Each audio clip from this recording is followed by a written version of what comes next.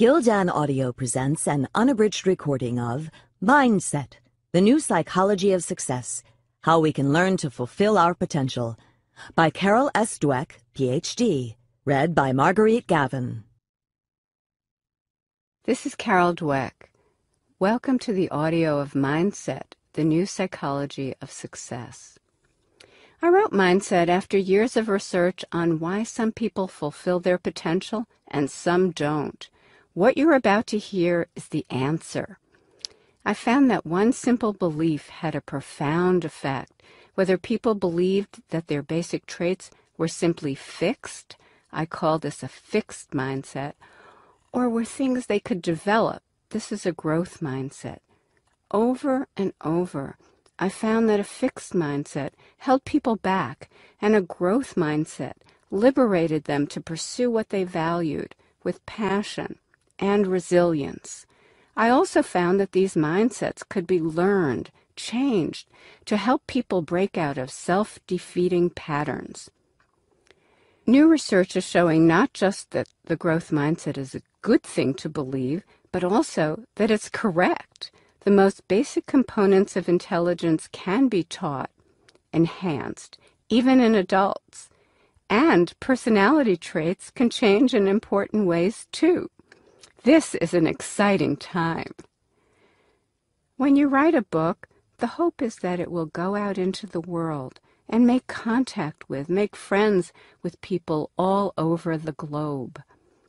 I'm happy to report that mindset is being translated into 17 languages. Also, based on the book and the research in it, I've received awards in social psychology, developmental psychology, and leadership in education. After two recent columns in the business section of the New York Times, Fortune 100 companies have become very interested in how to promote a growth mindset. A cover story in New York Magazine on how to and how not to praise your child was the most read story for months. Mindset has spurred changes, innovations in major school systems around the country recruiters and coaches from college and professional sports teams, even from the U.S. Olympic Coaching Committee, have said that mindset is revolutionary in its implications for coaching. But the most gratifying thing has been the hundreds of letters from readers who say, it's working. So many people have said that mindset was the missing link helping them to see why they or their children or students were struggling and what to do differently. People in business and sports said that instead of just identifying talent, they are seeing results from developing talent. They tell me how this has changed the motivation and performance of coaches and their athletes, of managers, leaders, and their employees. My life's work has been about growth, and it has helped foster my own growth. It is my sincere wish that it will do the same for you, for the people you work with, and the people you live with. Introduction One day, my students sat me down and ordered me to write this book. They wanted people to be able to use our work to make their lives better, it was something I'd wanted to do for a long time, but it became my number one priority. My work is part of a tradition in psychology that shows the power of people's beliefs. These may be beliefs we're aware of or unaware of, but they strongly affect what we want and whether we succeed in getting it. This tradition also shows how changing people's beliefs, even the simplest beliefs, can have profound effects. In this book, you'll learn how a simple belief about yourself, a belief we discovered in our research, guides a large part of your life. In fact, it permeates every part of your life. Much of what you think of as your personality actually grows out of this mindset. Much of what may be preventing you from fulfilling your potential grows out of it. No book has ever explained this mindset and shown people how to make use of it in their lives. You'll suddenly understand the greats, in the sciences and arts, in sports, and in business, and the would-have-beens. You'll understand your mate, your boss, your friends, your kids. You'll see how to unleash your potential, and your children's. It is my privilege to share my findings with you. Besides accounts of people from my research, I've filled each chapter with stories both ripped from the headlines and based on my own life and experience, so you can see the mindsets in action. In most cases, names and personal information have been changed to preserve anonymity. In some cases, several people have been condensed into one to make a clearer point. A number of the exchanges are recreated from memory, and I have rendered them to the best of my ability. At the end of each chapter and throughout the last chapter, I show you ways to apply the lessons, ways to recognize the mindset that is guiding your life, to understand how it works, and to change if you wish. Chapter 1 The Mindsets When I was a young researcher just starting out, something happened that changed my life. I was obsessed with understanding how people cope with failures, and I decided to study it by watching how students grapple with hard problems. So I brought children one at a time to a room in their school, made them feel comfortable, and then gave them a series of puzzles to solve. The first ones were fairly easy, but the next ones were hard. As the students grunted, perspired, and toiled, I watched their strategies and probed what they were thinking and feeling. I expected differences among the children in how they coped with the difficulty, but I saw something I never expected. Confronted with the hard puzzles, one ten-year-old boy pulled up his chair, rubbed his hands together, smacked his lips, and cried out, I love a challenge.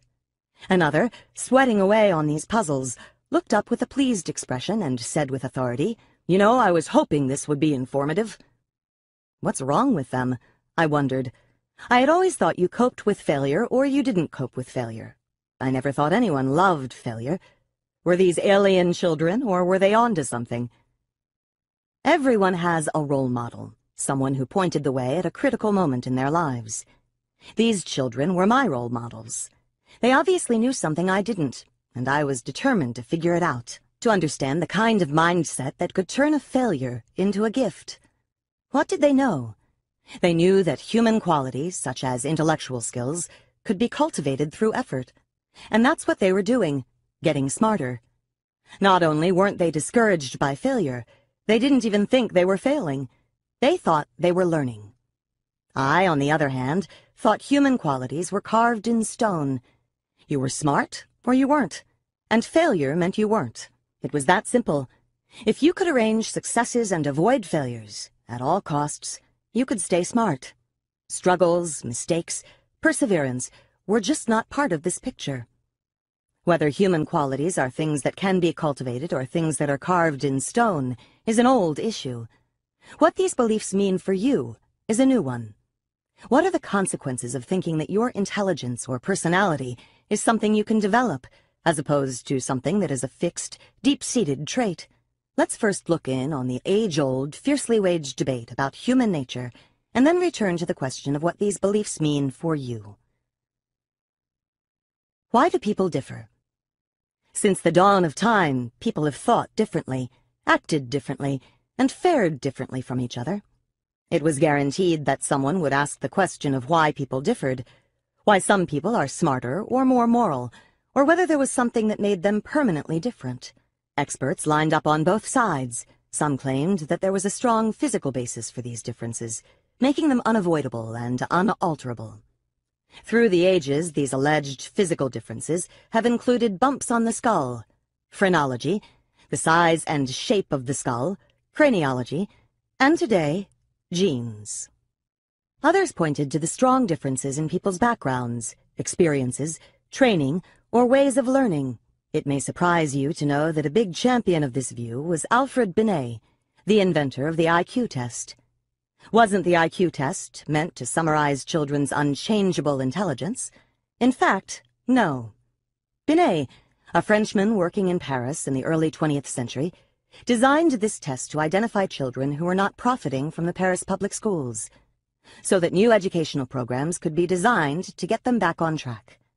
Without denying individual differences in children's intellects, he believed that education and practice could bring about fundamental changes in intelligence.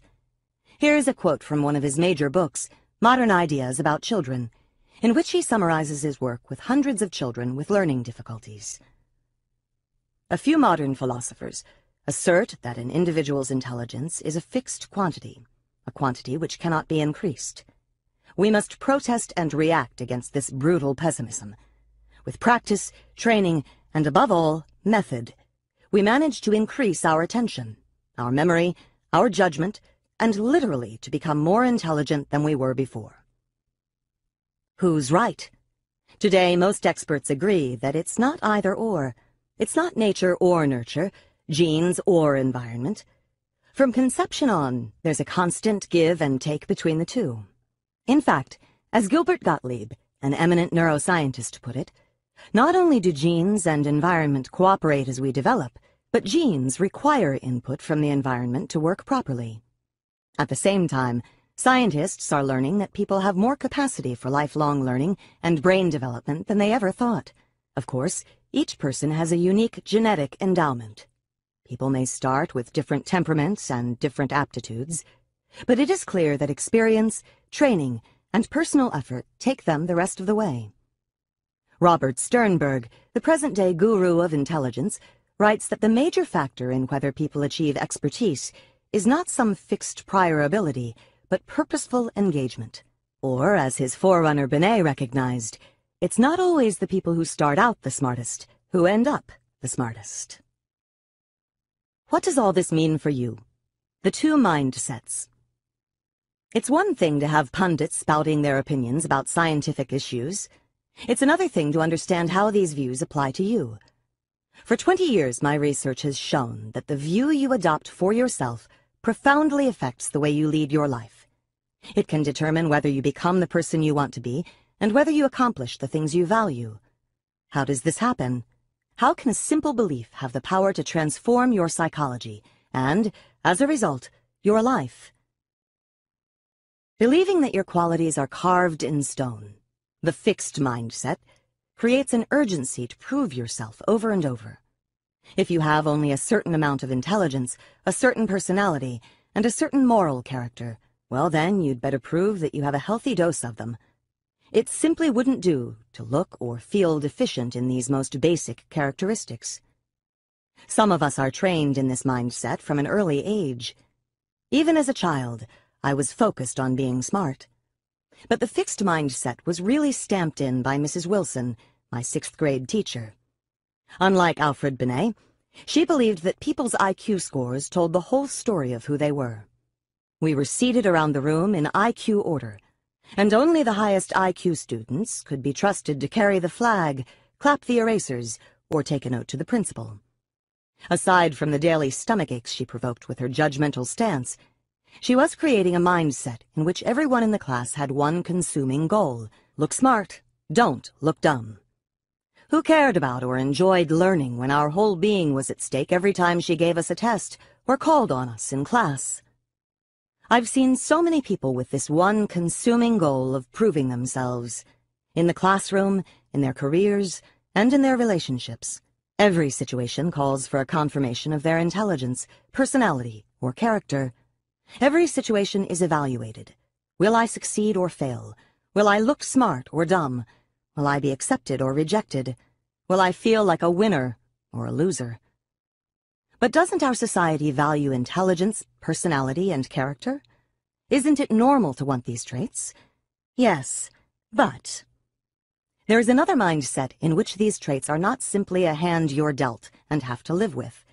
Always trying to convince yourself and others that you have a royal flush when you're secretly worried it's a pair of tens. In this mindset, the hand you're dealt is just the starting point for development. This growth mindset is based on the belief that your basic qualities are things you can cultivate through your efforts, although people may differ in every which way, in their initial talents and aptitudes, interests, or temperaments, everyone can change and grow through application and experience. Do people with this mindset believe that anyone can be anything, that anyone with proper motivation or education can become Einstein or Beethoven? No, but they believe that a person's true potential is unknown and unknowable, that it's impossible to foresee what can be accomplished with years of passion, toil, and training. Did you know that Darwin and Tolstoy were considered ordinary children, that Ben Hogan, one of the greatest golfers of all time, was completely uncoordinated and graceless as a child, that the photographer Cindy Sherman, who has been on virtually every list of the most important artists of the 20th century, failed her first photography course, that Geraldine Page, one of our greatest actresses, was advised to give it up for lack of talent. You can see how the belief that cherished qualities can be developed creates a passion for learning. Why waste time proving over and over how great you are when you could be getting better? Why hide deficiencies instead of overcoming them? Why look for friends or partners who will just shore up your self-esteem instead of ones who will also challenge you to grow? And why seek out the tried and true instead of experiences that will stretch you? The passion for stretching yourself and sticking to it, even or especially when it's not going well, is the hallmark of the growth mindset. This is the mindset that allows people to thrive during some of the most challenging times in their lives. A view from the two mindsets. To give you a better sense of how the two mindsets work, imagine, as vividly as you can, that you are a young adult having a really bad day. One day you go to a class that is really important to you and that you like a lot. The professor returns the midterm papers to the class. You got a C+. plus. You're very disappointed. That evening, on the way back to your home, you find that you've gotten a parking ticket. Being really frustrated, you call your best friend to share your experience, but are sort of brushed off. What would you think? What would you feel? What would you do? When I asked people with the fixed mindset, this is what they said. I'd feel like a reject. I'm a total failure. I'm an idiot. I'm a loser. I'd feel worthless and dumb. Everyone's better than me. I'm slime. In other words, they'd see what happened as a direct measure of their competence and worth. This is what they'd think about their lives. My life is pitiful. I have no life. Someone upstairs doesn't like me. The world is out to get me. Someone is out to destroy me. Nobody loves me. Everybody hates me. Life is unfair and all efforts are useless. Life stinks. I'm stupid. Nothing good ever happens to me. I'm the most unlucky person on this earth. Excuse me, was there death and destruction, or just a grade, a ticket, and a bad phone call? Are these just people with low self-esteem, or card-carrying pessimists? No. When they aren't coping with failure, they feel just as worthy and optimistic, and bright and attractive, as people with the growth mindset. So how would they cope? I wouldn't bother to put so much time and effort into doing well in anything. In other words, don't let anyone measure you again. Do nothing, stay in bed, get drunk, eat, yell at someone if I get a chance to, eat chocolate, listen to music and pout, go into my closet and sit there, pick a fight with somebody, cry, break something. What is there to do? What is there to do? You know, when I wrote the vignette, I intentionally made the grade a C+. plus not an F. It was a midterm rather than a final. It was a parking ticket, not a car wreck. They were sort of brushed off, not rejected outright. Nothing catastrophic or irreversible happened. Yet from this raw material, the fixed mindset created the feeling of utter failure and paralysis. When I gave people with the growth mindset the same vignette, here's what they said. They'd think, I need to try harder in class, be more careful when parking the car, and wonder if my friend had a bad day. The C plus would tell me that I'd have to work a lot harder in the class, but I have the rest of the semester to pull up my grade. There were many, many more like this, but I think you get the idea. Now, how would they cope? Directly. I'd start thinking about studying harder, or studying in a different way, for my next test in that class. I'd pay the ticket, and I'd work things out with my best friend the next time we speak. I'd look at what was wrong on my exam, resolve to do better, pay my parking ticket, and call my friend to tell her I was upset the day before. Work hard on my next paper, speak to the teacher, be more careful where I park, or contest the ticket, and find out what's wrong with my friend. You don't have to have one mind set or the other to be upset. Who wouldn't be? Things like a poor grade or a rebuff from a friend or loved one these are not fun events. No one was smacking their lips with relish. Yet those people with the growth mindset were not labeling themselves and throwing up their hands. Even though they felt distressed, they were ready to take the risks, confront the challenges, and keep working at them. So, what's new? Is this a novel idea?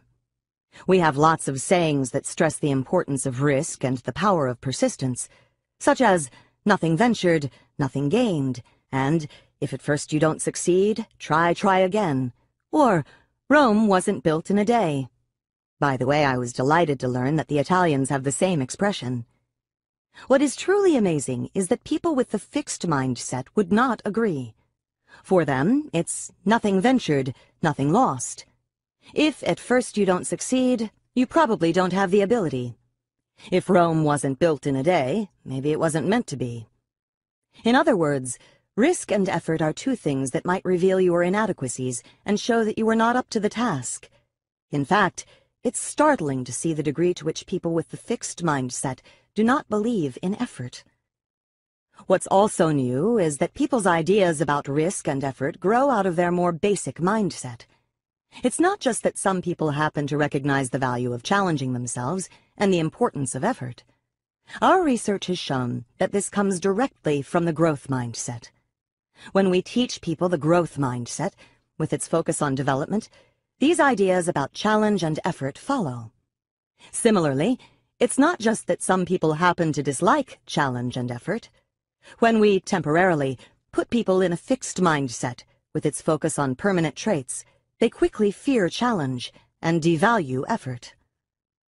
We often see books with titles like The Ten Secrets of the World's Most Successful People crowding the shelves of bookstores, and these books may give many useful tips, but they're usually a list of unconnected pointers like Take more risks or Believe in yourself. While you're left admiring people who can do that, it's never clear how these things fit together or how you could ever become that way. So you're inspired for a few days, but basically the world's most successful people still have their secrets. Instead, as you begin to understand the fixed and growth mindsets, you will see exactly how one thing leads to another. How a belief that your qualities are carved in stone leads to a host of thoughts and actions, and how a belief that your qualities can be cultivated leads to a host of different thoughts and actions, taking you down an entirely different road. It's what we psychologists call an aha experience. Not only have I seen this in my research when we teach people a new mindset, but I get letters all the time from people who have read my work. They recognize themselves.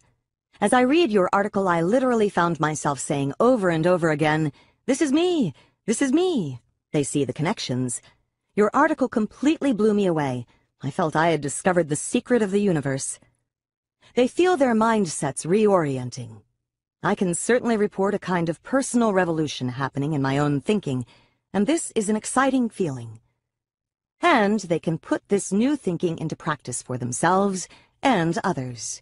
Your work has allowed me to transform my work with children and see education through a different lens. Or, I just wanted to let you know what an impact, on a personal and practical level, your outstanding research has had for hundreds of students. Self-insight. Who has accurate views of their assets and limitations? Well, maybe the people with the growth mindset don't think they're Einstein or Beethoven, but aren't they more likely to have inflated views of their abilities and try for things they're not capable of? In fact, studies show that people are terrible at estimating their abilities. Recently, we set out to see who is most likely to do this, Sure, we found people greatly misestimated their performance and their ability, but it was those with the fixed mindset who accounted for almost all the inaccuracy. The people with the growth mindset were amazingly accurate. When you think about it, this makes sense. If, like those with the growth mindset, you believe you can develop yourself, then you're open to accurate information about your current abilities, even if it's unflattering. What's more, if you're oriented toward learning, as they are, you need accurate information about your current abilities in order to learn effectively. However, if everything is either good news or bad news about your precious traits, as it is with fixed mindset people, distortion almost inevitably enters the picture. Some outcomes are magnified, Others are explained away, and before you know it, you don't know yourself at all. Howard Gardner, in his book Extraordinary Minds, concluded that the exceptional individuals have a special talent for identifying their own strengths and weaknesses. It's interesting that those with the growth mindset seem to have that talent. What's in store? The other thing exceptional people seem to have is a special talent for converting life setbacks into future successes. Creativity researchers concur. In a poll of 143 creativity researchers, there was wide agreement about the number one ingredient in creative achievement, and it was exactly the kind of perseverance and resilience produced by the growth mindset. You may be asking again, how can one belief lead to all this? The love of challenge, belief in effort, resilience in the face of setbacks, and greater, more creative, success. In the chapters that follow, you'll see exactly how this happens. How the mindsets change what people strive for and what they see as success. How they change the definition, significance, and impact of failure. And how they change the deepest meaning of effort. You'll see how these mindsets play out in school, in sports, in the workplace, and in relationships. You'll see where they come from and how they can be changed. Grow your mindset. Which mindset do you have? Answer these questions about intelligence. Read each statement and decide whether you mostly agree with it or disagree with it. 1. Your intelligence is something very basic about you that you can't change very much. 2. You can learn new things, but you can't really change how intelligent you are. 3. No matter how much intelligence you have, you can always change it quite a bit. 4. You can always substantially change how intelligent you are. Questions 1 and 2 are the fixed mindset questions. Questions 3 and 4 reflect the growth mindset. Which mindset did you agree with more? You can be a mixture, but most people lean toward one or the other. You also have beliefs about other abilities. You could substitute artistic talent, sports ability, or business skill for intelligence. Try it. It's not only your abilities, it's your personal qualities, too. Look at these statements about personality and character and decide whether you mostly agree or mostly disagree with each one. 1. You are a certain kind of person and there is not much that can be done to really change that. Two, no matter what kind of person you are, you can always change substantially. Three, you can do things differently, but the important parts of who you are can't really be changed. Four, you can always change basic things about the kind of person you are. Here, questions one and three are the fixed mindset questions, and questions two and four reflect the growth mindset. Which did you agree with more? Did it differ from your intelligence mindset? It can. Your intelligence mindset comes into play when situations involve mental ability. Your personality mindset comes into play in situations that involve your personal qualities. For example, how dependable, cooperative, caring, or socially skilled you are. The fixed mindset makes you concerned with how you'll be judged. The growth mindset makes you concerned with improving. Here are some more ways to think about mindsets. Think about someone you know who is steeped in the fixed mindset. Think about how they're always trying to prove themselves and how they're super sensitive about being wrong or making mistakes. Did you ever wonder why they were this way? Are you this way? Now you can begin to understand why. Think about someone you know who is skilled in the growth mindset. Someone who understands that important qualities can be cultivated. Think about the ways they confront obstacles. Think about the things they do to stretch themselves. What are some ways you might like to change or stretch yourself? Okay, now imagine you've decided to learn a new language and you've signed up for a class. A few sessions into the course, the instructor calls you to the front of the room and starts throwing questions at you one after another. Put yourself in a fixed mindset. Your ability is on the line. Can you feel everyone's eyes on you? Can you see the instructor's face evaluating you? Feel the tension? Feel your ego bristle and waver? What else are you thinking and feeling? Now, put yourself in a growth mindset. You're a novice. That's why you're here. You're here to learn. The teacher is a resource for learning. Feel the tension leave you. Feel your mind open up. The message is, you can change your mindset. Chapter 2 Inside the Mindsets When I was a young woman, I wanted a prince-like mate. Very handsome, very successful, a big cheese. I wanted a glamorous career, but nothing too hard or risky. And I wanted it all to come to me as validation of who I was. It would be many years before I was satisfied. I got a great guy, but he was a work in progress. I have a great career, but boy, is it a constant challenge. Nothing was easy. So why am I satisfied? I changed my mindset. I changed it because of my work. One day, my doctoral student, Mary Bandura, and I were trying to understand why some students were so caught up in proving their ability, while others could just let go and learn. Suddenly we realized that there were two meanings to ability, not one a fixed ability that needs to be proven, and a changeable ability that can be developed through learning. That's how the mindsets were born. I knew instantly which one I had. I realized why I had always been so concerned about mistakes and failures. And I recognized for the first time that I had a choice. When you enter a mindset, you enter a new world. In one world, the world of fixed traits, Success is about proving you're smart or talented, validating yourself. In the other, the world of changing qualities, it's about stretching yourself to learn something new, developing yourself. In one world, failure is about having a setback, getting a bad grade, losing a tournament, getting fired, getting rejected. It means you're not smart or talented.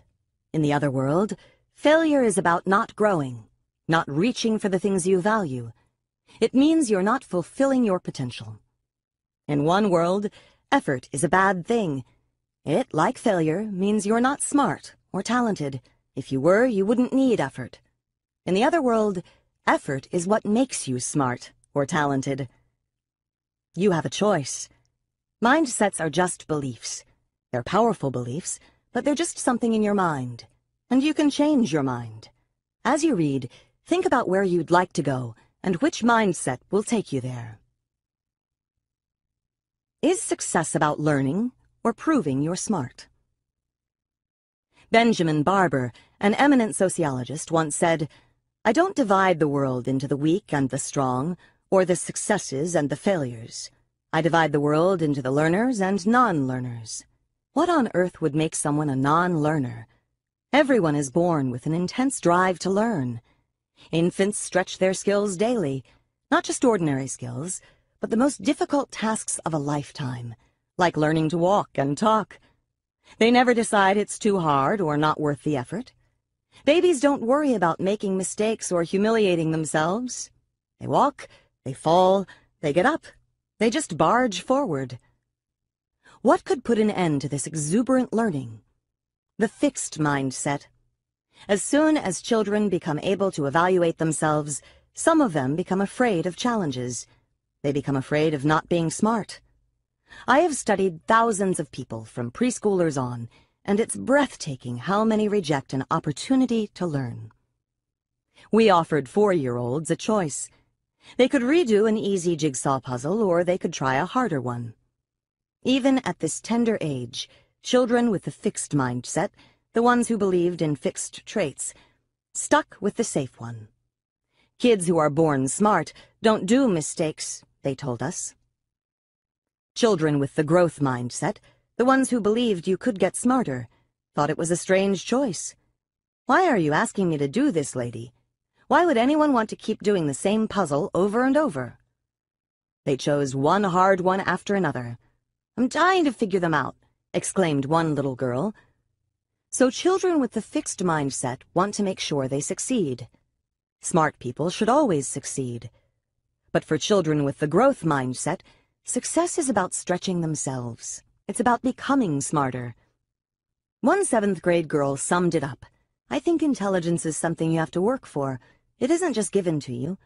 Most kids, if they're not sure of an answer, will not raise their hand to answer the question. But what I usually do is raise my hand, because if I'm wrong, then my mistake will be corrected. Or I will raise my hand and say, how would this be solved? Or, I don't get this, can you help me? Just by doing that, I'm increasing my intelligence. Beyond puzzles. It's one thing to pass up a puzzle. It's another to pass up an opportunity that's important to your future. To see if this would happen, we took advantage of an unusual situation. At the University of Hong Kong, everything is in English. Classes are in English, textbooks are in English, and exams are in English. But some students who enter the university are not fluent in English, so it would make sense for them to do something about it in a hurry. As students arrived to register for their freshman year, we knew which ones were not skilled in English. And we asked them a key question. If the faculty offered a course for students who need to improve their English skills, would you take it? We also measured their mindset. We did this by asking them how much they agreed with statements like this.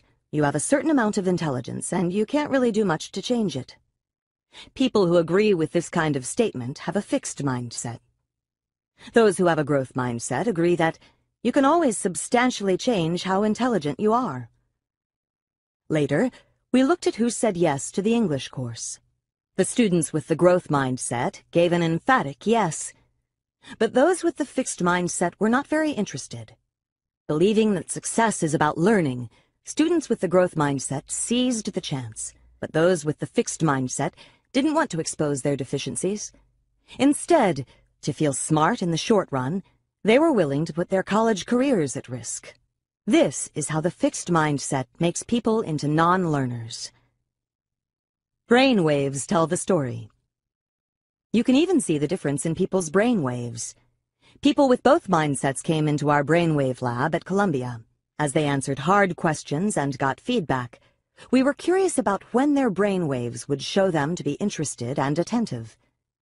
People with a fixed mindset were only interested when the feedback reflected on their ability. Their brainwaves showed them paying close attention when they were told whether their answers were right or wrong. But when they were presented with information that could help them learn, there was no sign of interest. Even when they'd gotten an answer wrong, they were not interested in learning what the right answer was. Only people with a growth mindset paid close attention to information that could stretch their knowledge. Only for them was learning a priority. What's your priority? If you had to choose, which would it be? Loads of success and validation, or lots of challenge? It's not just on intellectual tasks that people have to make these choices. People also have to decide what kinds of relationships they want.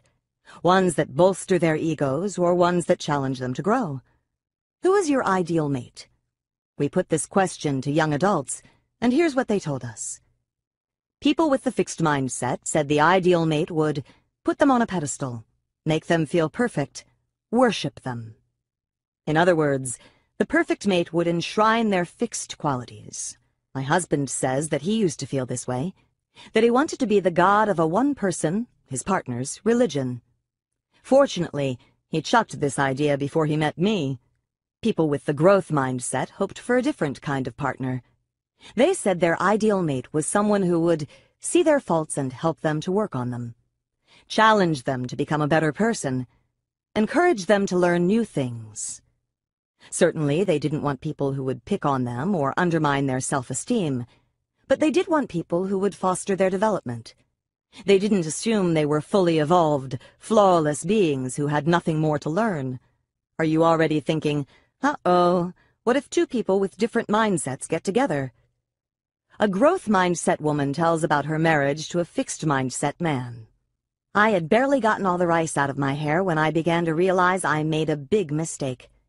Every time I said something like, why don't we try to go out a little more, or I'd like it if you consulted me before making decisions, he was devastated.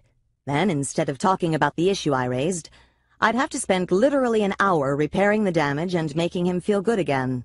Plus, he would then run to the phone to call his mother, who always showered him with the constant adoration he seemed to need. We were both young and new at marriage. I just wanted to communicate. So the husband's idea of a successful relationship, total uncritical acceptance, was not the wife's. And the wife's idea of a successful relationship, confronting problems, was not the husband's. One person's growth was the other person's nightmare. CEO disease. Speaking of reigning from atop a pedestal and wanting to be seen as perfect, you won't be surprised that this is often called CEO disease. Lee Iacocca had a bad case of it. After his initial success at head of Chrysler Motors, Iacocca looked remarkably like our four-year-olds with the fixed mindset. He kept bringing out the same car models over and over with only superficial changes. Unfortunately, they were models no one wanted anymore. Meanwhile, Japanese companies were completely rethinking what cars should look like and how they should run. We know how this turned out. The Japanese cars rapidly swept the market. CEOs face this choice all the time. Should they confront their shortcomings or should they create a world where they have none? Lee Iacocca chose the latter. He surrounded himself with worshippers, exiled the critics, and quickly lost touch with where his field was going. Lee Iacocca became a non-learner. But not everyone catches CEO disease. Many great leaders confront their shortcomings on a regular basis. Darwin Smith, looking back on his extraordinary performance at Kimberly-Clark, declared, I never stopped trying to be qualified for the job. These men, like the Hong Kong students with the growth mindset, never stopped taking the remedial course. CEOs face another dilemma. They can choose short-term strategies that boost the company's stock and make themselves look like heroes, or they can work for long-term improvement, risking Wall Street's disapproval as they lay the foundation for the health and growth of the company over the longer haul. Albert Dunlap, a self-professed fixed mindsetter, was brought in to turn around Sunbeam. He chose the short-term strategy of looking like a hero to Wall Street. The stock soared, but the company fell apart. Lou Gerstner, an avowed growth mindsetter, was called in to turn around IBM. As he set about the enormous task of overhauling IBM culture and policies, stock prices were stagnant, and Wall Street sneered. They called him a failure. A few years later, however, IBM was leading its field again. Stretching. People in a growth mindset don't just seek challenge. They thrive on it. The bigger the challenge, the more they stretch. And nowhere can it be seen more clearly than in the world of sports. You can just watch people stretch and grow. Mia Hamm, the greatest female soccer star of her time, says it straight out. All my life I've been playing up, meaning I've challenged myself with players older, bigger, more skillful, more experienced. In short, better than me. First, she played with her older brother. Then, at 10, she joined the 11-year-old boys' team. Then she threw herself into the number one college team in the United States. Each day, I attempted to play up to their level, and I was improving faster than I ever dreamed possible. Patricia Miranda was a chubby, unathletic high school kid who wanted to wrestle. After a bad beating on the mat, she was told, You're a joke. First she cried, then she felt, that really set my resolve. I had to keep going and had to know if effort and focus and belief and training could somehow legitimize me as a wrestler. Where did she get this resolve? Miranda was raised in a life devoid of challenge. But when her mother died of an aneurysm at age 40, 10-year-old Miranda came up with a principle. When you're lying on your deathbed, one of the cool things to say is, I really explored myself. This sense of urgency was instilled when my mom died, if you only go through life doing stuff that's easy, shame on you. So when wrestling presented a challenge, she was ready to take it on. Her effort paid off. At 24, Miranda was having the last laugh. She won the spot for her weight group on the U.S. Olympic team and came home from Athens with a bronze medal. And what was next? Yale Law School. People urged her to stay where she was already on top, but Miranda felt it was more exciting to start at the bottom again and see what she could grow into this time. Stretching beyond the possible. Sometimes people with the growth mindset stretch themselves so far that they do the impossible. In 1995, Christopher Reeve, the actor, was thrown from a horse. His neck was broken, his spinal cord was severed from his brain, and he was completely paralyzed below the neck. Medical science said, so sorry, come to terms with it.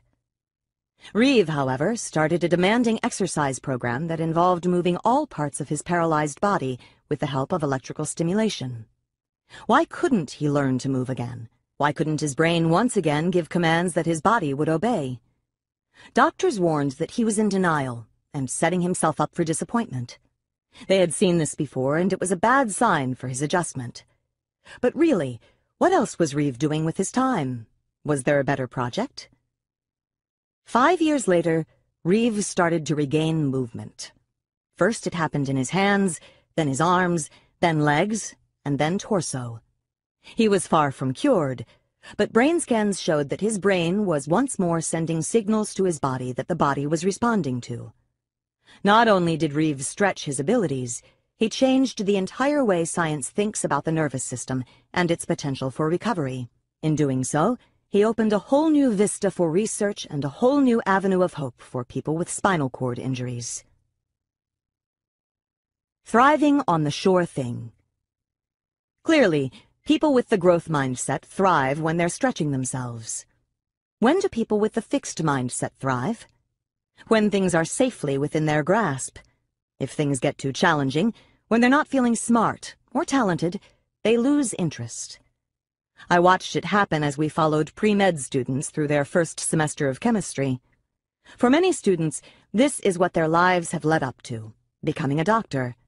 And this is the course that decides who gets to be one. It's one heck of a hard course, too. The average grade on each exam is C+, for students who've rarely seen anything less than an A. Most students started out pretty interested in chemistry, yet over the semester, something happened. Students with the fixed mindset stayed interested only when they did well right away. Those who found it difficult showed a big drop in their interest and enjoyment. If it wasn't a testimony to their intelligence, they couldn't enjoy it. The harder it gets, reported one student, the more I have to force myself to read the book and study for the tests. I was excited about chemistry before, but now every time I think about it, I get a bad feeling in my stomach. In contrast, Students with the growth mindset continued to show the same high level of interest even when they found the work very challenging. It's a lot more difficult for me than I thought it would be, but it's what I want to do, so that only makes me more determined. When they tell me I can't, it really gets me going. Challenge and interest went hand in hand. We saw the same thing in younger students. We gave fifth graders intriguing puzzles, which they all loved. But when we made them harder, children with a fixed mindset showed a big plunge in enjoyment. They also changed their minds about taking some home to practice. It's okay, you can keep them. I already have them, fibbed one child. In fact, they couldn't run from them fast enough. This was just as true for children who were the best puzzle solvers. Having puzzle talent did not prevent the decline. Children with the growth mindset, on the other hand, couldn't tear themselves away from the hard problems. These were their favorites, and these were the ones they wanted to take home. Could you write down the name of these puzzles? One child asked, so my mom can buy me some more when these ones run out. Not long ago, I was interested to read about Marina Semyonova, a great Russian dancer and teacher who devised a novel way of selecting her students. It was a clever test for mindset. As a former student tells it, her students first have to survive a trial period while she watches to see how you react to praise and to correction. Those more responsive to the correction are deemed worthy. In other words, she separates the ones who get their thrill from what's easy, what they've already mastered, from those who get their thrill from what's hard. I'll never forget the first time I heard myself say, This is hard. This is fun. That's the moment I knew I was changing mindsets. When do you feel smart? When you're flawless or when you're learning? The plot is about to thicken, for in the fixed mindset, it's not enough just to succeed. It's not enough just to look smart and talented. You have to be pretty much flawless, and you have to be flawless right away. We asked people, ranging from grade schoolers to young adults, when do you feel smart? The differences were striking. People with the fixed mindset said, it's when I don't make any mistakes. When I finish something fast and it's perfect. When something is easy for me, but other people can't do it. It's about being perfect right now. But people with the growth mindset said, when it's really hard and I try really hard, and I can do something I couldn't do before. Or, when I work on something a long time and I start to figure it out. For them, it's not about immediate perfection.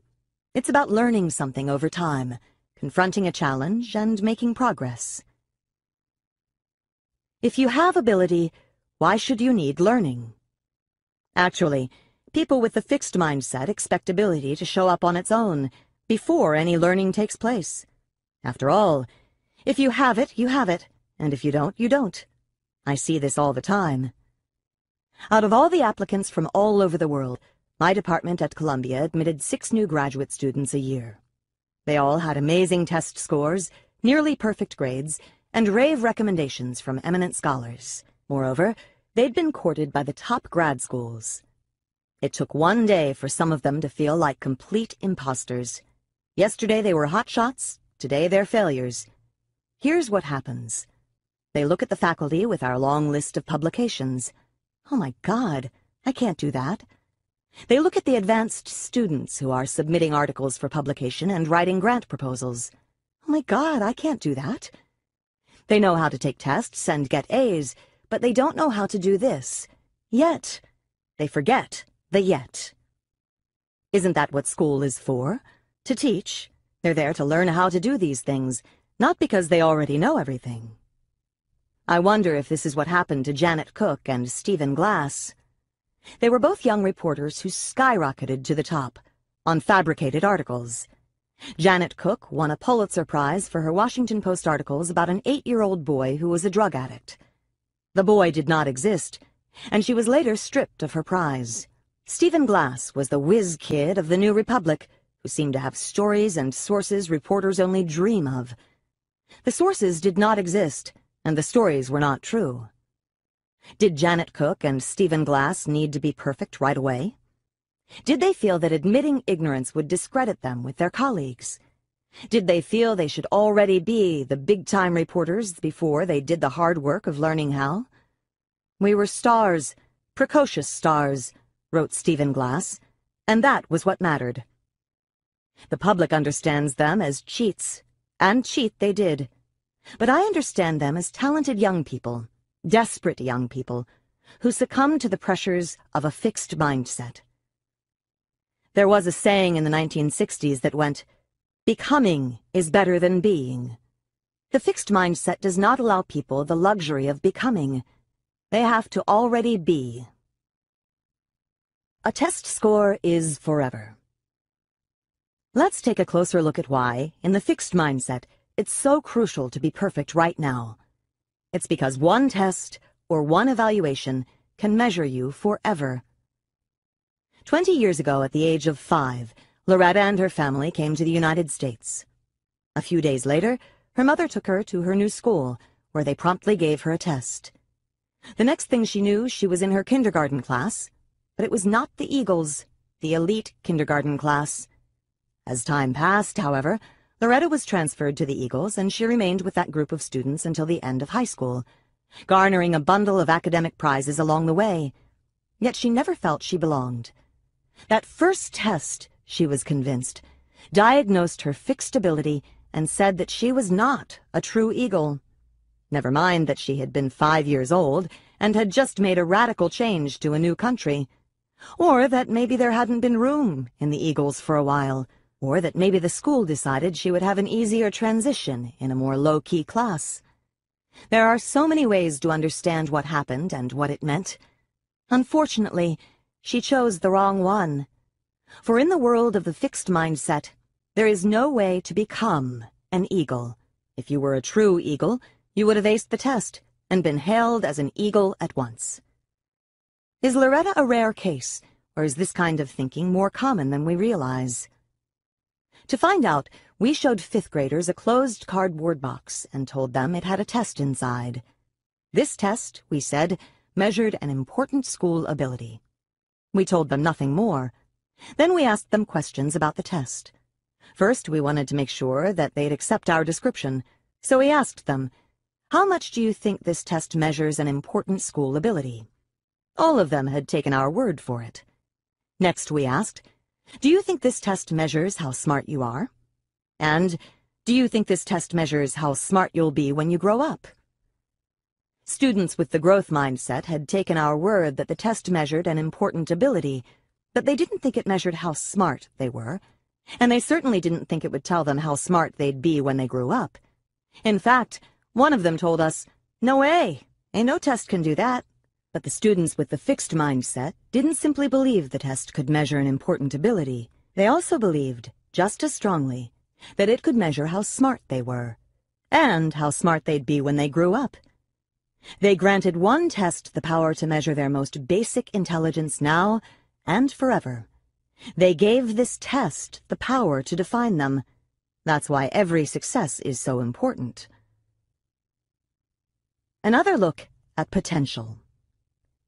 This leads us back to the idea of potential, and to the question of whether tests or experts can tell us what our potential is, what we're capable of, what our future will be. The fixed mindset says yes. You can simply measure the fixed ability right now and project it into the future. Just give the test or ask the expert. No crystal ball needed. So common is the belief that potential can be known right now that Joseph P. Kennedy felt confident in telling Morton Downey Jr. that he would be a failure.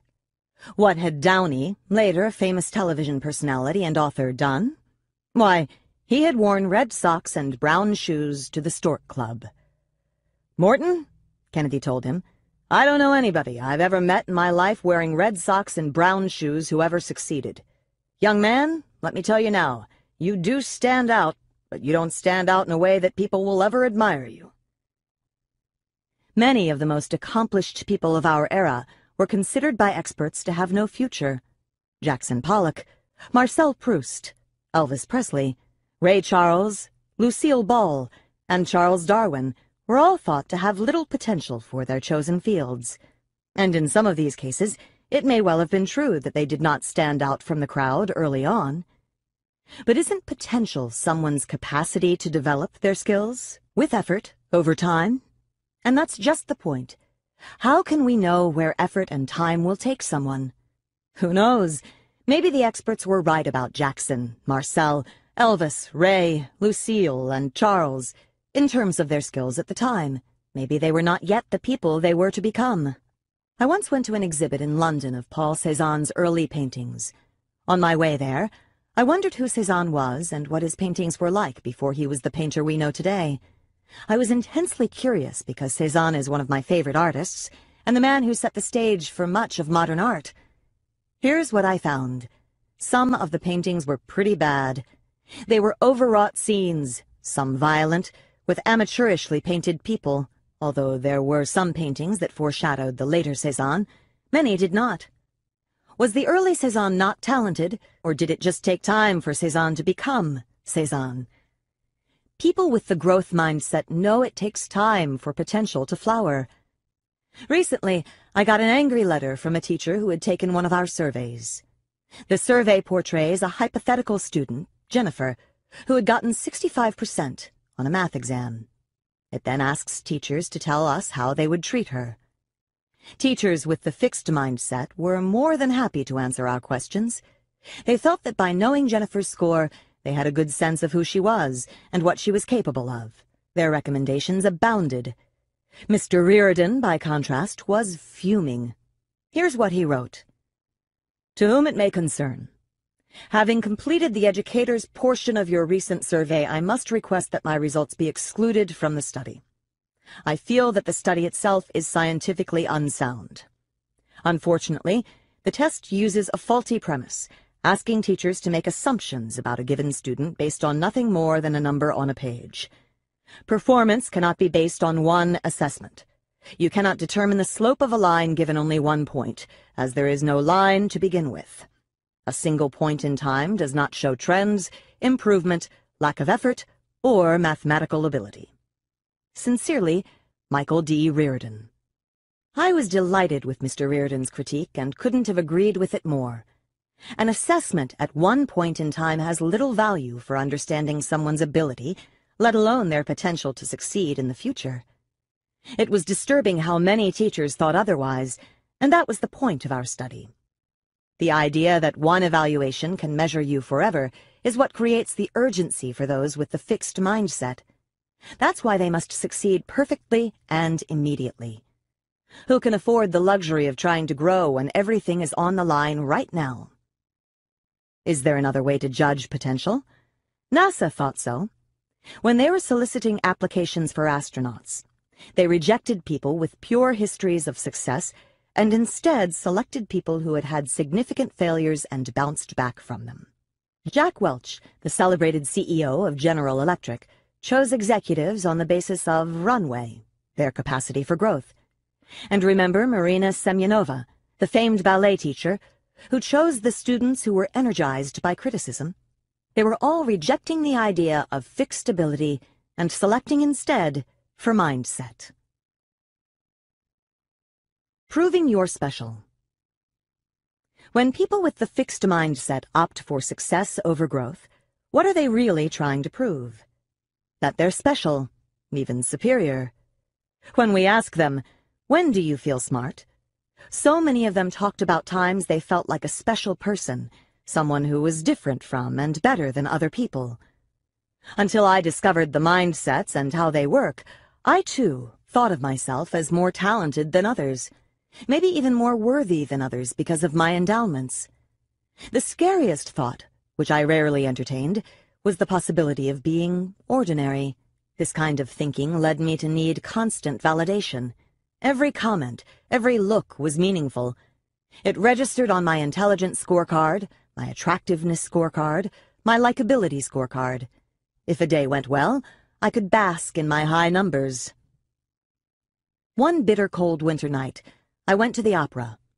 That night, the opera was everything you hope for, and everyone stayed until the very end, not just the end of the opera, but through all the curtain calls.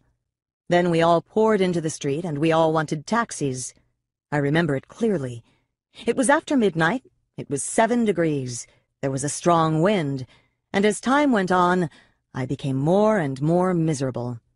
There I was, part of an undifferentiated crowd. What chance did I have? Suddenly, a taxi pulled up right next to me. The handle of the back door lined up perfectly with my hand, and as I entered, the driver announced, You were different. I lived for those moments. Not only was I special, it could be detected from a distance. The self-esteem movement encourages this kind of thinking and has even invented devices to help confirm your superiority. I recently came across an ad for such a product. Two of my friends send me an illustrated list each year of the top 10 things they didn't get me for Christmas. From January through November, they clip candidate items from catalogs or download them from the internet. In December, they select the winners. One of my all-time favorites is the pocket toilet which you fold up and return to your pocket after using. This year, my favorite was the I Love Me mirror, a mirror with I Love Me in huge capital letters written across the bottom half.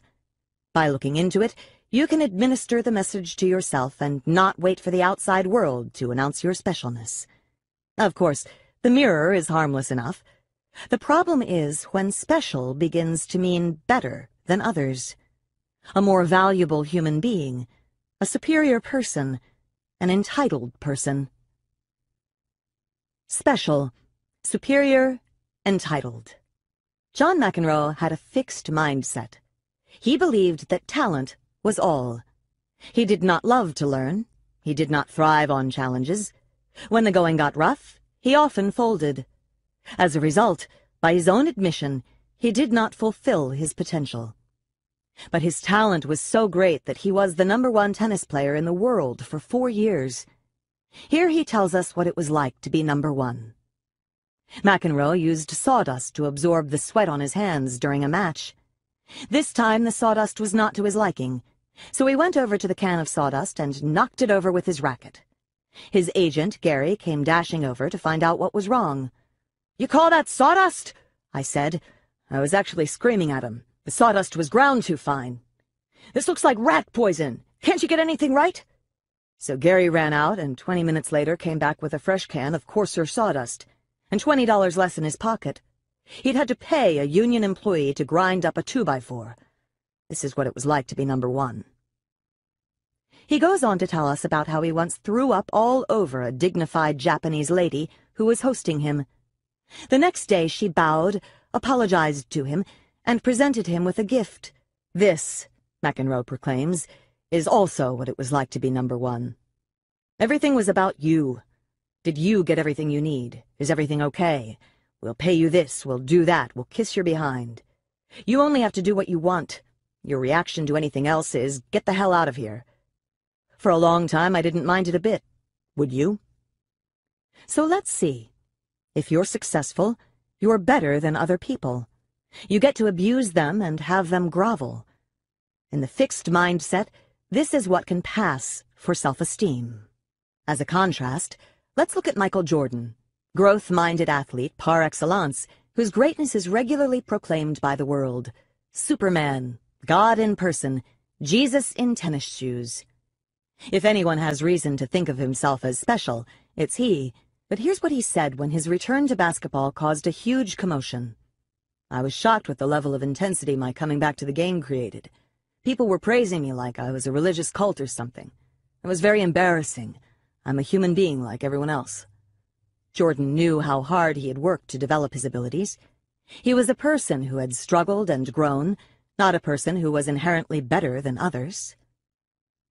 Tom Wolfe, in The Right Stuff, describes the elite military pilots who eagerly embrace the fixed mindset. Having passed one rigorous test after another, they think of themselves as special, as people who were born smarter and braver than other people. But Chuck Yeager, the hero of The Right Stuff, begged to differ. There is no such thing as a natural-born pilot. Whatever my aptitude or talents, becoming a proficient pilot was hard work. Really a lifetime's learning experience. The best pilots fly more than the others. That's why they're the best. Like Michael Jordan, he was a human being. He just stretched himself farther than most. In summary, people who believe in fixed traits feel an urgency to succeed, and when they do, they may feel more than pride. They may feel a sense of superiority, since success means their fixed traits are better than other people's. However, lurking behind that self-esteem of the fixed mindset is a simple question. If you're somebody when you're successful, what are you when you're unsuccessful? Mindsets change the meaning of failure. The Martins worshipped their three-year-old Robert and always bragged about his feats. There had never been a child as bright and creative as theirs. Then Robert did something unforgivable he didn't get into the number one preschool in New York. After that, the Martins cooled toward him. They didn't talk about him the same way, and they didn't treat him with the same pride and affection. He was no longer their brilliant little Robert. He was someone who had discredited himself and shamed them. At the tender age of three, he was a failure. As a New York Times article points out, failure has been transformed from an action. I failed, to an identity. I am a failure. This is especially true in the fixed mindset. When I was a child, I too worried about meeting Robert's fate. In sixth grade, I was the best speller in my school. The principal wanted me to go to a citywide competition, but I refused. In ninth grade, I excelled in French, and my teacher wanted me to enter a citywide competition. Again, I refused. Why would I risk turning from a success into a failure, from a winner into a loser? Ernie Els, the great golfer, worried about this too. Els finally won a major tournament after a five-year dry spell, in which match after match slipped away from him. What if he had lost this tournament too? I would have been a different person, he tells us. He would have been a loser. Each April, when the skinny envelopes, the rejection letters, arrive from colleges, countless failures are created coast to coast. Thousands of brilliant young scholars become the girl who didn't get into Princeton or the boy who didn't get into Stanford. Defining moments. Even in the growth mindset, failure can be a painful experience. But it doesn't define you. It's a problem to be faced, dealt with, and learned from. Jim Marshall, former defensive player for the Minnesota Vikings, relates what could easily have made him into a failure. In a game against the San Francisco 49ers, Marshall spotted the football on the ground. He scooped it up and ran for a touchdown as the crowd cheered. But he ran the wrong way. He scored for the wrong team and on national television. It was the most devastating moment of his life. The shame was overpowering. But during halftime, he thought, if you make a mistake, you gotta make it right. I realized I had a choice. I could sit in my misery, or I could do something about it. Pulling himself together for the second half, he played some of his best football ever and contributed to his team's victory. Nor did he stop there. He spoke to groups. He answered letters that poured in from people who finally had the courage to admit their own shameful experiences. He heightened his concentration during games. Instead of letting the experience define him, he took control of it. He used it to become a better player and, he believes, a better person. In the fixed mindset, however, the loss of oneself to failure can be a permanent, haunting trauma. Bernard Loiseau was one of the top chefs in the world. Only a handful of restaurants in all of France receive the supreme rating of three stars from the Guide Michelin, the most respected restaurant guide in Europe. His was one of them. Around the publication of the 2003 Guide Michelin, however, Mr. Loiseau committed suicide. He had lost two points in another guide, going from a 19 out of 20 to a 17 in the Gault Millau and there were rampant rumors that he would lose one of his three stars in the new Guide. Although he did not, the idea of failure had possessed him. Loiseau had been a pioneer. He was one of the first to advance the nouveau cuisine, trading the traditional butter and cream sauces of French cooking for the brighter flavors of the foods themselves. A man of tremendous energy, he was also an entrepreneur. Besides his three-star restaurant in Burgundy, he had created three eateries in Paris, numerous cookbooks, and a line of frozen foods. I'm like Yves Saint Laurent, he told people. I do both haute couture and ready-to-wear. A man of such talent and originality could easily have planned for a satisfying future, with or without the two points or the third star. In fact, the director of the Millau said it was unimaginable that their rating could have taken his life. But in the fixed mindset, it is imaginable. Their lower rating gave him a new definition of himself. Failure. Has been. It's striking what counts as failure in the fixed mindset. So on a lighter note, my success is your failure. Last summer, my husband and I went to a dude ranch, something very novel since neither of us had ever made contact with a horse. One day, we signed up for a lesson in fly fishing.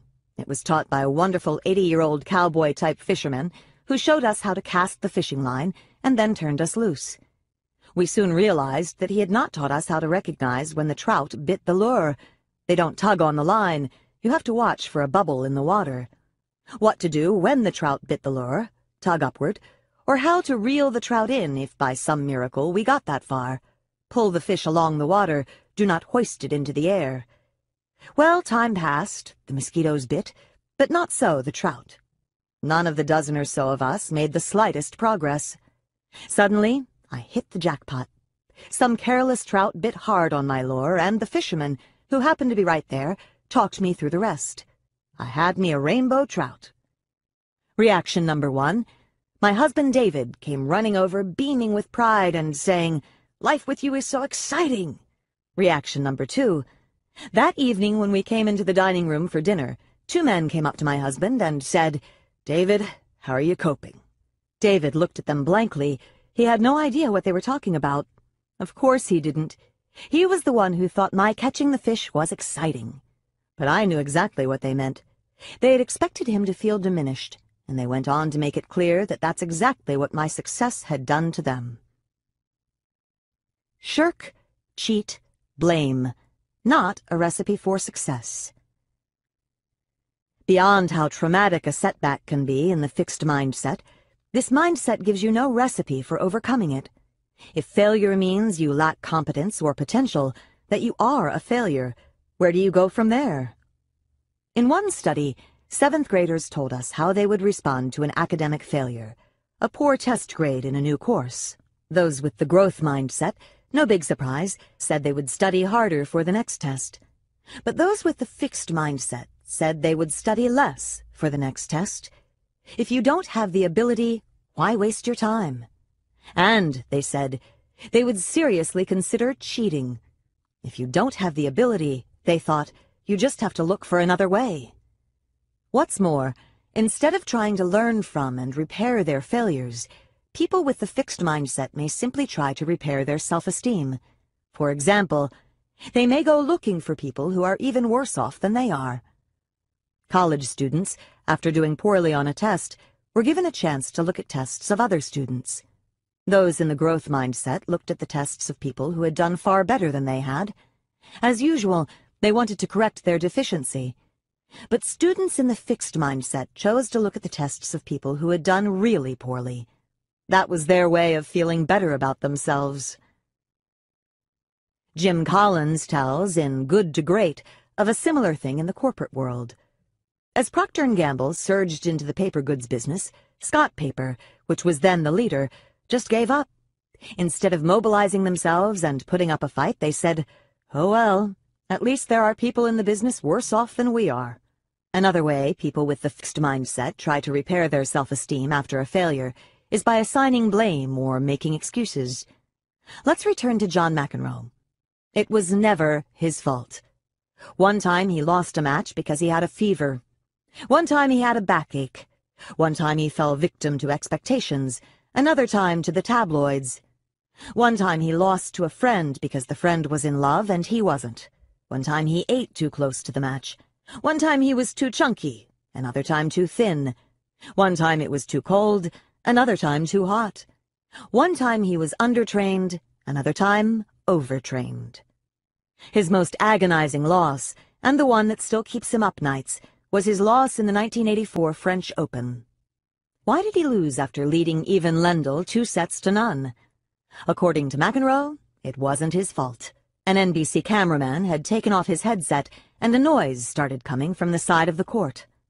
Not his fault so he didn't train to improve his ability to concentrate or his emotional control. John Wooden, the legendary basketball coach, says you aren't a failure until you start to blame. What he means is that you can still be in the process of learning from your mistakes until you deny them. When Enron, the energy giant, failed, toppled by a culture of arrogance, whose fault was it? Not mine, insisted Jeffrey Skilling, the CEO and resident genius, it was the world's fault. The world did not appreciate what Enron was trying to do. What about the Justice Department's investigation into massive corporate deception? A witch hunt. Jack Welch, the growth-minded CEO, had a completely different reaction to one of General Electric's fiascos. In 1986, General Electric bought Kidder Peabody, a Wall Street investment banking firm. Soon after the deal closed, Kidder Peabody was hit with a big insider trading scandal. A few years later, calamity struck again in the form of Joseph Jett, a trader who made a bunch of fictitious trades to the tune of hundreds of millions to pump up his bonus. Welch phoned 14 of his top GE colleagues to tell them the bad news and to apologize personally. I blamed myself for the disaster, Welch said. Mindset and depression. Maybe Bernard Loiseau, the French chef, was just depressed. Were you thinking that? As a psychologist and an educator, I'm vitally interested in depression. It runs wild on college campuses, especially in February and March. The winter is not over, the summer is not in sight, work has piled up, and relationships are often frayed. Yet it's been clear to me for a long time that different students handle depression in dramatically different ways. Some let everything slide. Others, though feeling wretched, hang on. They drag themselves to class, keep up with their work, and take care of themselves, so that when they feel better, their lives are intact. Not long ago, we decided to see whether mindsets play a role in this difference. To find out, we measured students' mindsets and then had them keep an online diary for three weeks in February and March. Every day they answered questions about their mood, their activities, and how they were coping with problems. Here's what we discovered. First, the students with the fixed mindset had higher levels of depression. Our analysis showed that this was because they ruminated over their problems and setbacks, essentially tormenting themselves with the idea that the setbacks meant they were incompetent or unworthy. It just kept circulating in my head. You're a dope. I just couldn't let go of the thought that this made me less of a man. Again, failures labeled them and left them no route to success. And the more depressed they felt, the more they let things go, the less they took action to solve their problems. For example, they didn't study what they needed to, they didn't hand in their assignments on time, and they didn't keep up with their chores. Although students with the fixed mindset showed more depression, there were still plenty of people with the growth mindset who felt pretty miserable, this being peak season for depression. And here we saw something really amazing. The more depressed people with the growth mindset felt, the more they took action to confront their problems. The more they made sure to keep up with their schoolwork, and the more they kept up with their lives. The worse they felt, the more determined they became. In fact, from the way they acted, it might have been hard to know how despondent they were. Here is a story a young man told me. I was a freshman, and it was the first time I had been away from home. Everyone was a stranger, the courses were hard, and as the year wore on, I felt more and more depressed. Eventually, it reached a point where I could hardly get out of bed in the morning. But every day, I forced myself to get up, shower, shave, and do whatever it was I needed to do. One day, I really hit a low point, and I decided to ask for help. So I went to the teaching assistant in my psychology course and asked for her advice. Are you going to your classes? She asked. Yes, I replied. Are you keeping up with your reading? Yes. Are you doing okay on your exams? Yes. Well, she informed me, then you're not depressed. Yes, he was depressed, but he was coping the way people in the growth mindset tend to cope, with determination. Doesn't temperament have a lot to do with it? Aren't some people sensitive by nature, while others just let things roll off their backs? Temperament certainly plays a role, but mindset is the most important part of the story. When we taught people the growth mindset, it completely changed the way they reacted to their depressed mood. The worse they felt, the more motivated they became, and the more they confronted the problems that faced them. In short, when people believe in fixed traits, they are always in danger of being measured by a failure. It can define them in a permanent way. Smart or talented as they may be, this mindset seems to rob them of their coping resources. When people believe their basic qualities can be developed, failures may still hurt, but failures don't define them. And if abilities can be expanded, if change and growth are possible, then there are still many paths to success. Mindsets change the meaning of effort.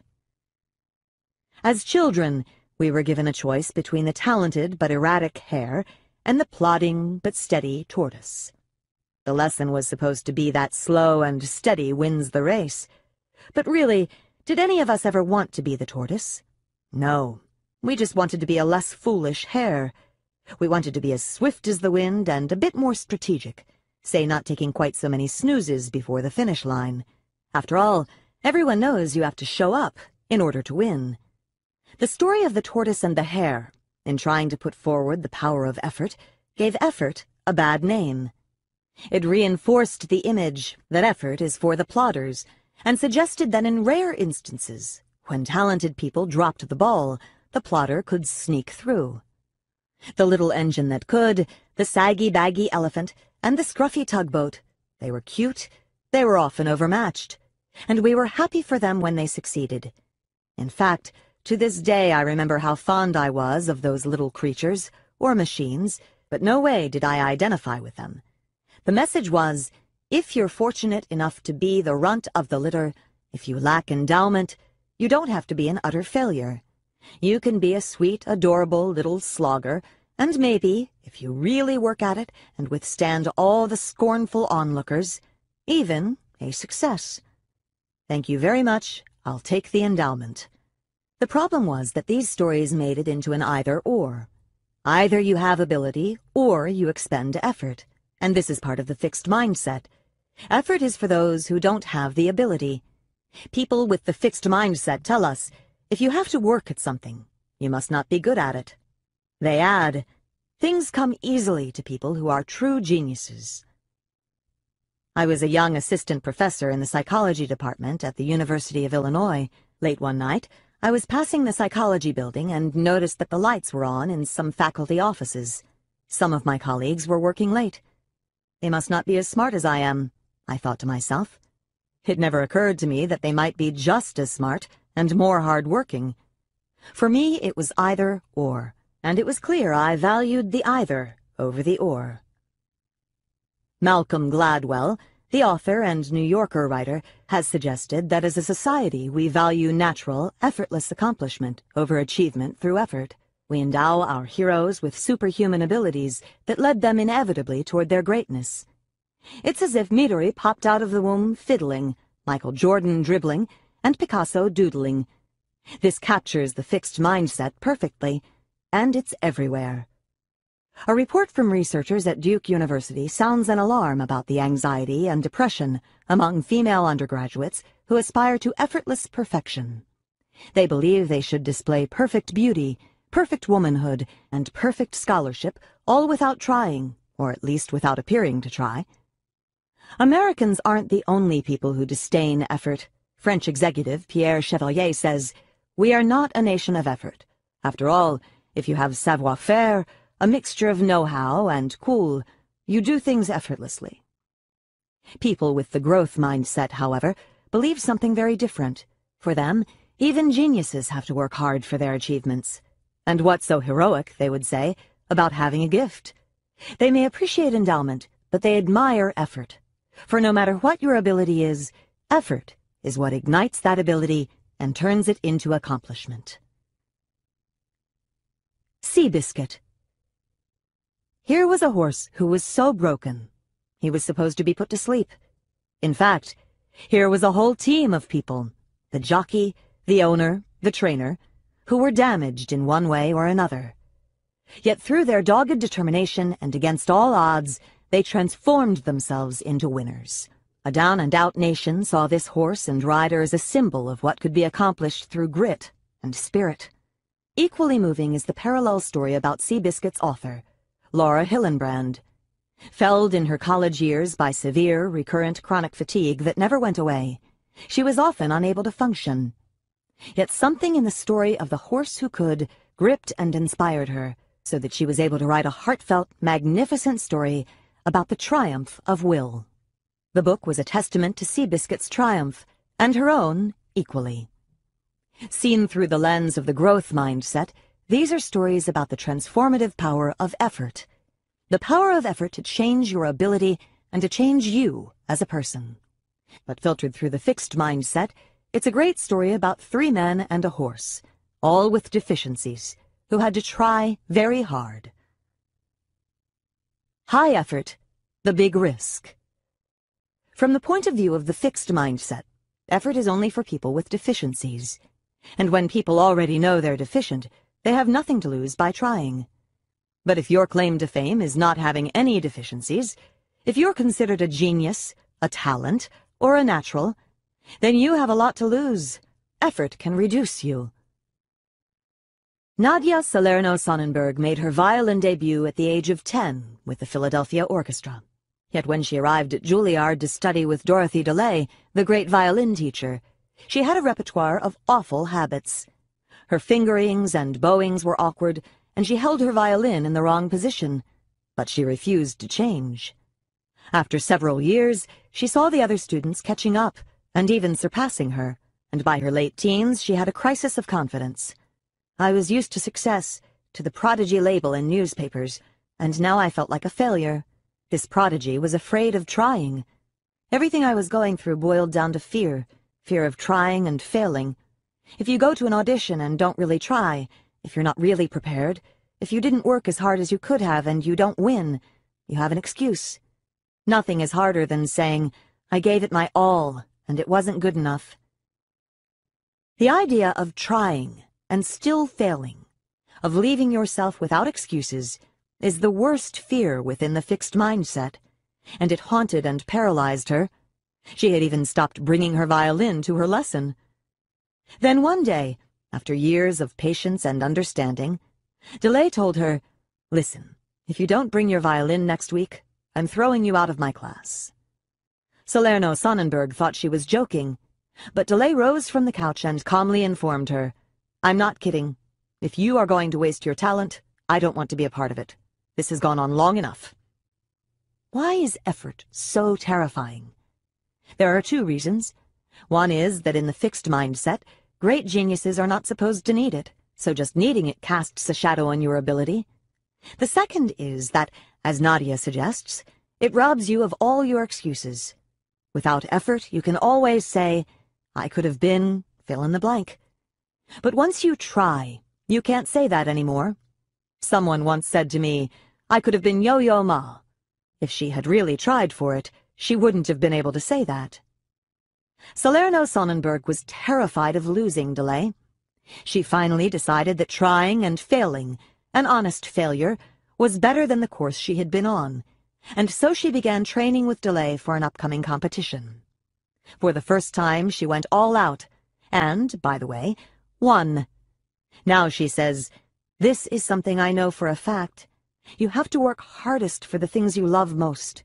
And when it's music you love, you're in for the fight of your life. Fear of effort can happen in relationships, too, as it did with Amanda, a dynamic and attractive young woman. I had a lot of crazy boyfriends. A lot. They ranged from unreliable to inconsiderate. How about a nice guy for once? My best friend Carla always said. It was like, you deserve better. So then Carla fixed me up with Rob, a guy from her office. He was great, not just on day one. I loved it. It was like, oh my god, a guy who actually shows up on time. Then it became serious, and I freaked. I mean, this guy really liked me, but I couldn't stop thinking about how, if he really knew me, he might get turned off. I mean, what if I really, really tried and it didn't work? I guess I couldn't take that risk. Low effort, the big risk. In the growth mindset, it's almost inconceivable to want something badly, to think you have a chance to achieve it, and then do nothing about it. When it happens, the I could have been is heartbreaking, not comforting. There were few American women in the 1930s through 1950s who were more successful than Clare Boothe Luce. She was a famous author and playwright. She was elected to Congress twice, and she was ambassador to Italy. I don't really understand the word success, she has said, I know people use it about me, but I don't understand it.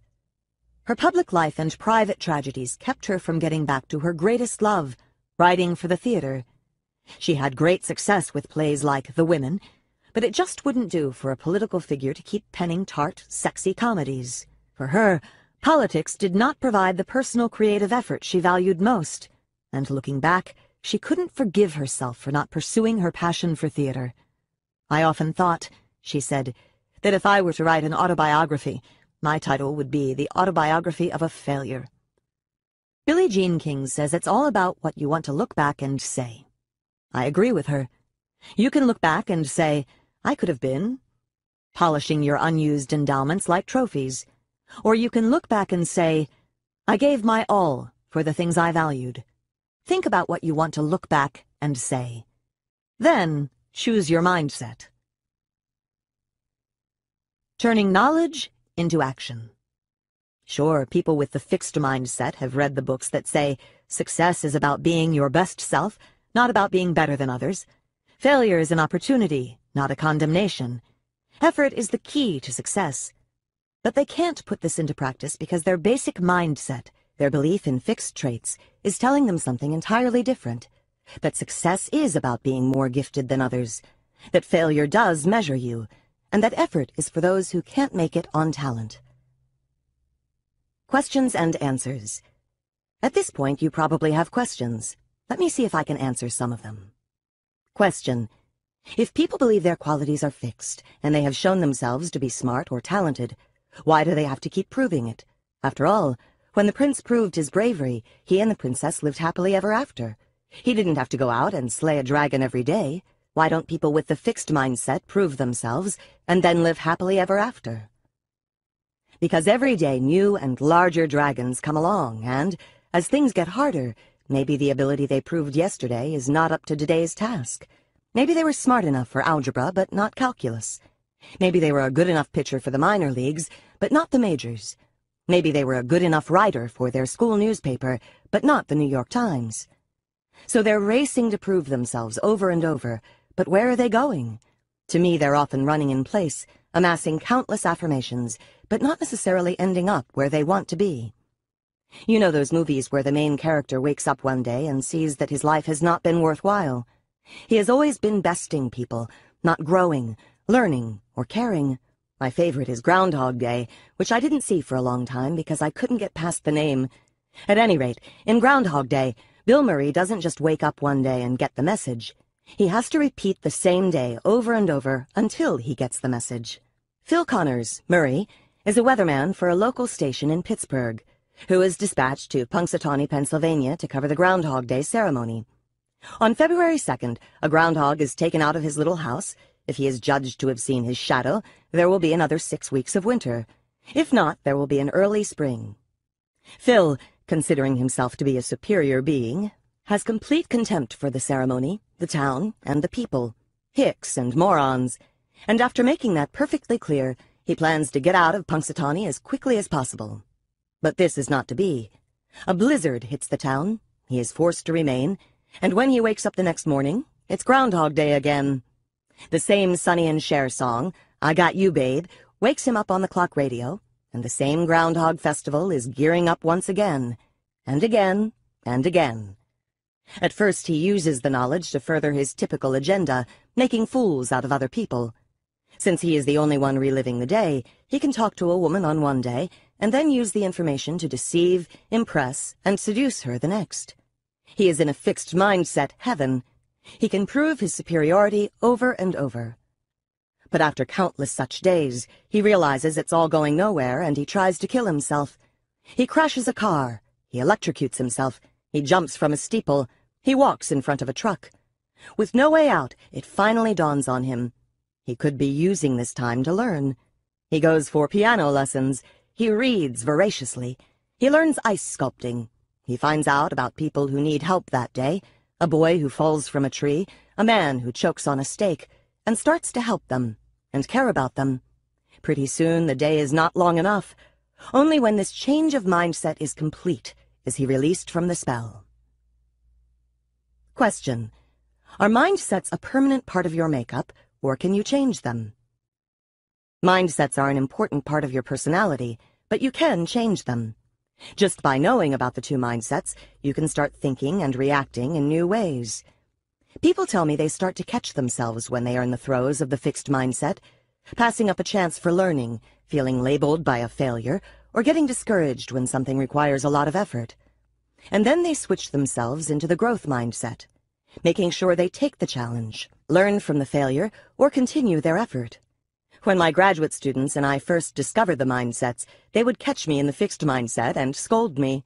It's also important to realize that even if people have a fixed mindset, they're not always in that mindset. In fact, in many of our studies, we put people into a growth mindset. We tell them that an ability can be learned and that the task will give them a chance to do that. Or we have them read a scientific article that teaches them the growth mindset. The article describes people who did not have natural ability but who developed exceptional skills. These experiences make our research participants into growth-minded thinkers, at least for the moment, and they act like growth-minded thinkers, too. Later, there's a chapter all about change. There I describe people who have changed and programs we've developed to bring about change. Question. Can I be half and half? I recognize both mindsets in myself. Many people have elements of both, I'm talking about it as a simple either-or for the sake of simplicity. People can also have different mindsets in different areas. I might think that my artistic skills are fixed, but that my intelligence can be developed, or that my personality is fixed, but my creativity can be developed. We found that whatever mindset people have in a particular area will guide them in that area. Question. With all your belief and effort, are you saying that when people fail, it's always their fault? They didn't try hard enough. No, it's true that effort is crucial. No one can succeed for long without it. But it's certainly not the only thing. People have different resources and opportunities. For example, people with money, or rich parents, have a safety net. They can take more risks and keep going longer until they succeed. People with easy access to a good education, people with a network of influential friends, people who know how to be in the right place at the right time, all stand a better chance of having their effort pay off. Rich, educated, connected effort works better. People with fewer resources, in spite of their best efforts, can be derailed so much more easily. The hometown plant you've worked in all of your life suddenly shuts down. What now? Your child falls ill and plunges you into debt. There goes the house. Your spouse runs off with the nest egg and leaves you with the children and bills. Forget the night school classes. Before we judge, let's remember that effort isn't quite everything, and that all effort is not created equal. Question. You keep talking about how the growth mindset makes people number one, the best, the most successful. Isn't the growth mindset about personal development, not besting others? I use examples of people who made it to the top to show how far the growth mindset can take you. Believing talents can be developed allows people to fulfill their potential. In addition, examples of laid-back people having a good time would not be as convincing to people with a fixed mindset. It doesn't provide a compelling alternative for them, because it makes it look like a choice between fun and excellence. However, this point is crucial. The growth mindset does allow people to love what they're doing, and to continue to love it in the face of difficulties. The growth-minded athletes, CEOs, musicians, or scientists all loved what they did, whereas many of the fixed-minded ones did not. Many growth-minded people didn't even plan to go to the top. They got there as a result of doing what they love. It's ironic. The top is where the fixed-mindset people hunger to be, but it's where many growth-minded people arrive as a byproduct of their enthusiasm for what they do. This point is crucial. In the fixed mindset, everything is about the outcome. If you fail, or if you're not the best, it's all been wasted. The growth mindset allows people to value what they're doing regardless of the outcome. They're tackling problems, charting new courses, working on important issues. Maybe they haven't found the cure for cancer, but the search was deeply meaningful. A lawyer spent seven years fighting the biggest bank in his state on behalf of people who felt they'd been cheated. After he lost, he said, Who am I to say that just because I spent seven years on something I am entitled to success? Did I do it for the success? Or did I do it because I thought the effort itself was valid? I do not regret it. I had to do it. I would not do it differently. Question. I know a lot of workaholics on the fast track who seem to have a fixed mindset. They're always trying to prove how smart they are, but they do work hard and they do take on challenges. How does this fit with your idea that people with a fixed mindset go in for low effort and easy tasks? On the whole, people with a fixed mindset prefer effortless success, since that's the best way to prove their talent. But you're right. There are also plenty of high-powered people who think their traits are fixed and are looking for constant validation. These may be people whose life goal is to win a Nobel Prize or become the richest person on the planet, and they're willing to do what it takes. We'll meet people like this in the chapter on business and leadership. These people may be free of the belief that high effort equals low ability, but they have the other parts of the fixed mindset. They may constantly put their talent on display. They may feel their talent makes them superior to other people. And they may be intolerant of mistakes, criticism, or setbacks something that can hamper their progress. Incidentally, people with a growth mindset might also like a Nobel Prize or a lot of money, but they are not seeking it as a validation of their worth or as something that will make them better than others. Question. What if I like my fixed mindset? If I know what my abilities and talents are, I know where I stand, and I know what to expect. Why should I give that up? If you like it, by all means keep it. This book shows people they have a choice by spelling out the two mindsets and the worlds they create. The point is that people can choose which world they want to inhabit. The fixed mindset creates the feeling that you can really know the permanent truth about yourself, and this can be comforting. You don't have to try for such and such because you don't have the talent. You will surely succeed at thus and such because you do have the talent. It's just important to be aware of the drawbacks of this mindset. You may be robbing yourself of an opportunity by underestimating your talent in the first area. Or you may be undermining your chances of success in the second area by assuming that your talent alone will take you there. By the way, having a growth mindset doesn't force you to pursue something, it just tells you that you can develop your skills. It's still up to you whether you want to. Question. Can everything about people be changed? And should people try to change everything they can? The growth mindset is the belief that abilities can be cultivated, but it doesn't tell you how much change is possible or how long change will take. And it doesn't mean that everything, like preferences or values, can be changed. I was once in a taxi, and the driver had an opera on the radio. Thinking to start a conversation, I said, Do you like opera? No, he replied. I hate it. I've always hated it. I don't mean to pry, I said, but why are you listening to it? He then told me how his father had been an opera buff, listening to his vintage records at every opportunity. My cab driver, now well into middle age, had tried for many years to cultivate a rapturous response to opera. He played the discs, he read the scores, all to no avail. Give yourself a break, I advised him. There are plenty of cultured and intelligent people who can't stand opera. Why don't you just consider yourself one of them? The growth mindset also doesn't mean that everything that can be changed should be changed. We all need to accept some of our imperfections, especially the ones that don't really harm our lives or the lives of others. The fixed mindset stands in the way of development and change. The growth mindset is a starting point for change, but people need to decide for themselves where their efforts toward change would be most valuable. Question. Are people with the fixed mindset simply lacking in confidence? No. People with the fixed mindset have just as much confidence as people with the growth mindset. Before anything happens, that is. But as you can imagine, their confidence is more fragile, since setbacks and even effort can undermine it. Joseph Martocchio conducted a study of employees who were taking a short computer training course. Half of the employees were put in a fixed mindset. He told them it was all a matter of how much ability they possessed. The other half were put in a growth mindset. He told them that computer skills could be developed through practice. Everyone, steeped in these mindsets, then proceeded with the course. Although the two groups started off with exactly equal confidence in their computer skills, by the end of the course they looked quite different. Those in the growth mindset gained considerable confidence in their computer skills as they learned, despite the many mistakes they inevitably made. But, because of those mistakes, those with the fixed mindset actually lost confidence in their computer skills as they learned. The same thing happened with Berkeley students Richard Robins and Jennifer Powles tracked students at the University of California at Berkeley over their years of college. They found that when students had the growth mindset, they gained confidence in themselves as they repeatedly met and mastered the challenges of the university. However, when students had the fixed mindset, their confidence eroded in the face of those same challenges. That's why people with the fixed mindset have to nurse their confidence and protect it.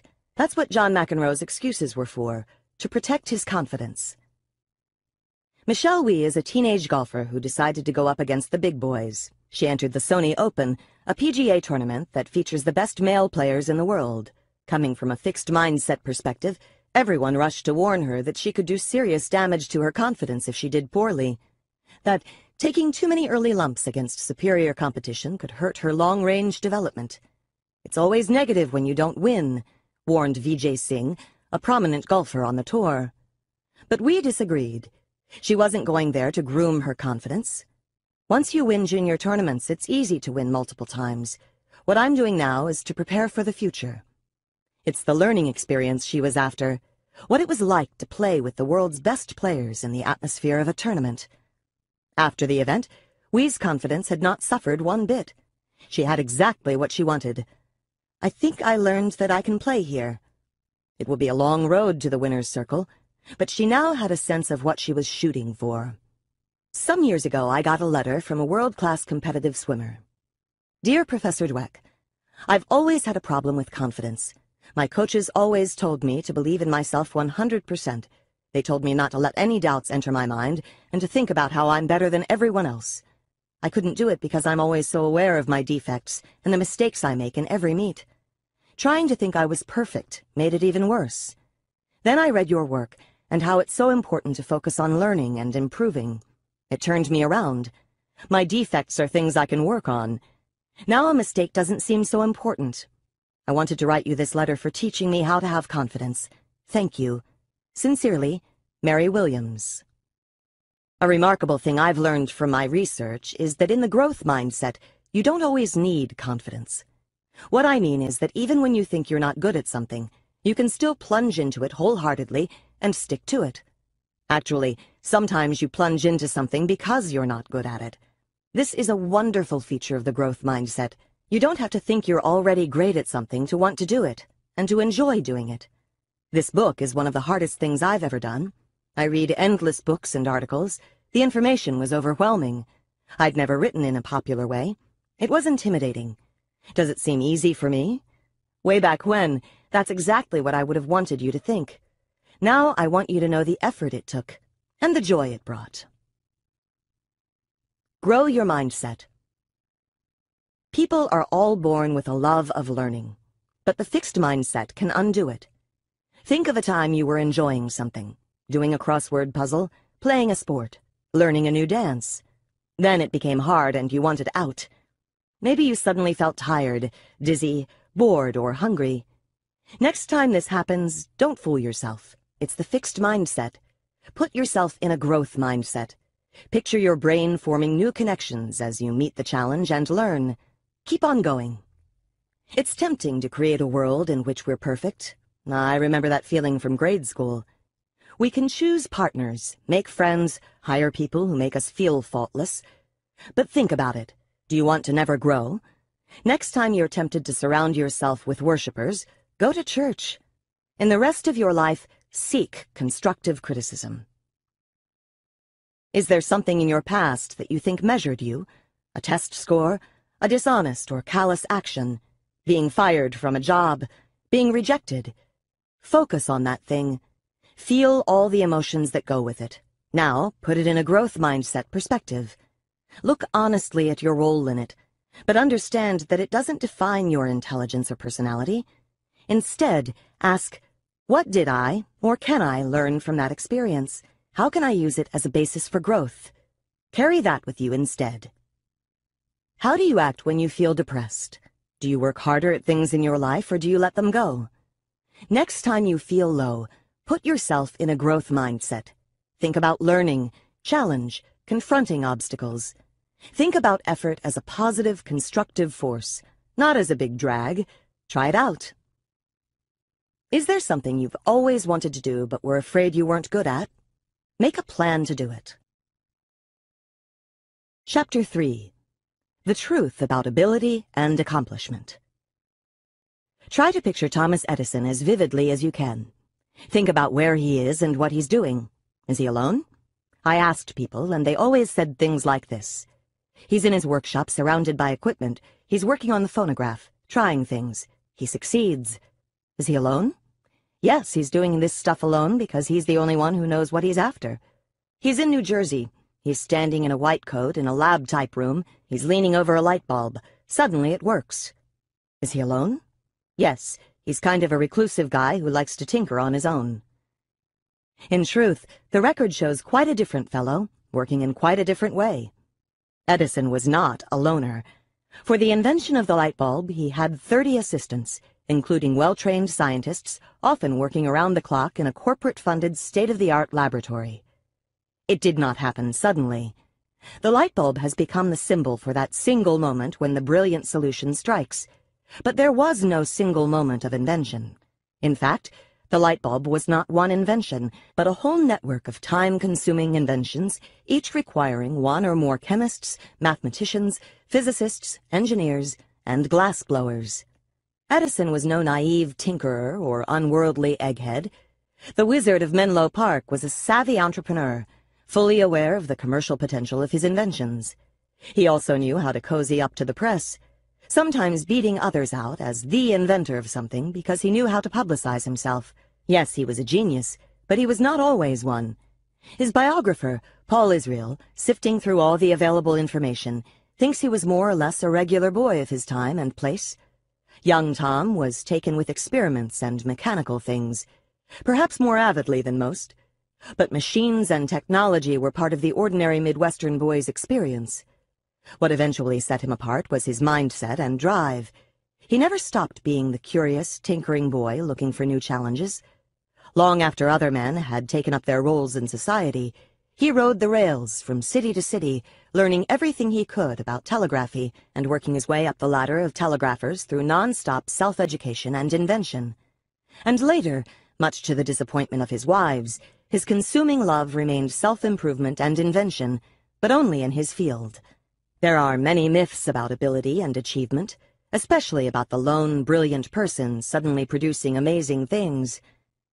Yet Darwin's masterwork, The Origin of Species, took years of teamwork in the field, hundreds of discussions with colleagues and mentors, several preliminary drafts, and half a lifetime of dedication before it reached fruition. Mozart labored for more than ten years until he produced any work that we admire today. Before then, his compositions were not that original or interesting. Actually, they were often patched together chunks taken from other composers. This chapter is about the real ingredients in achievement. It's about why some people achieve less than expected and why some people achieve more. Mindset and School Achievement Let's step down from the celestial realm of Mozart and Darwin and come back to Earth to see how mindsets create achievement in real life. It's funny, but seeing one student blossom under the growth mindset has a greater impact on me than all the stories about Mozart's and Darwin's. Maybe because it's more about you and me, about what's happening to us and why we are where we are now, and about children and their potential. Back on Earth, we measured students' mindsets as they made the transition to junior high school. Did they believe their intelligence was a fixed trait or something they could develop? Then we followed them for the next two years. The transition to junior high is a time of great challenge for many students. The work gets much harder, the grading policies toughen up, the teaching becomes less personalized. And all this happens while students are coping with their new adolescent bodies and roles. Grades suffer, but not everyone's grades suffer equally. No, in our study, only the students with the fixed mindset showed the decline. They showed an immediate drop-off in grades, and slowly but surely did worse and worse over the two years. The students with the growth mindset showed an increase in their grades over the two years. When the two groups had entered junior high, their past records were indistinguishable. In the more benign environment of grade school, they'd earned the same grades and achievement test scores. Only when they hit the challenge of junior high did they begin to pull apart. Here's how students with the fixed mindset explained their poor grades. Many maligned their abilities. I'm the stupidest, or I suck in math. And many covered these feelings by blaming someone else. The math teacher's a fat male slut. And the English teacher's a slob with a pink ass. Because the teacher's on crack? These interesting analyses of the problem hardly provide a roadmap to future success. With the threat of failure looming, students with the growth mindset instead mobilized their resources for learning. They told us that they too sometimes felt overwhelmed but their response was to dig in and do what it takes. They were like George Dantzig. Who? George Dantzig was a graduate student in math at Berkeley. One day, as usual, he rushed in late to his math class and quickly copied the two homework problems from the blackboard. When he later went to do them, he found them very difficult, and it took him several days of hard work to crack them open and solve them. They turned out not to be homework problems at all, they were two famous math problems that had never been solved.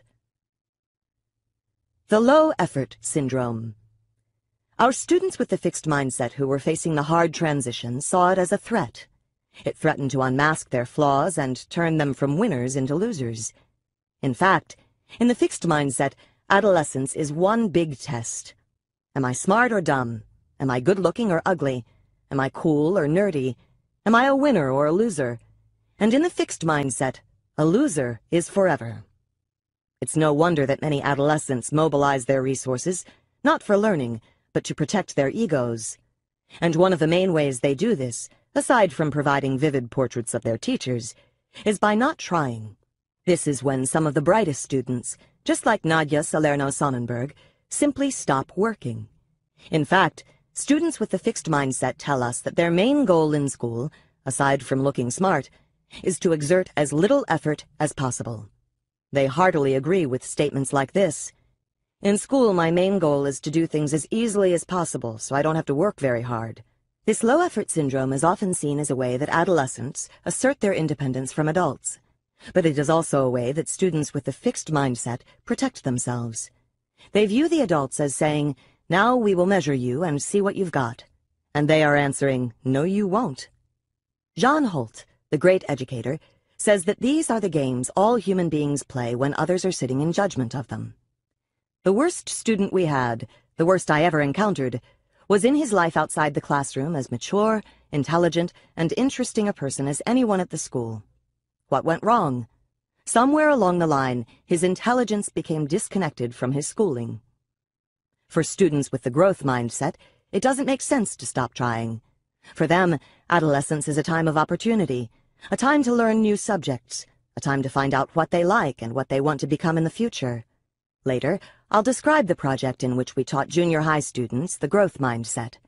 What I want to tell you now is how teaching them this mindset unleashed their effort.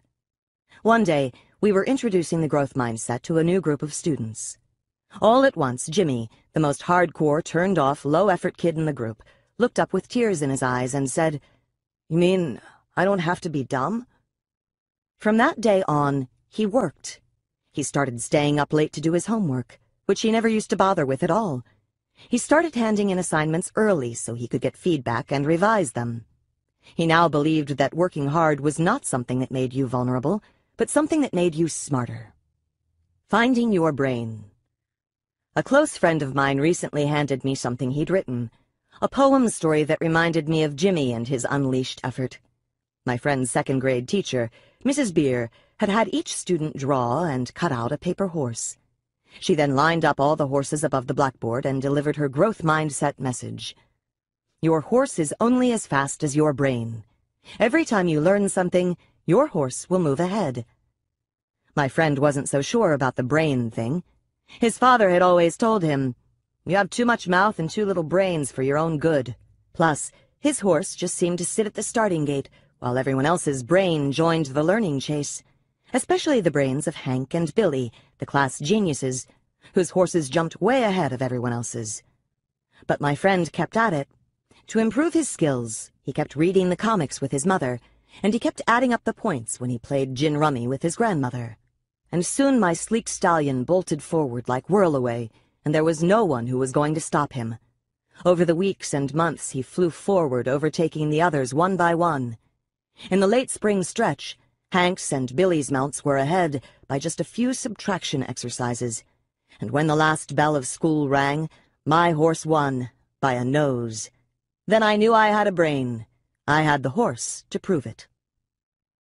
Paul Wortman Of course, learning shouldn't really be a race, but this race helped my friend discover his brain and connect it up with his schooling.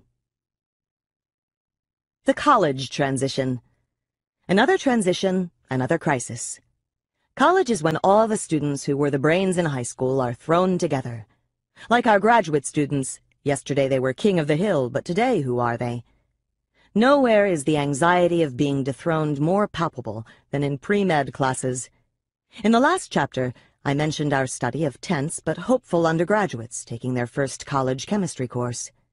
This is the course that would give them, or deny them, entree into the pre-med curriculum, and it's well known that students will go to almost any lengths to do well in this course. At the beginning of the semester, we measured students' mindsets, and then we followed them through the course, watching their grades and asking about their study strategies. Once again, we found that the students with the growth mindset earned better grades in the course. Even when they did poorly on a particular test, they bounced back on the next ones. When students with the fixed mindset did poorly, they often didn't make a comeback. In this course, everybody studied, but there are different ways to study. Many students study like this. They read the textbook and their class notes. If the material is really hard, they read them again. Or they might try to memorize everything they can, like a vacuum cleaner. That's how the students with the fixed mindset studied. If they did poorly on the test, they concluded that chemistry was not their subject. After all, I did everything possible, didn't I? Far from it. They would be shocked to find out what students with the growth mindset do. Even I find it remarkable. The students with growth mindset completely took charge of their learning and motivation. Instead of plunging into unthinking memorization of the course material, They said, I look for themes and underlying principles across lectures, and I went over mistakes until I was certain I understood them. They were studying to learn, not just to ace the test. And actually, this was why they got higher grades, not because they were smarter or had a better background in science. Instead of losing their motivation when the course got dry or difficult, they said, I maintained my interest in the material. I stayed positive about taking chemistry. I kept myself motivated to study. Even if they thought the textbook was boring or the instructor was stiff, they didn't let their motivation evaporate. That just made it all the more important to motivate themselves. I got an email from one of my undergraduate students shortly after I had taught her the growth mindset. Here's how she used to study before. When faced with really tough material, I tended to read the material over and over. After learning the growth mindset, she started using better strategies that worked. Professor Dweck, when Heidi, the teaching assistant, told me my exam results today, I didn't know whether to cry or just sit down. Heidi will tell you, I look like I won the lottery, and I feel that way too. I can't believe I did so well. I expected to scrape by. The encouragement you have given me will serve me well in life. I feel that I've earned a noble grade, but I didn't earn it alone. Professor Dweck, you not only teach your theory, you show it. Thank you for the lesson. It is a valuable one, perhaps the most valuable I've learned at Columbia. And yeah, I'll be doing that, using these strategies, before every exam. Thank you very, very much. And you too, Heidi. No longer helpless, June. Because they think in terms of learning, people with the growth mindset are clued into all the different ways to create learning. It's odd. Our pre-med students with the fixed mindset would do almost anything for a good grade, except take charge of the process to make sure it happens. Created equal? Does this mean that anyone with the right mindset can do well? Are all children created equal? Let's take the second question first. No, some children are different. In her book, Gifted Children, Ellen Winner offers incredible descriptions of prodigies. These are children who seem to be born with heightened abilities and obsessive interests, and who, through relentless pursuit of these interests, become amazingly accomplished. Michael was one of the most precocious. He constantly played games involving letters and numbers, made his parents answer endless questions about letters and numbers, and spoke, read, and did math at an unbelievably early age. Michael's mother reports that at four months old he said, Mom, Dad, what's for dinner? At ten months, he astounded people in the supermarket by reading words from the signs. Everyone assumed his mother was doing some kind of ventriloquism thing. His father reports that at three, he was not only doing algebra, but discovering and proving algebraic rules. Each day when his father got home from work, Michael would pull him toward math books and say, Dad, let's go do work. Michael must have started with a special ability. But for me, the most outstanding feature is his extreme love of learning and challenge. His parents could not tear him away from his demanding activities. The same is true for every prodigy Winner describes. Most often, people believe that the gift is the ability itself. Yet what feeds it is that constant, endless curiosity and challenge-seeking. Is it ability or mindset? Was it Mozart's musical ability or the fact that he worked till his hands were deformed? Was it Darwin's scientific ability or the fact that he collected specimens non-stop from early childhood? Prodigies or not, we all have interests that can blossom into abilities. As a child, I was fascinated by people, especially adults. I wondered, what makes them tick? In fact, a few years back, one of my cousins reminded me of an episode that took place when we were five years old. We were at my grandmother's house, and he'd had a big fight with his mother over when he could eat his candy. Later, we were sitting outside on the front steps, and I said to him, Don't be stupid. Adults like to think they're in charge. Just say yes, and then eat your candy when you want to. Were those the words of a budding psychologist? All I know is that my cousin told me this advice served him well. Interestingly, he became a dentist. Can everyone do well? Now back to the first question. Is everyone capable of great things with the right mindset? Could you march into the worst high school in your state and teach the students college calculus? If you could, then one thing would be clear. with the right mindset and the right teaching, people are capable of a lot more than we think. Garfield High School was one of the worst schools in Los Angeles. To say that the students were turned off and the teachers burned out is an understatement.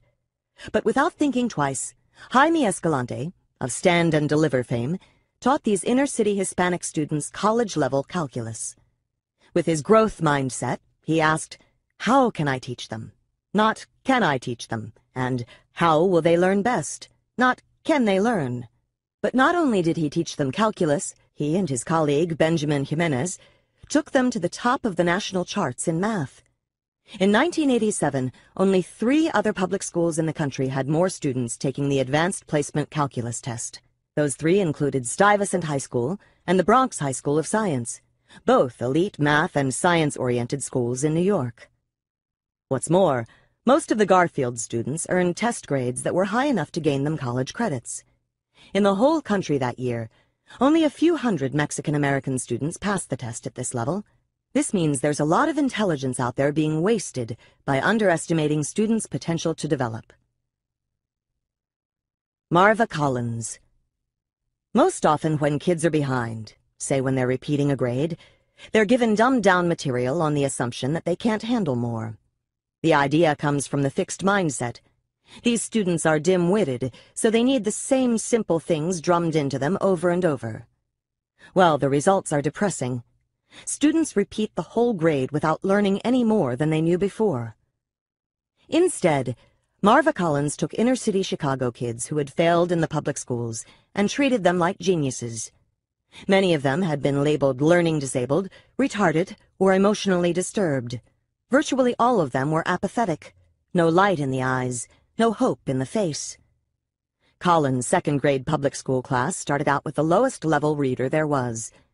By June, they reached the middle of the fifth grade reader, studying Aristotle, Aesop, Tolstoy, Shakespeare, Poe, Frost, and Dickinson along the way. Later, when she started her own school, Chicago Sun-Times columnist Zay Smith dropped in. He saw four-year-olds writing sentences like, see the physician, and Aesop wrote fables, and talking about diphthongs and diacritical marks. He observed second graders reciting passages from Shakespeare, Longfellow, and Kipling. Shortly before, he had visited a rich suburban high school where many students had never heard of Shakespeare. Shoot, said one of Collins's students. You mean those rich high school kids don't know Shakespeare was born in 1564 and died in 1616? Students read huge amounts, even over the summer. One student, who had entered as a retarded six-year-old, now four years later had read 23 books over the summer, including A Tale of Two Cities and Jane Eyre. The students read deeply and thoughtfully. As the three and four-year-olds were reading about Daedalus and Icarus, one four-year-old exclaimed, Mrs. Collins, if we do not learn and work hard, we cannot take an Icarian flight to nowhere. Heated discussions of Macbeth were common. Alfred Binet believed you could change the quality of someone's mind. Clearly, you can. Whether you measure these children by the breadth of their knowledge or by their performance on standardized tests, their minds had been transformed. Benjamin Bloom, an eminent educational researcher, studied 120 outstanding achievers. They were concert pianists, sculptors, Olympic swimmers, world-class tennis players, mathematicians, and research neurologists. Most were not that remarkable as children, and didn't show clear talent before their training began in earnest. Even by early adolescence, you usually couldn't predict their future accomplishment from their current ability. Only their continued motivation and commitment, along with their network of support, took them to the top. Bloom concludes, after 40 years of intensive research on school learning in the United States, as well as abroad, my major conclusion is, what any person in the world can learn, Almost all persons can learn, if provided with the appropriate prior and current conditions of learning. He's not counting the 2 to 3% of children who have severe impairments, and he's not counting the top 1 to 2% of children at the other extreme that include children like Michael. He is counting everybody else. Ability levels and tracking. But aren't students sorted into different ability levels for a reason? Haven't their test scores and past achievement shown what their ability is? Remember, test scores and measures of achievement tell you where a student is, but they don't tell you where a student could end up. Falko Rheinberg, a researcher in Germany, studied school teachers with different mindsets. Some of the teachers had the fixed mindset. They believed that students entering their class with different achievement levels were deeply and permanently different. According to my experience, students' achievement mostly remains constant in the course of a year. If I know students' intelligence, I can predict their school career quite well. As a teacher, I have no influence on students' intellectual ability. Like my sixth grade teacher, Mrs. Wilson, these teachers preached and practiced the fixed mindset. In their classrooms, the students who started the year in the high ability group ended the year there, and those who started the year in the low ability group ended the year there. But some teachers preached and practiced a growth mindset. They focused on the idea that all children could develop their skills. And in their classrooms, a weird thing happened. It didn't matter whether students started the year in the high or the low ability group. Both groups ended the year way up high. It's a powerful experience to see these findings. The group differences had simply disappeared under the guidance of teachers who taught for improvement, for these teachers had found a way to reach their low-ability students.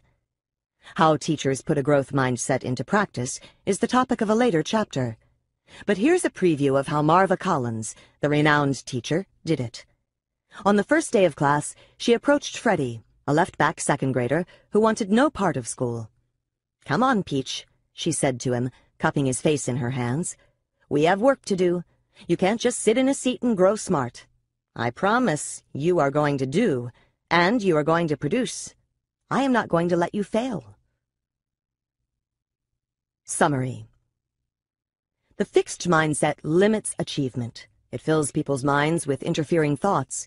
It makes effort disagreeable, and it leads to inferior learning strategies. What's more, it makes other people into judges instead of allies. Whether we're talking about Darwin or college students, important achievements require a clear focus, all-out effort, and a bottomless trunk full of strategies. Plus allies in learning. This is what the growth mindset gives people, and that's why it helps their abilities grow and bear fruit. Is artistic ability a gift? Despite the widespread belief that intelligence is born, not made, when we really think about it, it's not so hard to imagine that people can develop their intellectual abilities. The intellect is so multifaceted. You can develop verbal skills or mathematical scientific skills or logical thinking skills and so on. But when it comes to artistic ability, it seems more like a God-given gift. For example, people seem to naturally draw well or poorly. Even I believed this. While some of my friends seemed to draw beautifully with no effort and no training, my drawing ability was arrested in early grade school. Try as I might, my attempts were primitive and disappointing. I was artistic in other ways. I can design, I'm great with colors, I have a subtle sense of composition. Plus, I have really good eye-hand coordination. Why couldn't I draw? I must not have the gift. I have to admit that it didn't bother me all that much. After all, when do you really have to draw? I found out one evening as the dinner guest of a fascinating man. He was an older man, a psychiatrist, who had escaped from the Holocaust. As a ten-year-old child in Czechoslovakia, he and his younger brother came home from school one day to find their parents gone. They had been taken. Knowing there was an uncle in England, the two boys walked to London and found him. A few years later, lying about his age, my host joined the Royal Air Force and fought for Britain in the war. When he was wounded, he married his nurse, went to medical school, and established a thriving practice in America. Over the years, he developed a great interest in owls. He thought of them as embodying characteristics he admired, and he liked to think of himself as owlish. Besides the many owl statuettes that adorned his house, he had an owl-related guest book. It turned out that whenever he took a shine to someone, he asked them to draw an owl and write something to him in his book. As he extended this book to me and explained its significance, I felt both honored and horrified, mostly horrified. All the more because my creation was not to be buried somewhere in the middle of the book, but was to adorn its very last page. I won't dwell on the intensity of my discomfort or the poor quality of my artwork, although both were painfully clear. I tell this story as a prelude to the astonishment and joy I felt when I read Drawing on the Right Side of the Brain. Looking at the before and after self-portraits of people who took a short course in drawing from the author, Betty Edwards, is amazing. At the beginning, these people didn't look as though they had much artistic ability. Most of their pictures reminded me of my owl. But only a few days later, everybody could really draw. And Edwards swears that this is a typical group. It seems impossible. Edwards agrees that most people view drawing as a magical ability that only a select few possess, and that only a select few will ever possess. But this is because people don't understand the components, the learnable components of drawing.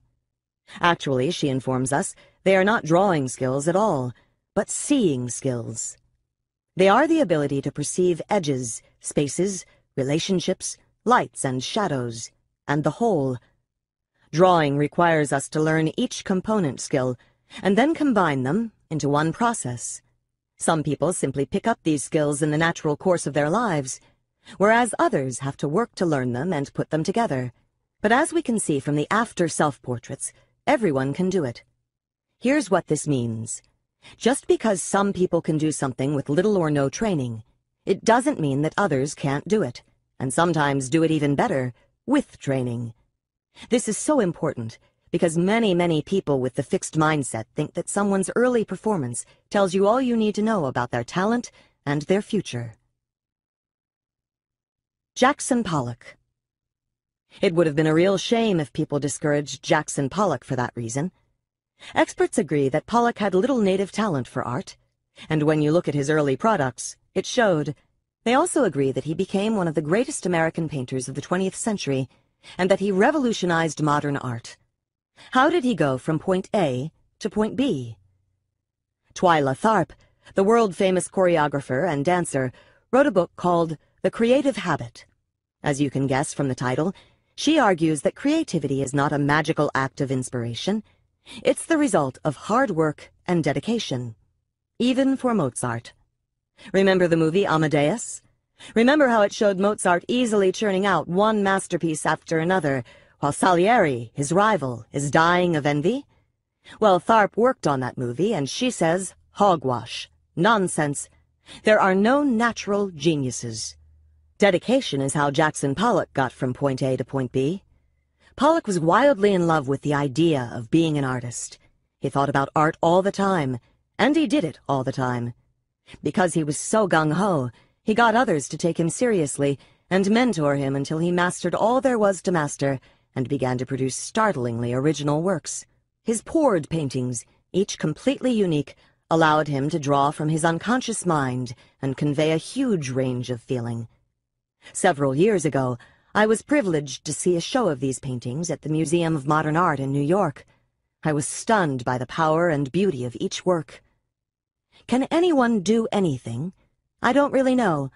However, I think we can now agree that people can do a lot more than first meets the eye. The danger of praise and positive labels. If people have such potential to achieve, how can they gain faith in their potential? How can we give them the confidence they need to go for it? How about praising their ability in order to convey that they have what it takes? In fact, more than 80% of parents told us it was necessary to praise children's ability so as to foster their confidence and achievement. You know, it makes a lot of sense. But then we began to worry. We thought about how people with the fixed mindset already focus too much on their ability. Is it high enough? Will it look good? Wouldn't praising people's ability focus them on it even more? Wouldn't it be telling them that that's what we value, and even worse, that we can read their deep underlying ability from their performance. Isn't that teaching them the fixed mindset? Adam Guettel has been called the crown prince and savior of musical theater. He is the grandson of Richard Rodgers, the man who wrote the music to such classics as Oklahoma and Carousel. Guettel's mother gushes about her son's genius. So does everyone else. The talent is there and it's major, raved a review in the New York Times. The question is whether this kind of praise encourages people. What's great about research is that you can ask these kinds of questions and then go get the answers. So we conducted studies with hundreds of students, mostly early adolescents. We first gave each student a set of 10 fairly difficult problems from a nonverbal IQ test. They mostly did pretty well on these, and when they finished, we praised them.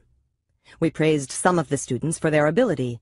They were told, wow, you got, say, eight right. That's a really good score. You must be smart at this. They were in the Adam Guettel, you're so talented position. We praised other students for their effort. Wow, you got, say, eight right. That's a really good score. You must have worked really hard. They were not made to feel that they had some special gift. They were praised for doing what it takes to succeed. Both groups were exactly equal to begin with. But right after the praise, they began to differ. As we feared, the ability praise pushed the students right into the fixed mindset, and they showed all the signs of it, too. When we gave them a choice, they rejected a challenging new task that they could learn from. They didn't want to do anything that could expose their flaws and call into question their talent. When Guettel was 13, he was all set to star in a Metropolitan Opera broadcast and TV movie of Amahl and the Night Visitors. He bowed out, saying that his voice had broken. I kind of faked that my voice was changing. I didn't want to handle the pressure. In contrast, when students were praised for effort, 90% of them wanted the challenging new task that they could learn from. Then we gave students some hard new problems, which they didn't do so well on. The ability kids now thought they were not smart after all. If success had meant they were intelligent, then less than success meant they were deficient. Guettel echoes this. In my family, to be good is to fail. To be very good is to fail. The only thing not a failure is to be great. The effort kids simply thought the difficulty meant apply more effort. They didn't see it as a failure, and they didn't think it reflected on their intellect. What about the students' enjoyment of the problems? After the success, everyone loved the problems. But after the difficult problems, the ability students said it wasn't fun anymore. It can't be fun when your claim to fame, your special talent, is in jeopardy. Here's Adam Guettel. I wish I could just have fun and relax and not have the responsibility of that potential to be some kind of great man. As with the kids in our study, the burden of talent was killing his enjoyment. The effort-praised students still loved the problems, and many of them said that the hard problems were the most fun. We then looked at the students' performance. After the experience with difficulty, the performance of the ability-praised students plummeted, even when we gave them some more of the easier problems. Losing faith in their ability, they were doing worse than when they started. The effort kids showed better and better performance. They had used the hard problems to sharpen their skills, so that when they returned to the easier ones, they were way ahead. Since this was a kind of IQ test, you might say that praising ability lowered the students' IQs, and that praising their effort raised them. Guettel was not thriving. He was riddled with obsessive-compulsive tics and bitten, bleeding fingers. Spend a minute with him. It takes only one and a picture of the terror behind the tics starts to emerge, says an interviewer. Guettel has also fought serious, recurrent drug problems. Rather than empowering him, the gift has filled him with fear and doubt. Rather than fulfilling his talent, this brilliant composer has spent most of his life running from it. One thing is hopeful, his recognition that he has his own life course to follow that is not dictated by other people and their view of his talent. One night he had a dream about his grandfather. I was walking him to an elevator. I asked him if I was any good. He said rather kindly, You have your own voice. Is that voice finally emerging? For the score of The Light in the Piazza, an intensely romantic musical, Guettel won the 2005 Tony Award. Will he take it as praise for talent or praise for effort? I hope it's the latter. There was one more finding in our study that was striking and depressing at the same time. We said to each student, you know, we're going to go to other schools, and I bet the kids in those schools would like to know about the problems. So we gave students a page to write out their thoughts, but we also left a space for them to write the scores they had received on the problems. Would you believe that almost 40% of the ability-praised students lied about their scores. And always in one direction. In the fixed mindset, imperfections are shameful, especially if you're talented, so they lied them away. What's so alarming is that we took ordinary children and made them into liars, simply by telling them they were smart. Right after I wrote these paragraphs, I met with a young man who tutors students for their college board exams. He had come to consult with me about one of his students. This student takes practice tests and then lies to him about her score. He is supposed to tutor her on what she doesn't know, but she can't tell him the truth about what she doesn't know, and she is paying money for this. So telling children they're smart, in the end, made them feel dumber and act dumber, but claim they were smarter. I don't think this is what we're aiming for when we put positive labels, gifted, talented, brilliant, on people. We don't mean to rob them of their zest for challenge and their recipes for success, but that's the danger. Here is a letter from a man who'd read some of my work. Dear Dr. Dweck, It was painful to read your chapter, as I recognized myself therein. As a child, I was a member of the Gifted Child Society, and continually praised for my intelligence. Now, after a lifetime of not living up to my potential, I'm 49, I'm learning to apply myself to a task, and also to see failure not as a sign of stupidity, but as lack of experience and skill. Your chapter helped me see myself in a new light.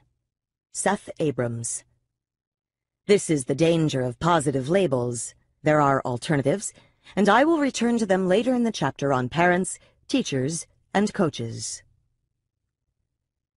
Negative labels and how they work. I was once a math whiz. In high school, I got a 99 in algebra, a 99 in geometry, and a 99 in trigonometry, and I was on the math team. I scored up there with the boys on the Air Force test of visual spatial ability, which is why I got recruiting brochures from the Air Force for many years to come. Then I got a Mr. Hellman, a teacher who didn't believe girls could do math. My grades declined, and I never took math again. I actually agreed with Mr. Hellman, but I didn't think it applied to me. Other girls couldn't do math. Mr. Hellman thought it applied to me, too, and I succumbed. Everyone knows negative labels are bad, so you'd think this would be a short section, but it isn't a short section, because psychologists are learning how negative labels harm achievement. No one knows about negative ability labels like the members of stereotyped groups. For example, African Americans know about being stereotyped as lower in intelligence, and women know about being stereotyped as bad at math and science, but I'm not sure even they know how creepy these stereotypes are. Research by Claude Steele and Joshua Aronson shows that even checking a box to indicate your race or sex can trigger the stereotype in your mind and lower your test score. Almost anything that reminds you that you are black or female before taking a test in the subject you're supposed to be bad at will lower your test score. A lot. In many of their studies, blacks are equal to whites in their performance, and females are equal to males, when no stereotype is evoked. But just put more males in the room with a female before a math test, and down goes the female's score. This is why. When stereotypes are evoked, they fill people's minds with distracting thoughts, with secret worries about confirming the stereotype. People usually aren't even aware of it, but they don't have enough mental power left to do their best on the test. This doesn't happen to everybody, however. It mainly happens to people who are in a fixed mindset. It's when people are thinking in terms of fixed traits that the stereotypes get to them. Negative stereotypes say, you and your group are permanently inferior. Only people in the fixed mindset resonate to this message. So, in the fixed mindset, both positive and negative labels can mess with your mind. When you're given a positive label, you're afraid of losing it. And when you're hit with a negative label, you're afraid of deserving it. When people are in a growth mindset, the stereotype doesn't disrupt their performance. The growth mindset takes the teeth out of the stereotype and makes people better able to fight back. They don't believe in permanent inferiority. And if they are behind, well, then they'll work harder and try to catch up. The growth mindset also makes people able to take what they can and what they need from a threatening environment. We asked African American students to write an essay for a competition. They were told that when they finished, their essays would be evaluated by Edward Caldwell III, a distinguished professor with an Ivy League pedigree, that is, a representative of the white establishment. Edward Caldwell III's feedback was quite critical, but also helpful, and students' reactions varied greatly. Those with a fixed mindset viewed it as a threat, an insult, or an attack. They rejected Caldwell and his feedback. Here's what one student with the fixed mindset thought. He's mean. He doesn't grade right. Or he's obviously biased. He doesn't like me. Said another, he's a pompous asshole. It appears that he was searching for anything to discredit the work. And another, deflecting the feedback with blame, he doesn't understand the conciseness of my points. He thought it was vague because he was impatient when he read it. He dislikes creativity. None of them will learn anything from Edward Caldwell's feedback. The students with the growth mindset may also have viewed him as a dinosaur, but he was a dinosaur who could teach them something. Before the evaluation, he came across as arrogant and over-demanding. After the evaluation? Fair seems to be the first word that comes to mind. It seems like a new challenge.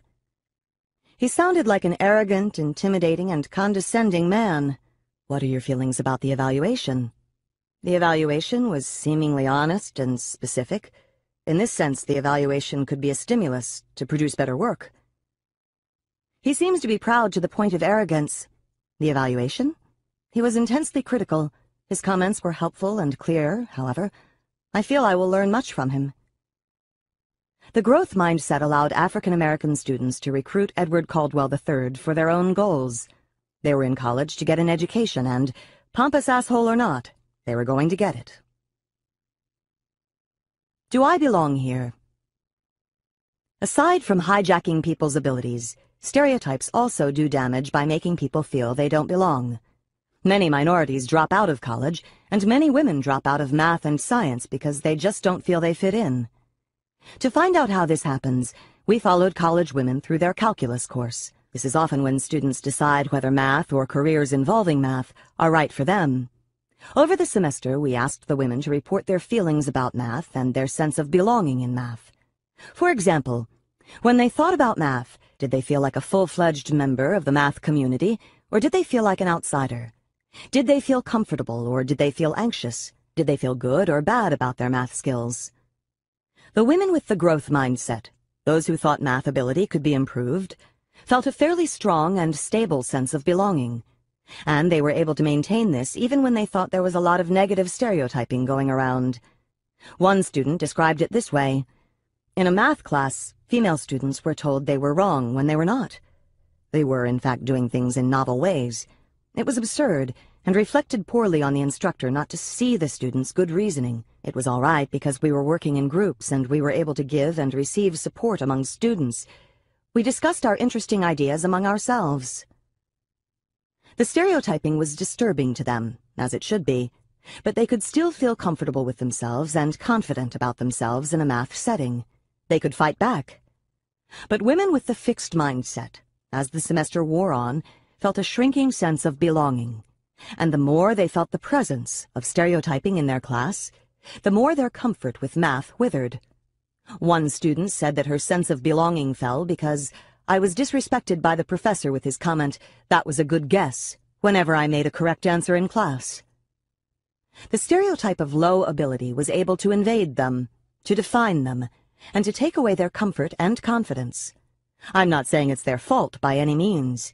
Prejudice is a deeply ingrained societal problem, and I do not want to blame the victims of it. I am simply saying that a growth mindset helps people to see prejudice for what it is, someone else's view of them, and to confront it with their confidence and abilities intact. Trusting people's opinions. Many females have a problem not only with stereotypes, but with other people's opinions of them in general. They trust them too much. One day, I went to a drugstore in Hawaii to buy dental floss and deodorant, and after fetching my items, I went to wait in line. There were two women together in front of me waiting to pay. Since I am an incurable time stuffer, at some point I decided to get my money ready for when my turn came. So I walked up, put the items away on the side of the counter, and started to gather up the bills that were strewn throughout my purse. The two women went berserk. I explained that in no sense was I trying to cut in front of them. I was just preparing for when my turn came. I thought the matter was resolved, but when I left the store, they were waiting for me. They got in my face and yelled, You're a bad-mannered person. My husband, who had seen the whole thing from beginning to end, thought they were nuts. But they had a strange and disturbing effect on me, and I had a hard time shaking off their verdict. This vulnerability afflicts many of the most able, high-achieving females. Why should this be? When they're little, these girls are often so perfect, and they delight in everyone's telling them so. They're so well-behaved, they're so cute, they're so helpful, and they're so precocious. Girls learn to trust people's estimates of them. Gee, everyone's so nice to me. If they criticize me, it must be true. Even females at the top universities in the country say that other people's opinions are a good way to know their abilities. Boys are constantly being scolded and punished. When we observed in grade school classrooms, we saw that boys got eight times more criticism than girls for their conduct. Boys are also constantly calling each other slobs and morons. The evaluations lose a lot of their power. A male friend once called me a slob, he was over to dinner at my house, and while we were eating, I dripped some food on my blouse. That's because you're such a slob, he said. I was shocked. It was then that I realized no one had ever said anything like that to me. Males say it to each other all the time. It may not be a kind thing to say, even in jest, but it certainly makes them think twice before buying into other people's evaluations. Even when women reach the pinnacle of success, other people's attitudes can get them. Frances Conley is one of the most eminent neurosurgeons in the world. In fact, she was the first woman ever given tenure in neurosurgery at an American medical school. Yet careless comments from male colleagues, even assistants, could fill her with self-doubt. One day, during surgery, a man condescendingly called her honey. Instead of returning the compliment, she questioned herself. Is a honey, she wondered, especially this honey, good enough and talented enough to be doing this operation. The fixed mindset, plus stereotyping, plus women's trust in people's assessments, I think we can begin to understand why there's a gender gap in math and science. That gap is painfully evident in the world of high tech. Julie Lynch, a budding techie, was already writing computer code when she was in junior high school. Her father and two brothers worked in technology, and she loved it too. Then her computer programming teacher criticized her. She had written a computer program, and the program ran just fine, but he didn't like a shortcut she had taken. Her interest evaporated. Instead, she went on to study recreation and public relations. Math and science need to be more hospitable places for women, and women need all the growth mindset they can get to take their rightful places in these fields. When things go right, but let's look at the times the process goes right. The Polgar family has produced three of the most successful female chess players ever. How? Says Susan, one of the three. My father believes that innate talent is nothing, that success is 99% hard work. I agree with him. The youngest daughter, Judith, is now considered the best woman chess player of all time. She was not the one with the most talent. Susan reports, Judith was a slow starter, but very hard-working. A colleague of mine has two daughters who are math whizzes. One is a graduate student in math at a top university. The other was the first girl to rank number one in the country on an elite math test, won a nationwide math contest, and is now a neuroscience major at a top university. What's their secret? Is it passed down in the genes? I believe it's passed down in the mindset. It's the most growth mindset family I've ever seen. In fact, their father applied the growth mindset to everything. I'll never forget a conversation we had some years ago. I was single at the time, and he asked me what my plan was for finding a partner. He was aghast when I said I didn't have a plan. You wouldn't expect your work to get done by itself, he said. Why is this any different? It was inconceivable to him that you could have a goal and not take steps to make it happen. In short, the growth mindset lets people even those who are targets of negative labels use and develop their minds fully. Their heads are not filled with limiting thoughts, a fragile sense of belonging, and belief that other people can define them. Grow your mindset. Think about your hero. Do you think of this person as someone with extraordinary abilities who achieved with little effort? Now go find out the truth. Find out the tremendous effort that went into their accomplishment and admire them more. Think of times other people outdid you, and you just assumed they were smarter or more talented. Now consider the idea that they just used better strategies, taught themselves more, practiced harder, and worked their way through obstacles. You can do that too, if you want to. Are there situations where you get stupid, where you disengage your intelligence? Next time you're in one of those situations, get yourself into a growth mindset. Think about learning and improvement, not judgment, and hook it back up. Do you label your kids? This one is the artist and that one is the scientist. Next time, remember that you're not helping them, even though you may be praising them. Remember our study where praising kids' ability lowered their IQ scores. Find a growth mindset way to compliment them. More than half of our society belongs to a negatively stereotyped group. First, you have all the women, and then you have all the other groups who are not supposed to be good at something or other. Give them the gift of the growth mindset. Create an environment that teaches the growth mindset to the adults and children in your life, especially the ones who are targets of negative stereotypes. Even when the negative label comes along, they'll remain in charge of their learning. Chapter 4 Sports, the Mindset of a Champion In sports, everybody believes in talent, even or especially the experts. In fact, sports is where the idea of a natural comes from. Someone who looks like an athlete, moves like an athlete, and is an athlete, all without trying. So great is the belief in natural talent that many scouts and coaches search only for naturals and teams will vie with each other to pay exorbitant amounts to recruit them. Billy Beane was a natural. Everyone agreed he was the next Babe Ruth. But Billy Beane lacked one thing, the mindset of a champion.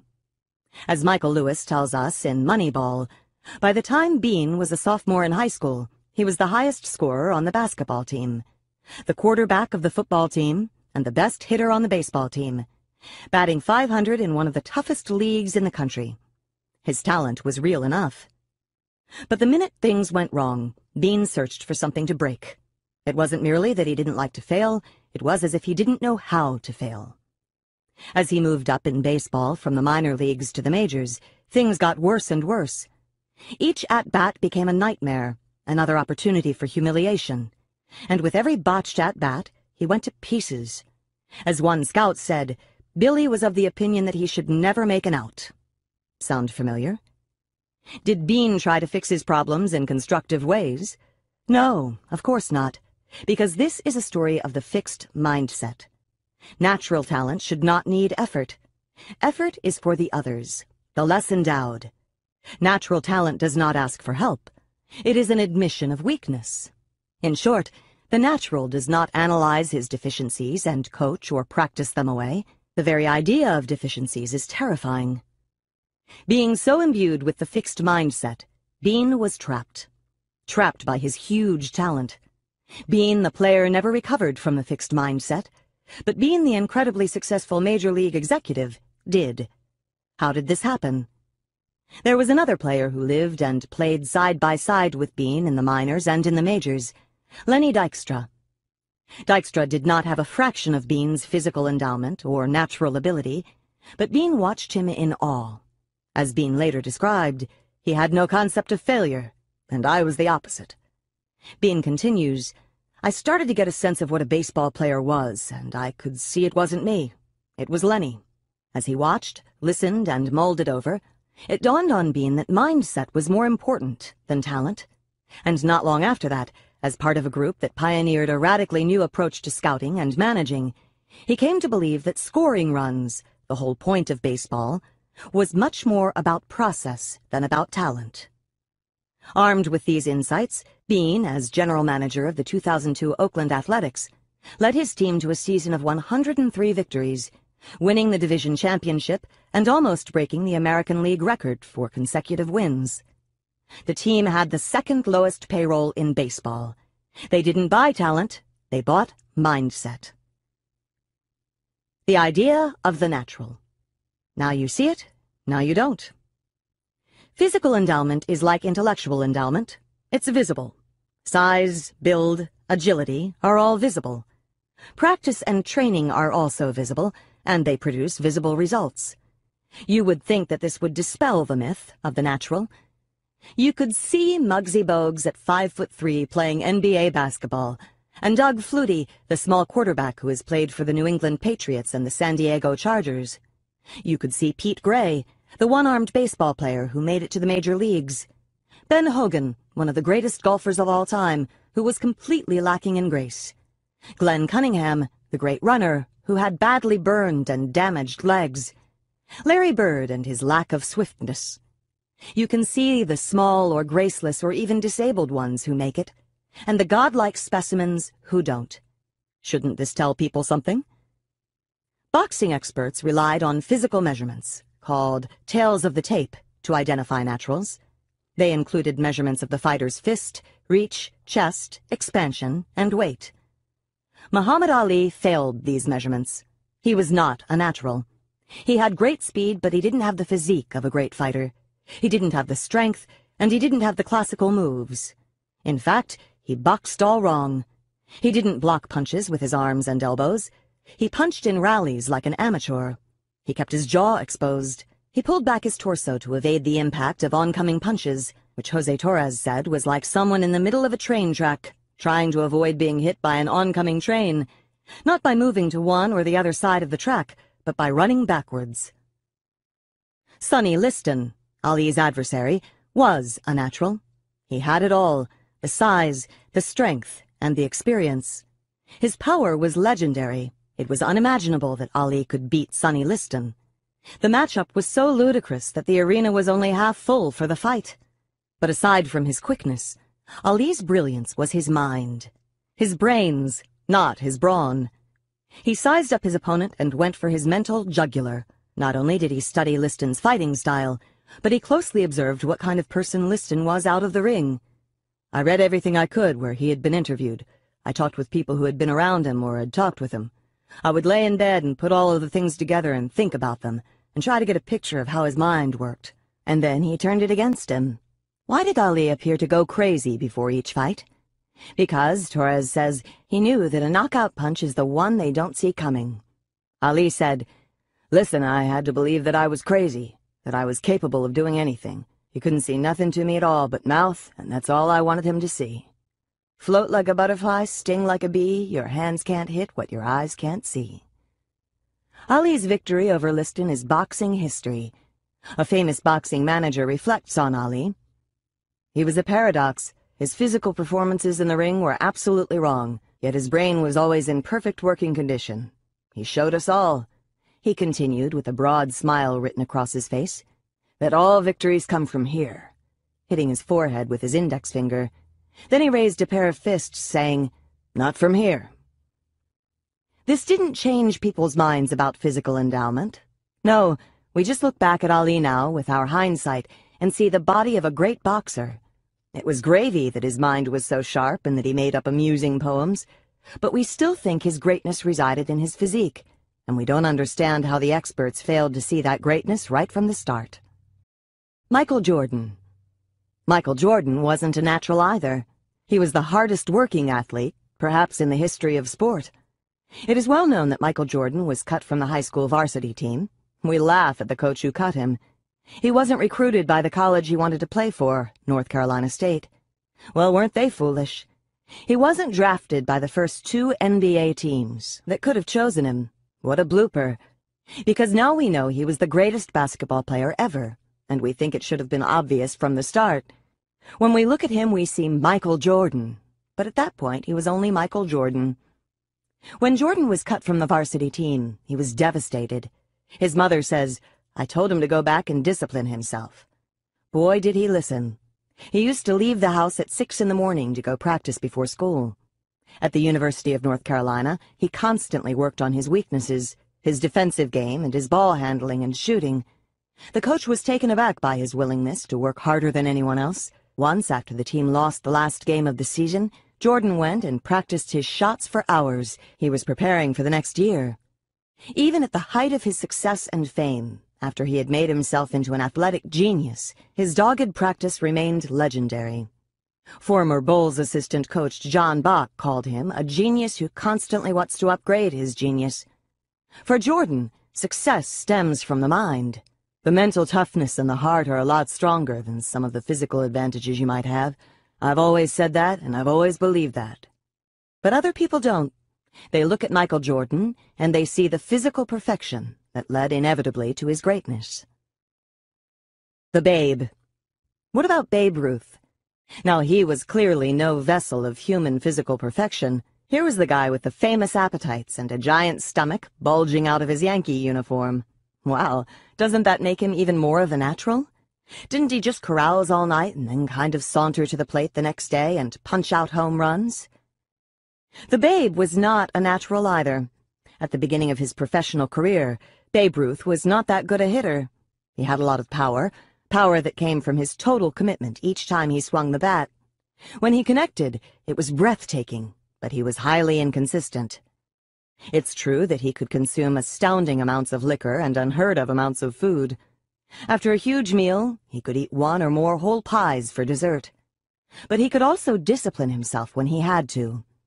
Many winters he worked out the entire off-season at the gym to become more fit. In fact, after the 1925 season, when it looked as though he was washed up, he really committed himself to getting in shape, and it worked.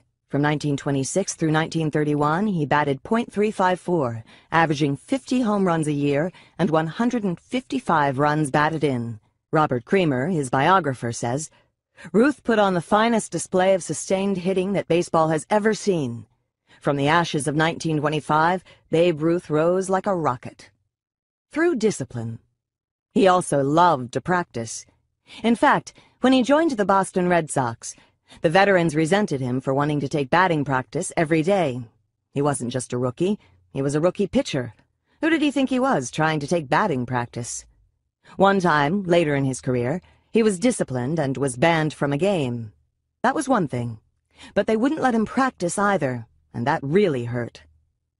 Ty Cobb argued that being a pitcher helped Ruth develop his hitting, why would being a pitcher help his batting? He could experiment at the plate, Cobb said. No one cares much if a pitcher strikes out or looks bad at bat, so Ruth could take that big swing. If he missed, it didn't matter. As time went on, he learned more and more about how to control that big swing and put the wood on the ball. By the time he became a full-time outfielder, he was ready. Yet we cling fast to what Stephen Jay Gould calls the common view that ball players are hunks of meat naturally and effortlessly displaying the talents that nature provided. The fastest women on Earth. What about Wilma Rudolph, hailed as the fastest woman on Earth after she won three gold medals for sprints and relay in the 1960 Rome Olympics? She was far from a physical wonder as a youngster. She was a premature baby, the 20th of 22 children born to her parents, and a constantly sick child. At four years of age, she nearly died of a long struggle with double pneumonia, scarlet fever, and polio, emerging with a mostly paralyzed left leg. Doctors gave her little hope of ever using it again. For eight years, she vigorously pursued physical therapy until at age 12, she shed her leg brace and began to walk normally.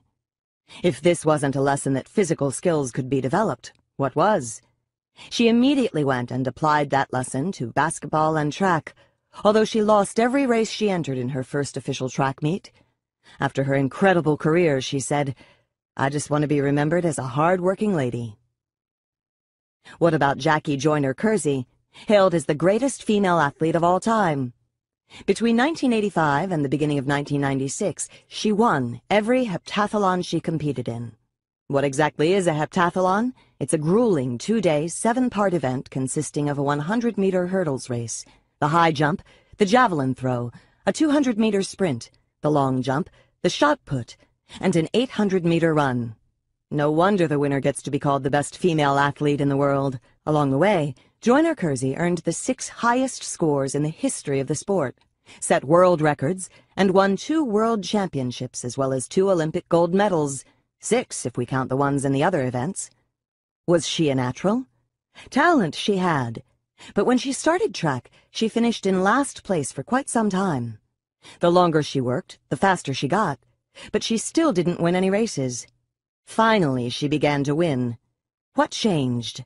Some might attribute my transformation to the laws of heredity, but I think it was my reward for all those hours of work on the bridle path, the neighborhood sidewalks, and the schoolhouse corridors.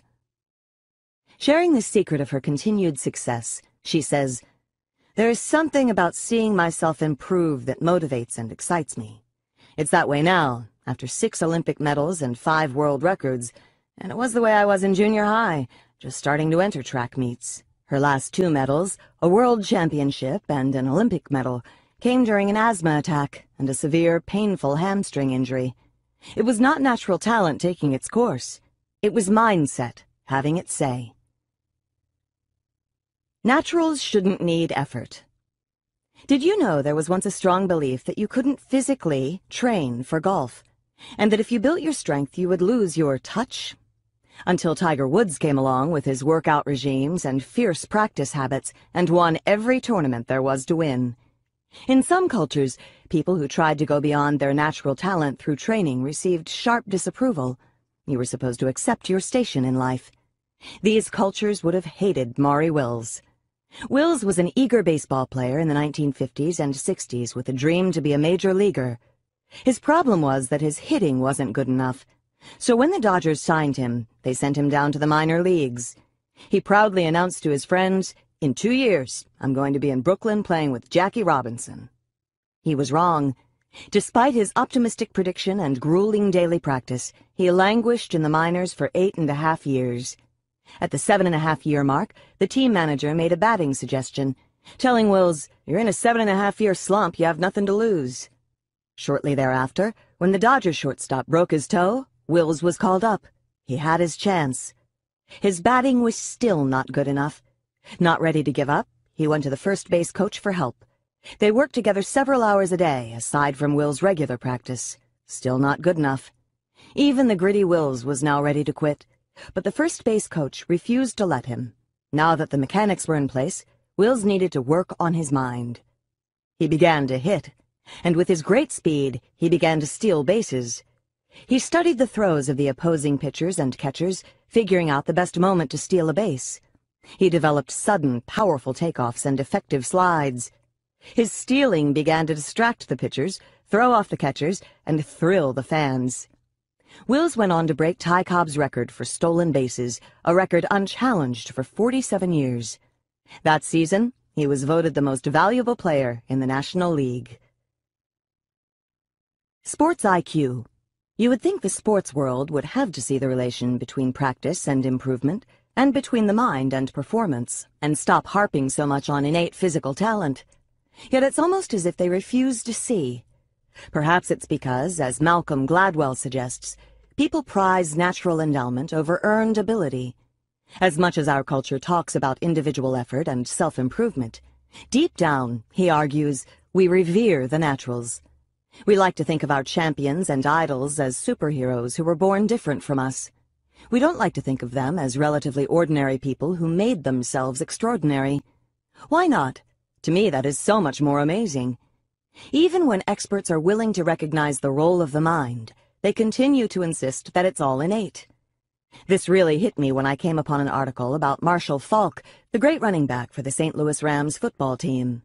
Faulk had just become the first player to gain a combined 2,000 rushing and receiving yards in four consecutive seasons.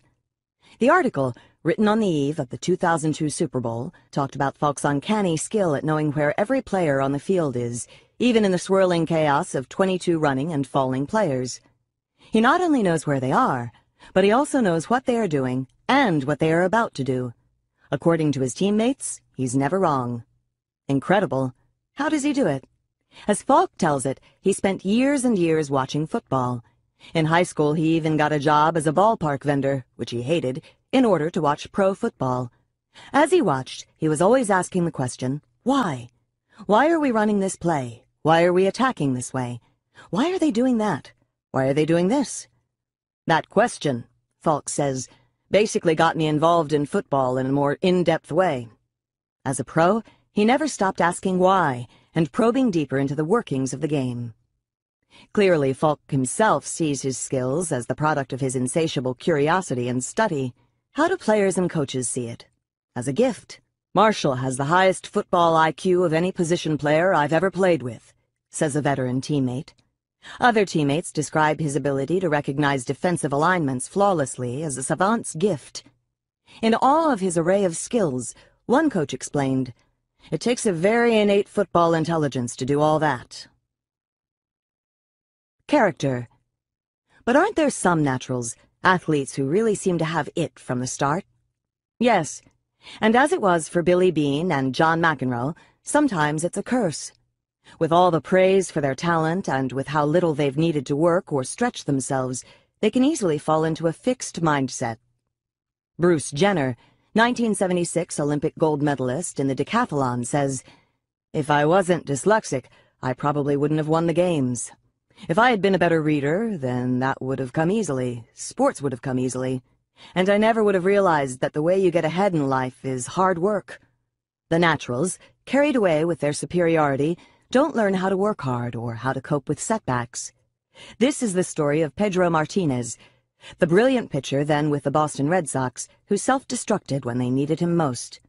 But it's an even larger story, too. A story about character. A group of sports writers from the New York Times and the Boston Globe were on the Delta shuttle to Boston. So was I. They were headed to Game 3 of the 2003 American League playoff series between the New York Yankees and the Boston Red Sox. They were talking about character, and they all agreed, the Boston writers reluctantly, that the Yankees had it. Among other things, they remembered what the Yankees had done for New York two years before. It was October 2001, and New Yorkers had just lived through September 11th. I was there, and we were devastated. We needed some hope. The city needed the Yankees to go for it, to go for the World Series. But the Yankees had lived through it too, and they were injured and exhausted. They seemed to have nothing left. I don't know where they got it from, but they dug down deep and they polished off one team after another, each win bringing us a little bit back to life, each one giving us a little more hope for the future. Fueled by our need, they became the American League East champs, then the American League champs, and then they were in the World Series, where they made a valiant run and almost pulled it off. Everyone hates the Yankees. It's the team the whole country roots against. I grew up hating the Yankees too, but after that I had to love them. This is what the sports writers meant by character. Character, the sports writers said. They know it when they see it. It's the ability to dig down and find the strength even when things are going against you. The very next day, Pedro Martinez, the dazzling but over-pampered Boston pitcher, showed what character meant by showing what it isn't. No one could have wanted this American League championship more than the Boston Red Sox. They hadn't won a World Series in 85 years, ever since the curse of the Bambino, that is, ever since Sox owner Harry Frazee sold Babe Ruth to the Yankees for money to finance a Broadway show. It was bad enough that he was selling the best left-handed pitcher in baseball, which Ruth was at the time, but he was selling him to the despised enemy. The Yankees went on to dominate baseball, winning it seemed endless World Series. Meanwhile, Boston made it to four World Series and several playoffs, but they always lost. And they always lost in the most tragic way possible, by coming achingly near to victory and then having a meltdown. Here, finally, was another chance to fight off the curse and defeat their arch-rivals. If they won, they would make that trip to the World Series and the Yankees would stay home. Pedro Martinez was their hope. In fact, earlier in the season, he had cursed the curse. Yet after pitching a beautiful game, Martinez was losing his lead and falling behind. What did he do then? He hit a batter with the ball. Karim Garcia threatened to bean another, Jorge Posada, and hurled a 72-year-old man to the ground, Yankee coach Don Zimmer. As New York Times writer Jack Curry wrote, We knew we were going to have Pedro versus Roger, Clemens, on a memorable afternoon at Fenway Park. But no one expected to watch Pedro against Garcia, Pedro against Posada, Pedro against Zimmer. Even the Boston writers were aghast. Dan Shaughnessy of the Globe asked, Which one would you rather have now, Red Sox fans? Roger Clemens, who kept his composure and behaved like a professional Saturday night, winning the game for his team despite his obvious anger? Or Martinez, the baby who hits a guy after he blows the lead, then points at his head and at Yankees catcher Jorge Posada, threatening, You're next. Red Sox fans don't like to hear this, but Martinez was an embarrassment Saturday and a disgrace to baseball. He gets away with it because he's Pedro, and the Sox front office enables him. Could Martinez one time stand up and admit he's wrong? Like Billy Beane, Pedro Martinez did not know how to tolerate frustration, did not know how to dig down and turn an important setback into an important win. Nor, like Billy Beane, could he admit his faults and learn from them. Because he threw his tantrum instead of doing the job, the Yankees won the game and went on to win the playoff by one game. The sports writers on the plane agreed that character is all, but they confessed that they didn't understand where it comes from. Yet I think by now we're getting the idea that character grows out of mindset. We now know that there's a mindset in which people are enmeshed in the idea of their own talent and specialness. When things go wrong, they lose their focus and their ability, putting everything they want, and in this case, everything the team and the fans so desperately want, in jeopardy. We also know that there is a mindset that helps people cope well with setbacks, points them to good strategies, and leads them to act in their best interest. Wait, the story's not over. One year later, the Sox and the Yankees went head-to-head again. Whoever won four games out of the seven would be the American League champions and would take that trip to the World Series. The Yankees won the first three games, and Boston's humiliating fate seemed sealed once again. But that year, Boston had put their prima donnas on notice. They traded one, tried to trade another, no one wanted him, and sent out the message, This is a team, not a bunch of stars. We work hard for each other. Four games later, the Boston Red Sox were the American League champions, and then the world champions. It was the first time since 1904 that Boston had beaten the Yankees in a championship series, showing two things. First, that the curse was over, and second, that character can be learned. More about character. Let's take it from the top with Pete Sampras and the growth mindset. In 2000, Sampras was at the Wimbledon, trying for his 13th Grand Slam tennis victory. If he won, he would break Roy Emerson's record of 12 wins in top tournaments. Although Sampras managed to make it to the finals, he had not played that well in the tournament and was not optimistic about his chances against the young, powerful Patrick Rafter. Sampras lost the first set and was about to lose the second set. He was down four to one in the tiebreaker. Even he said, I really felt like it was slipping away. What would McEnroe have done? What would Pedro Martinez have done? What did Sampras do? As William Rhoden puts it, he searched for a frame of reference that could carry him through. Sampras says, when you're sitting on the changeover, you think of past matches that you've lost the first set, came back and won the next three. There's time. You reflect on your past experiences, being able to get through it. Suddenly, Sampras had a five-point run, then two more, he had won the second set, and he was alive. Last night, Rhoden says, Sampras displayed all the qualities of the hero. The loss in the first set, vulnerability near defeat, then a comeback and a final triumph. Jackie Joyner Kersee talked herself through an asthma attack during her last World Championship. She was in the 800-meter race, the last event of the heptathlon, when she felt the attack coming on. Just keep pumping your arms, she instructed herself. It's not that bad, so keep going. You can make it. You're not going to have a full-blown attack. You have enough air. You got this thing won. Just run as hard as you can in this last 200 meters, Jackie. She instructed herself all the way to victory. I have to say this is my greatest triumph, considering the competition and the ups and downs I was going through. If I really wanted it, I had to pull it together. In her last Olympics, the dreaded thing happened. A serious hamstring injury forced her to drop out of the heptathlon. She was devastated. She was no longer a contender in her signature event. But would she be a contender in the long jump a few days later? Her first five jumps said no. They were nowhere near medal level. But the sixth jump won her a bronze medal, more precious than her gold ones. The strength for that sixth jump came from my assorted heartbreaks over the years. I'd collected all my pains and turned them into one mighty performance. Joyner Kersee, too, displayed all the qualities of a hero, the loss, the vulnerability near defeat, then a comeback and a final triumph. Character, heart, will, and the mind of a champion.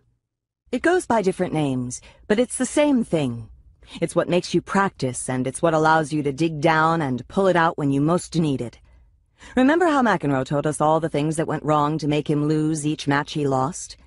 There was the time it was cold, and the time it was hot, the time he was jealous, and the times he was upset, and the many, many times he was distracted. But as Billie Jean King tells us, the mark of a champion is the ability to win when things are not quite right, when you're not playing well, and your emotions are not the right ones. Here's how she learned what being a champion meant. King was in the finals at Forest Hills playing against Margaret Smith, later Margaret Smith Court, who was at the peak of her greatness. King had played her more than a dozen times and had beaten her only once. In the first set, King played fabulously. She didn't miss a volley and she built a nice lead. Suddenly, the set was over. Smith had won it. In the second set, King again built a commanding lead and was serving to win the set. Before she knew it, Smith had won the set and the match. At first, King was perplexed. She had never built such a commanding lead in such an important match. But then she had a eureka moment. All at once she understood what a champion was, someone who could raise their level of play when they needed to. When the match is on the line, they suddenly get around three times tougher. Jackie Joyner Kersee had her eureka moment, too. She was 15 years old and competing in the heptathlon at the AAU Junior Olympics. Everything now depended on the last event, the 800-meter race, an event she dreaded. She was exhausted and she was competing against an expert distance runner whose times she had never matched. She did this time. I felt a kind of high. I'd proven that I could win if I wanted it badly enough. That win showed me that I could not only compete with the best athletes in the country, I could will myself to win. Often called the best woman soccer player in the world, Mia Hamm says she was always asked, Mia, what is the most important thing for a soccer player to have?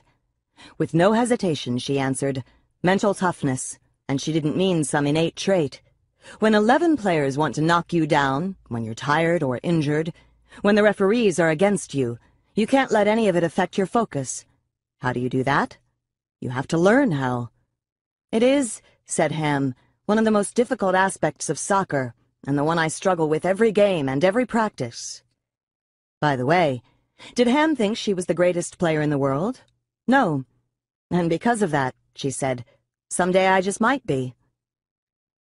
In sports, there are always do-or-die situations, when a player must come through or it's all over. Jack Nicklaus, the famed golfer, was in these situations many times in his long professional career on the PGA Tour, where the tournament rested on his making a must-have shot. If you had to guess, how many of these shots do you think he missed? The answer is one. One. That's the championship mentality. It's how people who are not as talented as their opponents win games. John Wooden, the legendary basketball coach, tells one of my favorite stories. Once, while Wooden was still a high school coach, a player was unhappy because he wasn't included in the big games. The player, Eddie Pawelski, begged Wooden to give him a chance, and Wooden relented. All right, Eddie, he said. I'll give you a chance. I'll start you against Fort Wayne Central tomorrow night. Suddenly, Wooden tells us, I wondered where those words came from. Three teams were locked in a battle for number one in Indiana. One was his team, and another was Fort Wayne Central, tomorrow night's team. The next night, Wooden started Eddie. He figured that Eddie would last at most a minute or two, especially since he was up against Fort Wayne's Armstrong, the toughest player in the state. Eddie literally took him apart, Wooden reports. Armstrong got the lowest point total of his career. Eddie scored 12, and our team showed the best balance of all season. But in addition to his scoring, his defense, rebounding, and playmaking were excellent. Eddie never sat out again and was named most valuable player for the next two years. All of these people had character, None of them thought they were special people, born with the right to win. They were people who worked hard, who learned how to keep their focus under pressure, and who stretched beyond their ordinary abilities when they had to. Staying on top. Character is what allows you to reach the top and stay there. Darryl Strawberry, Mike Tyson, and Martina Hingis reached the top, but they didn't stay there. Isn't that because they had all kinds of personal problems and injuries? Yes, but so have many other champions. Ben Hogan was hit by a bus and was physically destroyed, but he made it back to the top. I believe ability can get you to the top, says Coach John Wooden, but it takes character to keep you there. It's so easy to begin thinking you can just turn it on automatically, without proper preparation. It takes real character to keep working as hard or even harder once you're there. When you read about an athlete or team that wins over and over and over, remind yourself, more than ability, they have character. Let's take an even deeper look at what character means and how the growth mindset creates it. Stuart Biddle and his colleagues measured adolescents and young adults' mindset about athletic ability. Those with the fixed mindset were the people who believed that you have a certain level of ability in sports and you cannot really do much to change that level. To be good at sports, you need to be naturally gifted. In contrast, the people with the growth mindset agreed that how good you are at sports will always improve if you work harder at it. To be successful in sports, you need to learn technique and skills and practice them regularly. Those with the growth mindset were the ones who showed the most character or heart. They were the ones who had the minds of champions. What do I mean? Let's look at the findings from these sports researchers and see. What is success? Finding number one. Those with the growth mindset found success in doing their best, in learning and improving. And this is exactly what we find in the champions. For me, the joy of athletics has never resided in winning, Jackie Joyner Kersee tells us. I derive just as much happiness from the process as from the results. I don't mind losing as long as I see improvement or I feel I've done as well as I possibly could. If I lose, I just go back to the track and work some more. This idea that personal success is when you work your hardest to become your best was central to John Wooden's life. In fact, he says, there were many, many games that gave me as much pleasure as any of the ten national championship games we won, simply because we prepared fully and played near our highest level of ability. Tiger Woods and Mia Hamm are two of the fiercest competitors who ever lived, they love to win. But what counted most for them is the effort they made even when they didn't win. They could be proud of that. McEnroe and Beane could not. After the 98 Masters tournament, Woods was disappointed that he did not repeat his win of the previous year, but he felt good about his top 10 finish. I squeezed the towel dry this week. I'm very proud of the way I hung in there. Or after a British Open, where he finished third, Sometimes you get even more satisfaction out of creating a score when things aren't completely perfect, when you're not feeling so well about your swing. Tiger is a hugely ambitious man. He wants to be the best, even the best ever. But the best me, that's a little more important. Mia Hamm tells us, after every game or practice, if you walk off the field knowing that you gave everything you had, you will always be a winner. Why did the country fall in love with her team? They saw that we truly love what we do and that we gave everything we had to each other and to each game. For those with the fixed mindset, success is about establishing their superiority, pure and simple, being that somebody who is worthier than the nobodies. There was a time, I'll admit it, McEnroe says, when my head was so big it could barely fit through the door. Where's the talk about effort and personal best? There is none. Some people don't want to rehearse, they just want to perform. Other people want to practice a hundred times first. I'm in the former group. Remember, in the fixed mindset, effort is not a cause for pride. It is something that casts doubt on your talent. What is failure? Finding number two. Those with the growth mindset found setbacks motivating. They're informative. They're a wake-up call. Only once did Michael Jordan try to coast. It was the year he returned to the Bulls after his stint in baseball, and he learned his lesson. The Bulls were eliminated in the playoffs. You can't leave and think you can come back and dominate this game. I will be physically and mentally prepared from now on. Truer words are rarely spoken. The Bulls won the NBA title the next three years. Michael Jordan embraced his failures. In fact, in one of his favorite ads for Nike, he says, I've missed more than 9,000 shots. I've lost almost 300 games. 26 times I've been trusted to take the game-winning shot and missed. You can be sure that each time he went back and practiced the shot a hundred times. Here's how Kareem Abdul-Jabbar, the great basketball player, reacted when college basketball outlawed his signature shot, the dunk, later reinstated. Many thought that would stop his ascent to greatness. Instead, he worked twice as hard on developing other shots, his bank shot off the glass, his skyhook, and his turnaround jumper. He had absorbed the growth mindset from Coach Wooden and put it to good use. In the fixed mindset, setbacks label you. John McEnroe could never stand the thought of losing. Even worse was the thought of losing to someone who was a friend or a relative. That would make him less special. For example, he hoped desperately for his best friend Peter to lose in the finals at Maui after Peter had beaten him in an earlier round. He wanted it so badly he couldn't watch the match. Another time, he played his brother Patrick in a finals in Chicago and said to himself, God, if I lose to Patrick, that's it. I'm jumping off the Sears Tower. Here's how failure motivated him. In 1979, he played mixed doubles at Wimbledon. He didn't play mixed doubles again for 20 years. Why? He and his partner lost in three straight sets. Plus, McEnroe lost his serve twice, while no one else lost theirs even once. That was the ultimate embarrassment. I said, that's it. I'm never playing again. I can't handle this. In 1981, McEnroe bought a beautiful black Les Paul guitar. That week, he went to see Buddy Guy play at the Checkerboard Lounge in Chicago. Instead of feeling inspired to take lessons or practice, McEnroe went home and smashed his guitar to pieces. Here's how failure motivated Sergio Garcia, another golden boy with mindset issues. Garcia had taken the golf world by storm with his great shots and his charming boyish ways. He seemed like a younger Tiger. But when his performance took a dive, so did his charm. He fired caddy after caddy, blaming them for everything that went wrong.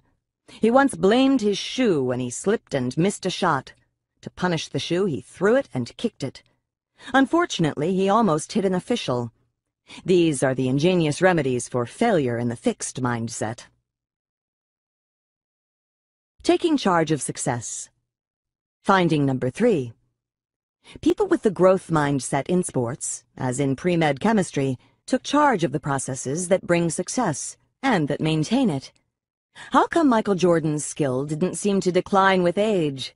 He did lose some stamina and agility with age, but to compensate, he worked even harder on conditioning and on his moves, like the turnaround jump shot and his celebrated fall-away jumper. He came into the league as a slam dunker, and he left as the most complete player ever to grace the game.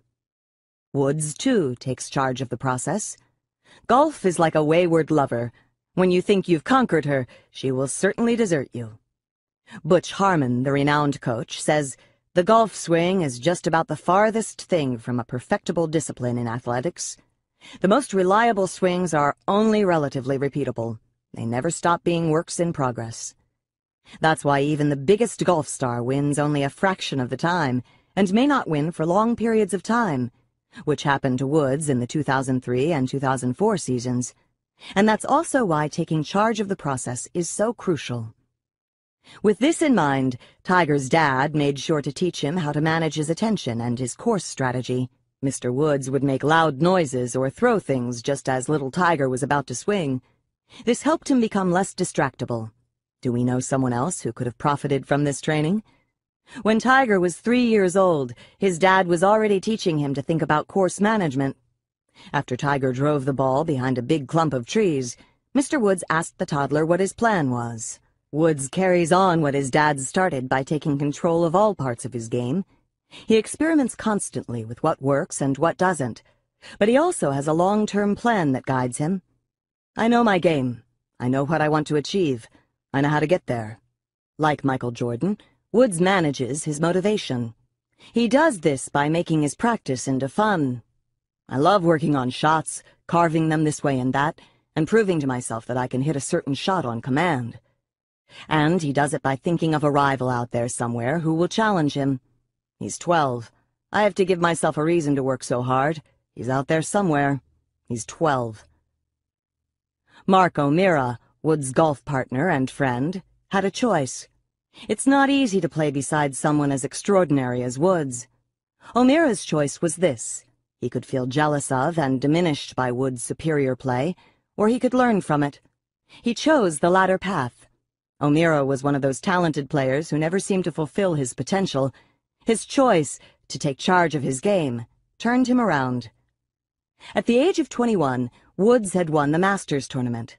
That night he slept with his arms around his prize, the famous green jacket. One year later, he put a green jacket on Mark O'Meara. From McEnroe, we hear little talk of taking control. When he was on top, we hear little mention of working on his game to stay on top. When he was doing poorly, we hear little self-reflection or analysis, except to pin the blame. For example, when he didn't do as well as expected for part of 82, we hear that little things happened that kept me off my game for weeks at a time and prevented me from dominating the tour. Always a victim of outside forces. Why didn't he take charge and learn how to perform well in spite of them? That's not the way of the fixed mindset. In fact, rather than combating those forces or fixing his problems, he tells us he wished he played a team sport so he could conceal his flaws. If you're not at your peak, you can hide it so much easier in a team sport. McEnroe also admits that his on-court temper tantrums were often a cover for choking and only made things worse. So what did he do? Nothing. He wished someone else would do it for him. When you can't control yourself, you want someone to do it for you. That's where I acutely missed being part of a team sport. People would have worked with me, coached me. Or, the system let me get away with more and more. I really liked it less and less. He got mad at the system. Hi there, John. This was your life. Ever think of taking responsibility? No, because in the fixed mindset, you don't take control of your abilities and your motivation. You look for your talent to carry you through, and when it doesn't, well then, what else could you have done? You are not a work in progress, you are a finished product, and finished products have to protect themselves, lament, and blame. Everything but take charge. What does it mean to be a star? Does a star have less responsibility to the team than other players? Is it just their role to be great and win games? Or does a star have more responsibility than others? What does Michael Jordan think? In our societies, sometimes it's hard to come to grips with filling a role instead of trying to be a superstar, says Jordan, a superstar's talent can win games, but it's teamwork that wins championships. Coach John Wooden claims he was tactically and strategically average. So how did he win 10 national championships? One of the main reasons, he tells us, is because he was good at getting players to fill roles as part of a team. I believe, for example, I could have made Kareem Abdul-Jabbar the greatest scorer in college history. I could have done that by developing the team around that ability of his. Would we have won three national championships while he was at UCLA? Never. In the fixed mindset, athletes want to validate their talent. This means acting like a superstar, not just a team member. But as with Pedro Martinez, this mindset works against the important victories they want to achieve. A telling tale is the story of Patrick Ewing, who could have been a basketball champion. The year Ewing was a draft pick, by far the most exciting pick of the year. The Knicks won the lottery and to their joy got to select Ewing for their team. They now had twin towers, the seven-foot Ewing and the seven-foot Bill Cartwright. Their high-scoring center. They had a chance to do it all. They just needed Ewing to be the power forward. He wasn't happy with that. Center is the star position, and maybe he wasn't sure he could hit the outside shots that a power forward has to hit. What if he had really given his all to learn that position? Alex Rodriguez, the best shortstop in baseball, agreed to play third base when he joined the Yankees. He had to retrain himself, and, for a while, he wasn't all he had been. Instead, Cartwright was sent to the Bulls, and Ewing's Knicks never won a championship. Then there is the tale of the football player, Keyshawn Johnson, another immensely talented player who was devoted to validating his own greatness. When asked before a game how he compared to a star player on the opposing team, he replied, You're trying to compare a flashlight to a star. Flashlights only last so long. A star is in the sky forever. Was he a team player? I am a team player, but I'm an individual first. I have to be the number one guy with the football, not number two or number three. If I'm not the number one guy, I'm no good to you. I can't really help you. What does that mean? For his definition of team player, Johnson was traded by the Jets, and after that, deactivated by the Tampa Bay Buccaneers. I've noticed an interesting thing. When some star players are interviewed after a game, they say we. They are part of the team, and they think of themselves that way. When others are interviewed, they say I, and they refer to their teammates as something apart from themselves, as people who are privileged to participate in their greatness. Every sport is a team sport. You know, just about every sport is in some sense a team sport. No one does it alone. Even in individual sports like tennis or golf, great athletes have a team, coaches, trainers, caddies, managers, mentors. This really hit me when I read about Diana Nyad, the woman who holds the world's record for open water swimming. What could be more of a lone sport than swimming? All right, maybe you need a little rowboat to follow you and make sure you're okay. When Nyad hatched her plan, the open water swimming record for both men and women was 60 miles. She wanted to swim 100. After months of arduous training, she was ready. But with her went a team of guides for measuring the winds and the current and watching for obstacles, divers looking for sharks, NASA experts for guidance on nutrition and endurance. She needed 1,100 calories per hour and she lost 29 pounds on the trip and trainers who talked her through uncontrollable shivers, nausea, hallucinations, and despair. Her new record, 102.5 miles, stands to this day. It is her name in the record books, but it took 51 other people to do it. Hearing the mindsets. You can already hear the mindsets in young athletes. Listen for them. It's 2004. Iciss Tillis is a college basketball star, a six-foot-five forward for the Duke University women's basketball team. She has a picture of her father, James Quick Tillis, taped to her locker as a motivator. But the picture is not a tribute, says sports writer Viv Bernstein. It is a reminder of all Tillis hopes she will never be. Quick Tillis was a contender in the 1980s. In 1981, he boxed for the world heavyweight title. In 1985, he was in the movie The Color Purple as a boxer, and in 1986, he was the first boxer to go the distance, 10 rounds, with Mike Tyson. But he never made it to the top. Iciss Tillis, who is a senior, says, This is the year to win a national championship. I just feel like I'd be such a failure. I'd feel like I'm regressing back and I'm going to end up like my dad, a nobody. Uh-oh. It's the somebody-nobody syndrome. If I win, I'll be somebody. If I lose, I'll be nobody. Tillis's anger at her father may be justified. He abandoned her as a child. But this thinking is getting in her way.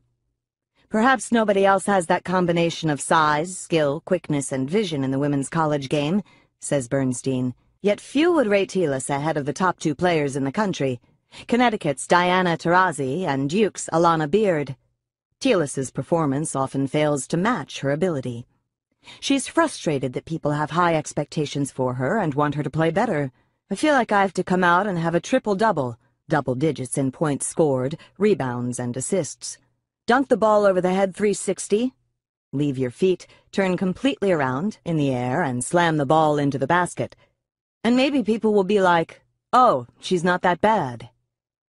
I don't think people want the impossible. I think they just want to see her use her wonderful talent to the utmost. I think they want her to develop the skills she needs to reach her goals. Worrying about being a nobody is not the mindset that motivates and sustains champions.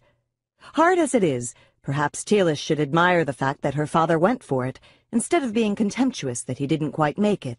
Somebodies are not determined by whether they won or lost. Somebodies are people who go for it with all they have. If you go for it with all you have, Iciss Tillis, not just in the games, but in practice too, you will already be somebody. Here's another mindset. It's six foot three Candace Parker, then a 17-year-old senior at Naperville Central High near Chicago, who is going to Tennessee to play for the Lady Vols and their great coach, Pat Summitt.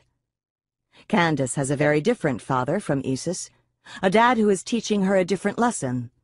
If you work hard at something, you get out what you put in. Several years before, when he was coach of her team, her dad lost his cool with her during a tournament game. She was not going for the rebounds. She was shooting lazy shots from the outside instead of using her height near the basket, and she was not exerting herself on defense. Now let's go out and try harder. So what happened? She went out and scored 20 points in the second half and had 10 rebounds. They blew the other team away. He lit a fire under me, and I knew he was right. Candace lights the same fire under herself now. Rather than being content to be a star, she looks to improve all the time. When she returned from knee surgery, she knew what she needed to work on, her timing, nerves, and wind.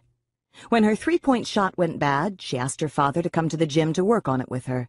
Whether it be in basketball or everyday life, she says, nothing is promised. Only weeks later, the mindset prophecies were already coming true. Two things happened. One, sadly, is that Tillis's team was knocked out of the championship. The other was that Candace Parker became the first woman ever to win the basketball dunking championship against five men. Character, heart, the mind of a champion. It's what makes great athletes, and it's what comes from the growth mindset with its focus on self-development, self-motivation, and responsibility. Even though the finest athletes are wildly competitive and want to be the best, greatness does not come from the ego of the fixed mindset, with its somebody-nobody syndrome. Many athletes with a fixed mindset may have been naturals, but you know what? As John Wooden says, we can't remember most of them. Grow your mindset. Are there sports you always assumed you're bad at? Well, maybe you are, but then maybe you aren't. It's not something you can know until you've put in a lot of effort. Some of the world's best athletes didn't start out being that hot. If you have a passion for a sport, put in the effort and see. Sometimes being exceptionally endowed is a curse. These athletes may stay in a fixed mindset and not cope well with adversity. Is there a sport that came easily to you until you hit a wall?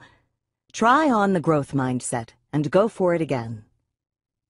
Character is an important concept in the sports world, and it comes out of a growth mindset. Think about times you've needed to reach deep down inside in difficult sports matches. Think about the growth mindset champions from this chapter and how they do it. What could you do next time to make sure you're in a growth mindset in the pinch?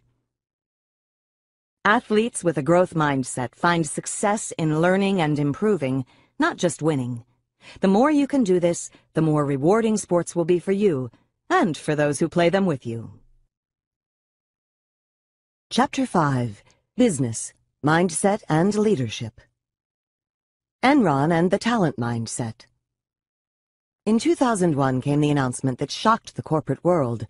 Enron, the corporate poster child, at the company of the future, had gone belly up. What happened? How did such spectacular promise turn into such a spectacular disaster? Was it incompetence? Was it corruption? It was mindset. According to Malcolm Gladwell, writing in The New Yorker, American corporations had become obsessed with talent. Indeed, the gurus at McKinsey & Company, the premier management consulting firm in the country, were insisting that corporate success today requires the talent mindset. Just as there are naturals in sport, they maintained there are naturals in business. Just as sports teams write huge checks to sign outsized talent, so too should corporations spare no expense in recruiting talent, for this is the secret weapon, the key to beating the competition. As Gladwell writes, this talent mindset is the new orthodoxy of American management. It created the blueprint for the Enron culture and sowed the seeds of its demise. Enron recruited big talent, mostly people with fancy degrees, which is not in itself so bad. It paid them big money, which is not that terrible. But by putting complete faith in talent, Enron did a fatal thing. It created a culture that worshipped talent, thereby forcing its employees to look and act extraordinarily talented. Basically, it forced them into the fixed mindset, and we know a lot about that. We know from our studies that people with the fixed mindset do not admit and correct their deficiencies. Remember the study where we interviewed students from the University of Hong Kong, where everything is in English? Students with the fixed mindset were so worried about appearing deficient that they refused to take a course that would improve their English.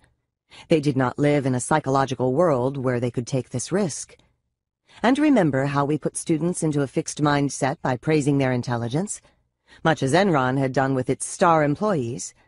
Later, after some hard problems, we asked the students to write a letter to someone in another school describing their experience in our study. When we read their letters, we were shocked. Almost 40% of them had lied about their scores, always in the upward direction. The fixed mindset had made a flaw intolerable. Gladwell concludes that when people live in an environment that esteems them for their innate talent, they have great difficulty when their image is threatened. They will not take the remedial course. They will not stand up to investors and the public and admit that they were wrong. They'd sooner lie. Obviously, a company that cannot self-correct cannot thrive. If Enron was done in by its fixed mindset, does it follow that companies that thrive have a growth mindset? Let's see. Organizations that grow. Jim Collins set out to discover what made some companies move from being good to being great. What was it that allowed them to make the leap to greatness and stay there, while other comparable companies just held steady at good? To answer this question, he and his research team embarked on a five-year study. They selected 11 companies whose stock returns had skyrocketed relative to other companies in their industry, and maintained this edge for at least 15 years. They matched each company to another one in the same industry that had similar resources, but did not make the leap. He also studied a third group of companies, ones that had made a leap from good to great, but did not sustain it. What distinguished the thriving companies from the others? There were several important factors, as Collins reports in his book, Good to Great. But one that was absolutely key was the type of leader who in every case led the company into greatness. These were not the larger-than-life, charismatic types who oozed ego and self-proclaimed talent.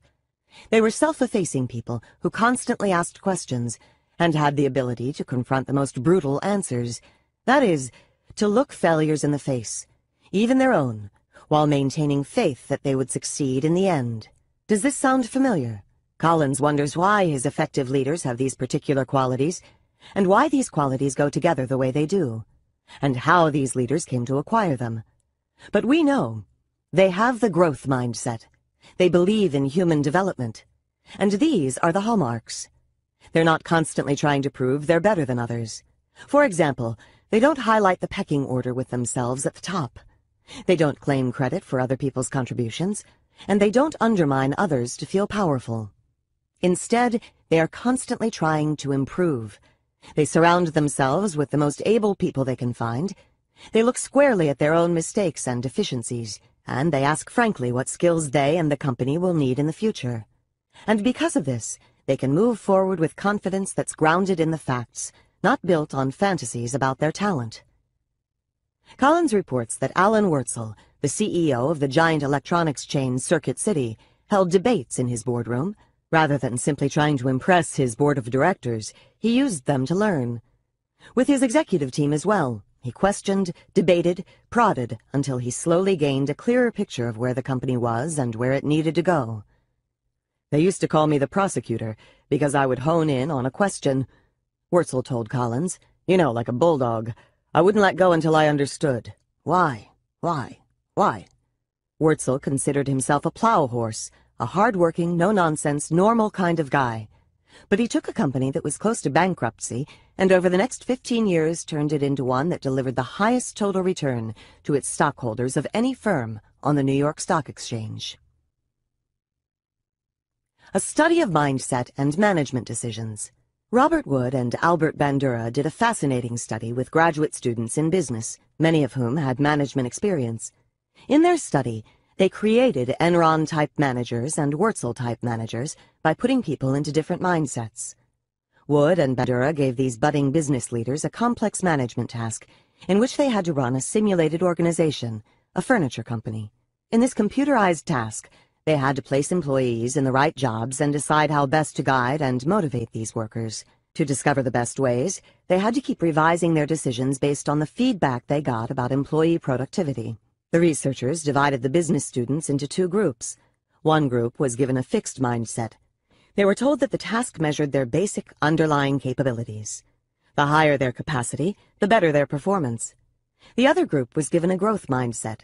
They were told that management skills were developed through practice, and that the task would give them an opportunity to cultivate these skills. The task was hard because students were given high production standards to meet, and especially in their early attempts, they fell short.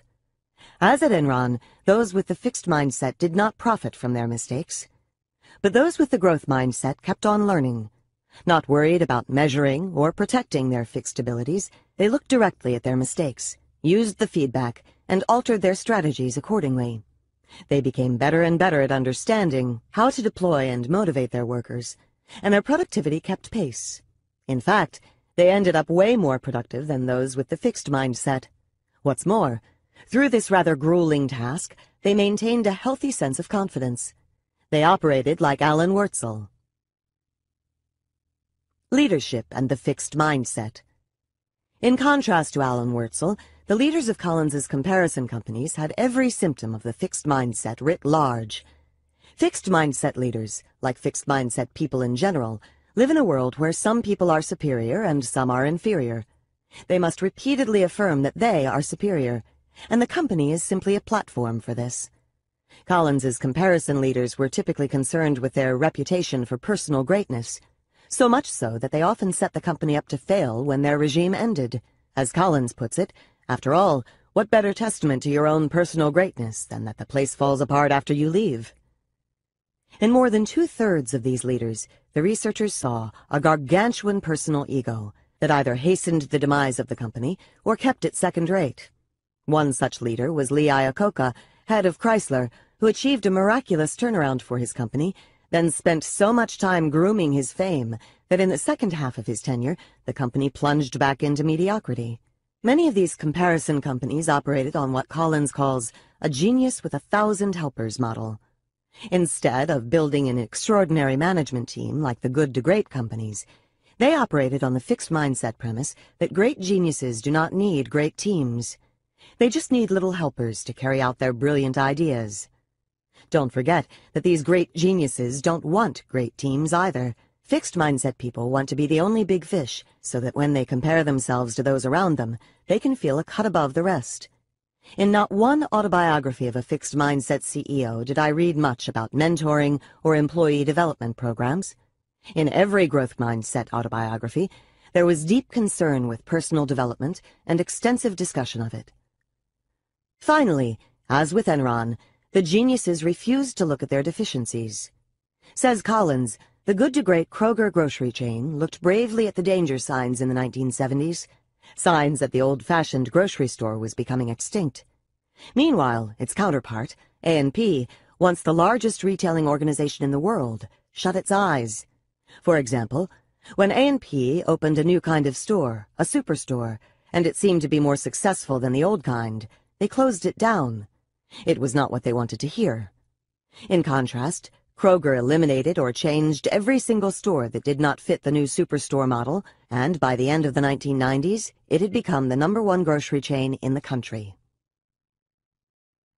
CEOs and the Big Ego How did CEO and gargantuan ego become synonymous? If it's the more self-effacing, growth-minded people who are the true shepherds of industry, why are so many companies out looking for larger-than-life leaders, even when these leaders may in the end be more committed to themselves than to the company? Blame Iacocca. According to James Surowiecki, writing in Slate, Iacocca's rise to prominence was a turning point for American business. Before him, the days of tycoons and moguls seemed long past. In the public's mind, CEO meant a button-down organization man, well-treated and well-paid, but essentially bland and characterless. With Iacocca, all of that changed. Business journalists began dubbing executives the next J.P. Morgan or the next Henry Ford. And fixed mindset executives started vying for those labels. Surowiecki even traces the recent corporate scandals to this change, for as the trend continued, CEOs became superheroes, but the people who preen their egos and look for the next self-image boost are not the same people who foster long-term corporate health. Maybe Iacocca is just a charismatic guy who, like rock and roll, is being blamed for the demise of civilization. Is that fair? Let's look at him more closely. And let's look at some other fixed mindset CEOs. Albert Dunlap of Scott Paper and Sunbeam, Jerry Levin and Steve Case of AOL Time Warner, and Kenneth Lay and Jeffrey Skilling of Enron. You'll see they all start with the belief that some people are superior. They all have the need to prove and display their superiority. They all use their subordinates to feed this need rather than fostering the development of their workers. And they all end by sacrificing their companies to this need.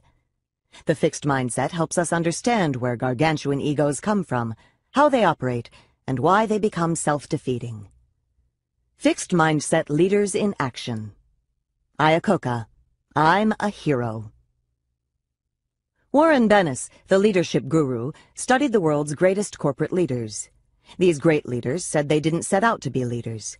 They'd had no interest in proving themselves. They just did what they loved, with tremendous drive and enthusiasm, and it led where it led. Iacocca wasn't like that. Yes, he loved the car business, but more than anything he yearned to be a muckamuck at Ford. He craved the approval of Henry Ford II and the royal trappings of office. These were the things he could measure himself by, the things that would prove he was somebody. I use the term royal with good reason. Iacocca tells us the glass house, Ford corporate headquarters, was a palace, and Henry Ford was the king. What's more, if Henry was the king, I was the crown prince. I was His Majesty's special protege. All of us lived the good life in the royal court. We were part of something beyond first class, royal class. White-coated waiters were on call throughout the day, and we all ate lunch together in the executive dining room. Dover sole was flown over from England on a daily basis. Iacocca achieved great things at Ford, like nurturing and promoting the Ford Mustang, and he dreamed of succeeding Henry Ford as the CEO of the company. But Henry Ford had other ideas, and much to Iacocca's shock and rage, he eventually forced Iacocca out. It's interesting that Iacocca was shocked and that he harbored an enduring rage against Henry Ford. After all, he had seen Henry Ford fire top people, and he, Iacocca, had used the axe quite liberally on others. He knew the corporate game. Yet his fixed mindset clouded his vision. I'd always clung to the idea that I was different, that somehow I was smarter or luckier than the rest. I didn't think it would ever happen to me. His belief in his inherent superiority had blinded him. Now the other side of the fixed mindset kicked in. He wondered whether Henry Ford had detected a flaw in him. Maybe he wasn't superior after all. And that's why he couldn't let go. Years later, his second wife told him to get over it. You don't realize what a favor Henry Ford did for you. Getting fired from Ford brought you to greatness. You're richer, more famous, and more influential because of Henry Ford. Thank him. Shortly thereafter, he divorced her. So the king who had defined him as competent and worthy now rejected him as flawed. With ferocious energy, Iacocca applied himself to the monumental task of saving face and, in the process, Chrysler Motors. Chrysler, the once thriving Ford rival, was on the brink of death. But Iacocca, as its new CEO, acted quickly to hire the right people, bring out new models, and lobby the government for bailout loans. Just a few years after his humiliating exit from Ford, he was able to write a triumphant autobiography and in it declare, Today, I'm a hero. Within a short time, however, Chrysler was in trouble again. Iacocca's fixed mindset would not stay put. He needed to prove his greatness, to himself, to Henry Ford, to the world, on a larger and larger scale. He spent his company time on things that would enhance his public image, and he spent the company's money on things that would impress Wall Street and hike up Chrysler's stock prices. But he did this instead of investing in new car designs or manufacturing improvements that would keep the company profitable in the long run. He also looked to history, to how he would be judged and remembered, but he did not address this concern by building the company. Quite the contrary. According to one of his biographers, he worried that his underlings might get credit for successful new designs, so he balked at approving them. He worried, as Chrysler faltered, that his underlings might be seen as the new saviors, so he tried to get rid of them. He worried that he would be written out of Chrysler history, so he desperately hung on as CEO long after he had lost his effectiveness. Iacocca had a golden opportunity to make a difference, to leave a great legacy. The American auto industry was facing its biggest challenge ever. Japanese imports were taking over the American market. It was simple. They looked better and they ran better. Iacocca's own people had done a detailed study of Honda and made excellent suggestions to him. But rather than take up the challenge and delivering better cars, Iacocca, mired in his fixed mindset, delivered blame and excuses.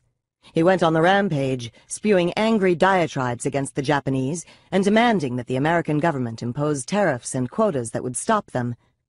In an editorial against Iacocca, the New York Times scolded, The solution lies in making better cars in this country, not in angrier excuses about Japan. Nor was Iacocca growing as a leader of his workforce. In fact, he was shrinking inside the insulated, petty, and punitive tyrant he had accused Henry Ford of being. Not only was he firing people who were critical of him, he'd done little to reward the workers who had sacrificed so much to save the company. Even when the money was rolling in, he seemed to have little interest in sharing it with them. Their pay remained low and their working conditions remained poor. Yet even when Chrysler was in trouble again, he maintained a regal lifestyle. Two million dollars were spent renovating his corporate suite at the Waldorf in New York. Finally, while there was still time to save Chrysler, the board of directors eased Iacocca out. They gave him a grand pension, showered him with stock options, and continued many of his corporate perks. But he was beside himself with rage, especially since his successors seemed to be managing the company quite nicely. So in a bid to regain the throne, he joined a hostile takeover attempt, one that placed the future of Chrysler at risk. It failed, but for many, the suspicion that he put his ego before the welfare of the company was confirmed. Iacocca lived the fixed mindset. Although he started out loving the car business and having breakthrough ideas, his need to prove his superiority started to dominate, eventually killing his enjoyment and stifling his creativity. As time went on and he became less and less responsive to challenges from competitors, he resorted to the key weapons of the fixed mindset, blame, excuses, and the stifling of critics and rivals, and is so often the case with the fixed mindset, because of these very things, Iacocca lost the validation he craved. When students fail tests or athletes lose games, it tells them that they've dropped the ball. But the power that CEOs wield allows them to create a world that caters night and day to their need for validation. It allows them to surround themselves only with the good news of their perfection and the company's success, no matter what the warning signs may be. This, as you may recall, is CEO disease and a peril of the fixed mindset. You know, lately I've wondered whether Iacocca has recuperated from CEO disease. He's raising money, and giving a lot of his own, for innovative diabetes research. He's working for the development of environment-friendly vehicles. Maybe, released from the task of trying to prove himself, he's now going for things he deeply values. Albert Dunlap. I'm a superstar. Albert Dunlap saved dying companies, although I'm not sure saved is the right word. He didn't get them ready to thrive in the future. He got them ready to sell for a profit. For example, by firing thousands of workers. And profit he did. He got a hundred million dollars from the turnaround and sale of Scott paper. 100 million for little more than a year and a half of work. Did I earn it? Damn right I did. I'm a superstar in my field, much like Michael Jordan in basketball and Bruce Springsteen in rock and roll. Iacocca paid lip service to teamwork, the importance of the little guy, and other good things. Albert Dunlap didn't even pay lip service. If you're in business, you're in business for one thing, to make money. He proudly reports an incident at an employee meeting at Scott Paper. A woman stood up and asked, Now that the company is improving, can we restart charitable donations? To which he replied, If you want to give on your own, that's your business, and I encourage you to do it. But this company is here to make a buck. The answer, in a word, is no. I'm not here to argue that business isn't about money, but I do want to ask, why was Dunlap so focused on it? Let's let him tell us. Making my way in the world became a matter of self-respect for me, of a kid trying to prove he was worth something. To this day, I feel I have to prove and reprove myself.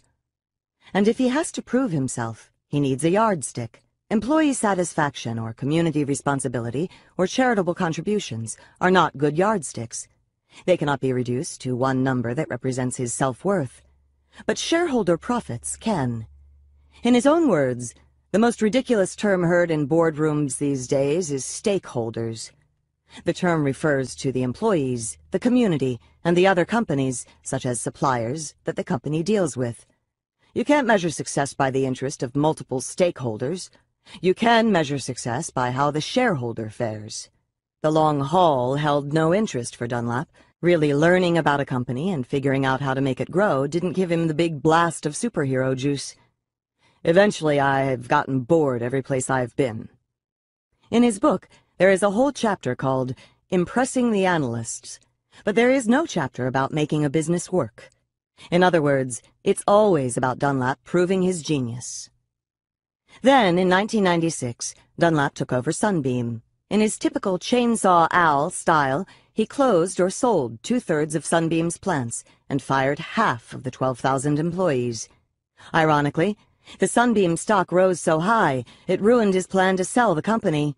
It was too expensive to buy. Uh-oh. Now he had to run the company. Now he had to keep it profitable, or at least looking profitable. But instead of turning to his staff or learning what to do, he inflated revenues, fired people who questioned him, and covered up the increasingly dire straits his company was in. Less than two years after the self-proclaimed superstardom in his book, and one year after an even more self-congratulatory revision, Dunlap fell apart and was kicked out. As he left, Sunbeam was under investigation by the Securities and Exchange Commission and was expected to be in technical default on a $1.7 billion bank loan. Dunlap deeply misunderstood Michael Jordan and Bruce Springsteen. Both of these superstars reached the pinnacle and stayed there a long time because they constantly dug down, faced challenges, and kept growing. Al Dunlap thought he was inherently superior, so he opted out of the kind of learning that would have helped him succeed. The smartest guys in the room. Yes, it seems as though history led inevitably from Iacocca to the moguls of the 1990s, and none more so than Kenneth Lay and Jeffrey Skilling, the leaders of Enron. Ken Lay, the company's founder, chairman, and CEO, considered himself a great visionary. According to Bethany McLean and Peter Elkind, authors of The Smartest Guys in the Room, Lay looked down his nose at the people who actually made the company run, much the way a king might look at his serfs. He looked down on Rich Kinder, the Enron president, who rolled up his sleeves and tried to make sure the company would reach its earning targets. Kinder was the man who made Lay's royal lifestyle possible.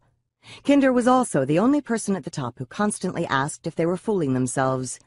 Are we smoking our own dope? Are we drinking our own whiskey? Naturally, his days were numbered.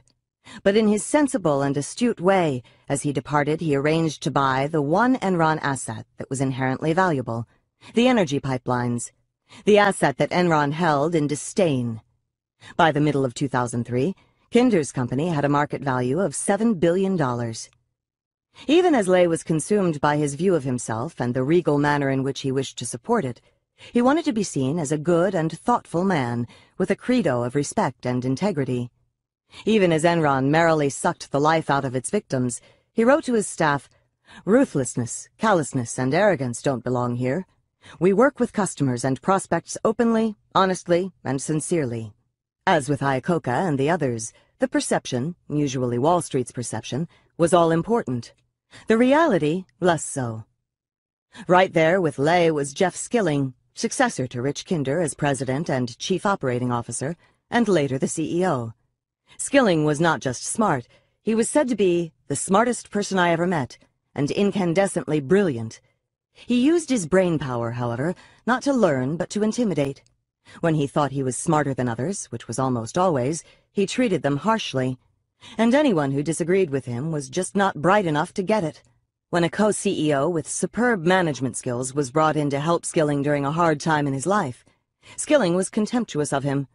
Ron doesn't get it. When financial analysts or Wall Street traders tried to press Skilling to go beyond his pat explanations, he treated them as though they were stupid. Well, it's obvious. How can you not get it? In most cases, the Wall Street guys, ever concerned about their own intellect, made believe they got it. As resident genius, Skilling had unlimited faith in his ideas. He had so much regard for his ideas that he believed Enron should be able to proclaim profits as soon as he or his people had the idea that might lead to profits. This is a radical extension of the fixed mindset. My genius not only defines and validates me, it defines and validates the company. It is what creates value. My genius is profit. Wow. And in fact, this is how Enron came to operate. As McLean and Elkind report, Enron recorded millions of dollars in profits on a business before it had generated a penny in actual revenues. Of course, after the creative act, no one cared about follow-through. That was beneath them. So often as not, the profit never occurred. If genius equaled profit, it didn't matter that Enron people sometimes wasted millions competing against each other. Said Amanda Martin, an Enron executive, to put one over on one of your own was a sign of creativity and greatness. Skilling not only thought he was smarter than everyone else, but, like Iacocca, also thought he was luckier. According to insiders, he thought he could beat the odds. Why should he feel vulnerable? There was never anything wrong. Skilling still does not admit that there was anything wrong. The world simply didn't get it. Two geniuses collide. Resident geniuses almost brought down AOL and Time Warner, too. Steve Case of AOL and Jerry Levin of Time Warner were two CEOs with the fixed mindset who merged their companies. Can you see it coming? Case and Levin had a lot in common. Both of them cultivated an aura of supreme intelligence. Both tried to intimidate people with their brilliance. And both were known to take more credit than they deserved. As resident geniuses, neither wanted to hear complaints, and both were ready to fire people who weren't team players, meaning people who wouldn't keep up the facade that they had erected. When the merger actually took place, AOL was in such debt that the merged company was on the brink of ruin. You would think that the two CEOs might work together, marshaling their resources to save the company they created. Instead, Levin and Case scrambled for personal power. Levin was the first to fall. But Case was still not trying to make things work. In fact, when the new CEO, Richard Parsons, sent someone down to fix AOL, Case was intensely against it. If someone else fixed AOL, someone else would get the credit. As with Iacocca, better to let the company collapse than let another prince be crowned. When Case was finally counseled to resign, he was furious. Like Iacocca, he denied all responsibility for the company's problems and vowed to get back at those who had turned against him. Because of the resident geniuses, AOL Time Warner ended the year 2002 with a loss of almost $100 billion. It was the largest yearly loss in American history. Invulnerable, Invincible, Entitled. Iacocca, Dunlap, Lay and Skilling, Case and Levin, they show what can happen when people with the fixed mindset are put in charge of companies. In each case, a brilliant man put his company in jeopardy because measuring himself and his legacy outweighed everything else. They were not evil in the usual sense. They didn't set out to do harm. But at critical decision points, they opted for what would make them feel good and look good over what would serve the longer-term corporate goals. Blame others, cover mistakes, pump up the stock prices, crush rivals and critics, screw the little guy. These were the standard operating procedures. What is fascinating is that as they led their companies toward ruin, all of these leaders felt invulnerable and invincible. In many cases, they were in highly competitive industries, facing onslaughts from fierce rivals. But they lived in a different reality. It was a world of personal greatness and entitlement. Kenneth Lay felt a powerful sense of entitlement, even as he was getting millions a year in compensation from Enron, he took large personal loans from the company, gave jobs and contracts to his relatives, and used the corporate jets as his family fleet. Even during bad years at Chrysler, Iacocca threw lavish Christmas parties for the company elite. At every party, as king, he presented himself with an expensive gift, which the executives were later billed for. Speaking about AOL executives, a former official said, you're talking about men who thought they had the right to anything. As these leaders cloaked themselves in the trappings of royalty, surrounded themselves with flatterers who extolled their virtues, and hid from problems, it is no wonder they felt invincible. Their fixed mindset created a magic realm in which the brilliance and perfection of the king were constantly validated. Within that mindset, they were completely fulfilled. Why would they want to step outside that realm to face the uglier reality of warts and failures? As Morgan McCall, in his book High Flyers, points out, unfortunately, people often like the things that work against their growth. People like to use their strengths to achieve quick, dramatic results, even if they aren't developing the new skills they will need later on. People like to believe they are as good as everyone says, and not take their weaknesses as seriously as they might. People don't like to hear bad news or get criticism. There is tremendous risk in leaving what one does well to attempt to master something new. And the fixed mindset makes it seem all that much riskier. Brutal bosses. McCall goes on to point out that when leaders feel they are inherently better than others, they may start to believe that the needs or feelings of the lesser people can be ignored. None of our fixed mindset leaders cared much about the little guy, and many were outright contemptuous of those beneath them on the corporate ladder. Where does this lead? In the guise of keeping people on their toes, these bosses may mistreat workers. Iacocca played painful games with his executives to keep them off balance. Jerry Levin of Time Warner was likened by his colleagues to the brutal Roman Emperor Caligula. Skilling was known for his harsh ridicule of those less intelligent than he. Harvey Hornstein, an expert on corporate leadership, writes in his book Brutal Bosses that this kind of abuse represents the boss's desire to enhance their own feelings of power, competence, and value at the subordinate's expense.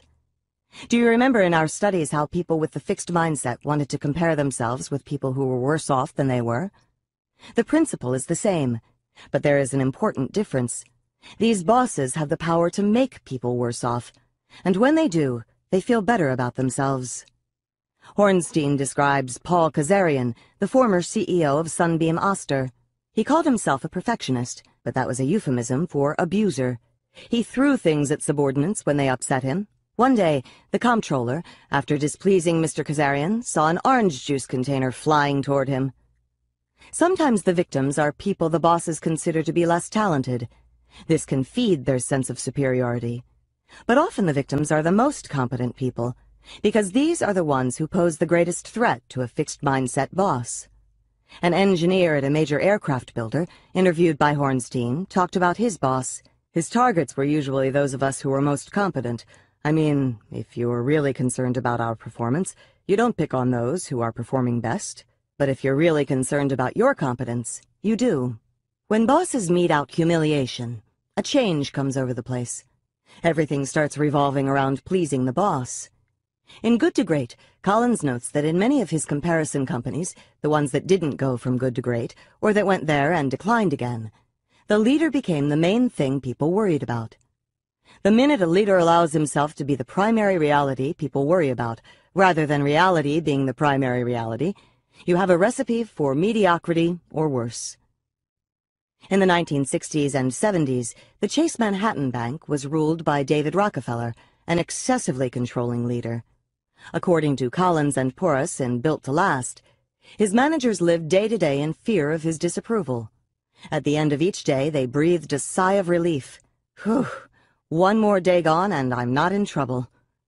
Even long past his heyday, senior managers refused to venture a new idea because David might not like it. Ray McDonald of Burroughs, Collins and Porras report, publicly ridiculed managers for mistakes to the point where he inhibited them from innovating. As a result, even though Burroughs was ahead of IBM in the early stages of the computer industry, the company lost out. The same thing happened at Texas Instruments, another leader in the exciting early days of the computer. If they didn't like a presentation, Mark Shepherd and Fred Bucy would yell, bang on tables, insult the speaker, and hurl things. No wonder their people lost their enterprising spirit. When bosses become controlling and abusive, they put everyone into a fixed mindset. This means that instead of learning, growing, and moving the company forward, everyone starts worrying about being judged. It starts with the boss's worry about being judged, but it winds up being everybody's fear about being judged. It's hard for courage and innovation to survive a company-wide fixed mindset. Growth Mindset Leaders in Action Andrew Carnegie once said, I wish to have as my epitaph, Here lies a man who was wise enough to bring into his service men who knew more than he. Okay, let's open the windows and let some air in. The fixed mindset feels so stifling. Even when those leaders are globe-trotting and hobnobbing with world figures, their world seems so small and confining, because their minds are always on one thing, validate me. When you enter the world of the growth mindset leaders, everything changes. It brightens, it expands, it fills with energy, with possibility. You think, gee, that seems like fun. It has never entered my mind to lead a corporation, but when I learned about what these leaders had done, it sounded like the most exciting thing in the world.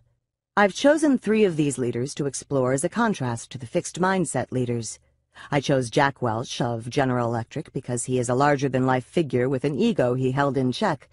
Not your straight-ahead, naturally self-effacing, growth-minded guy. And I chose Lou Gerstner, the man who came in and saved IBM, and Anne Mulcahy, the woman who brought Xerox back to life, as contrasts to Alfred Dunlap and the other turnaround expert. Jack Welch, Lou Gerstner, and Anne Mulcahy are also fascinating because they transformed their companies. They did this by rooting out the fixed mindset and putting a culture of growth and teamwork in its place. With Gerstner and IBM, it's like watching Enron morph into a growth mindset mecca. As growth-minded leaders, they start with a belief in human potential and development, both their own and other people's. Instead of using the company as a vehicle for their greatness, they use it as an engine of growth for themselves, the employees, and the company as a whole. Warren Bennis has said that too many bosses are driven and driving but going nowhere. Not these people. They don't talk royalty. They talk journey, an inclusive, learning-filled, rollicking journey. Jack. Listening, crediting, nurturing. When Jack Welch took over GE in 1980, the company was valued at $14 billion. Twenty years later, it was valued by Wall Street at 490 billion. It was the most valuable company in the world. Fortune magazine called Welch the most widely admired, studied, and imitated CEO of his time. His total economic impact is impossible to calculate, but it must be a staggering multiple of his GE performance. But to me, even more impressive was an op-ed piece in the New York Times by Steve Bennett, the CEO of Intuit. I learned about nurturing employees from my time at General Electric from Jack Welch. He'd go directly to the frontline employee to figure out what was going on. Sometime in the early 1990s, I saw him in a factory where they made refrigerators in Louisville. He went right to the workers in the assembly line to hear what they had to say. I do frequent CEO chats with frontline employees. I learned that from Jack. This vignette says a lot. Jack was obviously a busy guy, an important guy, but he didn't run things like Iacocca, from the luxurious corporate headquarters where his most frequent contacts were the white-gloved waiters. Welch never stopped visiting the factories and hearing from the workers. These were the people he respected, learned from, and in turn, nurtured. Then there is the emphasis on teamwork, not the royal I. Right away, Right from the dedication and the author's note of Welch's autobiography, you know something is different. It's not the I'm a hero of Lee Iacocca, or the I'm a superstar of Alfred Dunlap, although he could easily lay claim to both. Instead, it's, I hate having to use the first person. Nearly everything I've done in my life has been accomplished with other people. Please remember that every time you see the word I in these pages, it refers to all those colleagues and friends and some I might have missed. Or, these people filled my journey with great fun and learning. They often made me look better than I am. Already we see the me, me, me of the validation-hungry CEO becoming the we and us of the growth-minded leader. Interestingly, before Welch could root the fixed mindset out of the company, he had to root it out of himself. And believe me, Welch had a long way to go. He was not always the leader he learned to be. In 1971, Welch was being considered for a promotion when the head of GE Human Resources wrote a cautioning memo. He noted that despite Welch's many strengths, the appointment carries with it more than the usual degree of risk. He went on to say that Welch was arrogant, couldn't take criticism, and depended too much on his talent instead of hard work and his knowledgeable staff. Not good signs. Fortunately, every time his success went to his head, he got a wake-up call. One day, young Dr. Welch, decked out in his fancy suit, got into his new convertible. He proceeded to put the top down and was promptly squirted with dark, grungy oil that ruined both his suit and the paint job on his beloved car. There I was, thinking I was larger than life, and smack came the reminder that brought me back to reality. It was a great lesson. There is a whole chapter titled Too Full of Myself about the time he was on an acquisition roll and felt he could do no wrong. Then he bought Kidder Peabody, a Wall Street investment banking firm with an Enron-type culture. It was a disaster that lost hundreds of millions of dollars for GE. The Kidder experience never left me. It taught him that there's only a razor's edge between self-confidence and hubris. This time hubris won and taught me a lesson I would never forget. What he learned was this. True self-confidence is the courage to be open, to welcome change and new ideas regardless of their source. Real self-confidence is not reflected in a title, an expensive suit, a fancy car, or a series of acquisitions. It is reflected in your mindset, your readiness to grow. Well, humility is a start, but what about the management skills? From his experiences, Welch learned more and more about the kind of manager he wanted to be. A growth-minded manager, a guide, not a judge. When Welch was a young engineer at GE, he caused a chemical explosion that blew the roof off the building he worked in. Emotionally shaken by what happened, he nervously drove the hundred miles to company headquarters to face the music and explain himself to the boss. But when he got there, the treatment he received was understanding and supportive. He never forgot it. Charlie's reaction made a huge impression on me. If we're managing good people who are clearly eating themselves up over an error, our job is to help them through it. He learned how to select people, for their mindset, not their pedigrees. Originally, Academic pedigrees impressed him. He hired engineers from MIT, Princeton, and Caltech. But after a while, he realized that wasn't what counted. Eventually, I learned that I was really looking for people who were filled with passion and a desire to get things done. A resume didn't tell me much about that inner hunger. Then came a chance to become the CEO. Each of the three candidates had to convince the reigning CEO he was best for the job. Welch made the pitch on the basis of his capacity to grow. He didn't claim that he was a genius or that he was the greatest leader who ever lived. He promised to develop. He got the job and made good on his promise. Immediately, he opened up dialogue and the channels for honest feedback. He quickly set to work asking executives what they liked and disliked about the company and what they thought needed changing. Boy, were they surprised.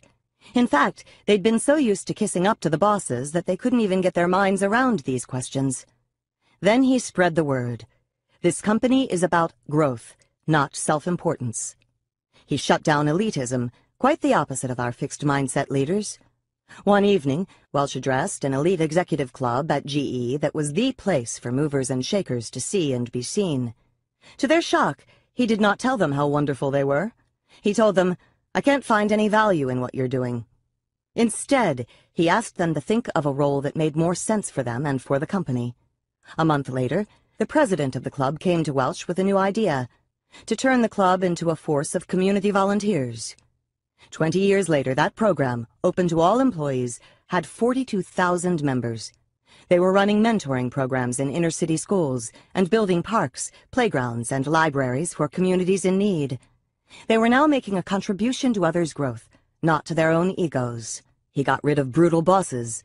Iacocca tolerated and even admired brutal bosses who could make the workers produce. It served his bottom line. Welch admitted that he, too, had often looked the other way. But in the organization he now envisioned, he could not do that. In front of 500 managers, I explained why four corporate officers were asked to leave during the prior year, even though they delivered good financial performance. They were asked to go because they didn't practice our values. The approved way to foster productivity was now through mentoring, not through terror. And he rewarded teamwork rather than individual genius. For years, GE, like Enron, had rewarded the single originator of an idea, but now Welch wanted to reward the team that brought the ideas to fruition. As a result, leaders were encouraged to share the credit for ideas with their teams, rather than take full credit themselves. It made a huge difference in how we all related to one another. Jack Welch was not a perfect person, but he was devoted to growth. This devotion kept his ego in check, kept him connected to reality, and kept him in touch with his humanity. In the end, it made his journey prosperous and fulfilling for thousands of people. Lou, rooting out the fixed mindset. By the late 1980s, IBM had become Enron, with one exception. The board of directors knew it was in trouble. It had a culture of smugness and elitism. Within the company, it was the old, we are royalty, but I'm more royal than you are syndrome. There was no teamwork, only turf wars. There were deals, but no follow-up. There was no concern for the customer. Yet this probably wouldn't have bothered anyone if business weren't suffering. In 1993, they turned to Lou Gerstner and asked him to be the new CEO. He said no. They asked him again. You owe it to America. We're going to have President Clinton call and tell you to take the job. Please, please, please. We want exactly the kind of strategy and culture change you created at American Express and RJR. In the end, he caved, although he can't remember why. But IBM now had a leader who believed in personal growth and in creating a corporate culture that would foster it. How did he produce it at IBM? First, as Welch had done, he opened the channels of communication up and down the company. Six days after he arrived, he sent a memo to every IBM worker telling them, over the next few months, I plan to visit as many of our operations and offices as I can. And whenever possible, I plan to meet with many of you to talk about how together we can strengthen the company. He dedicated his book to them. This book is dedicated to the thousands of IBMers who never gave up on their company, their colleagues, and themselves. They are the real heroes of the reinvention of IBM.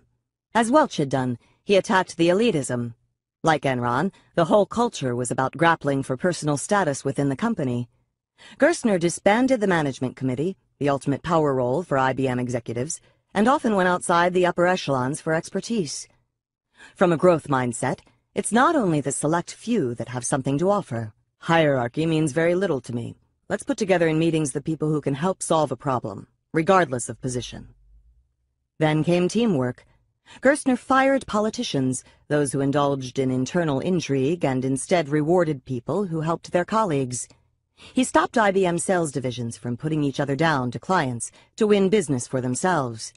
He started basing executives' bonuses more on IBM's overall performance and less on the performance of their individual units. The message? We're not looking to crown a few princes. We need to work as a team. As at Enron, the deal was the glamorous thing. The rest was pedestrian. Gerstner was appalled by the endless failure to follow through on deals and decisions, and the company's unlimited tolerance of it. He demanded and inspired better execution. Message, genius is not enough. We need to get the job done. Finally, Gerstner focused on the customer. IBM customers felt betrayed and angry. IBM was so into itself that it was no longer serving their computer needs. They were upset about pricing, they were frustrated by the bureaucracy at IBM. They were irritated that IBM was not helping them to integrate their systems. At a meeting of 175 chief information officers of the largest U.S. companies, Gerstner announced that IBM would now put the customer first and backed it up by announcing a drastic cut in their mainframe computer prices. Message, we are not hereditary royalty. We serve at the pleasure of our clients. At the end of his first three arduous months, Gerstner received his report card from Wall Street. IBM stock has done nothing, because he has done nothing. Ticked off but undaunted, Gerstner continued his anti-royalty campaign and brought IBM back from its near-death experience. This was the sprint. This is when Dunlap would have taken his money and run. What lay ahead was the even harder task of maintaining his policies until IBM regained industry leadership. That was the marathon.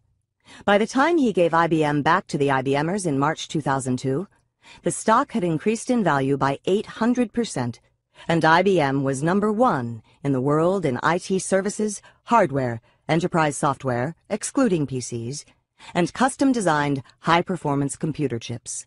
What's more, IBM was once again defining the future direction of the industry. Anne. Learning, toughness, and compassion.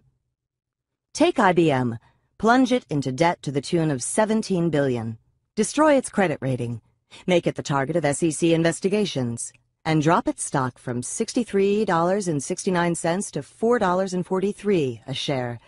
What do you get? Xerox. That was the Xerox Anne Mulcahy took over in 2000. Not only had the company failed to diversify, it could no longer even sell its copy machines. But three years later, Xerox had had four straight profitable quarters, and in 2004, Fortune named Mulcahy the hottest turnaround act since Lou Gerstner. How did she do it? She went into an incredible learning mode, making herself into the CEO Xerox needed to survive. She and her top people, like Ursula Burns, learned the nitty-gritty of every part of the business. For example, as Fortune writer Betsy Morris explains, Mulcahy took Balance Sheet 101, She learned about debt, inventory, taxes, and currency, so she could predict how each decision she made would play out on the balance sheet. Every weekend she took home large binders and pored over them, as though her final exam was on Monday. When she took the helm, people at Xerox units couldn't give her simple answers about what they had, what they sold, or who was in charge. She became a CEO who knew those answers, or knew where to get them. She was tough. She told everyone the cold, hard truth they didn't want to know, like how the Xerox business model was not viable, or how close the company was to running out of money. She cut the employee rolls by 30%, but she was no chainsaw Al. Instead, she bore the emotional brunt of her decisions, roaming the halls, hanging out with the employees, and saying I'm sorry. She was tough but compassionate. In fact, she'd wake up in the middle of the night worrying about what would happen to the remaining employees and retirees if the company folded. She worried constantly about the morale and development of her people, so that even with the cuts, she refused to sacrifice the unique and wonderful parts of the Xerox culture. Xerox was known throughout the industry as the company that gave retirement parties and hosted retiree reunions. As the employees struggled side by side with her, she refused to abolish their raises and, in a morale-boosting gesture, gave them all their birthdays off. She wanted to save the company in body and spirit, and not for herself or her ego, but for all her people who were stretching themselves to the limit for the company. After slaving away for two years, Mulcahy opened Time magazine only to see a picture of herself grouped with the notorious heads of Tyco and WorldCom, men responsible for two of the biggest corporate management disasters of our time. But a year later, she knew her hard work was finally paying off when one of her board members, the former CEO of Procter & Gamble, told her, I never thought I would be proud to have my name associated with this company again. I was wrong. Mulcahy was winning the sprint. Next came the marathon. Could Xerox win that too? Maybe it had rested on its laurels too long, resisting change and letting too many chances go by. Or maybe the growth mindset, Mulcahy's mission to transform herself and her company, would help save another American institution. Jack, Lou, and Anne all believing in growth, all brimming with passion, and all believing that leadership is about growth and passion, not about brilliance.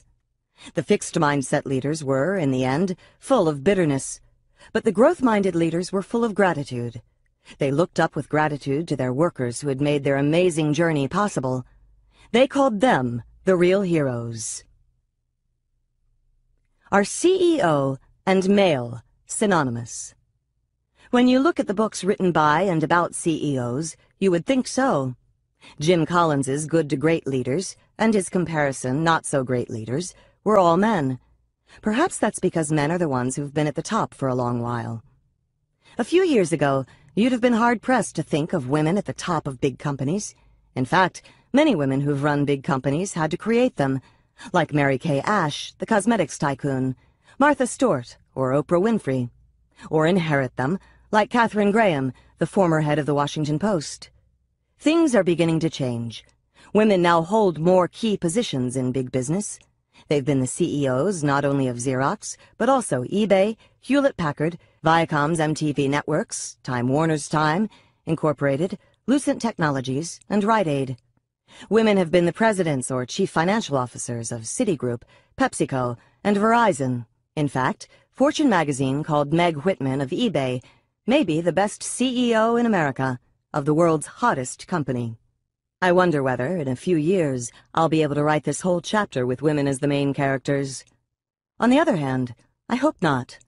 I hope that in a few years it will be hard to find fixed mindset leaders, men or women, at the top of our most important companies. A study of group processes. Researcher Robert Wood and his colleagues did another great study, this time they created management groups, 30 groups with three people each. Half of the groups had three people with a fixed mindset, and half had three people with a growth mindset. Those with the fixed mindset believed that people have a certain fixed amount of management ability, and they cannot do much to change it. In contrast, those with the growth mindset believed people can always substantially change their basic skills for managing other people. So one group thought you have it or you don't, the other thought your skills could grow with experience. Every group had worked together for some weeks when they were given, jointly, the task I talked about before, a complex management task in which they ran a simulated organization, a furniture company. If you remember, on this task people had to figure out how to match workers with jobs and how to motivate them for maximum productivity. But this time, instead of working individually, people could discuss their choices and the feedback they got, and work together to improve their decisions. The fixed and growth mindset groups started with the same ability. But as time went on, the growth mindset groups clearly outperformed the fixed mindset ones. And this difference became ever larger the longer the groups worked. Once again, those with the growth mindset profited from their mistakes and feedback far more than the fixed mindset people. But what was even more interesting was how the groups functioned. The members of the growth mindset groups were much more likely to state their honest opinions and openly express their disagreements as they communicated about their management decisions. Everyone was part of the learning process. For the fixed mindset groups, with their concern about who was smart or dumb, or their anxiety about disapproval for their ideas, that open, productive discussion did not happen. Instead, it was more like groupthink. Groupthink versus we think. In the early 1970s, Irving Janis popularized the term groupthink. It's when everyone in the group starts thinking alike. No one disagrees. No one takes a critical stance. It can lead to catastrophic decisions, and as the Wood study suggests, it often can come right out of a fixed mindset. Groupthink can occur when people put unlimited faith in a talented leader, a genius. This is what led to the disastrous Bay of Pigs invasion, America's half-baked secret plan to invade Cuba and topple Castro. President Kennedy's normally astute advisers suspended their judgment. Why? Because they thought he was golden and everything he did was bound to succeed. According to Arthur Schlesinger, an insider, the men around Kennedy had unbounded faith in his ability and luck. Everything had broken right for him since 1956. He had won the nomination and the election against all the odds in the book. Everyone around him thought he had the Midas touch and could not lose. Schlesinger also said, Had one senior advisor opposed the adventure, I believe that Kennedy would have canceled it. No one spoke against it. To prevent this from happening to him, Winston Churchill set up a special department. Others might be in awe of his titanic persona, but the job of this department, Jim Collins reports, was to give Churchill all the worst news. Then Churchill could sleep well at night, knowing he had not been group-thinked into a false sense of security. Groupthink can happen when the group gets carried away with its brilliance and superiority. At Enron, the executives believed that because they were brilliant, all of their ideas were brilliant. Nothing would ever go wrong. An outside consultant kept asking Enron people, Where do you think you're vulnerable?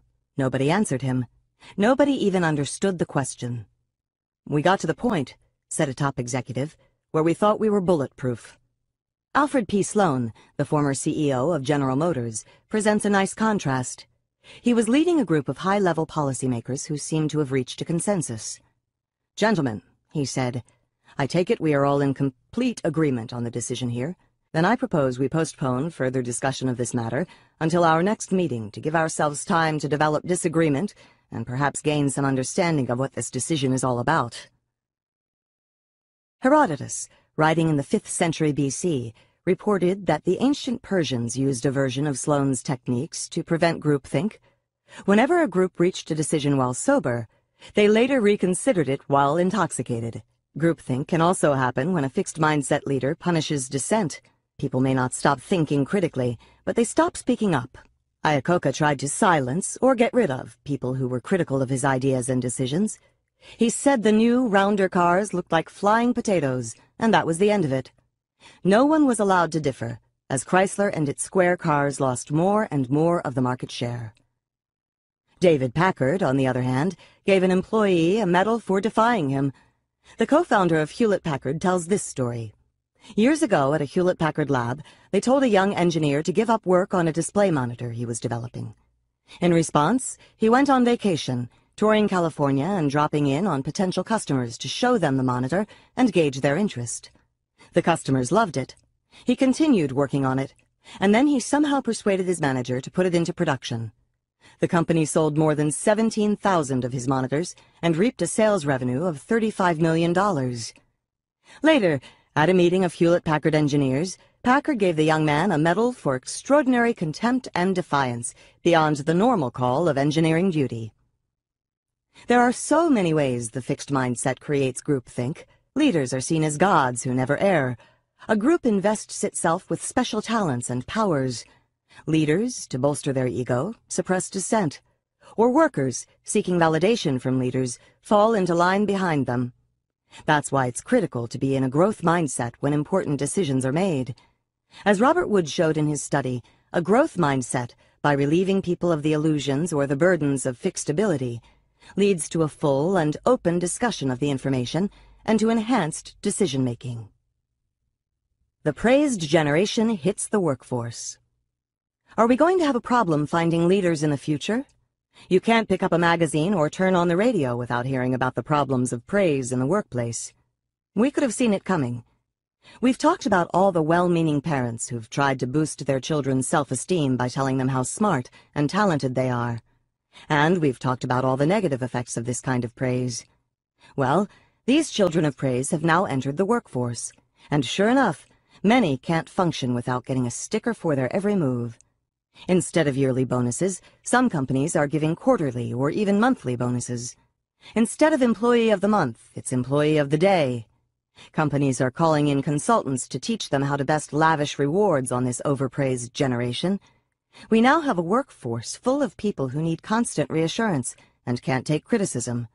Not a recipe for success in business, where taking on challenges, showing persistence, and admitting and correcting mistakes are essential. Why are the businesses perpetuating the problem? Why are they continuing the same misguided practices of the overpraising parents and paying money to consultants to show them how to do it. Maybe we need to step back from this problem and take another perspective. If the wrong kinds of praise lead kids down the path of entitlement, dependence, and fragility, maybe the right kinds of praise can lead them down the path of hard work and greater hardiness.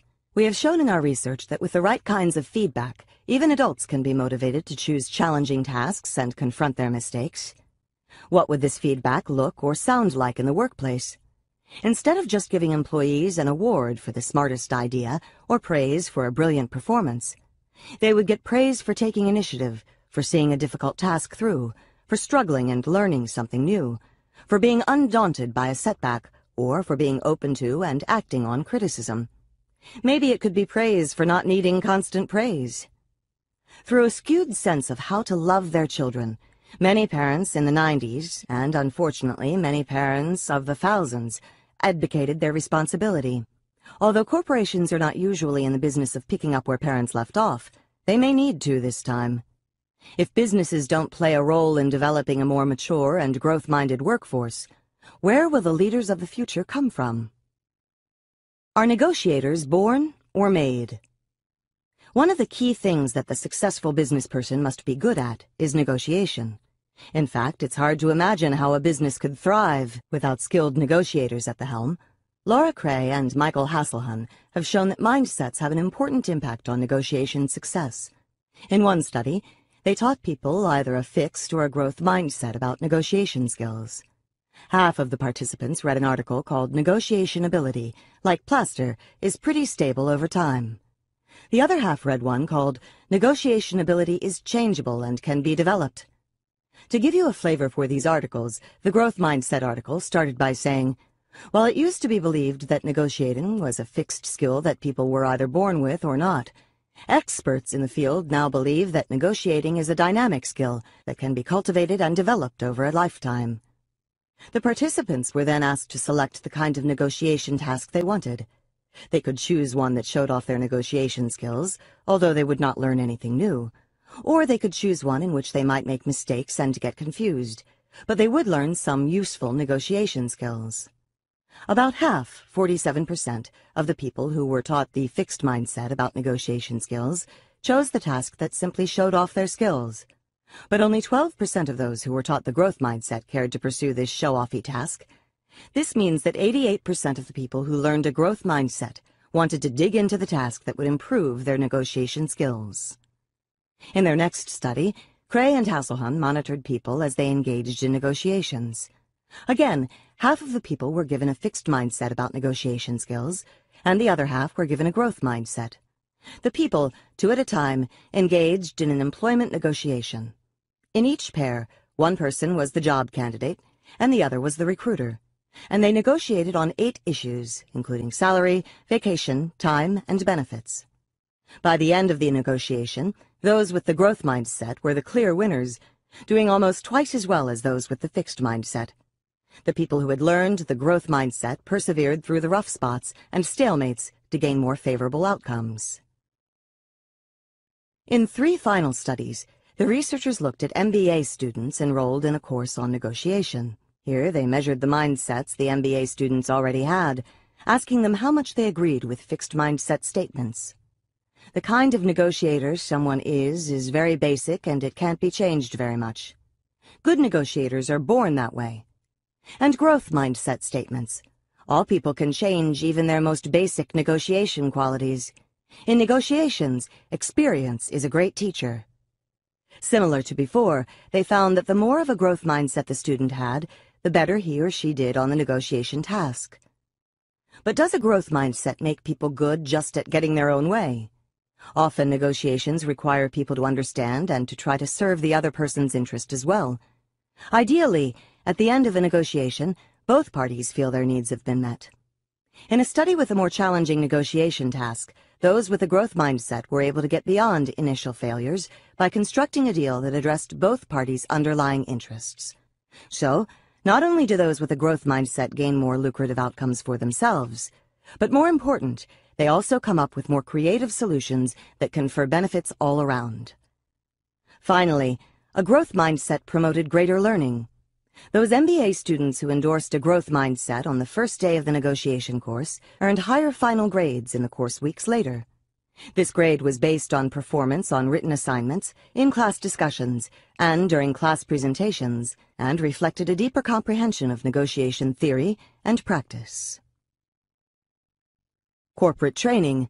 Are managers born or made? Millions of dollars and thousands of hours are spent each year trying to teach leaders and managers how to coach their employees and give them effective feedback. Yet much of this training is ineffective, and many leaders and managers remain poor coaches. Is that because this can't be trained? No, that's not the reason. Research sheds light on why corporate training often fails. Studies by Peter Heslin, Don Vandewalle, and Gary Latham showed that many managers do not believe in personal change. These fixed mindset managers simply look for existing talent. They judge employees as competent or incompetent at the start, and that's that. They do relatively little developmental coaching, and when employees do improve, they may fail to take notice, remaining stuck in their initial impression. What's more, like managers at Enron, they are far less likely to seek or accept critical feedback from their employees. Why bother to coach employees if they can't change, and why get feedback from them if you can't change? Managers with a growth mindset think it's nice to have talent, but that's just the starting point. These managers are more committed to their employees' development and to their own. They give a great deal more developmental coaching, they notice improvement in employees' performance, and they welcome critiques from their employees. Most exciting, the growth mindset can be taught to managers. Heslin and his colleagues conducted a brief workshop based on well-established psychological principles. By the way, with a few changes, it could just as easily be used to promote a growth mindset in teachers or coaches. The workshop starts off with a video and a scientific article about how the brain changes with learning.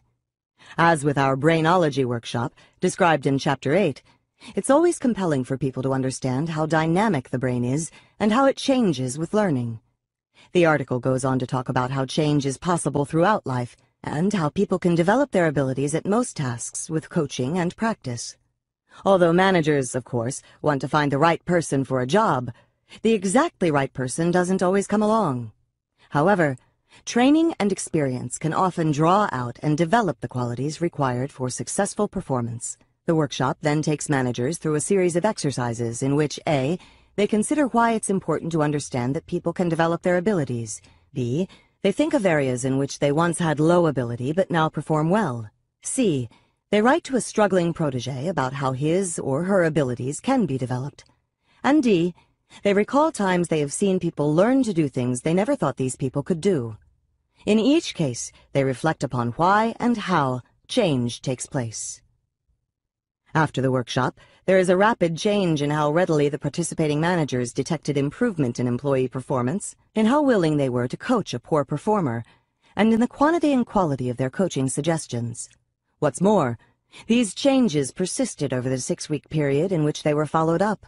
What does that mean? First, it means that our best bet is not simply to hire the most talented managers we can find and turn them loose, but to look for managers who also embody a growth mindset, a zest for teaching and learning, an openness to giving and receiving feedback, and an ability to confront and surmount obstacles. It also means we need to train leaders, managers, and employees to believe in growth, in addition to training them in the specifics of effective communication and mentoring. Indeed, a growth mindset workshop might be a good first step in any major training program. Finally, it means creating a growth mindset environment in which people can thrive. This involves presenting skills as learnable, conveying that the organization values learning and perseverance, not just ready-made genius or talent. Giving feedback in a way that promotes learning and future success. Presenting managers as resources for learning. Without a belief in human development, many corporate training programs become exercises of limited value. With a belief in development, such programs give meaning to the term human resources and become a means of tapping enormous potential. Are leaders born or made? When Warren Bennis interviewed great leaders, they all agreed leaders are made, not born, and made more by themselves than any external means. Bennis concurred, I believe that everyone of whatever age and circumstance is capable of self-transformation. Not that everyone will become a leader. Sadly, most managers and even CEOs become bosses, not leaders. They wield power instead of transforming themselves, their workers, and their organization. Why is this? John Zenger and Joseph Folkman point out that most people, when they first become managers, enter a period of great learning. They get lots of training and coaching, they are open to ideas, and they think long and hard about how to do their jobs. They are looking to develop. But once they've learned the basics, they stop trying to improve. It may seem like too much trouble, or they may not see where improvement will take them. They are content to do their jobs rather than making themselves into leaders. Or, as Morgan McCall argues, many organizations believe in natural talent and don't look for people with the potential to develop. Not only are these organizations missing out on a big pool of possible leaders, but their belief in natural talent might actually squash the very people they think are the naturals, making them into arrogant, defensive, non-learners. The lesson is Create an organization that prizes the development of ability and watch the leaders emerge. Grow your mindset. Are you in a fixed mindset or growth mindset workplace? Do you feel people are just judging you, or are they helping you develop? Maybe you could try making it a more growth mindset place, starting with yourself. Are there ways you could be less defensive about your mistakes? Could you profit more from the feedback you get? Are there ways you can create more learning experiences for yourself? How do you act toward others in your workplace? Are you a fixed mindset boss, focused on your power more than on your employees' well-being? Do you ever reaffirm your status by demeaning others? Do you ever try to hold back high-performing employees because they threaten you? Consider ways to help your employees develop on the job, apprenticeships, workshops, coaching sessions, Think about how you can start seeing and treating your employees as your collaborators, as a team. Make a list of strategies and try them out. Do this even if you already think of yourself as a growth mindset boss. Well-placed support and growth-promoting feedback never hurt. If you run a company, look at it from a mindset perspective. Does it need you to do a Lou Gerstner on it? Think seriously about how to root out elitism and create a culture of self-examination open communication, and teamwork. Read Gerstner's excellent book, Who Says Elephants Can't Dance, to see how it's done. Is your workplace set up to promote group think? If so, the whole decision-making process is in trouble. Create ways to foster alternative views and constructive criticism. Assign people to play the devil's advocate, taking opposing viewpoints so you can see the holes in your position. Get people to wage debates that argue different sides of the issue. Have an anonymous suggestion box that employees must contribute to as part of the decision-making process. Remember, people can be independent thinkers and team players at the same time. Help them fill both roles. Chapter 6 Relationships Mindsets in Love or Not? What was that about the course of true love never running smooth? Well, the course to true love isn't so smooth either. That path is often strewn with disappointments and heartaches. Some people let these experiences scar them and prevent them from forming satisfying relationships in the future. Others are able to heal and move on. What separates them? To find out, we recruited more than a hundred people and asked them to tell us about a terrible rejection. When I first got to New York, I was incredibly lonely. I didn't know a soul, and I totally felt like I didn't belong there. After about a year of misery, I met Jack. It's almost an understatement to say that we clicked instantly. We felt like we had known each other forever. It wasn't long before we were living together and doing everything together. I thought I would spend my whole life with him, and he said he felt the same way. Two really happy years passed. Then one day I came home and found a note. He said he had to leave. Don't try to find him. He didn't even sign it love. I never heard from him again. Sometimes when the phone rings, I still think maybe it's him.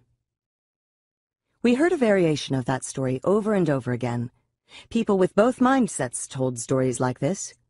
Almost everyone, at one time or another, had been in love and had been hurt. What differed, and differed dramatically, was how they dealt with it. After they told their stories, we asked them follow-up questions. What did this mean to you? How did you handle it? What were you hoping for? When people had the fixed mindset, they felt judged and labeled by the rejection, permanently labeled. It was as though a verdict had been handed down and branded on their foreheads, unlovable, and they lashed out. Because the fixed mindset gives them no recipe for healing their wound, all they could do was hope to wound the person who inflicted it. Lydia, the woman in the story above, told us that she had lasting, intense feelings of bitterness. I would get back at him, hurt him any way I could if I got the chance. He deserves it. In fact, for the people with the fixed mindset, their number one goal came through loud and clear. Revenge. As one man put it, she took my worth with her when she left. Not a day goes by I don't think about how to make her pay. During the study, I asked one of my fixed mindset friends about her divorce. I'll never forget what she said. If I had to choose between me being happy and him being miserable, I would definitely want him to be miserable. It had to be a person with a fixed mindset who coined the phrase, revenge is sweet. The idea that with revenge comes your redemption, because people with the growth mindset have little taste for it. The stories they told were every bit as wrenching, but their reactions couldn't have been more different. For them, it was about understanding, forgiving, and moving on. Although they were often deeply hurt by what happened, they wanted to learn from it. That relationship and how it ended really taught me the importance of communicating. I used to think love conquers all, but now I know it needs a lot of help. This same man went on to say, I also learned something about who's right for me. I guess every relationship teaches you more about who's right for you. There is a French expression, tu comprends, c'est tout pardonner. To understand all is to forgive all. Of course, this can be carried too far, but it's a good place to start. For people with the growth mindset, the number one goal was forgiveness. As one woman said, I'm no saint, but I knew for my own peace of mind that I had to forgive and forget. He hurt me, but I had a whole life waiting for me, and I'll be damned if I was going to live it in the past. One day I just said, good luck to him, and good luck to me. Because of their growth mindset, they did not feel permanently branded. Because of it, they tried to learn something useful about themselves and relationships, something they could use toward having a better experience in the future. And they knew how to move on and embrace that future. My cousin Kathy embodies the growth mindset. Several years ago, after 23 years of marriage, her husband left her. Then, to add insult to injury, she was in an accident and hurt her leg. There she sat, home alone one Saturday night when she said to herself, I'll be damned if I'm going to sit here and feel sorry for myself. Perhaps this phrase should be the mantra of the growth mindset. Out she went to a dance, leg and all, where she met her future husband. The Contos family had pulled out all the stops. Nicole Contos, in her exquisite wedding dress, arrived at the church in a Rolls Royce. The Archbishop was inside waiting to perform the ceremony, and hundreds of friends and relatives from all over the world were in attendance. Everything was perfect until the best man went over to Nicole and told her the news. The groom would not be coming. Can you imagine the shock, the pain? The family, thinking of the hundreds of guests, decided to go through with the reception and dinner. Then, rallying around Nicole, they asked her what she wanted to do. In an act of great courage, she changed into a little black dress, went to the party, and danced solo to I Will Survive. It was not the dance she had anticipated, but it was one that made her an icon of gutsiness in the national press the next day. Nicole was like the football player who ran the wrong way. Here was an event that could have defined and diminished her. Instead, it was one that enlarged her. It's interesting. Nicole spoke repeatedly about the pain and trauma of being stood up at her wedding, but she never used the word humiliated. If she had judged herself, felt flawed and unworthy, humiliated, she would have run and hidden. Instead, her good clean pain made her able to surround herself with the love of her friends and relatives and begin the healing process. What, by the way, had happened to the groom? As it turned out, he had gone on the honeymoon, flying off to Tahiti on his own. What happened to Nicole? A couple of years later, in the same wedding dress and the same church, she married a great guy. Was she scared? No, she says. I knew he was going to be there.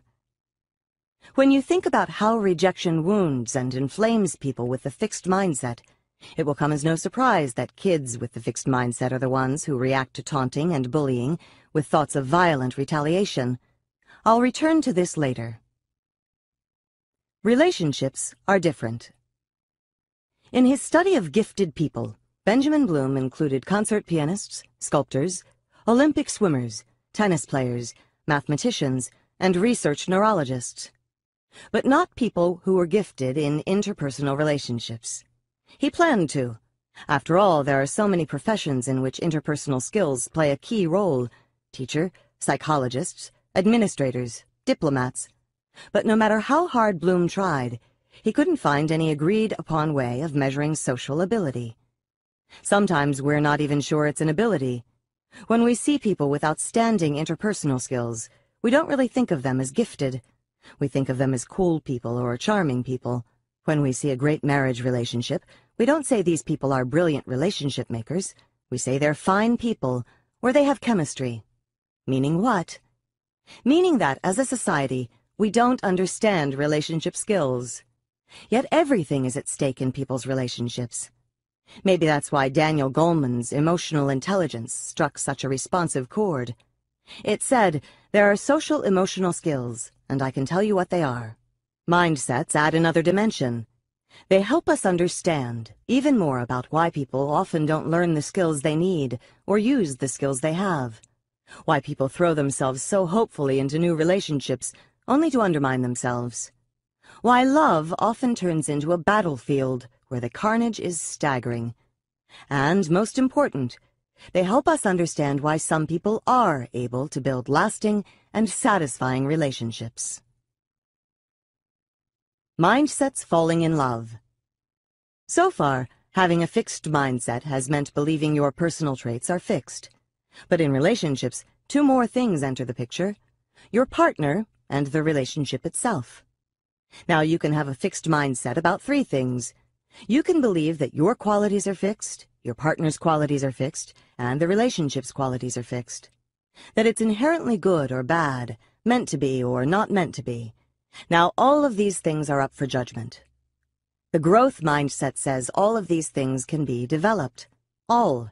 You, your partner, and the relationship are capable of growth and change.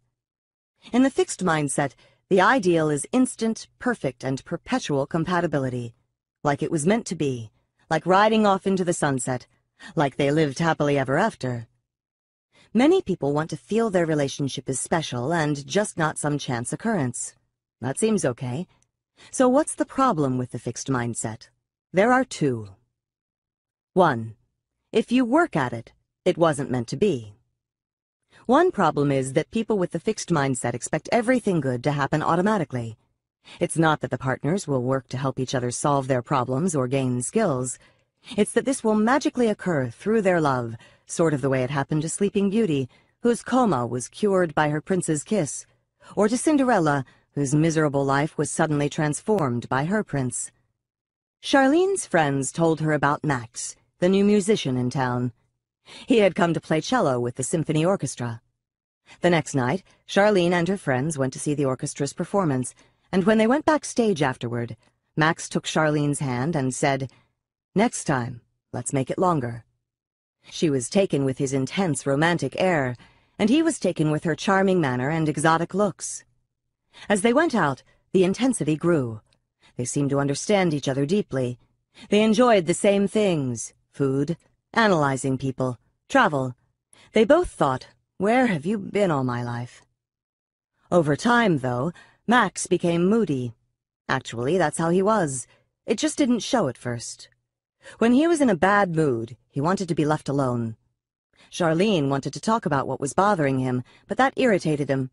Just leave me alone, he would insist, more and more forcefully. Charlene, however, would feel shut out. Plus, his moods didn't always happen at convenient times. Sometimes the couple was scheduled to go out. Sometimes they had planned a special dinner alone. Either he didn't want to do it, or she would endure his sullen silence throughout the evening. If she tried to make light conversation, he would be disappointed in her. I thought you understood me.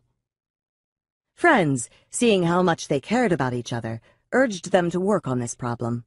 But they both felt, with great sorrow, that if the relationship were the right one, they wouldn't have to work so hard.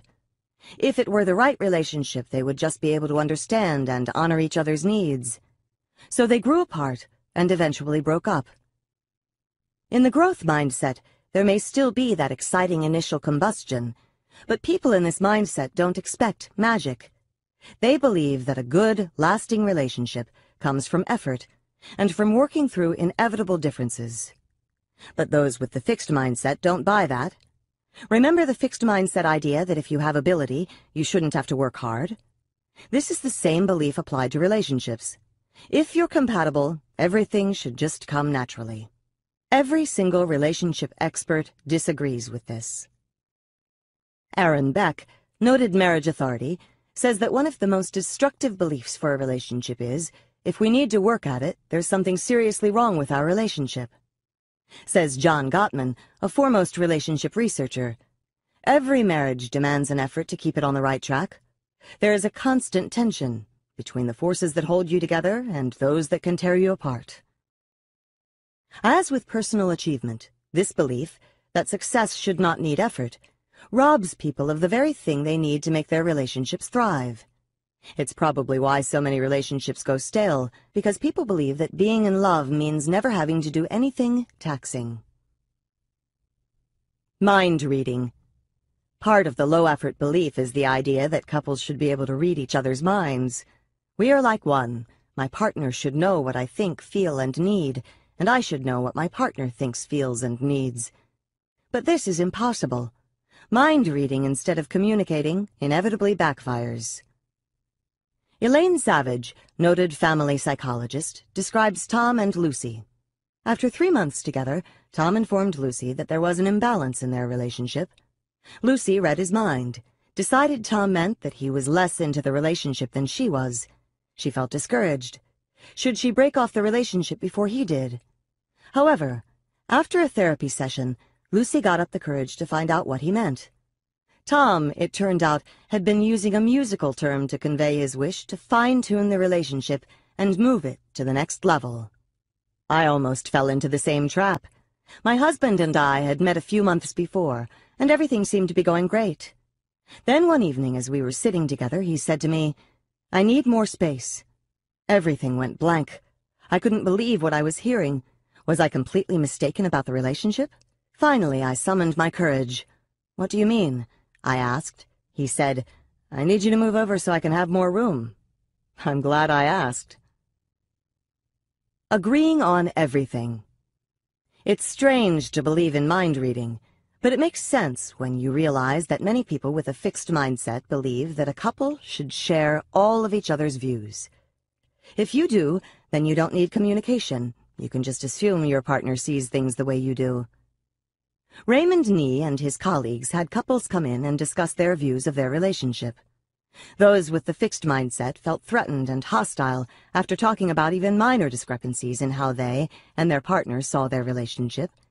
Even a minor discrepancy threatened their belief that they shared all of each other's views.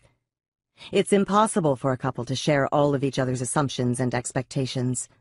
One may assume the wife will stop working and be supported, the other that she will be an equal breadwinner. One may assume they will have a house in the suburbs, the other that they will have a bohemian love nest. Michael and Robin had just finished college and were about to get married. He was the bohemian love nest type. He imagined that after they were married, they'd enjoy the young, hip Greenwich Village life together. So when he found the ideal apartment, he thought she'd be delighted. When she saw it, she went berserk. She'd been living in crummy little apartments all her life, and here it was all over again. Married people were supposed to live in nice houses with new cars parked outside. They both felt betrayed, and it didn't get any better from there. Couples may erroneously believe they agree on each person's rights and duties. Fill in the blank.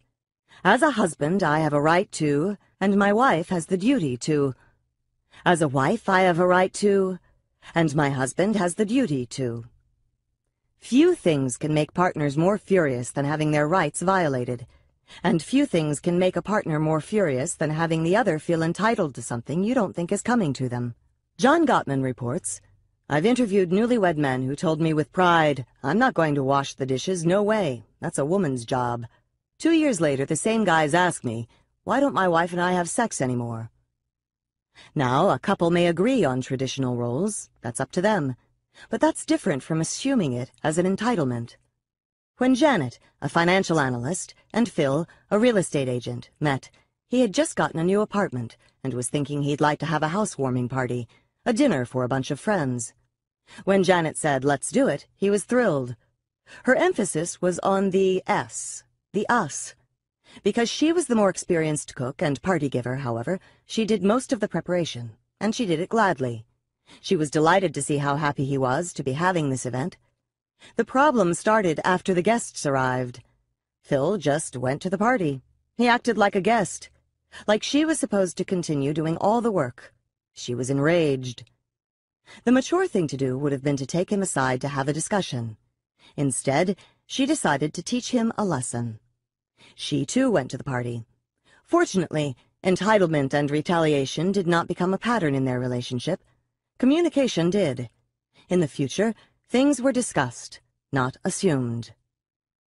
A no-effort relationship is a doomed relationship, not a great relationship.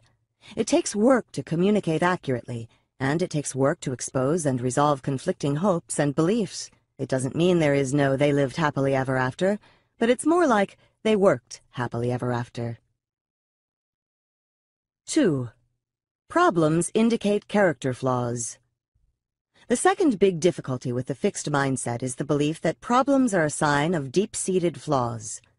But just as there are no great achievements without setbacks, there are no great relationships without conflicts and problems along the way. When people with a fixed mindset talk about their conflicts, they assign blame. Sometimes they blame themselves, but often they blame their partner. And they assign blame to a trait, a character flaw. But it doesn't end there. When people blame their partner's personality for the problem, they feel anger and disgust toward them. And it barrels on. Since the problem comes from fixed traits, it can't be solved. So once people with the fixed mindset see flaws in their partners, they become contemptuous of them and dissatisfied with the whole relationship. People with the growth mindset, on the other hand, can see their partner's imperfections and still think they have a fine relationship. Sometimes people with the fixed mindset blind themselves to problems in the partner or the relationship, so they won't have to go that route. Everybody thought Yvonne was having a flirtation. She was getting mysterious phone calls. She was often late picking up the kids. Her nights out with the girls doubled. Her mind was often elsewhere.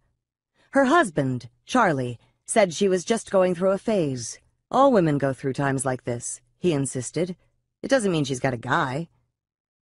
Charlie's best friend urged him to look into it, but Charlie felt that if he confronted the reality, and it was negative, his world would come crashing down. In the fixed mindset, he'd have to confront the idea that either one, the woman he loved was a bad person, two, he was a bad person and drove her away, or three, their relationship was bad and irreparable.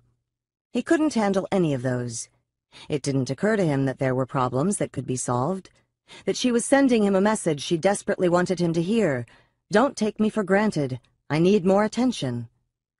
A growth mindset doesn't mean he would necessarily confront her, but he would confront it, the situation.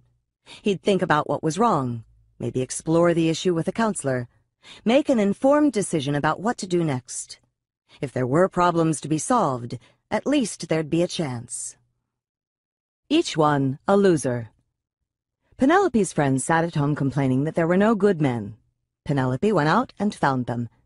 Each time, she would find a great guy and fall head over heels. He's the one, she'd tell her friends as she began reading the bridal magazines and practically writing the announcement for the local paper. They'd believe her because he was always a guy with a lot going for him. But then something would happen. It was over for one of them when he got her a tacky birthday present. Another put ketchup on his food and sometimes wore white shoes. Another had bad electronic habits. His cell phone etiquette was poor, and he watched too much TV. And this is only a partial list. Assuming traits were fixed, Penelope would decide that she couldn't live with these flaws. But most of these were not deep or serious character problems that couldn't be addressed with a little communication. My husband and I had been together almost a year, and as my birthday approached, I sent a clear message. I'm not mercenary, but I like a good present. He said, Isn't it the thought that counts? I replied, That's what people say when they don't want to have to put thought into it. Once a year, I continued, we each have our day. I love you and I plan to put time and effort into choosing a present for you. I would like you to do that for me, too. He's never let me down. Penelope assumed that somewhere out there was someone who was already perfect. Relationship expert Daniel Wiles says that choosing a partner is choosing a set of problems. There are no problem-free candidates. The trick is to acknowledge each other's limitations and build from there. The Flaws Fly Brenda and Jack were clients of Daniel Wile, and he tells this tale. Brenda came home from work and told Jack a long, detailed story with no apparent point. Jack was bored to tears but tried to hide it to be polite. Brenda, however, could sense his true feelings, so, hoping to be more amusing, she launched into another endless story, also about a project at work. Jack was ready to burst. They were both mentally hurling traits right and left. According to Wile, they were both thinking, Brenda is boring, Jack is selfish, and our relationship is no good. In fact, both meant well. Brenda was afraid to say outright that she did some great work at the office that day. She didn't want to be boastful. So instead, she talked about the tiny details of her project.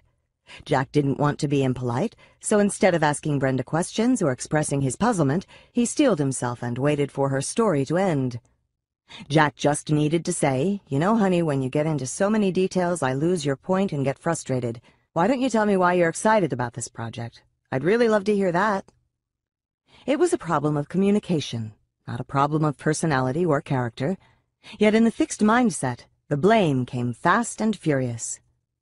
By the way, I love these stories.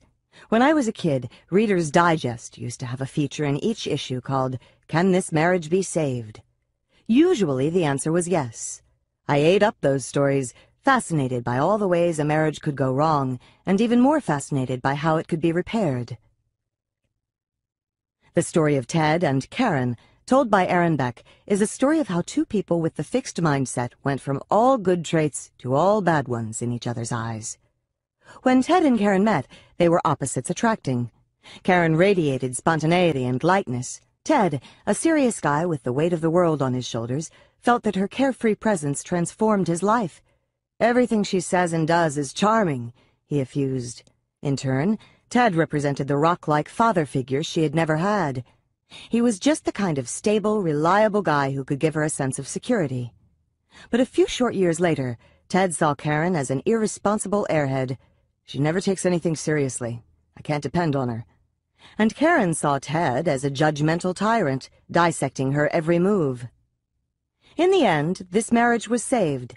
only because the couple learned to respond to each other not with angry labels, but with helpful actions. One day, when Karen was swamped with work, Ted came home to a messy house. He was angry and wanted to scold her, but drawing on what he'd learned from Beck, he instead said to himself, What is the mature thing to do? He answered his own question by starting to clean things up. He was offering Karen support rather than judgment. Can this marriage be saved? Aaron Beck tells couples in counseling never to think these fixed mindset thoughts. My partner is incapable of change. Nothing can improve in our relationship. These ideas, he says, are almost always wrong. Sometimes it's hard not to think those thoughts, as in the case of Bill and Hillary Clinton. When he was president, Clinton lied to the nation and to his wife about his relationship with Monica Lewinsky. Hillary defended him. My husband may have his faults, but he has never lied to me. The truth came out, as it has its way of doing, especially when helped by a special prosecutor. Hillary, betrayed and furious, now had to decide whether Bill was a permanently bad and untrustworthy husband, or a man who needed a lot of help. This is a good time to bring up an important point. The belief that partners have the potential for change should not be confused with the belief that the partner will change. The partner has to want to change, commit to change, and take concrete actions toward change. The Clintons went into counseling, spending one full day a week for a year in the process. Through counseling, Bill came to understand how, as the child of alcoholic parents, he had learned to lead a dual life.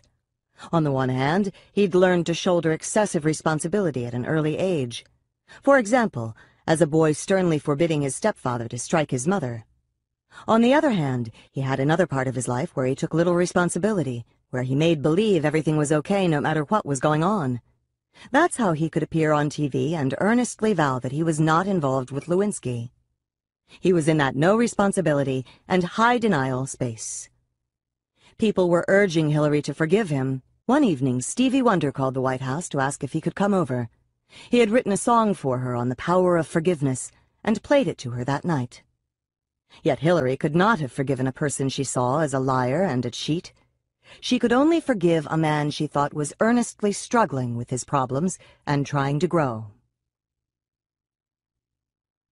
The partner as enemy. With the fixed mindset, one moment your partner is the light of your life, the next they're your adversary. Why would people want to transform the loved one into an enemy? When you fail at other tasks, it's hard to keep blaming someone else. But when something goes wrong in a relationship, it's easy to blame someone else. In fact, in the fixed mindset, you have a limited set of choices. One is to blame your own permanent qualities and one is to blame your partner's. You can see how tempting it is to foist the blame onto the other guy. As a legacy of my fixed mindset, I still have an irresistible urge to defend myself and assign blame when something in a relationship goes wrong. It's not my fault. To deal with this bad habit, my husband and I invented a third party, an imaginary man named Morris. Whenever I start in on who's to blame, we invoke poor Morris and pin it on him. Remember how hard it is for people with the fixed mindset to forgive. Part of it is that they feel branded by a rejection or breakup, but another part is that if they forgive the partner, if they see him or her as a decent person, then they have to shoulder more of the blame themselves. If my partner's a good guy, then I must be a bad guy. I must be the person who was at fault. The same thing can happen with parents. If you have a troubled relationship with a parent, whose fault is it? If your parents didn't love you enough, were they bad parents or were you unlovable? These are the ugly questions that haunt us within a fixed mindset. Is there a way out? I had this very dilemma. My mother didn't love me. Most of my life I'd coped with this by blaming her and feeling bitter. But I was no longer satisfied just protecting myself. I longed for a loving relationship with my mother, Yet the last thing I wanted to be was one of those kids who begged for approval from a withholding parent. Then I realized something. I controlled half of the relationship, my half. I could have my half of the relationship. At least I could be the loving daughter I wanted to be. In a sense, it didn't matter what she did. I would still be ahead of where I was. How did it turn out? I experienced a tremendous sense of growth letting go of my bitterness and stepping forward to have the relationship. The rest is not really relevant since I wasn't seeking validation, but I'll tell you anyway. Something unexpected happened. Three years later, my mother said to me, If anyone had told me I didn't love my children, I would have been insulted. But now I realize it was true. Whether it was because my parents didn't love us, or because I was too involved in myself, or because I didn't know what love was, I don't know. But now I know what it is. From that time until her death 25 years later, we became closer and closer. As lively as each of us was, we came even more to life in each other's presence.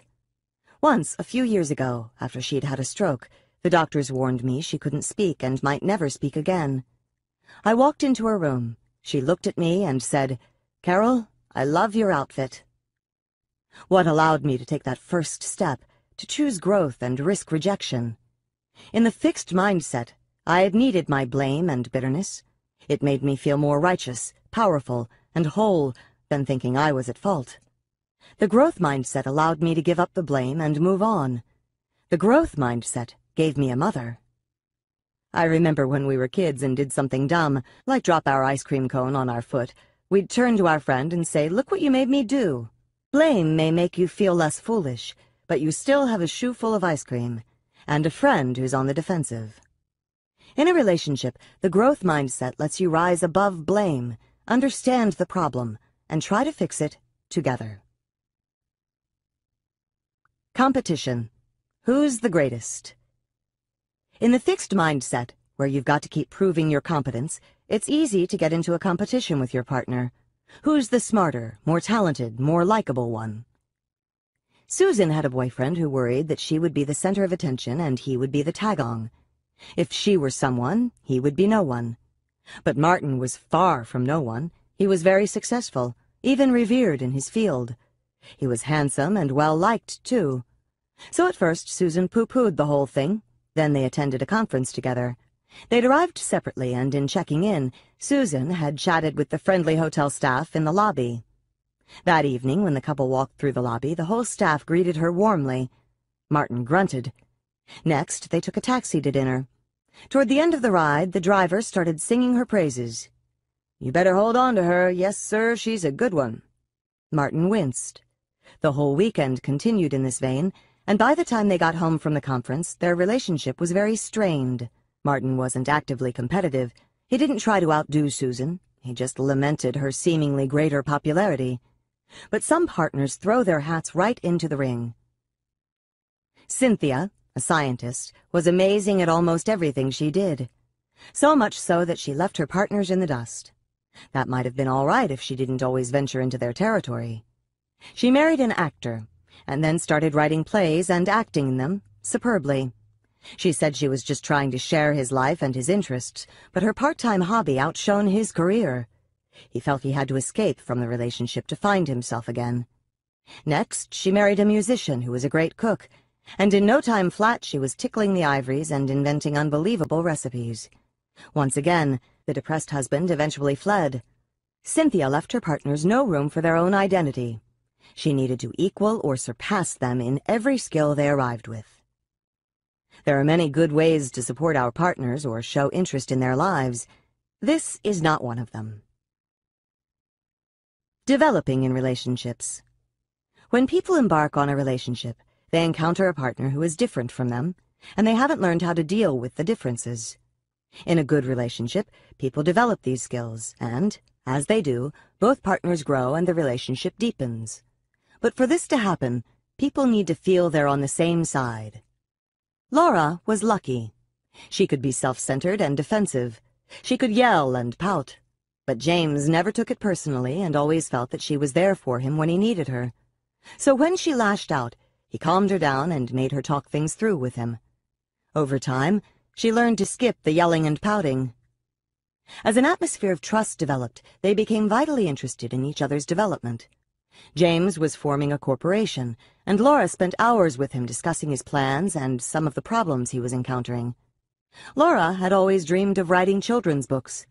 James got her to spell out her ideas and write a first draft. He urged her to contact someone they knew who was an illustrator. In the context of this relationship, each partner was helping the other to do the things they wanted to do and become the person they wanted to be. Not long ago, I was talking to a friend about the view some people hold of child rearing, that parents make little difference. In explaining that view, she likened it to a marriage relationship. It's like partners in a marriage. Each comes to the relationship fully formed, and you don't expect to influence who the partner is. Oh no, I replied. To me, the whole point of marriage is to encourage your partner's development and have them encourage yours. By that, I didn't mean a My Fair Lady kind of thing where you attempt an extreme makeover on partners, who then feel they aren't good enough as they are. I mean helping partners, within the relationship, to reach their own goals and fulfill their own potential. This is the growth mindset in action. Friendship. Friendships, like partnerships, are places where we have a chance to enhance each other's development and to validate each other. Both are important. Friends can give each other the wisdom and courage to make growth-enhancing decisions, and friends can reassure each other of their fine qualities. Despite the danger of praising traits, there are times when we need reassurance about ourselves. Tell me I'm not a bad person for breaking up with my boyfriend. Tell me I'm not stupid even though I bombed on the exam. In fact, these occasions give us a chance to provide support and to give a growth message. You gave that relationship everything you had for three years and you made no effort to improve things. I think you're right to move on. Or, what happened on that exam? Do you understand the material? Did you study enough? Do you think you need a tutor? Let's talk about it. But as in all relationships, people's need to prove themselves can tilt the balance in the wrong direction. Sheri Levy did a study that was not about friendship, but makes an important and relevant point. Levy measured adolescent boys' self-esteem and then asked them how much they believed in negative stereotypes about girls. For example, how much did they believe that girls were worse in math or that girls were less rational than boys? She then measured their self-esteem again. Boys who believed in the fixed mindset showed a boost in self-esteem when they endorsed the stereotypes. Thinking that girls were dumber and more scatterbrained made them feel better about themselves. Boys with the growth mindset were less likely to agree with the stereotypes, but even when they did, it did not give them an ego boost. This mentality can intrude on friendships. The lower you are, the better I feel, is the idea. One day I was talking to a dear, wise friend. I was puzzled about why she put up with the behavior of some of her friends. Actually, I was puzzled about why she even had these friends. One often acted responsibly, another flirted shamelessly with her husband. Her answer was that everyone has virtues and foibles, and that really, if you looked only for perfect people, your social circle would be impoverished. There was, however, one thing she would not put up with people who made her feel bad about herself. We all know these people. They can be brilliant, charming, and fun, but after being with them, you feel diminished. You may ask, am I just doing a number on myself? But it is often them trying to build themselves up by establishing their superiority and your inferiority. It could be by actively putting you down, or it could be by the careless way they treat you. Either way, you are a vehicle for, and a casualty of, confirming their worth. I was at a friend's 50th birthday party and her sister gave a speech, supposedly in her honor. Her sister talked about my friend's insatiable sexual appetite and how lucky it was she found a younger man to marry who could handle it. All in good fun, she took care of my friend's looks, brains, and mothering skills. After this tribute, I suddenly recalled the saying, with friends like this, you don't need enemies. It's difficult to realize when friends don't wish you well. One night I had the most vivid dream. Someone, someone I knew well, came into my house and one by one took all my prized possessions. In the dream, I could see what was happening, but I couldn't see who it was. At one point, I asked the intruder, couldn't you please leave that one? It means a lot to me. But the person just kept taking everything of value. The next morning, I realized who it was and what it meant. For the past year, a close friend had been calling upon me constantly to help him with his work. I obliged. He was under a great deal of stress, and I was at first happy to use whatever skills I had for his benefit. But it was endless. It was not reciprocal. And on top of that, he punished me for it. Don't think you could ever do work this good. You can help me polish my work, but you could never be this creative. He needed to reduce me so he wouldn't feel one down. My dream told me it was time to draw the line. I'm afraid that in the fixed mindset, I was also a culprit. I don't think I put people down. But when you need validation, you use people for it.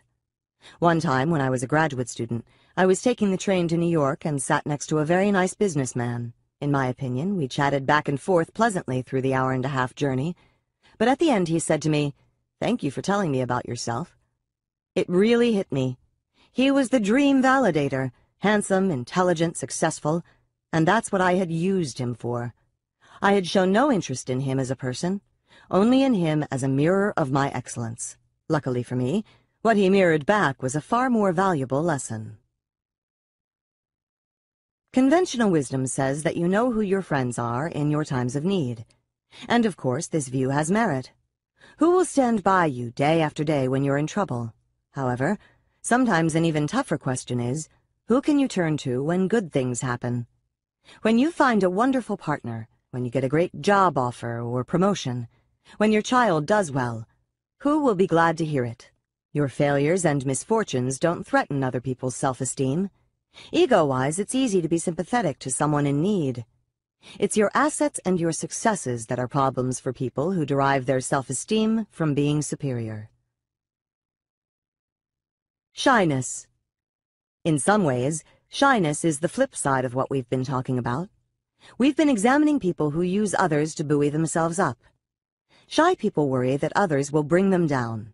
They often worry about being judged or embarrassed in social situations. People's shyness can hold them back from making friends and developing relationships.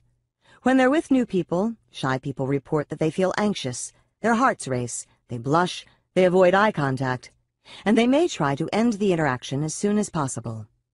Underneath it all, shy people may be wonderful and interesting, but they often can't show it with someone new, and they know it. What can mindsets teach us about shyness? Jennifer Beer studied hundreds of people to find out. She measured people's mindsets, she assessed their shyness, and then she brought them together two at a time to get acquainted. The whole thing was filmed, and later on, trained raters watched the film and evaluated the interactions. Beer found, first, that people with the fixed mindset were more likely to be shy. This makes sense. The fixed mindset makes you concerned about judgment, and this can make you more self-conscious and anxious. But there were plenty of shy people with both mindsets, and when she looked at them more closely, she found something even more interesting. Shyness harmed the social interactions of people with the fixed mindset, but did not harm the social relations of people with the growth mindset. The observer's ratings showed that, although both fixed and growth-minded, shy people looked very nervous for the first five minutes of the interaction. After that, the shy growth-minded people showed greater social skills, were more likable, and created a more enjoyable interaction. In fact, they began to look just like non-shy people. This happened for good reasons. For one thing, the shy, growth-minded people looked on social situations as challenges. Even though they felt anxious, they actively welcomed the chance to meet someone new. The shy, fixed people, instead, wanted to avoid meeting someone who might be more socially skilled than they were. They said they were more worried about making mistakes, so the fixed and growth mindset people confronted the situation with different attitudes. One embraced the challenge and the other feared the risk. Armed with these different attitudes, the shy growth mindset people felt less shy and nervous as the interaction wore on. But the shy fixed mindset people continued to be nervous and continued to do more socially awkward things, like avoiding eye contact or trying to avoid talking. You can see how these different patterns would affect making friends. The shy growth mindset people take control of their shyness. They go out and meet new people, and after their nerves settle down, their relationships proceed normally. The shyness doesn't tyrannize them. But for fixed mindset people, the shyness takes control. It keeps them out of social situations with new people, and when they're in them, they can't let down their guard and let go of their fears. Scott Wetzler, a therapist and professor of psychiatry, paints a portrait of his client George, a picture of the shy, fixed mindset person. George was incredibly shy, especially with women. He was so eager to look cool, witty, and confident, and so worried that he'd look overeager and inept, that he froze and acted cold. When his attractive co-worker Jean started flirting with him, he became so flustered that he began avoiding her. Then one day she approached him in a nearby coffee shop and cutely suggested he ask her to join him. When he couldn't think of a clever response to impress her, he replied, It doesn't matter to me if you sit down or not. George, what were you doing? He was trying to protect himself from rejection by trying not to seem too interested. And he was trying to end this awkward situation. In a strange way, he succeeded. He certainly didn't seem too interested, and the interaction soon ended, as Jean got out of there real fast. He was just like the people in Jennifer Beer's study, controlled by his fear of social judgment and prevented from making contact. Wetzler slowly helped George get over his exclusive focus on being judged. Jean, he came to see, was not out to judge and humiliate him, but was trying to get to know him. With the focus switched from being judged to developing a relationship, George was eventually able to reciprocate. Despite his anxiety, he approached Jean, apologized for his rude behavior, and asked her to lunch. She accepted. What's more, she was not nearly as critical as he feared. Bullies and Victims Revenge Revisited We're back to rejection, because it's not just in love relationships that people experience terrible rejections. It happens every day in schools. Starting in grade school, some kids are victimized. They're ridiculed, tormented, and beaten up, not for anything they've done wrong, it could be for their more timid personality, how they look, what their background is, or how smart they are. Sometimes they're not smart enough, sometimes they're too smart. It can be a daily occurrence that makes life a nightmare and ushers in years of depression and rage. To make matters worse, schools often do nothing about it. This is because it's often done out of sight of teachers and because it's done by the school's favorite students, such as the jocks. In this case, it may be the victims, not the bullies, who are considered to be the problem kids or the misfits. As a society, we've paid little attention until recently. Then came the school shootings. At Columbine, the most notorious one, both boys had been mercilessly bullied for years. A fellow bullying victim describes what they endured in their high school. In the hallway, the jocks would push kids into lockers and call them demeaning names while everyone laughed at the show. At lunch, the jocks would knock their victims' food trays onto the floor trip them or pelt them with food. While the victims were eating, they would be pushed down onto the table from behind. Then, in the locker rooms, before gym class, the bullies would beat the kids up because the teachers weren't around. Who are the bullies? Bullying is about judging. It's about establishing who is more worthy or important. The more powerful kids judge the less powerful kids. They judge them to be less valuable human beings, and they rub their faces in it on a daily basis. And it's clear what the bullies get out of it. Like the boys in Sheri Levy's study, they get a boost in self-esteem. It's not that bullies are low in self-esteem, but judging and demeaning others can give them a self-esteem rush. Bullies also gain social status from their actions. Others may look up to them and judge them to be cool, powerful, or funny, or may fear them. Either way, they've upped their standing. There's a big dose of fixed mindset thinking in the bullies, some people are superior and some are inferior, and the bullies are the judges.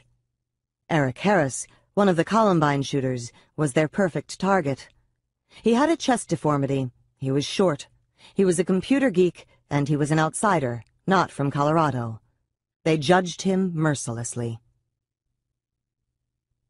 Victims and Revenge The fixed mindset may also play a role in how the victim reacts to bullying. When people feel deeply judged by a rejection, their impulse is to feel bad about themselves and to lash out in bitterness. They have been cruelly reduced and wish to reduce in turn. In our studies, we have seen perfectly normal people, children and adults, respond to rejection with violent fantasies of revenge. Highly educated, well-functioning adults, after telling us about a serious rejection or betrayal, say and mean, I wanted him dead, or I could have easily strangled her. When we hear about acts of school violence, we usually think it's only bad kids from bad homes who could ever take matters into their own hands. But it's startling how quickly average, everyday kids with a fixed mindset think about violent revenge. We gave eighth grade students in one of our favorite schools a scenario about bullying to read. We asked them to imagine it was happening to them. It is a new school year and things seem to be going pretty well. Suddenly, some popular kids start teasing you and calling you names. At first, you brush it off. These things happen. But it continues. Every day they follow you. They taunt you. They make fun of what you're wearing. They make fun of what you look like. They tell you you're a loser in front of everybody. Every day. We then ask them to write about what they would think and what they would do or want to do. First, the students with the fixed mindset took the incident more personally. They said, I would think I was a nobody and that nobody likes me, or I would think I was stupid and weird and a misfit. Then they wanted violent revenge, saying they'd explode with rage at them, punch their faces in, or run them over. They strongly agreed with the statement, my number one goal would be to get revenge. They had been judged and they wanted to judge back. That's what Eric Harris and Dylan Klebold, the Columbine shooters, did. They judged back. For a few long, terrible hours, they decided who would live and who would die. In our study, the students with the growth mindset were not as prone to see the bullying as a reflection of who they were. Instead, they saw it as a psychological problem of the bullies, a way for the bullies to gain status or charge their self-esteem. I'd think that the reason he is bothering me is probably because he has problems at home or at school with his grades. Or, they need to get a life, not just feel good if they make me feel bad. Their plan was often designed to educate the bullies. I would really actually talk to them. I would ask them questions, why are they saying all these things, and why are they doing all of this to me? Or, confront the person and discuss the issue. I would feel like trying to help them see they are not funny. The students with the growth mindset also strongly agreed that I would want to forgive them eventually, and my number one goal would be to help them become better people. Whether they'd succeed in personally reforming or educating determined bullies is doubtful. However, these are certainly more constructive first steps than running them over.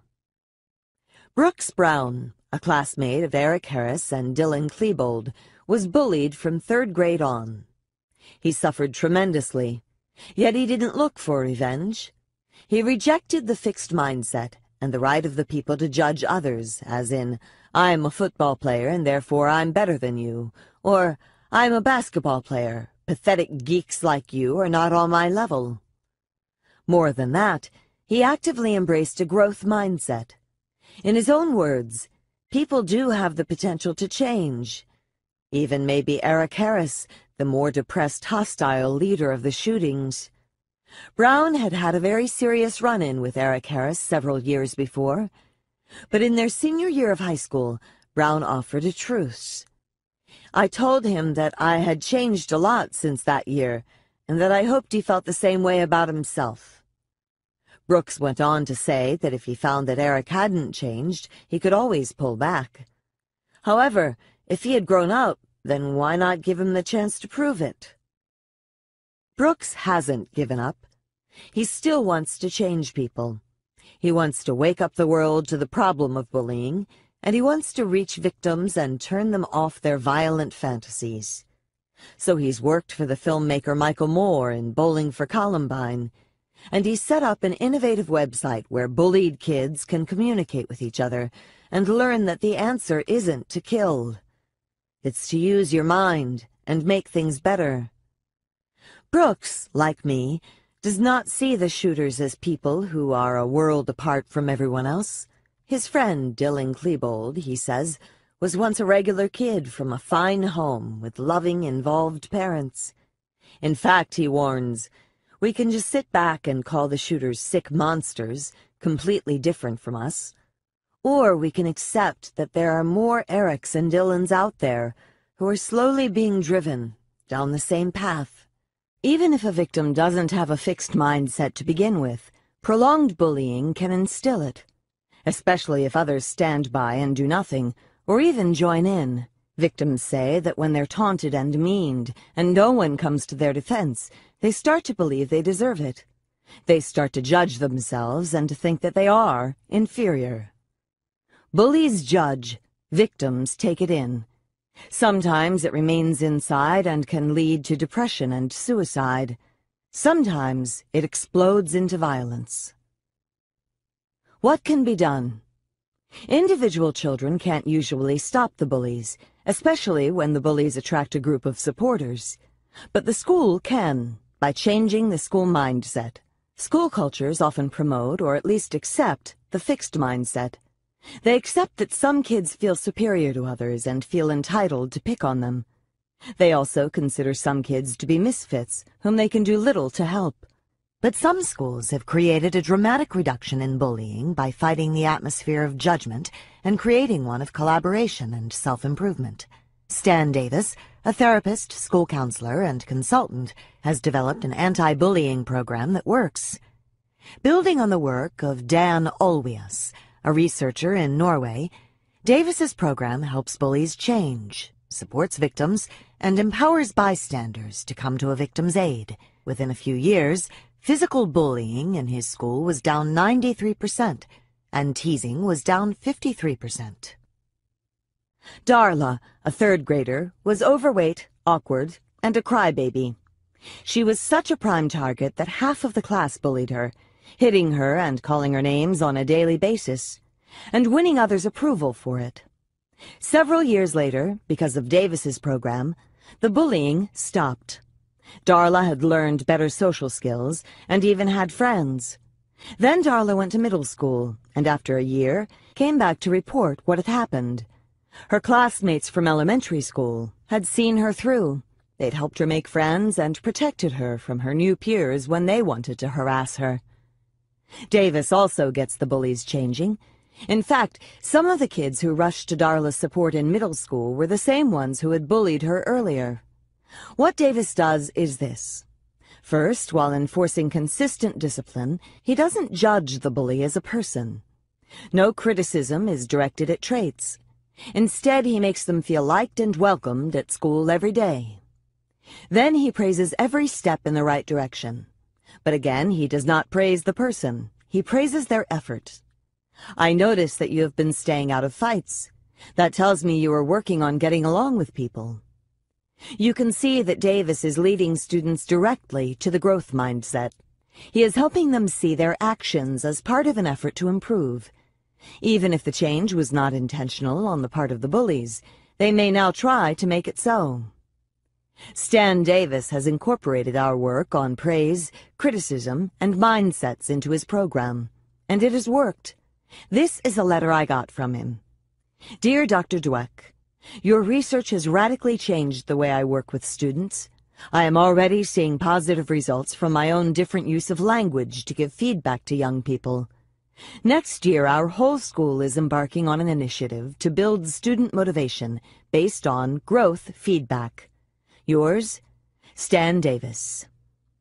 Haim the renowned child psychologist, also shows how teachers can point bullies away from judgment and toward improvement and compassion. Here is a letter from a teacher to an eight-year-old bully in her class. Notice that she doesn't imply he's a bad person, and she shows respect by referring to his leadership, by using big words, and by asking for his advice. Dear Jay, Andy's mother has told me that her son has been made very unhappy this year. Name-calling and ostracism have left him sad and lonely. I feel concerned about the situation. Your experience as a leader in your class makes you a likely person for me to turn to for advice. I value your ability to sympathize with those who suffer. Please write me your suggestions about how we can help Andy. Sincerely, your teacher. In a New York Times article on bullying, Eric Harris and Dylan Klebold are referred to as two misfit teenagers. It's true, they didn't fit in. But you never hear the bullies referred to as misfits, because they weren't. They fit right in. In fact, they defined and ruled the school culture. The notion that some people are entitled to brutalize others is not a healthy one. Stan Davis points out that as a society, we rejected the idea that people were entitled to brutalize blacks and harass women. Why do we accept the idea that people are entitled to brutalize our children? By doing so, we also insult the bullies. We tell them we don't think they're capable of more, and we miss the chance to help them become more. Grow your mindset. After rejection, do you feel judged, bitter, and vengeful? Or do you feel hurt, but hopeful of forgiving, learning, and moving on? Think of the worst rejection you ever had. Get in touch with all the feelings and see if you can view it from a growth mindset. What did you learn from it? Did it teach you something about what you want and don't want in your life? Did it teach you some positive things that were useful in later relationships? Can you forgive that person and wish them well? Can you let go of the bitterness? Picture your ideal love relationship. Does it involve perfect compatibility? No disagreements, no compromises, no hard work? Please think again. In every relationship, issues arise. Try to see them from a growth mindset. Problems can be a vehicle for developing greater understanding and intimacy. Allow your partner to air his or her differences.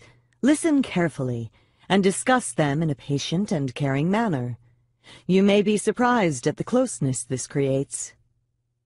Are you a blamer, like me? It's not good for a relationship to pin everything on your partner.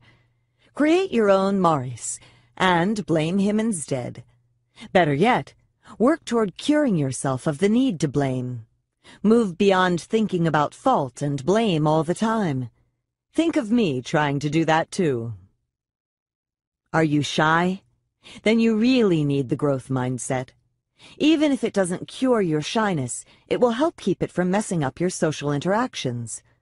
Next time you're venturing into a social situation, think about these things. How social skills are things you can improve, and how social interactions are for learning and enjoyment, not judgment.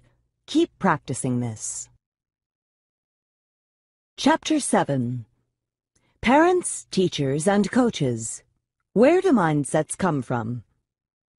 No parent thinks, I wonder what I can do today to undermine my children, subvert their effort, turn them off learning, and limit their achievement.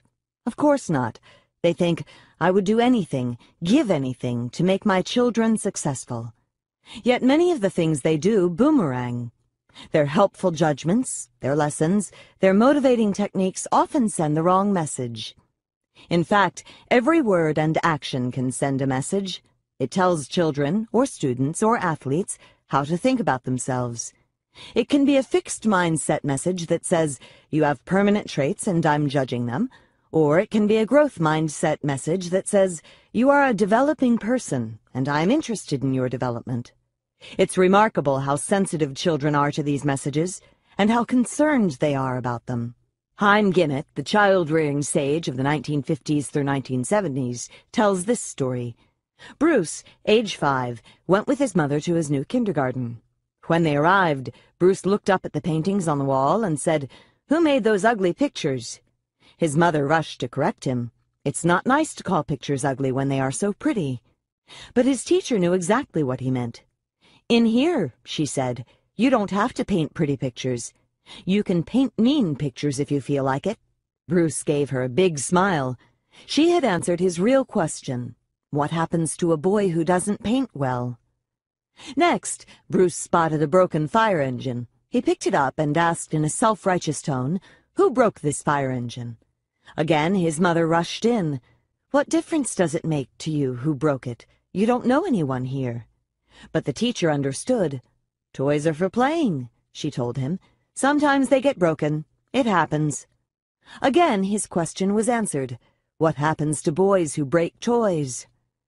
Bruce waved to his mother and went off to start his first day of kindergarten. This was not a place where he would be judged and labeled. You know, we never outgrow our sensitivity to these messages. Several years ago, my husband and I spent two weeks in Provence, in the south of France. Everyone was wonderful to us, very kind and very generous. But on the last day, we drove to Italy for lunch. When we got there and found a little family restaurant, tears started streaming down my face. I felt so nurtured. I said to David, You know, in France, when they're nice to you, you feel like you've passed a test. But in Italy, there is no test. Parents and teachers who send fixed mindset messages are like France. And parents and teachers who send growth mindset messages are like Italy. Let's start with the messages parents send to their children. But you know, they are also messages that teachers can send to their students or coaches can send to their athletes. Parents and teachers, messages about success and failure. Messages about success. Listen for the messages in the following examples. You learned that so quickly, you're so smart. Look at that drawing, Martha. Is he the next Picasso or what? You're so brilliant, you got an A without even studying. If you're like most parents, you hear these as supportive, esteem-boosting messages. But listen more closely. See if you can hear another message. It's the one that children hear. If I don't learn something quickly, I'm not smart. I shouldn't try drawing anything hard or they'll see I'm no Picasso. I'd better quit studying or they won't think I'm brilliant. How do I know this? Remember chapter 3, how I was thinking about all the praise parents were lavishing on their kids in the hope of encouraging confidence and achievement? You're so smart, you're so talented, you're such a natural athlete. And I thought, wait a minute, isn't it the kids with the fixed mindset, the vulnerable kids, who are obsessed with this? Wouldn't harping on intelligence or talent make kids, all kids, even more obsessed with it. That's why we set out to study this.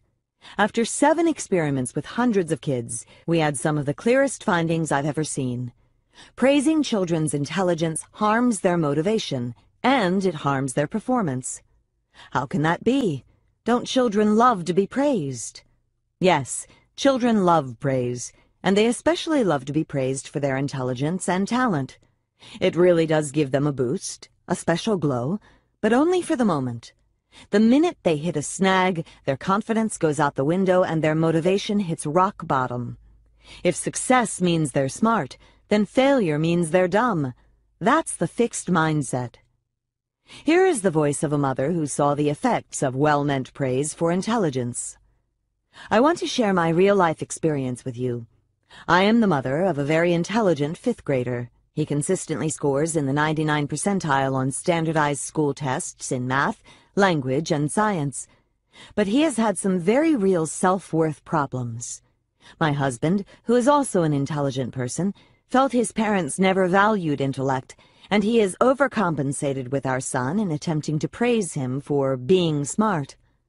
Over the past years, I've suspected this was causing a problem, because my son, while he easily excels in school, is reluctant to take on more difficult work or projects, just as your studies show, because then he would think he's not smart. He projects an overinflated view of his abilities and claims he can perform better than the others, both intellectually and in physical activities, but will not attempt such activities because, of course, in his failure he would be shattered. And here is the voice of one of my Columbia students reflecting on his history. I remember often being praised for my intelligence rather than my efforts, and slowly but surely I developed an aversion to difficult challenges. Most surprisingly, this extended beyond academic and even athletic challenges to emotional challenges.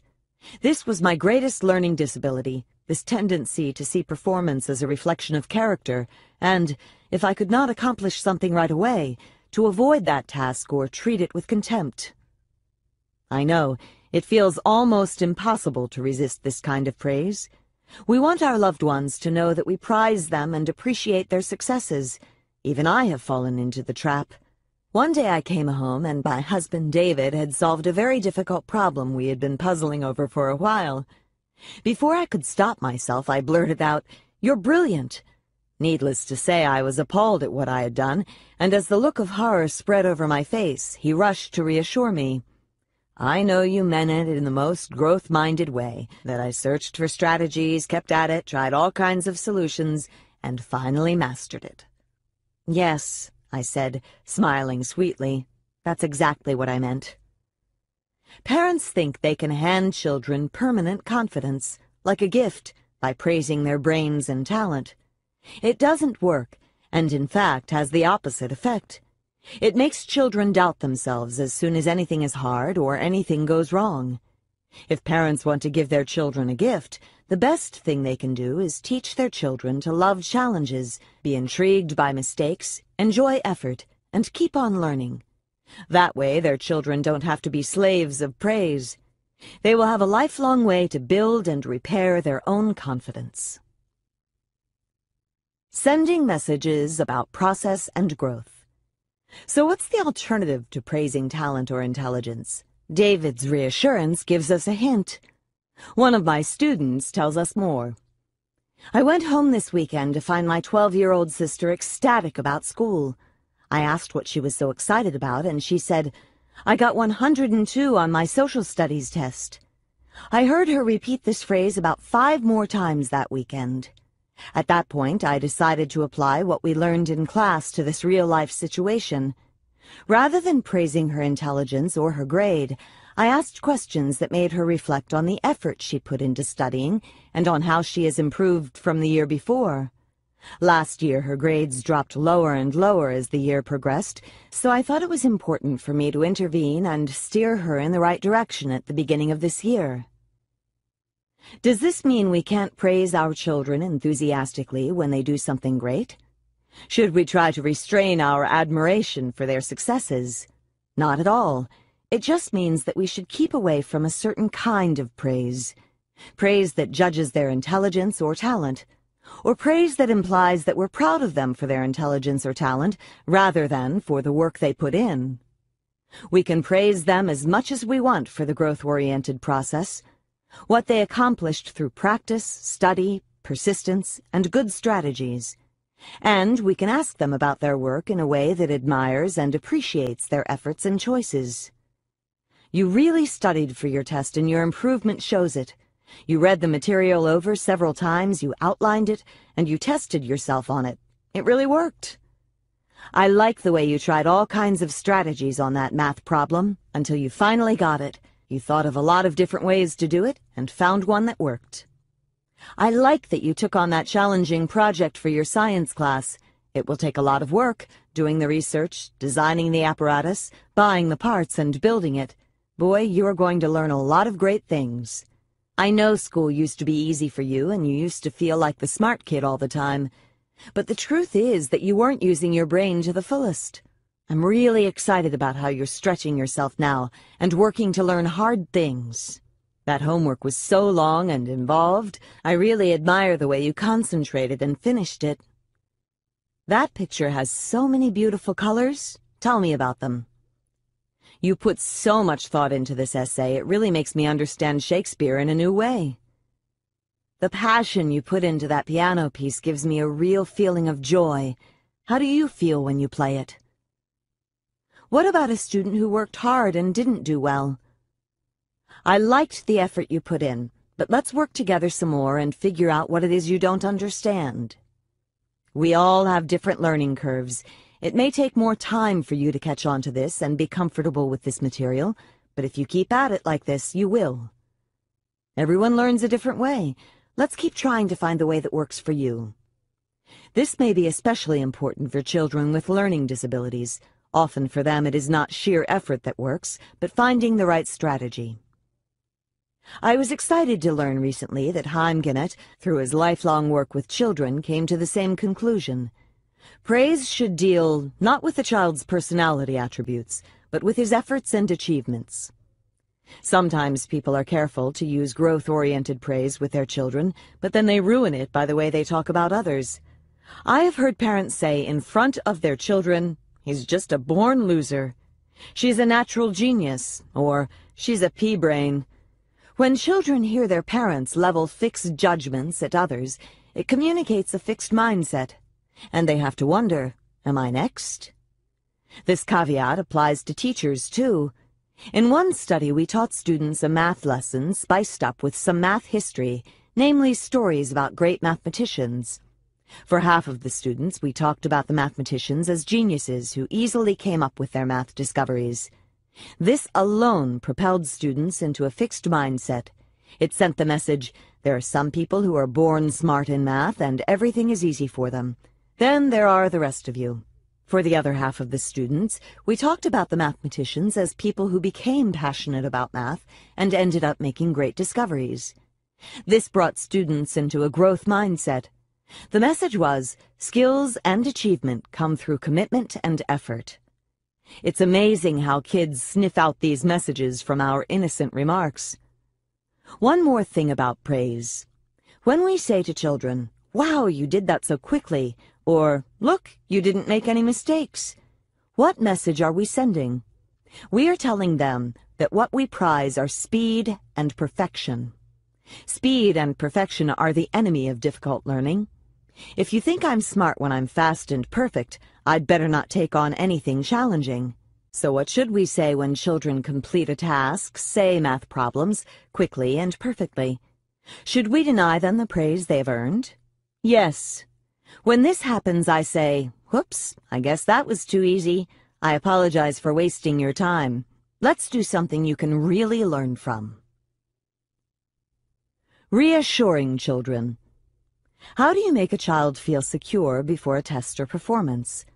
The same principle applies. Reassuring children about their intelligence or talent backfires. They'll only be more afraid to show a deficiency. Christina was a really bright high school student who, much to her shame, did terribly on tests. She always studied, she always knew the material, but every time it came to the test she got so wound up that her mind went blank. Her grades suffered, she disappointed her teachers, she let her parents down. And it was only going to get worse as she faced the college board tests that the schools she longed to attend prized so highly. The night before each test, her parents, seeing how distraught she was, tried to build her confidence. Look, you know how smart you are, and we know how smart you are. You've got this nailed. Now stop worrying. They were as supportive as they knew how to be, but they were raising the stakes even higher. What could they have said instead? It must be a terrible thing to feel that everyone is evaluating you and you can't show what you know. We want you to know that we are not evaluating you. We care about your learning, and we know that you've learned your stuff. We're proud that you've stuck to it and kept learning. Messages about failure. Praising success should be the least of our problems, right? Failure seems like a much more delicate matter. Children may already feel discouraged and vulnerable. Let's tune in again, this time to the message parents can send in times of failure. Nine-year-old Elizabeth was on her way to her first gymnastics meet.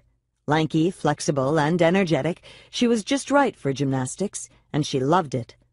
Of course, she was a little nervous about competing, but she was good at gymnastics and felt confident of doing well. She had even thought about the perfect place in her room to hang the ribbon she would win.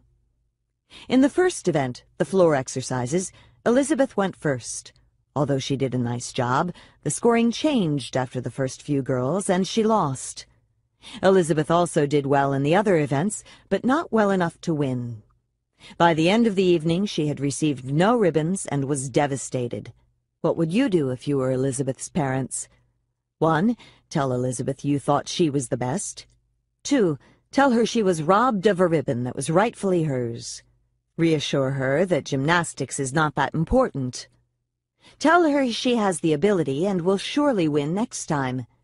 Tell her she didn't deserve to win. There is a strong message in our society about how to boost children's self-esteem, and a main part of that message is protect them from failure. While this may help with the immediate problem of a child's disappointment, it can be harmful in the long run. Why? Let's look at the five possible reactions from a mindset point of view and listen to the messages. The first, you thought she was the best, is basically insincere. She was not the best. You know it, and she does too. This offers her no recipe for how to recover or how to improve. The second, she was robbed, places blame on others, when in fact the problem was mostly with her performance, not the judges. Do you want her to grow up blaming others for her deficiencies? The third, reassure her that gymnastics doesn't really matter. Teaches her to devalue something if she doesn't do well in it right away. Is this really the message you want to send? The fourth, she has the ability, may be the most dangerous message of all. Does ability automatically take you where you want to go? If Elizabeth didn't win this meet, why should she win the next one? The last option, tell her she didn't deserve to win, seems hard-hearted under the circumstances, And of course she wouldn't say it quite that way. But that's pretty much what her growth-minded father told her. Here's what he actually said. Elizabeth, I know how you feel. It's so disappointing to have your hopes up and to perform your best, but not to win.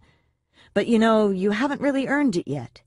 There were many girls there who've been in gymnastics longer than you and who've worked a lot harder than you. If this is something you really want, then it's something you'll really have to work for. He also let Elizabeth know that if she wanted to do gymnastics purely for fun, that was just fine. But if she wanted to excel in the competitions, more was required.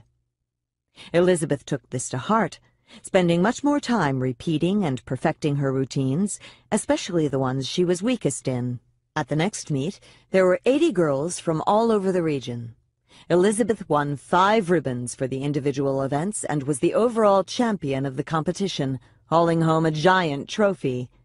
By now her room is so covered with awards you can hardly see the walls. In essence, her father not only told her the truth, but also taught her how to learn from her failures and do what it takes to succeed in the future. He sympathized deeply with her disappointment, but he did not give her a phony boost that would only lead to further disappointment. I've met with many coaches and they ask me, what happened to the coachable athletes? Where did they go? Many of the coaches lament that when they give their athletes corrective feedback, the athletes grumble that their confidence is being undermined. Sometimes the athletes phone home and complain to their parents. They seem to want coaches who will simply tell them how talented they are and leave it at that. The coaches say that in the old days, after a Little League game or a kiddie soccer game, parents used to review and analyze the game on the way home and give helpful process tips. Now on the ride home, they say, parents heap blame on the coaches and referees for the child's poor performance or the team's loss.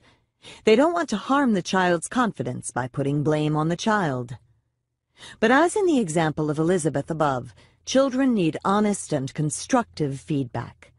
If children are protected from it, they won't learn well. They will experience advice, coaching, and feedback as negative and undermining. Withholding constructive criticism does not help children's confidence, it harms their future. Constructive criticism. More about failure messages.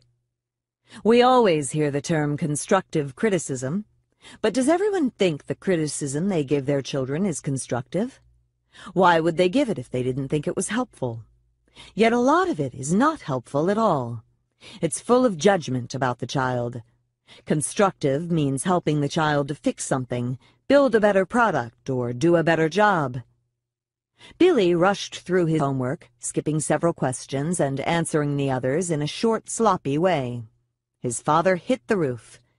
This is your homework? Can't you ever get it right? You're either dense or irresponsible. Which is it? The feedback managed to question his son's intelligence and character at the same time, and to imply that the defects were permanent. How could the dad have expressed his frustration and disappointment without assassinating his son's attributes? Here are some ways. Son, it really makes me upset when you don't do a full job. When do you think you can complete this? Son, is there something you didn't understand in the assignment? Would you like me to go over it with you? Son, I feel sad when I see you missing a chance to learn. Can you think of a way to do this that would help you learn more? Son, this looks like a really boring assignment. You have my sympathy. Can you think of a way to make it more interesting? Or, let's try to think of a way to lessen the pain and still do a good job. Do you have any ideas? Son, remember I told you how tedious things help us learn to concentrate? This one is a real challenge. This will really take all your concentration skills. Let's see if you can concentrate through this whole assignment. Sometimes children will judge and label themselves. Ginott tells of Philip, age 14, who was working on a project with his father and accidentally spilled nails all over the floor. He guiltily looked at his dad and said, Philip, gee, I'm so clumsy. Father, that's not what we say when nails spill. Philip, what do you say? Father, you say the nails spilled. I'll pick them up. Philip, just like that? Father, just like that. Philip. Thanks, Dad. Children learn the messages. Kids with a fixed mindset tell us they get constant messages of judgment from their parents. They say they feel as though their traits are being measured all the time. We asked them, suppose your parents offer to help you with your schoolwork. Why would they do this? They said, the real reason is they wanted to see how smart I was at the schoolwork I was working on. We asked, suppose your parents are happy that you got a good grade. Why would that be? They said, they were happy to see I was a smart kid. We asked, suppose your parents discussed your performance with you when you did poorly on something in school. Why would they do this? They said, they might have been worried I wasn't one of the bright kids, and they think bad grades might mean I'm not smart. So every time something happens, these children hear a message of judgment. Maybe all kids think their parents are judging them, isn't that what parents do? Nag and judge? That's not what students with the growth mindset think. They think their parents are just trying to encourage learning and good study habits. Here's what they say about their parents' motives. Question. Suppose your parents offer to help you with your schoolwork. Why would they do this? Answer. They wanted to make sure I learned as much as I could from my schoolwork. Question. Suppose your parents are happy that you got a good grade. Answer. They're happy because a good grade means that I really stuck to my work. Question. Suppose your parents discussed your performance with you when you did poorly on something in school. Answer. They wanted to teach me ways to study better in the future. Even when it was about their conduct or their relationships, the kids with the fixed mindset felt judged, but the kids with the growth mindset felt helped. Question. Imagine that your parents became upset when you didn't do what they asked you to do. Why would they be this way? Fixed mindset child. They were worried I might be a bad kid. Growth mindset child. They wanted to help me learn ways of doing it better next time. All kids misbehave. Research shows that normal young children misbehave every three minutes. Does it become an occasion for judgment of their character or an occasion for teaching? Question. Imagine that your parents were unhappy when you didn't share with other kids. Why would they be this way? Fixed mindset child. They thought it showed them what kind of person I was. Growth mindset child. They wanted to help me learn better skills for getting along with other kids. Children learn these lessons early. Children as young as toddlers pick up these messages from their parents, learning that their mistakes are worthy of judgment and punishment or learning that their mistakes are an occasion for suggestions and teaching. Here's a kindergarten boy we will never forget. You will hear him role-playing different messages from his two parents. This is the situation. He wrote some numbers in school. They contained an error, and now he tells us how his parents would react. Mother, Hello, what are you sad about? Boy, I gave my teacher some numbers and I skipped the number eight and now I'm feeling sad.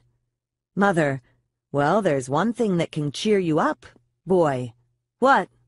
Mother, if you really tell your teacher that you tried your best, she wouldn't be mad at you. Turning to father, we're not mad, are we? Father, oh yes we are. Son, you better go right to your room. I wish I could tell you he listened to his mother's growth-oriented message, but in our study, he seemed to heed the judgmental message of his dad downgrading himself for his errors, and having no good plan for fixing them. Yet at least he had his mother's effort message that he could, hopefully, put to use in the future. Parents start interpreting and reacting to their child's behavior at minute one. A new mother tries to nurse her baby. The baby cries and won't nurse. Or takes a few sucks, gives up, and starts screaming. Is the baby stubborn? Is the baby deficient? After all, isn't nursing an inborn reflex? Aren't babies supposed to be naturals at nursing? What's wrong with my baby? A new mother in this situation told me, at first I got really frustrated. Then I kept your work in mind. I kept saying to my baby, we're both learning how to do this. I know you're hungry. I know it's frustrating, but we're learning. This way of thinking helped me stay cool and guide her through till it worked. It also helped me understand my baby better so I knew how to teach her other things too. Don't judge, teach. It's a learning process. Children pass on the messages. Another way we know that children learn these messages is that we can see how they pass them on. Even young children are ready to pass on the wisdom they've learned. We asked second grade children, what advice would you give to a child in your class who is having trouble in math? Here's the advice from a child with the growth mindset. Do you quit a lot? Do you think for a minute and then stop? If you do, you should think for a long time, two minutes maybe, and if you can't get it, you should read the problem again. If you can't get it then, you should raise your hand and ask the teacher. Isn't that the greatest? The advice from children with a fixed mindset was not nearly as useful. Since there's no recipe for success in the fixed mindset, their advice tended to be short and sweet. I'm sorry, was the advice of one child as he offered his condolences. Even babies can pass along the messages they've received. Mary Main and Carol George studied abused children who had been judged and punished by their parents for crying or making a fuss. Abusive parents often don't understand that children's crying is a signal of their needs, or that babies can't stop crying on command. Instead, they judge the child as disobedient, willful, or bad for crying. Main and George watched the abused children, who were one to three years old, in their daycare setting, observing how they reacted when other children were in distress and crying. The abused children often became angry at the distressed children, and some even tried to assault them. They had gotten the message that children who cry are to be judged and punished. We often think that the legacy of abuse gets passed on to others only when the victims of abuse become parents. But this amazing study shows that children learn lessons early, and they act on them. How did non-abused children react to their distressed classmate, by the way? They showed sympathy. Many went over to the crying child to see what was wrong and to see if they could help out. Isn't discipline teaching? Many parents think that when they judge and punish, they are teaching. As in, I'll teach you a lesson you'll never forget. What are they teaching? They are teaching their children that if they go against the parents' rules or values, they'll be judged and punished. They're not teaching their children how to think through the issues and come to ethical, mature decisions on their own. And chances are, they're not teaching their children that the channels of communication are open. Sixteen-year-old Alyssa came to her mother and said that she and her friends wanted to try alcohol. Could she invite them over for a cocktail party? On the face of it, this might seem outrageous. But here's what Alyssa meant. She and her friends had been going to parties where alcohol was available, but they didn't want to try it in a setting where they didn't feel safe and in control. They also didn't want to drive home after drinking. They wanted to try it in a supervised setting, with their parents' permission, where their parents could come and pick them up afterward. It doesn't matter whether Alyssa's parents said yes or no. They had a full discussion of the issues involved. They had a far more instructive discussion than what would have followed from an outraged, angry, and judgmental dismissal. It's not that growth-minded parents indulge and coddle their children. Not at all. They set high standards, but they teach the children how to reach them.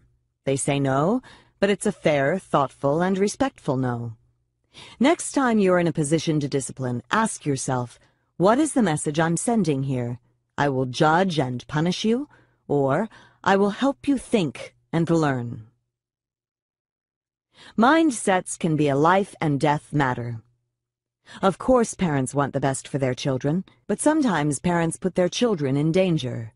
As the director of undergraduate studies for my department at Columbia, I saw a lot of students in trouble. Here is the story of a great kid who almost didn't make it. Sandy showed up in my office at Columbia one week before graduation. She wanted to change her major to psychology. This is basically a wacky request, but I sensed her desperation and listened carefully to her story. When I looked over her record, it was filled with A-pluses and Fs. What was going on? Sandy had been groomed by her parents to go to Harvard.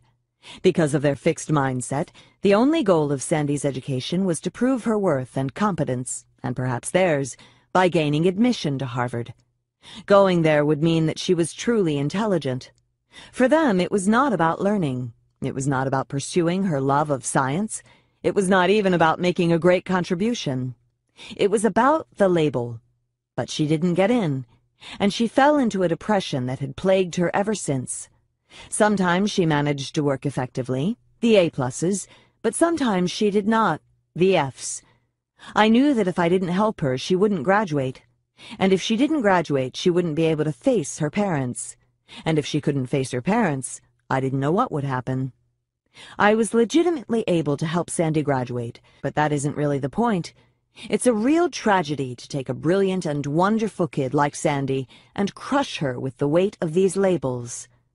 I hope these stories will teach parents to want the best for their children in the right way by fostering their interests, growth, and learning. Wanting the best in the worst way. Let's look more closely at the message from Sandy's parents. We don't care about who you are, what you're interested in, and what you can become. We don't care about learning. We will love and respect you only if you go to Harvard. Mark's parents felt the same way. Mark was an exceptional math student, and as he finished junior high, he was excited about going to Stuyvesant High School, a special high school in New York with a strong math and science curriculum. There he would study math with the best teachers and talk math with the most advanced students in the city. Stuyvesant also had a program that would let him take college math courses at Columbia as soon as he was ready. But at the last moment, his parents would not let him go. They had heard that it was hard to get into Harvard from Stuyvesant, so they made him go to a different high school. It didn't matter that he wouldn't be able to pursue his interests or develop his talents as well. Only one thing mattered, and it starts with an H. We love you on our terms. I'm not just judging you, it's I'm judging you and I'll only love you if you succeed on my terms. We've studied kids ranging from six years old to college age. Those with the fixed mindset feel their parents won't love and respect them unless they fulfill their parents' aspirations for them. The college students say, I often feel like my parents won't value me if I'm not as successful as they would like. Or, my parents say I can be anything I like, but deep down I feel they won't approve of me unless I pursue a profession they admire. John McEnroe's father was like that. He was judgmental. Everything was black and white, and he put on the pressure. My parents pushed me. My dad was the one, mainly. He seemed to live for my growing little junior career. I remember telling my dad that I wasn't enjoying it. I'd say, Do you have to come to every match? Do you have to come to this practice? Can't you take one off? McEnroe brought his father the success he craved, but McEnroe didn't enjoy a moment of it. He says he enjoyed the consequences of his success, being at the top, the adulation, and the money. However, he says, many athletes seem truly to love to play their sport. I don't think I ever felt that way about tennis. I think he did love it at the very beginning, because he talks about how at first he was fascinated by all the different ways you could hit a ball and create new shots. But we never hear about that kind of fascination again. Mr. McEnroe saw his boy was good at tennis, and on went the pressure, the judgment, and the love that depended on his son's success. Tiger Woods' father presents a contrast. There's no doubt that this guy is ambitious. He also sees his son as a chosen person with a God-given destiny. But he fostered Tiger's love of golf and raised Tiger to focus on growth and learning. If Tiger had wanted to be a plumber, I wouldn't have minded, as long as he was a hell of a plumber. The goal was for him to be a good person. He's a great person. Tiger says in return, My parents have been the biggest influence in my life. They taught me to give of myself, my time, talent, and most of all, my love. This shows that you can have super-involved parents who still foster the child's own growth, rather than replacing it with their own pressure and judgments. Dorothy DeLay, the famous violin teacher, encountered pressure cooker parents all the time. Parents who cared more about talent, image, and labels than about the child's long-term learning. One set of parents brought their eight-year-old boy to play for DeLay. Despite her warnings, they had made him memorize the Beethoven violin concerto. He was note perfect, but he played like a frightened robot. They had, in fact, ruined his playing to suit their idea of talent, as in, my eight-year-old can play the Beethoven violin concerto. What can yours do? DeLay spent countless hours with a mother who insisted it was time for her son to be signed by a fancy talent agency. But had she followed DeLay's advice? No. For quite a while, DeLay had been warning her that her son didn't have a large enough repertoire. Rather than heeding the expert advice and fostering her son's development, however, the mother refused to believe that anyone could turn down a talent like this for such a slight reason. In sharp contrast was Yura mother, Mrs. Lee always sat serenely during Yura's lesson, without the tension and frantic note-taking of some of the other parents. She smiled, she swayed to the music, she enjoyed herself. As a result, Yura did not develop the anxieties and insecurities that children with over-invested, judgmental parents do. Says Yura, I'm always happy when I play. Ideals isn't it natural for parents to set goals and have ideals for their children? Yes, but some ideals are helpful and others are not. We asked college students to describe their ideal of a successful student, and we asked them to tell us how they thought they measured up to that ideal. Students with the fixed mindset described ideals that could not be worked toward. You had it, or you didn't. The ideal successful student is one who comes in with innate talent, Genius, physically fit, and good at sports. They got there based on natural ability. Did they think they measured up to their ideal? Mostly not. Instead, they said these ideals disrupted their thinking, made them procrastinate, made them give up, and made them stressed out. They were demoralized by the ideal they could never hope to be. Students with the growth mindset described ideals like these. A successful student is one whose primary goal is to expand their knowledge and their ways of thinking and investigating the world. They do not see grades as an end in themselves, but as a means to continue to grow. Or, the ideal student values knowledge for its own sake, as well as for its instrumental uses. He or she hopes to make a contribution to society at large. Were they similar to their ideal? They were working toward it. As similar as I can be, hey, it takes effort. Or, I believed for many years that grades, tests were the most important thing, but I'm trying to move beyond that.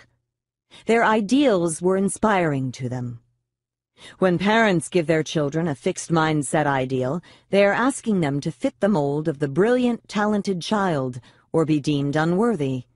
There is no room for error, and there is no room for the children's individuality their interests, their quirks, their desires and values. I can hardly count the times fixed-mindset parents have wrung their hands and told me how their children were rebelling or dropping out. Haim Ginott describes Nicholas, age 17. In my father's mind there is a picture of an ideal son. When he compares him to me, he is deeply disappointed. I don't live up to my father's dream. Since early childhood I sensed his disappointment. He tried to hide it, but it came out in a hundred little ways. In his tone, in his words, in his silence. He tried hard to make me a carbon copy of his dreams. When he failed, he gave up on me. But he left a deep scar, a permanent feeling of failure. When parents help their children construct growth-minded ideals, they are giving them something they can strive for. They are also giving their children growing room, Room to grow into full human beings who will make their contribution to society in a way that excites them. I have rarely heard a growth-minded parent say, I am disappointed in my child. Instead, with a beaming smile, they say, I am amazed at the incredible person my child has become. Everything I've said about parents applies to teachers, too. But teachers have additional concerns. They face large classes of students with differing skills, whose past learning they've had no part in. What's the best way to educate these students? Teachers and parents. What makes a great teacher or parent? Many educators think that lowering their standards will give students success experiences, boost their self-esteem, and raise their achievement. It comes from the same philosophy as the overpraising of students' intelligence. Well, it doesn't work. Lowering standards just leads to poorly educated students who feel entitled to easy work and lavish praise. For 35 years, Sheila Schwartz taught aspiring English teachers. She tried to set high standards, especially since they were going to pass on their knowledge to generations of children. But they became indignant. One student, whose writing was full of grammatical mistakes and misspellings, she says, marched into my office with her husband from West Point, in a dress uniform, his chest covered with ribbons, because her feelings had been hurt by my insistence on correct spelling.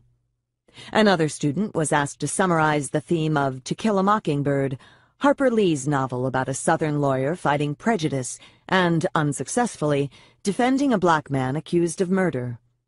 The student insisted the theme was that all people are basically nice. When Schwartz questioned that conclusion, the student left the class and reported her to the dean. Schwartz was reprimanded for having standards that were too high. Why, Schwartz asks, should the low standards of these future teachers be honored above the needs of the children they will one day teach? On the other hand, simply raising standards in our schools without giving students the means of reaching them is a recipe for disaster. It just pushes the poorly prepared or poorly motivated students into failure and out of school. Is there a way to set standards high and have students reach them? In Chapter 3, we saw in the work of Falko Rheinberg that teachers with the growth mindset brought many low achievers up into the high-achieving range. We saw in the growth-minded teaching of Jaime Escalante that inner-city high school students could learn college calculus, and in the growth-minded teaching of Marva Collins that inner-city grade school children could read Shakespeare.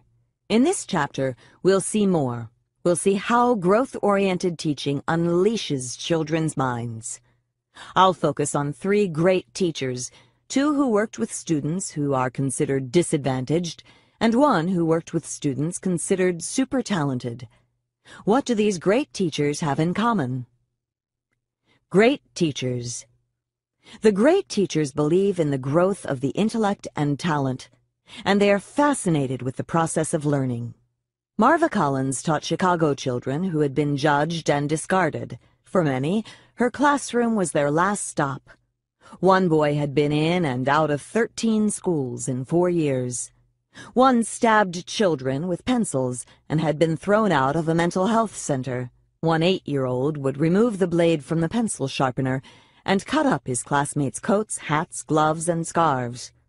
One child referred to killing himself in almost every sentence. One hit another student with a hammer on his first day. These children hadn't learned much in school, but everyone knew it was their own fault. Everyone but Collins. When 60 Minutes did a segment on Collins's classroom, Morley Safer tried his best to get a child to say he didn't like the school. It's so hard here. There's no recess, there's no gym, they work you all day. You have only 40 minutes for lunch. Why do you like it? It's just too hard. But the student replied, That's why I like it, because it makes your brains bigger. Chicago Sun-Times writer Zay Smith interviewed one of the children. We do hard things here. They fill your brain. As Collins looks back on how she got started, she says, I have always been fascinated with learning, with the process of discovering something new, and it was exciting to share in the discoveries made by my students. On the first day of school, she always promised her students, all students, that they would learn. She forged a contract with them. I know most of you can't spell your name. You don't know the alphabet. You don't know how to read. You don't know homonyms or how to syllabicate. I promise you that you will. None of you has ever failed. School may have failed you. Well, goodbye to failure, children. Welcome to success. You will read hard books in here and understand what you read. You will write every day, but you must help me to help you. If you don't give anything, don't expect anything. Success is not coming to you. You must come to it. Her joy in her students' learning was enormous. As they changed from children who arrived with toughened faces and glassed-over eyes to children who were beginning to brim with enthusiasm, she told them, I don't know what St. Peter has planned for me, but you children are giving me my heaven on earth. Rafe Esquith teaches Los Angeles second graders from poor areas plagued with crime. Many live with people who have drug, alcohol, and emotional problems. Every day he tells his students that he is no smarter than they are, just more experienced. He constantly makes them see how much they have grown intellectually, how assignments that were once hard have become easier because of their practice and discipline. Unlike Collins's school or Esquith's school, the Juilliard School of Music accepts only the most talented students in the world. You would think the idea would be, you're all talented, now let's get down to learning. But if anything, the idea of talent and genius looms even larger there. In fact, many teachers mentally weeded out the students they weren't going to bother with, except for Dorothy DeLay, the wondrous violin teacher of Itzhak Perlman, Midori and Sarah Chang. DeLay's husband always teased her about her Midwestern belief that anything is possible. Here is the empty prairie. Let's build a city. That's exactly why she loved teaching. For her, teaching was about watching something grow before her very eyes. And the challenge was to figure out how to make it happen. If students didn't play in tune, it was because they hadn't learned how. Her mentor and fellow teacher at Juilliard, Ivan Galamian, would say, Oh, he has no ear, don't waste your time. But she would insist on experimenting with different ways of changing that. How can I do it? And she usually found a way. As more and more students wanted a part of this mindset, and as she wasted more and more of her time on these efforts, Galamian tried to get the president of Juilliard to fire her. It's interesting, both DeLay and Galamian valued talent, but Galamian believed that talent was inborn, and DeLay believed that it was a quality that could be acquired. I think it's too easy for a teacher to say, oh, this child wasn't born with it, so I won't waste my time. Too many teachers hide their own lack of ability behind that statement. DeLay gave her all to every one of her students. Itzhak Perlman was her student, and so is his wife, Toby, who says that very few teachers get even a fraction of an Itzhak Perlman in a lifetime. She got the whole thing, but I don't believe she gave him more than she gave me, and I believe I am just one of many, many such people. Once DeLay was asked about another student, why she gave so much time to a pupil who showed so little promise. I think she has something special. It's in her person. There is some kind of dignity. If DeLay could get her to put it into her playing, that student would be a special violinist. High standards and a nurturing atmosphere. Great teachers set high standards for all their students, not just the ones who are already achieving. Marva Collins set extremely high standards right from the start. She introduced words and concepts that were, at first, way above what her students could grasp. Yet she established on day one an atmosphere of genuine affection and concern, as she promised students they would produce. I'm gonna love you, I love you already, and I'm going to love you even when you don't love yourself, she said to the boy who wouldn't try. Do teachers have to love all of their students? No, but they have to care about every single student. Teachers with the fixed mindset create an atmosphere of judging. These teachers look at students' beginning performance and decide who's smart and who's dumb. Then they give up on the dumb ones. They're not my responsibility. These teachers don't believe in improvement, so they don't try to create it.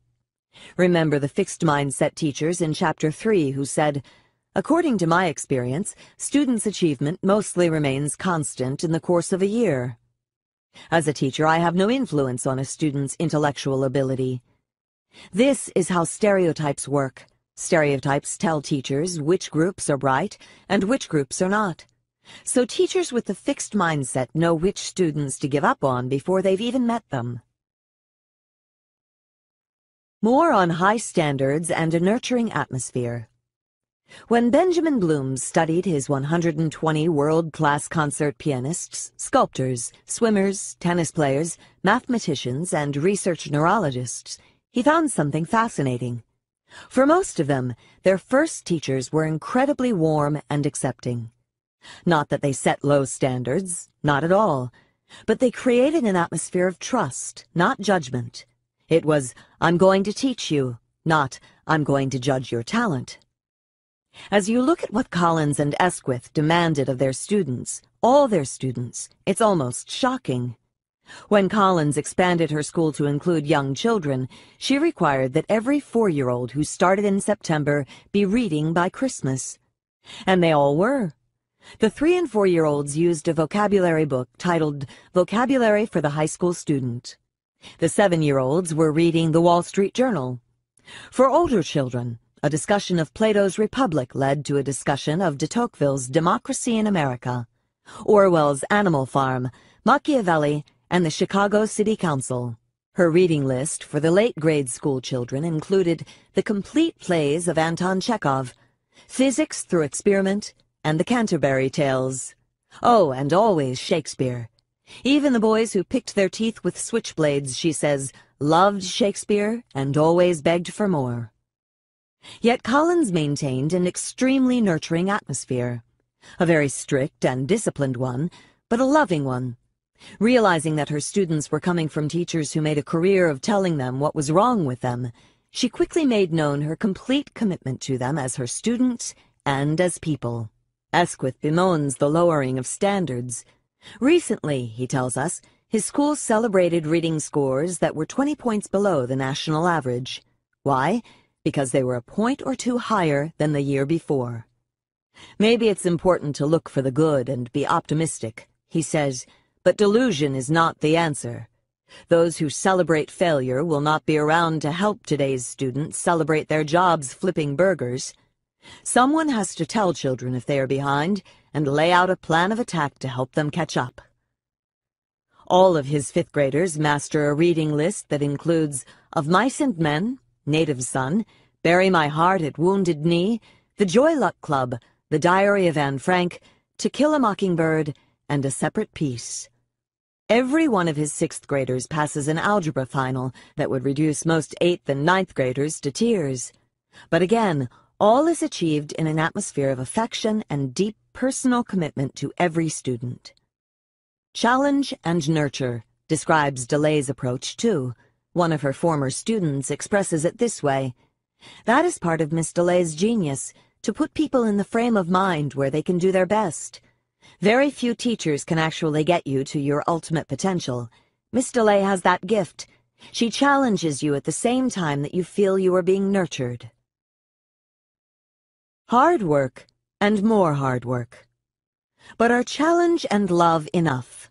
Not quite. All great teachers teach students how to reach the high standards. Collins and Esquith didn't hand their students a reading list and wish them bon voyage. Collins's students read and discussed every line of Macbeth in class. Esquith spent hours planning what chapters they would read in class. I know which child will handle the challenge of the most difficult paragraphs and carefully plan a passage for the shy youngster, who will begin his journey as a good reader Nothing is left to chance. It takes enormous energy. But to be in a room with young minds who hang on every word of a classic book and beg for more if I stop makes all the planning worthwhile. What are they teaching the students en route? To love learning, to eventually learn and think for themselves, and to work hard on the fundamentals. Esquith's class often met before school after school, and on school vacations to master the fundamentals of English and math, especially as the work got harder. His motto, there are no shortcuts. Collins echoes that idea as she tells her class, there is no magic here. Mrs. Collins is no miracle worker. I do not walk on water, I do not part the sea. I just love children and work harder than a lot of people, and so will you. DeLay expected a lot from her students, but she too guided them there. Most students are intimidated by the idea of talent, and it keeps them in a fixed mindset. But DeLay demystified talent. One student was sure he couldn't play a piece as fast as Itzhak Perlman, so she didn't let him see the metronome until he had achieved it. I know so surely that if he had been handling that metronome, as he approached that number he would have said to himself, I can never do this as fast as Itzhak Perlman, and he would have stopped himself. Another student was intimidated by the beautiful sound made by talented violinists. We were working on my sound, and there was this one note I played, and Miss DeLay stopped me and said, Now that is a beautiful sound. She then explained how every note has to have a beautiful beginning, middle, and end, leading into the next note.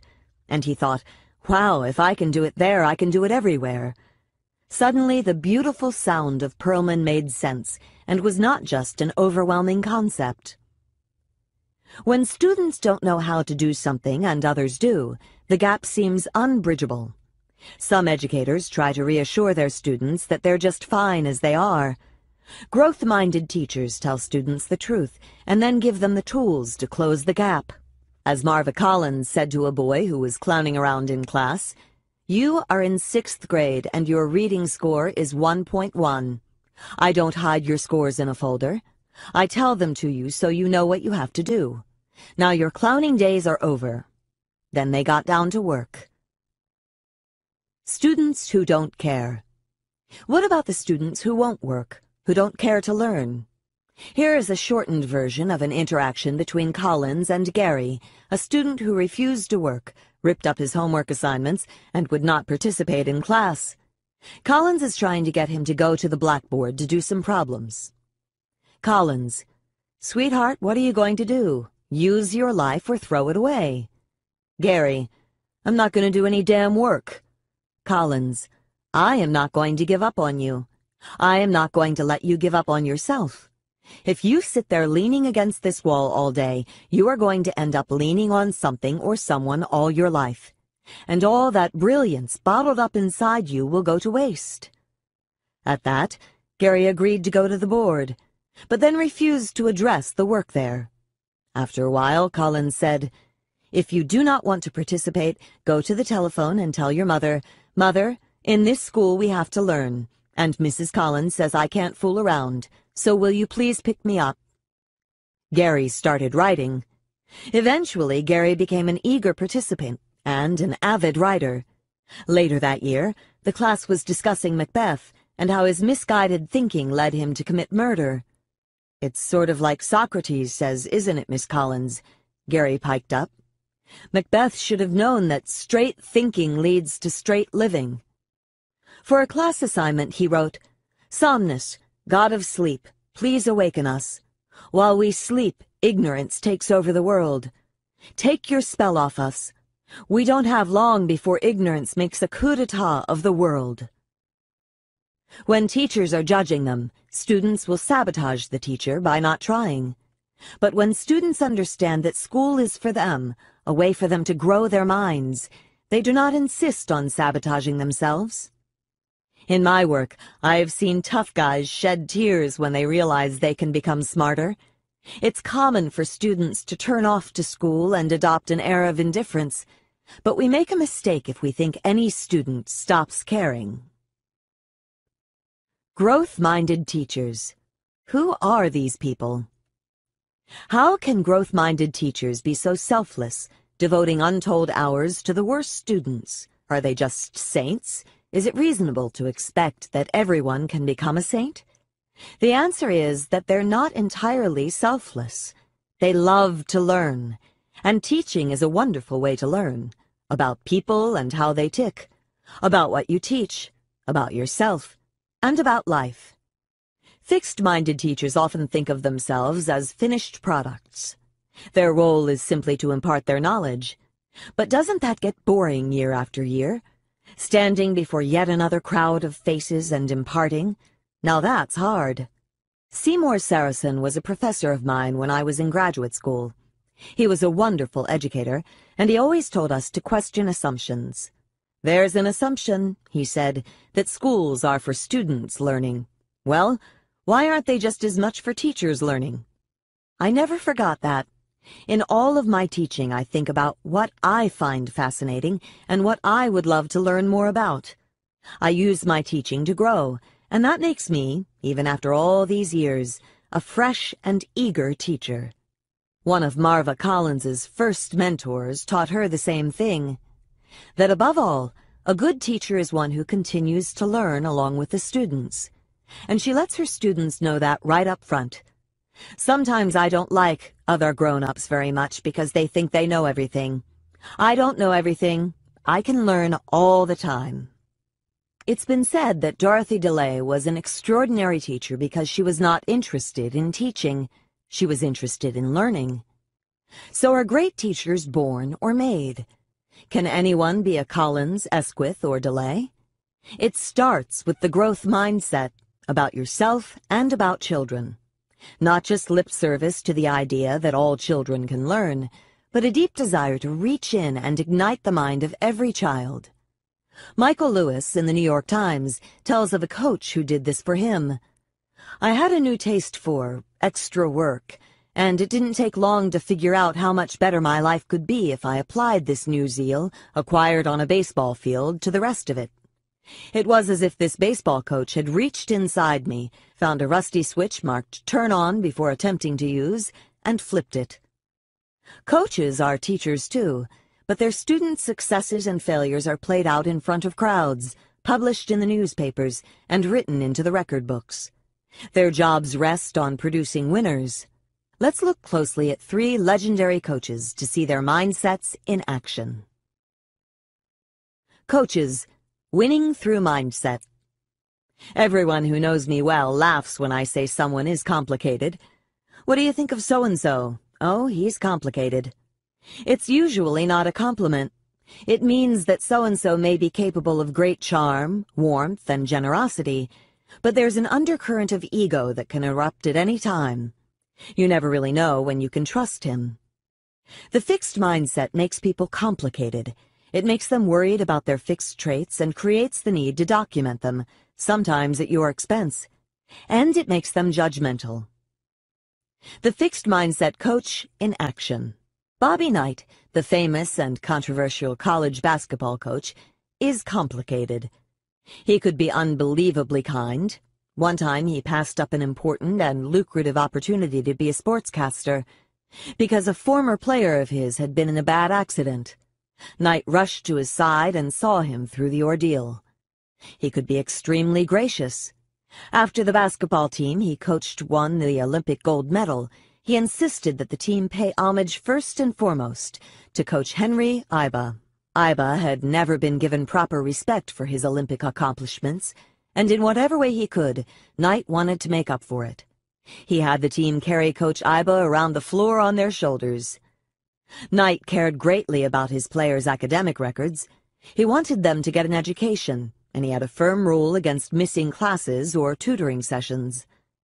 But he could also be cruel, and this cruelty came from the fixed mindset. John Feinstein, author of Season on the Brink, a book about Knight and his team, tells us, Knight was incapable of accepting failure. Every defeat was personal. His team lost, a team he had selected and coached. Failure on any level all but destroyed him, especially failure in coaching, because it was coaching that gave him his identity, made him special, set him apart. A loss made him a failure, obliterated his identity. So when he was your coach, when your wins and losses measured him, he was mercilessly judgmental. His demeaning of players who let him down was, hopefully, without parallel. In Daryl Thomas, Feinstein says, Knight saw a player of huge potential. Thomas had what coaches call a million-dollar body. He was big and strong, but also fast. He could shoot the ball with his left hand or his right hand. Knight couldn't live with the thought that Thomas and his million-dollar body weren't bringing the team success. You know what you are, Daryl? You are the worst F pussy I've ever seen play basketball at this school. The absolute worst pussy ever. You have more goddamn ability than 95% of the players we've had here, but you are a pussy from the top of your head to the bottom of your feet. An absolute effing pussy. That's my assessment of you after three years. To make a similar point, Knight once put a Tampax into a player's locker. Thomas was a sensitive guy. An assistant coach had given this advice. When he's calling you an asshole, don't listen.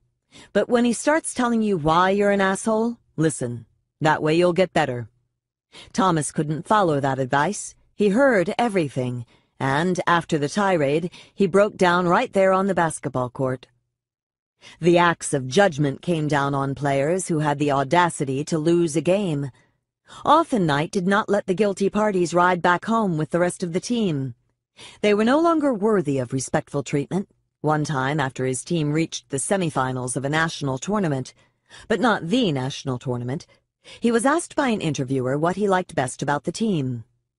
What I like best about this team right now, Knight answered, is the fact that I only have to watch it play one more time. Some players could take it better than others. Steve Alford, who went on to have a professional career, had come to Indiana with clear goals in mind and was able to maintain a strong growth focus much of the time. He was able to hear and use Knight's wisdom and, for the most part, ignore the obscene or demeaning parts of the tirades. But even he describes how the team broke down under the yoke of Knight's judgments, and how he himself became so personally unhappy at some points that he lost his zest for the sport. The atmosphere was poisonous. When I had been playing well, I had always stayed upbeat, no matter how much Coach yelled, but now his negativism, piled on top of my own, was drowning me. Mom and Dad were concerned. They could see the love of the game was going out of me. The Holy Grail. No mistakes. Says Alford, Coach's holy grail was the mistake-free game. Uh-oh. We know which mindset makes mistakes intolerable. And Knight's explosions were legendary. There was the time he threw the chair across the court. There was the time he yanked his player off the court by his jersey. There was the time he grabbed his player by the neck. He often tried to justify his behavior by saying he was toughening the team up, preparing them to play under pressure. But the truth is, he couldn't control himself. Was the chair a teaching exercise? Was the chokehold educational?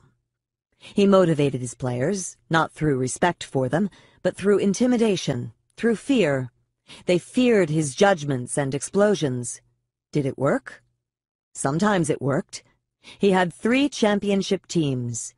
In the season on the brink, described by John Feinstein, the team did not have size, experience, or quickness, but they were contenders, they won 21 games, thanks to Knight's great basketball knowledge and coaching skills. But other times, it didn't work. Individual players or the team as a whole broke down. In the season on the brink, they collapsed at the end of the season. The year before, too, the team had collapsed under Knight's pressure. Over the years, some players had escaped by transferring to other schools, by breaking rules, like cutting classes or skipping tutoring sessions, or by going early to the pros, like Isiah Thomas. On a world tour, the players often sat around fantasizing about where they should have gone to school if they hadn't made the mistake of choosing Indiana. It's not that Knight had a fixed mindset about his players' ability. He firmly believed in their capacity to develop. But he had a fixed mindset about himself and his coaching ability. The team was his product, and they had to prove his ability every time out. They were not allowed to lose games, make mistakes, or question him in any way, because that would reflect on his competence. Nor did he seem to analyze his motivational strategies when they weren't working. Maybe Daryl Thomas needed another kind of incentive aside from ridicule or humiliation. What are we to make of this complicated man as a mentor to young players? His biggest star, Isiah Thomas, expresses his profound ambivalence about Knight. You know, there were times when if I had a gun, I think I would have shot him. And there were other times when I wanted to put my arms around him, hug him, and tell him I loved him. I would not consider myself an unqualified success if my best student had considered shooting me.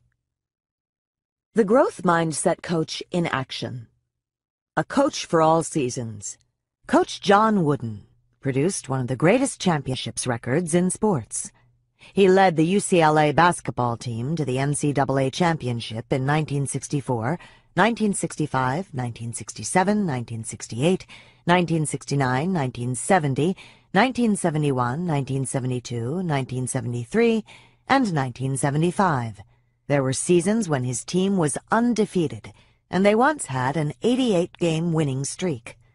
All of this I sort of knew. What I didn't know was that when Wooden arrived at UCLA, it was a far cry from a basketball dynasty. In fact, he didn't want to work at UCLA at all. He wanted to go to Minnesota. It was arranged that Minnesota would phone him at six o'clock on a certain evening to tell him if he had the job. He told UCLA to call him at 7. No one called at 6, 6.30, or even 6.45. So when UCLA called at 7, he said yes. No sooner had he hung up than the call from Minnesota came. A storm had messed up the phone lines and prevented the 6 o'clock phone call with the job offer from getting through. UCLA had grossly inadequate facilities. For his first 16 years, Wooden held practice in a crowded, dark, and poorly ventilated gym known as the BO barn because of the atmospheric effect of the sweating bodies. In the same gym, there were often wrestling matches, gymnastics training, trampoline jumping, and cheerleading workouts going on alongside basketball practice. There was also no place for the games.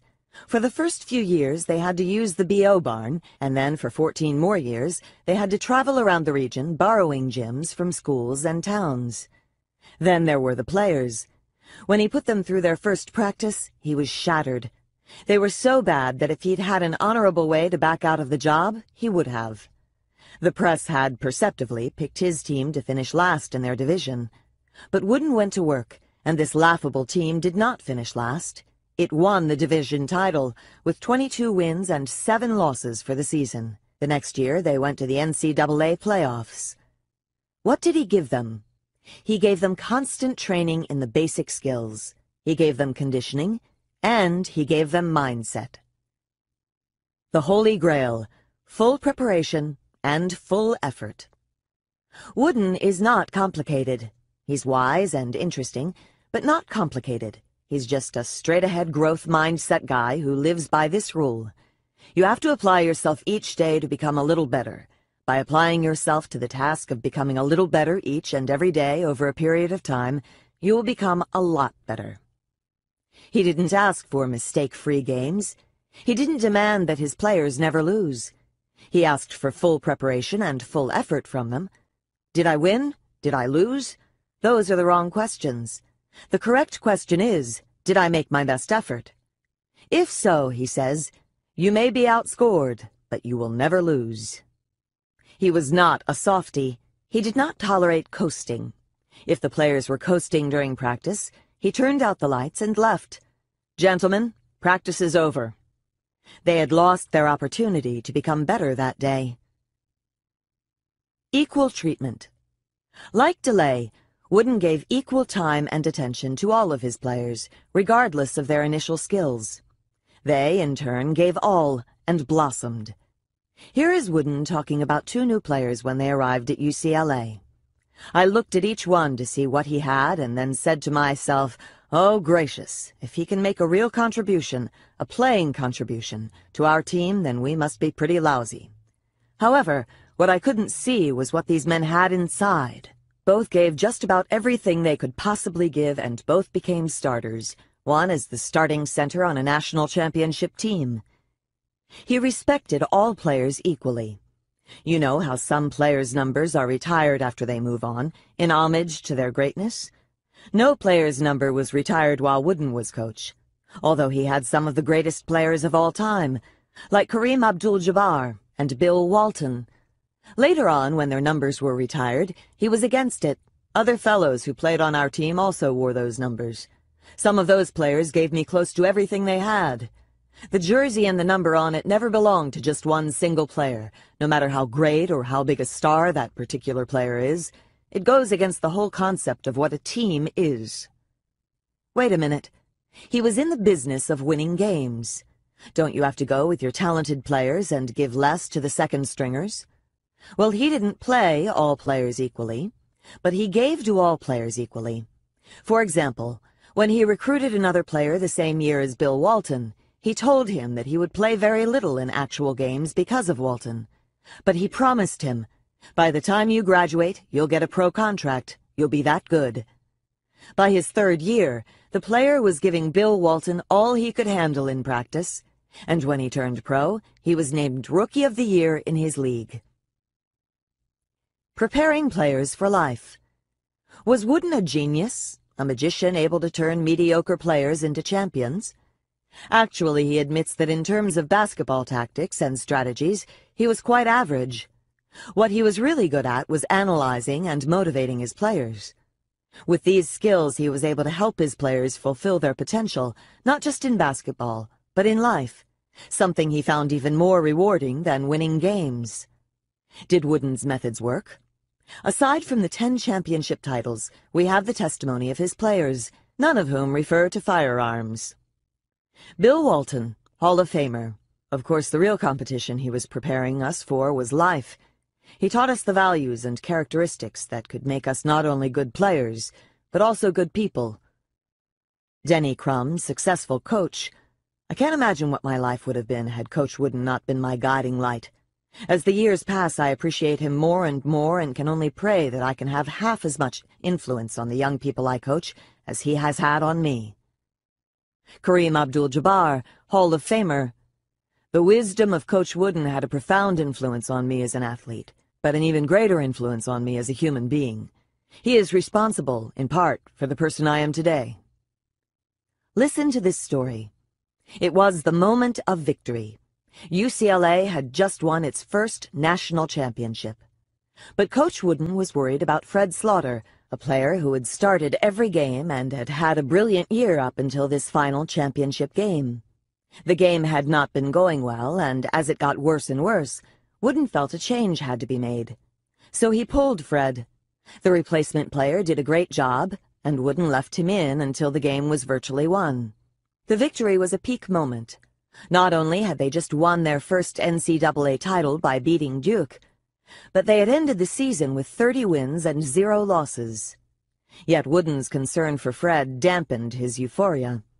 As Wooden left the press conference and went to find Fred, he opened the door to the dressing room. Fred was waiting for him. Coach, I want you to know I understand. You had to leave Doug in there because he played so well, and I didn't. I wanted to play in the worst way, but I do understand and if anyone says I was upset, it's not true.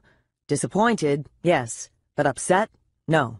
And I was very happy for Doug.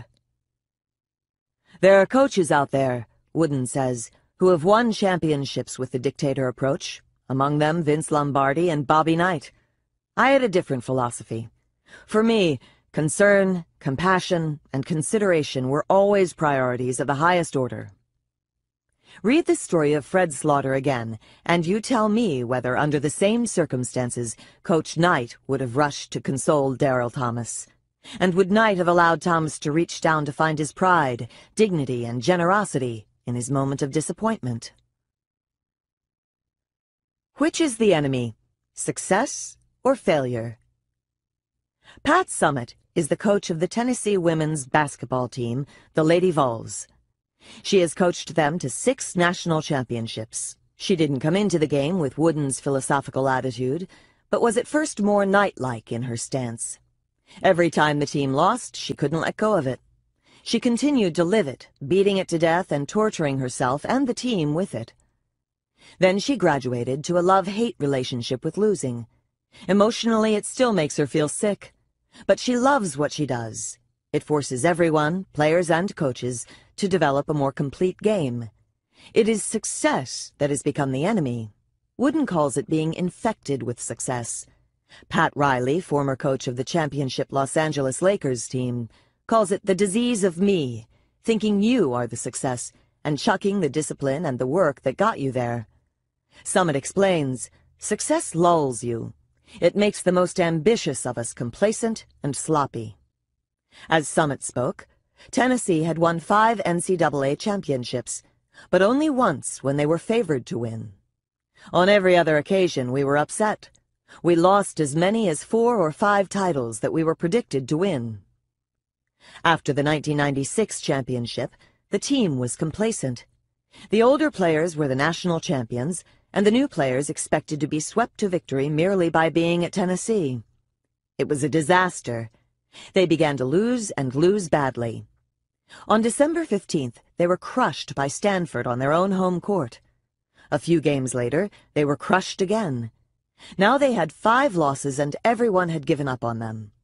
The North Carolina coach, meaning to comfort Summitt, told her, well, just hang in there till next year. HBO had come to Tennessee to film a documentary, but now the producers were looking for another team. Even her assistants were thinking they wouldn't make it into the March Championship playoffs. So before the next game, Summitt met with the team for five hours. That night, they played Old Dominion, the second-ranked team in the country. For the first time that season, they gave all, but they lost again. It was devastating. They had invested, gone for it, and still lost. Some were sobbing so hard they couldn't speak or even breathe. Get your heads up, Summitt told them. If you give effort like this all the time, if you fight like this, I'm telling you, I promise you, we'll be there in March. Two months later, they were the national champions. Conclusion? Beware of success. It can knock you into a fixed mindset. I won because I have talent, therefore I will keep winning. Success can infect a team or it can infect an individual.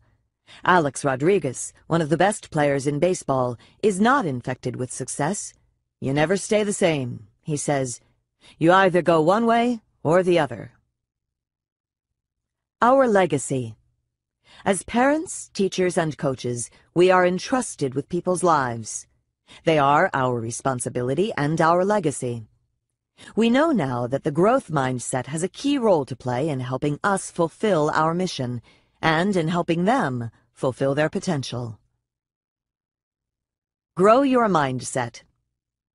Every word and action from parent to child sends a message. Tomorrow, Listen to what you say to your kids and tune in to the messages you're sending. Are they messages that say, you have permanent traits and I'm judging them? Or are they messages that say, you're a developing person and I'm interested in your development? How do you use praise? Remember that praising children's intelligence or talent, tempting as it is, sends a fixed mindset message. It makes their confidence and motivation more fragile. Instead, try to focus on the processes they used, their strategies, effort, or choices. Practice working the process praise into your interactions with your children. Watch and listen to yourself carefully when your child messes up. Remember that constructive criticism is feedback that helps the child understand how to fix something. It's not feedback that labels or simply excuses the child. At the end of each day, write down the constructive criticism and the process praise you've given your kids. Parents often set goals their children can work toward. Remember that having an innate talent is not a goal. Expanding skills and knowledge is. Pay careful attention to the goals you set for your children. If you're a teacher, remember that lowering standards doesn't raise student self-esteem.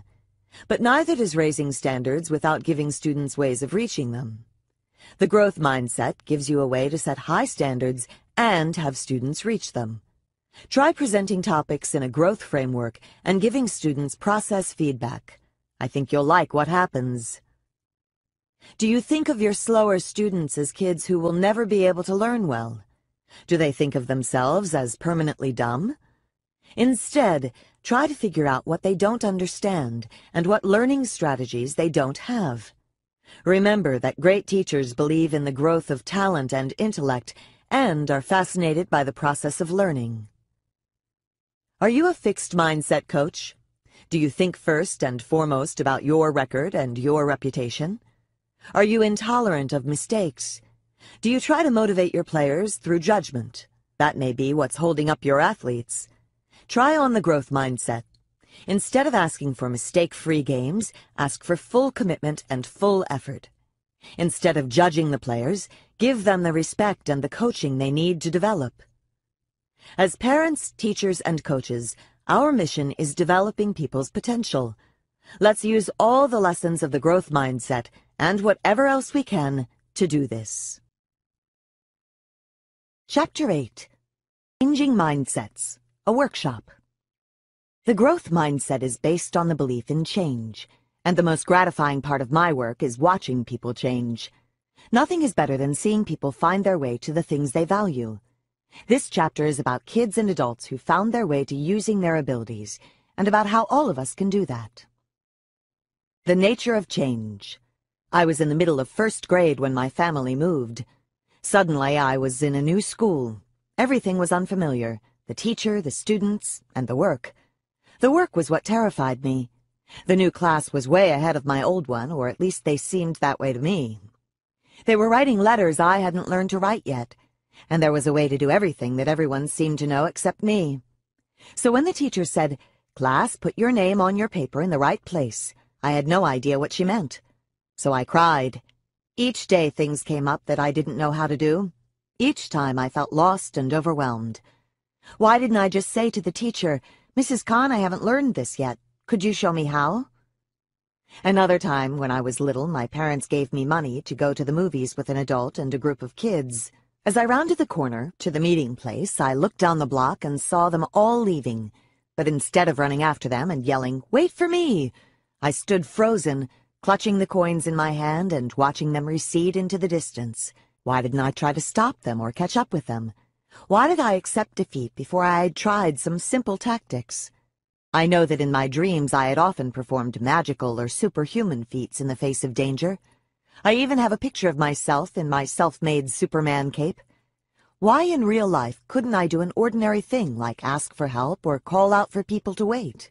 In my work I see lots of young children like this, bright, seemingly resourceful children who are paralyzed by setbacks. In some of our studies, they just have to take the simplest action to make things better, but they don't. These are the young children with the fixed mindset. When things go wrong, they feel powerless and incapable. Even now when something goes wrong or when something promising seems to be slipping away, I still have a passing feeling of powerlessness. Does that mean I haven't changed? No, it means that change isn't like surgery. Even when you change, the old beliefs aren't just removed like a worn-out hip or knee and replaced with better ones. Instead, the new beliefs take their place alongside the old ones, and as they become stronger, they give you a different way to think, feel, and act. Beliefs are the key to happiness and to misery. In the 1960s, psychiatrist Aaron Beck was working with his clients when he suddenly realized it was their beliefs that were causing their problems. Just before they felt a wave of anxiety or depression, something quickly flashed through their minds. It could be, Dr. Beck, I think I'm incompetent, or this therapy will never work, I'll never feel better. These kinds of beliefs caused their negative feelings not only in the therapy session, but in their lives, too. They weren't beliefs people were usually conscious of. Yet Beck found he could teach people to pay attention and hear them, and then he discovered he could teach them how to work with and change these beliefs. This is how cognitive therapy was born, one of the most effective therapies ever developed. Whether they're aware of it or not, all people keep a running account of what's happening to them, what it means, and what they should do. In other words, our minds are constantly monitoring and interpreting. That's just how we stay on track. But sometimes the interpretation process goes awry. Some people put more extreme interpretations on things that happen, and they react with exaggerated feelings of anxiety, depression, or anger, or superiority. Mindsets go further. Mindsets frame the running account that's taking place in people's heads. They guide the whole interpretation process. The fixed mindset creates an internal monologue that is focused on judging. This means I'm a loser. This means I'm a better person than they are. This means I'm a bad husband. This means my partner is selfish. In several studies, we probed the way people with a fixed mindset dealt with information they were receiving. We found that they put a very strong evaluation on each and every piece of information. Something good led to a very strong positive label, and something bad led to a very strong negative label. People with a growth mindset are also constantly monitoring what's going on, but their internal monologue is not about judging themselves and others in this way. Certainly they're sensitive to positive and negative information, but they're attuned to its implications for learning and constructive action. What can I learn from this? How can I improve? How can I help my partner to do this better? Now, cognitive therapy basically teaches people to rein in their extreme judgments and make them more reasonable. For example, suppose Alana does poorly on a test and draws the conclusion, I'm stupid. Cognitive therapy would teach her to look more closely at the facts by asking, what is the evidence for and against your conclusion? Alana may, after prodding, come up with a long list of ways in which she has been competent in the past, and may then confess, I guess I'm not as incompetent as I thought. She may also be encouraged to think of reasons she did poorly on the test other than stupidity, and these may further temper her negative judgment. Alana is then taught how to do this for herself, so that when she judges herself negatively in the future, she can refute the judgment and feel better. In this way, cognitive therapy helps people make more realistic and optimistic judgments. But it does not take them out of the fixed mindset and its world of judgment. It does not confront the basic assumption, the idea that traits are fixed, that is causing them to constantly measure themselves. In other words, it does not escort them out of the framework of judgment and into the framework of growth. This chapter is about changing the internal monologue from a judging one to a growth-oriented one. The Mindset Lectures Just learning about the growth mindset can cause a big shift in the way people think about themselves and their lives. So each year in my undergraduate course, I teach about these mindsets, not only because they are part of the topic of the course, but also because I know what pressure these students are under. Every year, students describe to me how these ideas have changed them in all areas of their lives. Here is Maggie, the aspiring writer. I recognized that when it comes to artistic or creative endeavors, I had internalized a fixed mindset. I believed that people were inherently artistic or creative, and that you could not improve through effort. This directly affected my life because I have always wanted to be a writer, but have been afraid to pursue any writing classes or to share my creative writing with others. This is directly related to my mindset because any negative criticism would mean that I am not a writer inherently. I was too scared to expose myself to the possibility that I might not be a natural. Now, after listening to your lectures, I've decided to register for a creative writing class next term, and I feel that I have really come to understand what was preventing me from pursuing an interest that has long been my secret dream. I really feel this information has empowered me. Maggie's internal monologue used to say, don't do it, don't take a writing class, don't share your writing with others, it's not worth the risk. Your dream could be destroyed. Protect it. Now it says, go for it. Make it happen. Develop your skills. Pursue your dream. And here's Jason, the athlete. As a student athlete at Columbia, I had exclusively the fixed mindset. Winning was everything, and learning did not enter the picture. However, after listening to your lectures, I realized that this is not a good mindset. I've been working on learning while I compete, under the realization that if I can continually improve, even in matches, I will become a much better athlete. Jason's internal monologue used to be win-win, you have to win, prove yourself, everything depends on it. Now it's observe, learn, improve, become a better athlete. And finally, here's Tony, the recovering genius. In high school, I was able to get top grades with minimal studying and sleeping. I came to believe that it would always be so because I was naturally gifted with a superior understanding and memory. However, after about a year of sleep deprivation, my understanding and memory began to not be so superior anymore. When my natural talents, which I had come to depend on almost entirely for my self-esteem, as opposed to my ability to focus, my determination, or my ability to work hard, came into question, I went through a personal crisis that lasted until a few weeks ago, when you discussed the different mindsets in class. Understanding that a lot of my problems were the result of my preoccupation with proving myself to be smart and avoiding failures has really helped me get out of the self-destructive pattern I was living in. Tony's internal monologue went from, I'm naturally gifted, I don't need to study, I don't need to sleep, I'm superior, to, uh-oh, I'm losing it, I can't understand things, I can't remember things, what am I now? Two, don't worry so much about being smart. Don't worry so much about avoiding failures. That becomes self-destructive. Let's start to study and sleep and get on with life. Of course, these people will have setbacks and disappointments, and sticking to the growth mindset may not always be easy, but just knowing it gave them another way to be. Instead of being held captive by some intimidating fantasy about the great writer, the great athlete, or the great genius, the growth mindset gave them the courage to embrace their own goals and dreams, and more important, it gave them a way to work toward making them real. A Mindset Workshop Adolescence, as we have seen, is a time when hordes of kids turn off to school. You can almost hear the stampede as they try to get as far from learning as possible. This is a time when adults are facing some of the biggest challenges of their young lives, and a time when they are heavily evaluating themselves, often with a fixed mindset.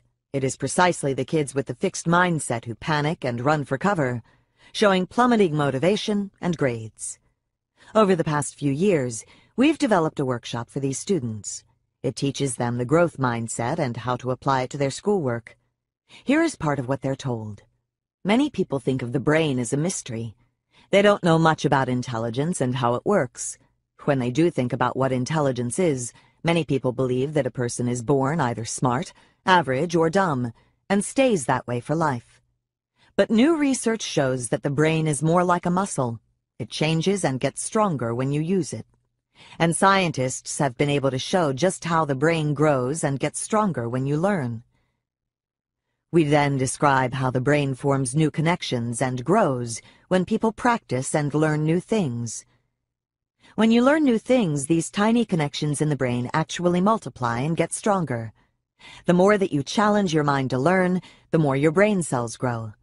Then things that you once found very hard or even impossible, like speaking a foreign language or doing algebra, seem to become easy. The result is a stronger, smarter brain. We go on to point out that nobody laughs at babies and says how dumb they are because they can't talk. They just haven't learned yet. We show students picture of how the density of brain connections changes during the first years of life as babies pay attention, study their world, and learn how to do things.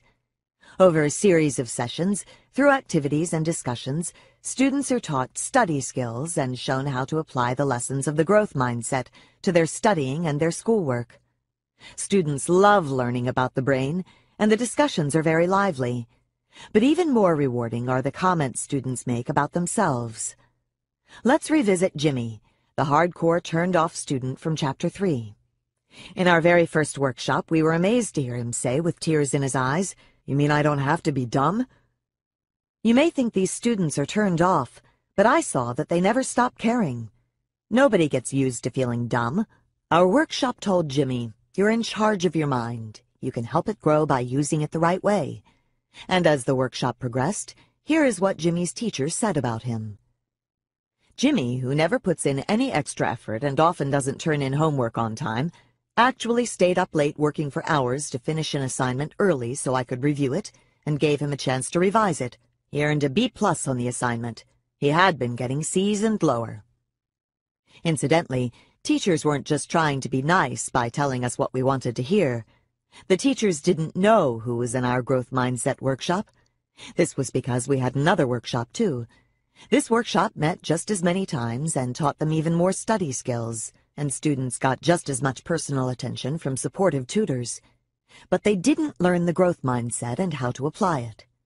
Teachers didn't know which of their students went to which of the workshops, but they still singled out Jimmy and many of the students in the Growth Mindset workshop to tell us that they'd seen real changes in their motivation to learn and improve. Lately, I've noticed that some students have a greater appreciation for improvement. R was performing below standards. He has learned to appreciate the improvement of his grades from 52, 46, and 49 to his grades of 67 and 71. He valued his growth in learning mathematics. M was far below grade level. During the past several weeks, she has voluntarily asked for extra help from me during her lunch period in order to improve her test-taking performance. Her grades drastically improved from failing to an 84 on the most recent exam. Positive changes in motivation and behavior are noticeable in K and J. They have begun to work hard on a consistent basis. Several students have voluntarily participated in peer tutoring sessions during their lunch periods or after school. Students such as N and S were passing when they requested the extra help and were motivated by the prospect of sheer improvement. We were eager to see whether the workshop affected students' grades, so, with their permission, we looked at students' final marks at the end of the semester. We looked especially at their math grades, since those reflected real learning of challenging new concepts. Before the workshop, students' math grades had been suffering badly. But after, lo and behold, students who'd been in the growth mindset workshop showed a jump in their grades. They were now clearly doing better than the students who'd been in the other workshop. The growth mindset workshop, just eight sessions long, had a real impact. This one adjustment of students' beliefs seemed to unleash their brain power and inspire them to work and achieve. Of course, they were in a school where the teachers were responsive to their outpouring of motivation and were willing to put in the extra work to help them learn. Even so, these findings show the power of changing mindsets. The students in the other workshop did not improve. Despite their eight sessions of training in study skills and other good things, they showed no gains. Because they were not taught to think differently about their minds. They were not motivated to put the skills into practice. The Mindset Workshop puts students in charge of their brains. Freed from the vice of the fixed mindset, Jimmy and others like him could now use their minds more freely and fully. Brainology The problem with the workshop was that it required a big staff to deliver it. This wouldn't be feasible on a large scale. Plus, the teachers weren't directly involved. They could be helpful in helping to sustain the students' gains. So we decided to put our workshop on the interactive computer modules and have teachers guide their classes through the modules. With the advice of educational experts, media experts, and brain experts, we developed the Brainology program. It presents animated figures, Chris and Dahlia, seventh graders who are cool but are having problems with their schoolwork. Dahlia is having trouble with Spanish, and Chris with math. They visit the lab of Dr. Cerebrus, a slightly mad brain scientist, who teaches them all about the brain and the care and feeding of it. He teaches them what to do for maximum performance from the brain, like sleeping enough, eating the right things, and using good study strategies. And he teaches them how the brain grows as they learn. The program all along shows students how Chris and Dahlia apply these lessons to their schoolwork. The interactive portions allow students to do brain experiments, see videos of real students with their problems and study strategies, recommend study plans for Chris and Dahlia, and keep a journal of their own problems and study plans. Here are some of the seventh graders writing about how this program changed them. After Brainology, I now have a new look at things. Now my attitude toward the subjects I have trouble in is I try harder to study and master the skills. I've been using my time more wisely, studying every day and reviewing the notes that I took on that day. I'm really glad that I joined this program because it increased my intelligence about the brain. I did change my mind about how the brain works and I do things differently. I will try harder because I know that the more you try, the more your brain works. All I can say is that Brainology changed my grades. Bon voyage! The Brainology program kind of made me change the way I work and study and practice for schoolwork now, that I know how my brain works and what happens when I learn. Thank you for making us study more and helping us build up our brain. I actually picture my neurons growing bigger as they make more connections. Teacher told us how formally turned-off students were now talking the Brainology talk. For example, they were taught that when they studied well and learned something, they transferred it from temporary storage, working memory, to the more permanent storage, long-term memory. Now they were saying to each other, I'll have to put that into my long-term memory. Sorry, that stuff is not in my long-term memory. I guess I was only using my working memory. Teachers said that students were also offered to practice, study, take notes, or pay attention more to make sure that neural connections would be made. As one student said, Yes, the Brainology program helped a lot.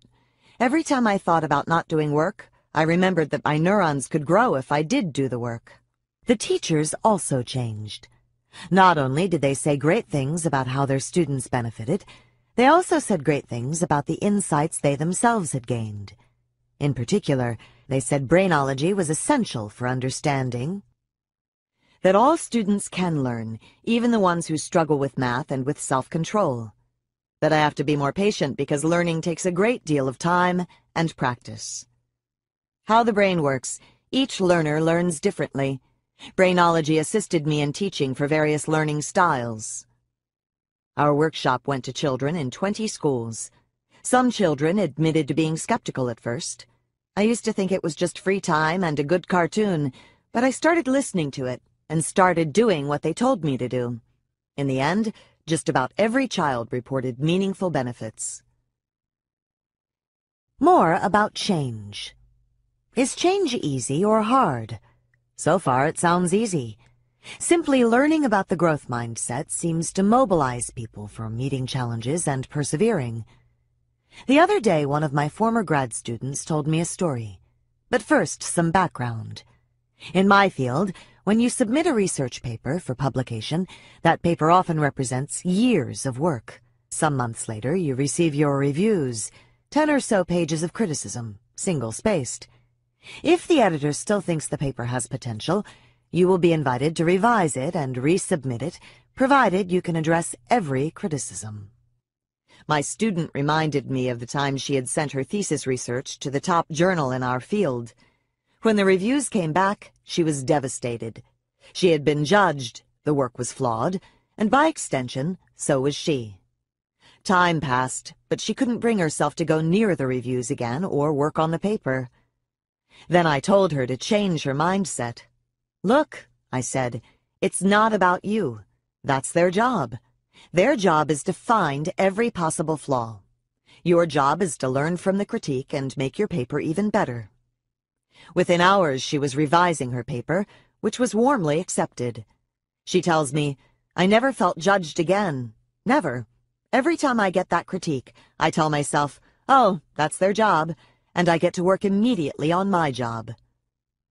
But change is also hard. When people hold on to a fixed mindset, it's often for a reason. At some point in their lives, it served a good purpose for them. It told them who they were or who they wanted to be, a smart, talented child, and it told them how to be that, perform well.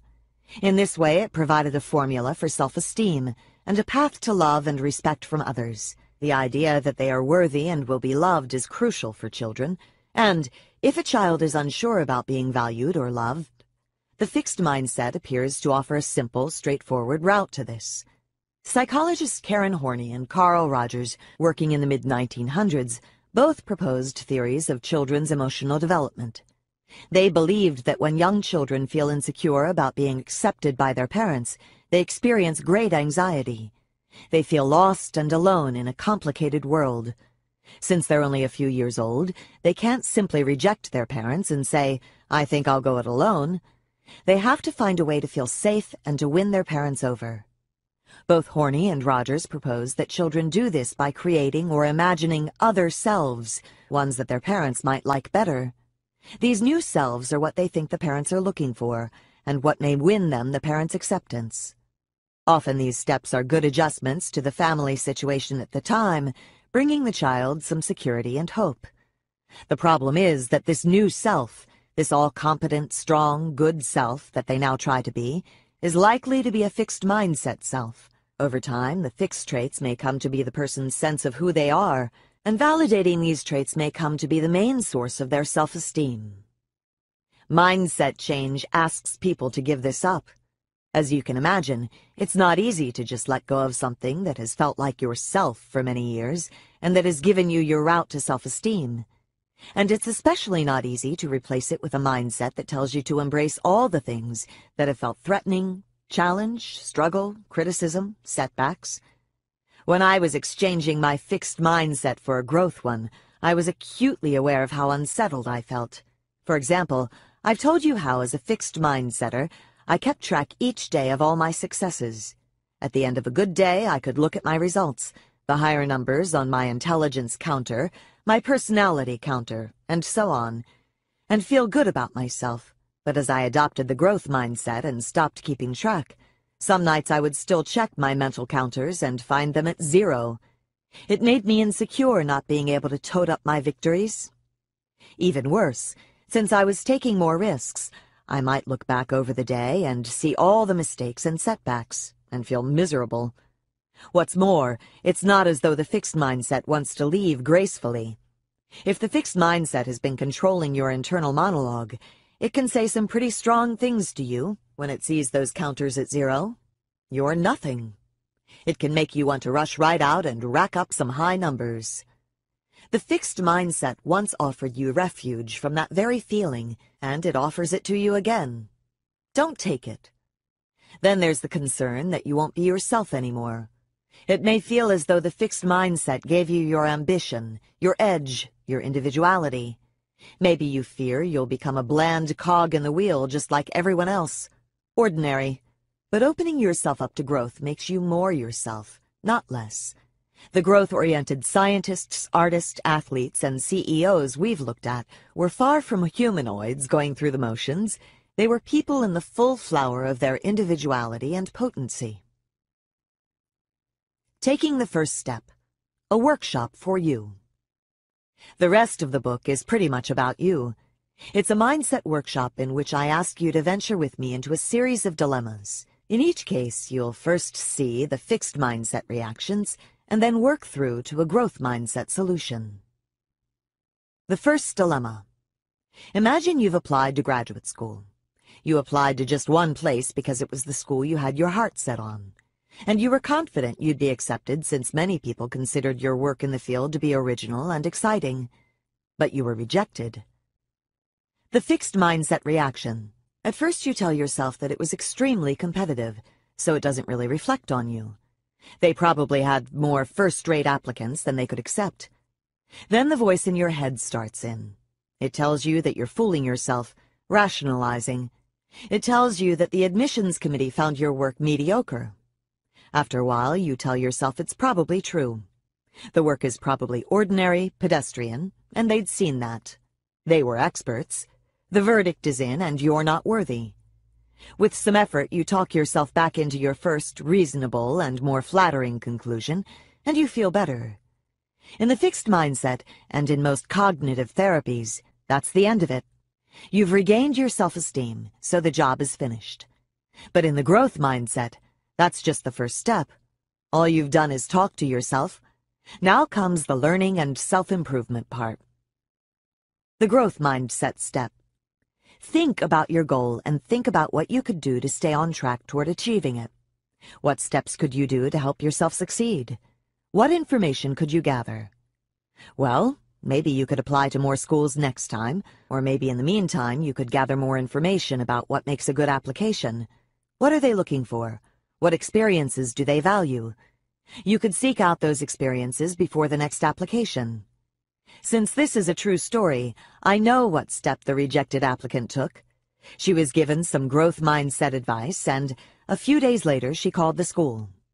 When she located the relevant person and told him the situation, she said, I don't want to dispute your decision.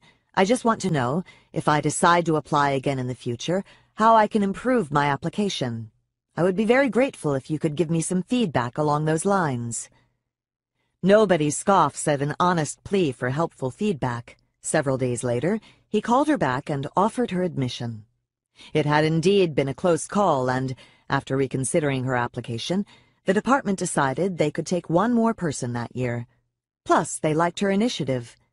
She had reached out for information that would allow her to learn from experience and improve in the future. It turned out in this case that she didn't have to improve her application, she got to plunge right into learning in her new graduate program. Plans that you'll carry out and ones that you won't. The key part of our applicant's reaction was her call to the school to get more information. It wasn't easy. Every day people plan to do difficult things, but they don't do them. They think, I'll do it tomorrow, and they swear to themselves that they'll follow through the next day. Research by Peter Gollwitzer and his colleagues shows that vowing, even intense vowing, is often useless. The next day comes, and the next day goes. What works is making a vivid, concrete plan. Tomorrow during my break, I'll get a cup of tea, close the door to my office, and call the graduate school. Or, in another case, on Wednesday morning, right after I get up and brush my teeth, I'll sit at my desk and start writing my report. Or, Tonight, right after the dinner dishes are done, I'll sit down with my wife in the living room and have that discussion. I'll say to her, Dear, I'd like to talk about something that I think will make us happier. Think of something you need to do, something you want to learn, or a problem you have to confront. What is it? Now make a concrete plan. When will you follow through on your plan? Where will you do it? How will you do it? Think about it in vivid detail. These concrete plans, plans you can visualize about when, where, and how you are going to do something, lead to really high levels of follow-through, which of course ups the chances of success. So the idea is not only to make a growth mindset plan, but also to visualize in a concrete way how you are going to carry it out. Feeling bad, but doing good. Let's go back a few paragraphs to when you were rejected by the graduate school. Suppose your attempt to make yourself feel better had failed. You could still have taken the growth mindset. You can feel miserable and still reach out for information that will help you improve. Sometimes after I have a setback, I go through the process of talking to myself about what it means and how I plan to deal with it. Everything seems fine until I sleep on it. In my sleep, I have dream after dream of loss, failure, or rejection, depending on what happened. Once, when I'd experienced a loss, I went to sleep and had the following dreams. My hair fell out, my teeth fell out, I had a baby and it died, and so on. Another time, when I felt rejected, my dreams generated countless rejection experiences, real and imagined. In each instance, the incident triggered a theme, and my too active imagination gathered up all the variations on the theme to place before me. When I woke up, I felt as though I had been through the wars. It would be nice if this didn't happen, but it's irrelevant. It might be easier to mobilize for action if I felt better, but it doesn't matter. The plan is the plan. Remember the depressed students with the growth mindset? The worse they felt, the more they did the constructive thing. The less they felt like it, the more they made themselves do it. The critical thing is to make a concrete, growth-oriented plan and to stick to it. The number one draft choice. The last dilemma seemed hard, but basically, it was solved by a phone call. Now imagine you're a promising quarterback. In fact, you're the winner of the Heisman Trophy, college football's highest award. You're the top draft pick of the Philadelphia Eagles, the team you've always dreamed of playing for. So what's the dilemma? The second dilemma. The pressure is overwhelming. You yearn for playing in the games, but every time they put you in a game to try you out, you turn anxious and lose your focus.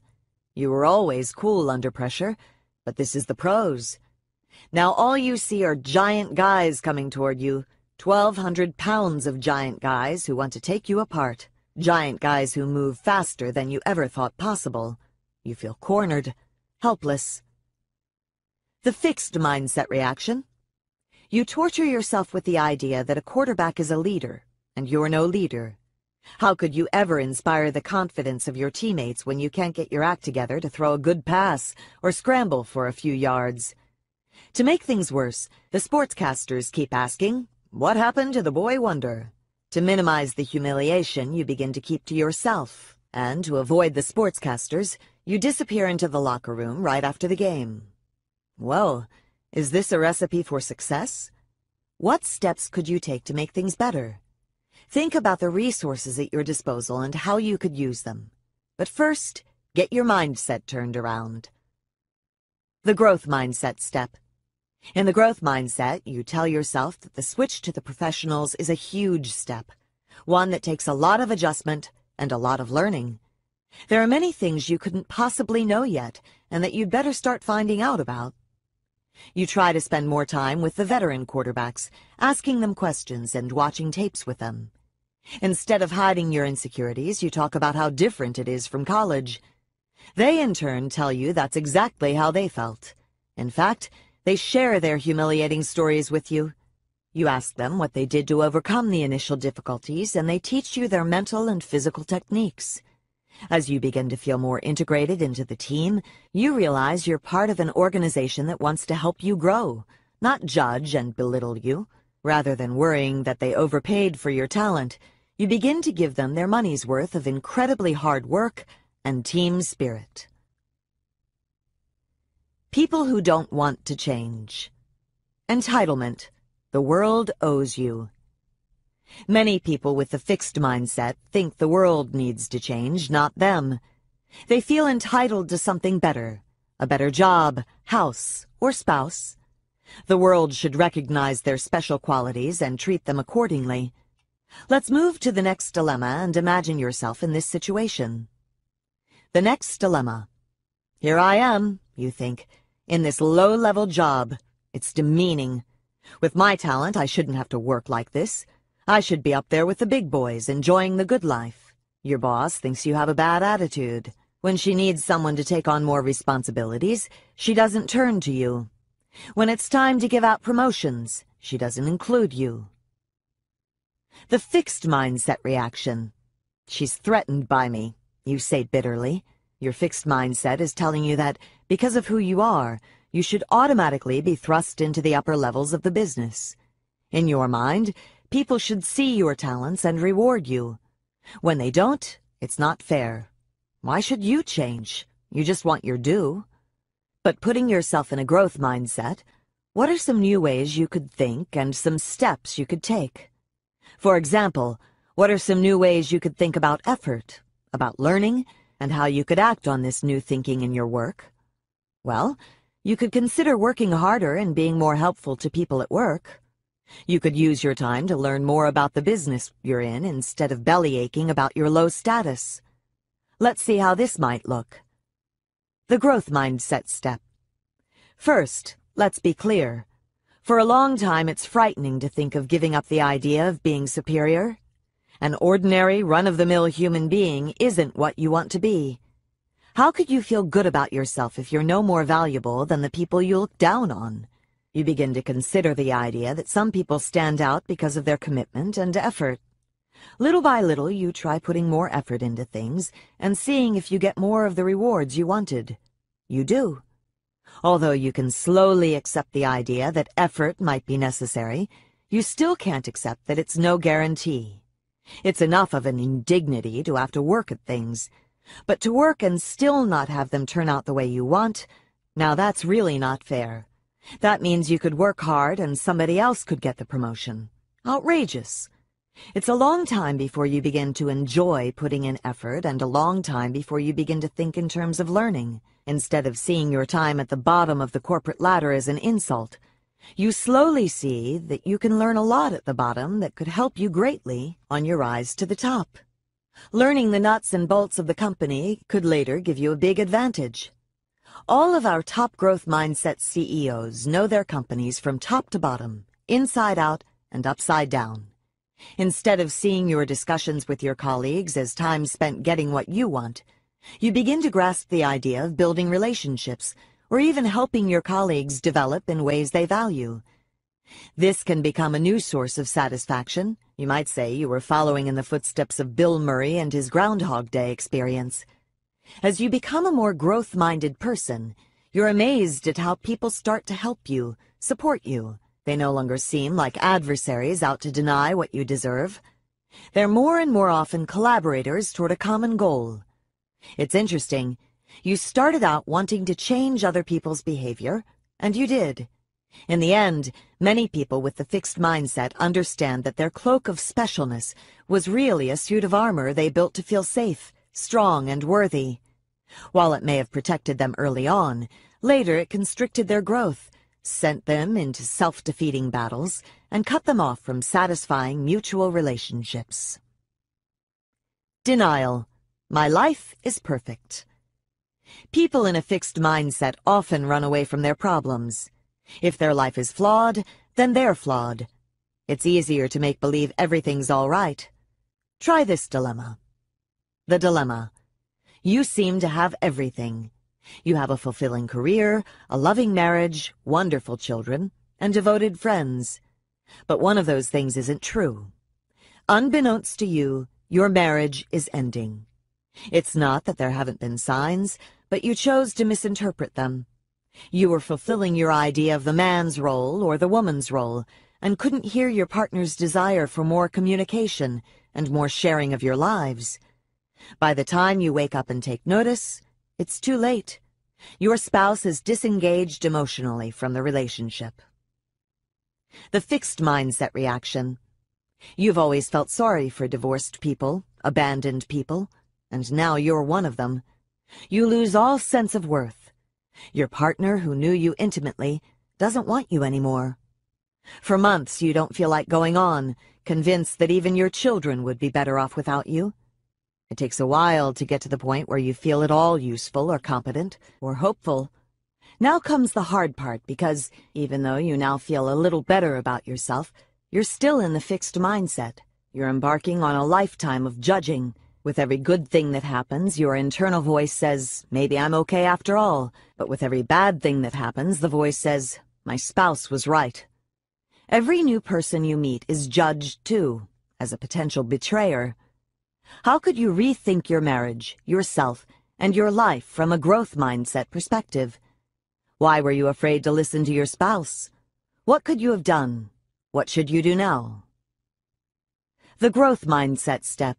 First, it's not that the marriage, which you used to think of as inherently good, suddenly turned out to have been all bad or always bad. It was an evolving thing that had stopped developing for lack of nourishment. You need to think about how both you and your spouse contributed to this, and especially about why you weren't able to hear the request for greater closeness and sharing.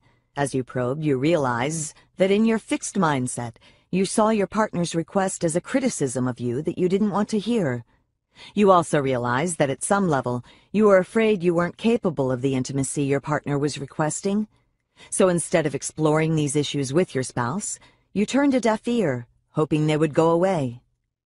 When a relationship goes sour, these are the issues we all need to explore in depth, not to judge ourselves for what went wrong, but to overcome our fears and learn the communication skills we'll need to build and maintain better relationships in the future. Ultimately, a growth mindset allows people to carry forth not judgments and bitterness, but new understanding and new skills. Is someone in your life trying to tell you something you're refusing to hear? Step into the growth mindset and listen again. Changing your child's mindset. Many of our children, our most precious resource, are stuck in a fixed mindset. You can give them a personal brainology workshop. Let's look at some ways to do this. The precocious fixed mindsetter. Most kids who adopt a fixed mindset don't become truly passionate deliverers until later in childhood. But some kids take to it much earlier. The dilemma. Imagine your young son comes home from school one day and says to you, some kids are smart and some kids are dumb. They have a worse brain. You're appalled. Who told you that? You ask him, gearing up to complain to the school. I figured it out myself, he says proudly. He saw that some children could read and write their letters and add a lot of numbers and others couldn't. He drew his conclusion, and he held fast to it. Your son is precocious in all aspects of the fixed mindset, and soon the mindset is in full flower. He develops a distaste for effort. He wants his smart brain to churn things out quickly for him, and it often does. When he takes to chess very quickly, your spouse, thinking to inspire him, rents the movie Searching for Bobby Fischer, a film about a young chess champion. What your son learns from the film is that you could lose and not be a champion anymore. So he retires. I'm a chess champion, he announces to one and all. A champion who won't play. Because he now understands what losing means, he takes further steps to avoid it. He starts cheating at Candyland, Chutes and Ladders, and other games. He talks often about all the things he can do and other children can't. When you and your spouse tell him that other children aren't dumb, they just haven't practiced as much as he has, he refuses to believe it.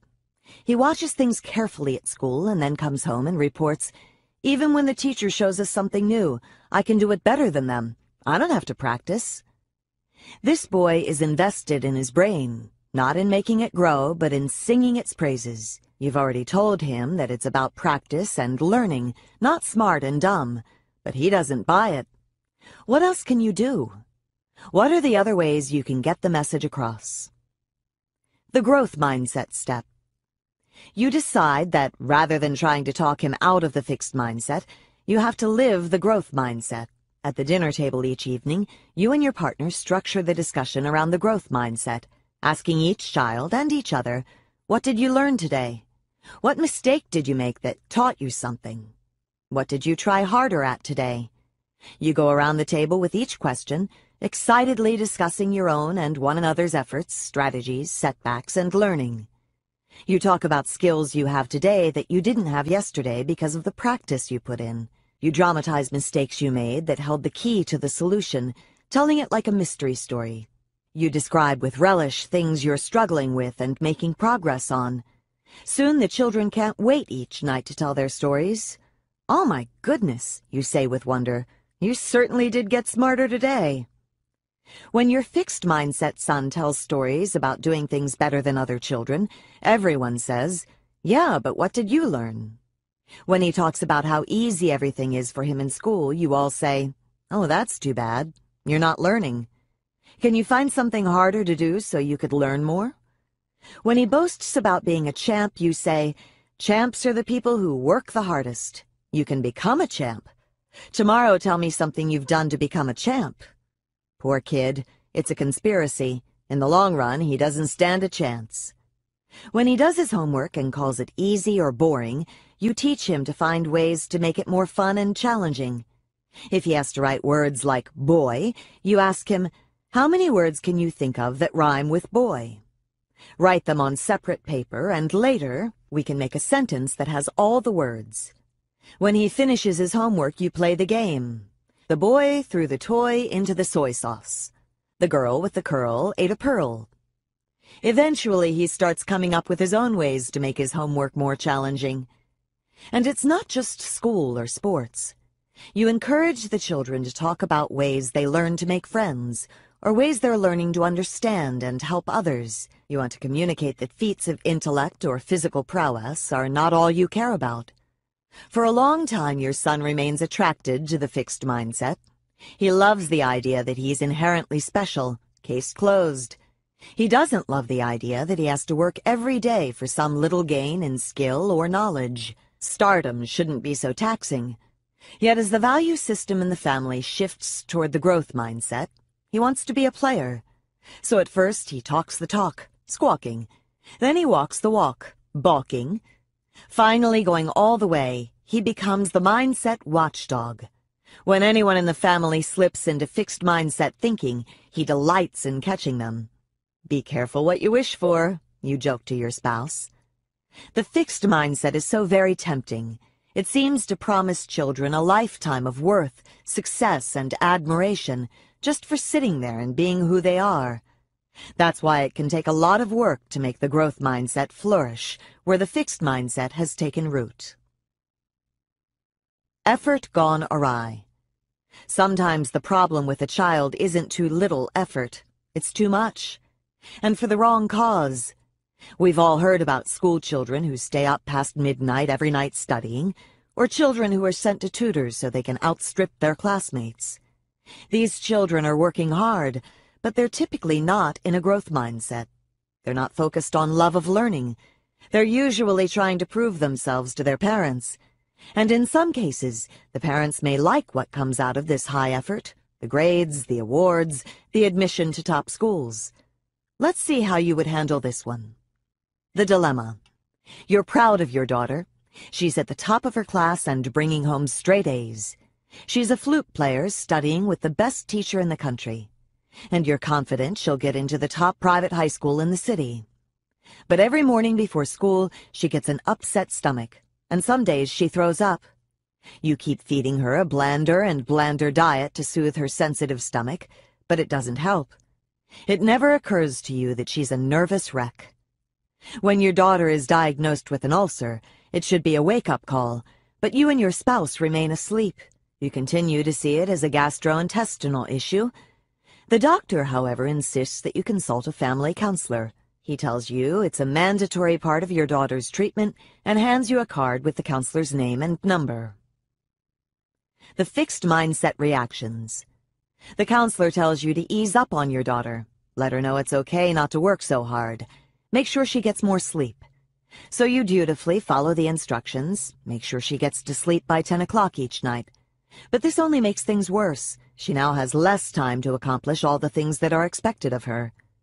Despite what the counselor has said, it doesn't occur to you that she could possibly want your daughter to fall behind other students, or be less accomplished at the flute, or risk not getting into the top high school. How could that be good for her? The counselor realizes she has a big job. Her first goal is to get you more fully in touch with the seriousness of the problem. The second goal is to get you to understand your role in the problem. You and your spouse need to see that it's your need for perfection that has led to the problem. Your daughter wouldn't have run herself ragged if she hadn't been afraid of losing your approval. The third goal is to work out a concrete plan that you can all follow. Can you think of some concrete things that can be done to help your daughter enter a growth mindset so she can ease up and get some pleasure from her life. The growth mindset step. The plan the counselor suggests would allow your daughter to start enjoying the things she does. The flute lessons are put on hold. Your daughter is told she can practice as much or as little as she wants for the pure joy of the music and nothing else. She is to study her school materials to learn from them, not to cram everything possible into her head. The counselor refers her to a tutor who teaches her how to study for understanding. The tutor also discusses the material with her in a way that makes it interesting and enjoyable. Studying now has a new meaning. It isn't about getting the highest grade to prove her intelligence and worth to her parents. It's about learning things and thinking about them in interesting ways. Your daughter's teachers are brought into the loop to support her in her reorientation toward growth. They're asked to talk to her about and praise her for her learning process rather than how she did on tests. I can see that you really understand how to use metaphors in your writing. I can see that you were really into your project on the Incas. When I read it, I felt as though I were in ancient Peru. You are taught to talk to her this way, too.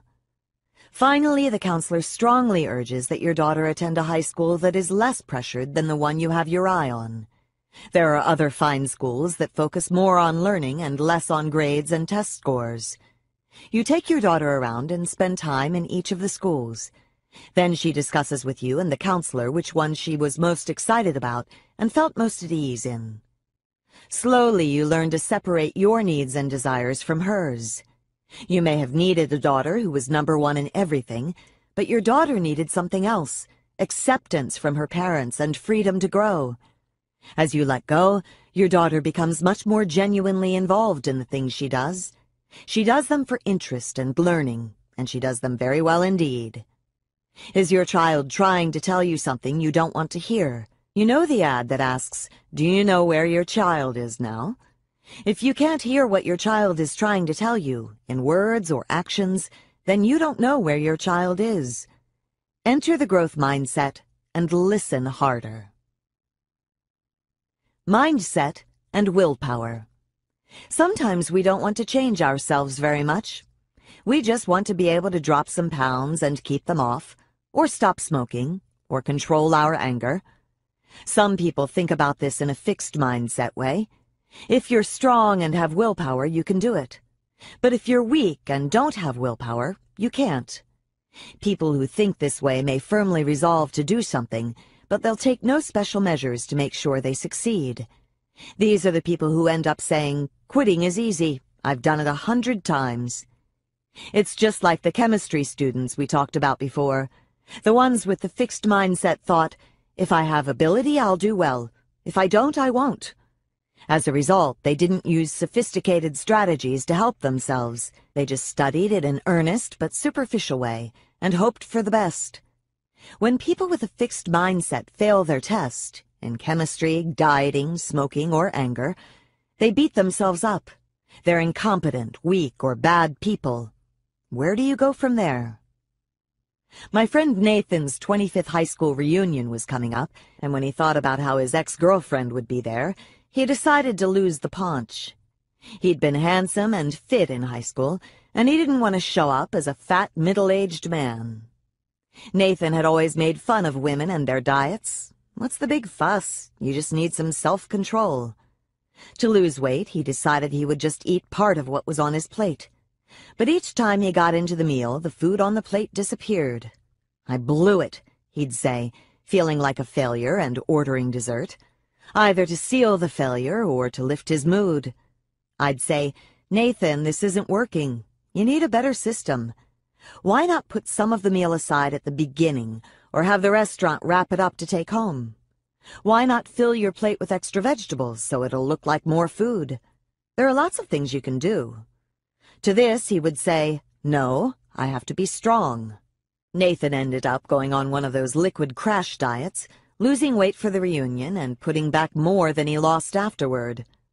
I wasn't sure how this was being strong and how using some simple strategies was being weak. Next time you try a diet, think of Nathan and remember that willpower is not just a thing you have or don't have. Willpower needs help. I'll come back to this point. Anger. Controlling anger is something else that's a problem for many people. Something triggers their temper and off they go, losing control of their mouths or worse. Here, too, people may vow that next time they'll be different. Anger control is a big issue between partners and between parents and children. Not only because partners and children do things that make us angry, but also because we may think we have a greater right to let loose when they do. Try this one. The dilemma. Imagine you're a nice, caring person, as you probably are, usually. You love your spouse and feel lucky to have them as your partner. But when they violate one of your rules, like letting the garbage overflow before taking it out, you feel personally betrayed and start criticizing. It begins with, I've told you a thousand times, then moves on to, you never do anything right. When they still don't seem properly ashamed, you flare, insulting their intelligence. Maybe you aren't smart enough to remember garbage. And their character. If you weren't so irresponsible, you wouldn't... If you cared about anyone but yourself, you'd... Seething with rage, you then bring in everything you can think of to support your case. My father never trusted you either. Or, your boss was right when he said you were limited. Your spouse has to leave the premises to get out of the range of your mounting fury. The fixed mindset reaction. You feel righteous about your anger for a while, but then you realize you've gone too far. You suddenly recall all the ways that your spouse is a supportive partner and feel intensely guilty. Then you talk yourself back into the idea that you too are a good person who's just slipped up, lost it, temporarily. I've really learned my lesson, you think. I'll never do this again. But believing you can simply keep that good person in the forefront in the future, you don't think of strategies you could use next time to prevent a flare-up. That's why the next time is a carbon copy of the time before. The growth mindset and self-control. Some people think about losing weight or controlling their anger in a growth mindset way. They realize that to succeed, they'll need to learn and practice strategies that work for them. It's like the growth mindset chemistry students. They used better study techniques, carefully planned their study time, and kept up their motivation. In other words, they used every strategy possible to make sure they succeeded. Just like them, People in a growth mindset don't merely make New Year's resolutions and wait to see if they stick to them. They understand that to diet, they need a plan. They may need to keep desserts out of the house, or think in advance about what to order in restaurants, or schedule a once-a-week splurge, or consider exercising more. They think actively about maintenance. What habits must they develop to continue the gains they've achieved? Then there are the setbacks, they know that setbacks will happen. So instead of beating themselves up, they ask, what can I learn from this? What will I do next time when I'm in this situation? It's a learning process, not a battle between the bad you and the good you.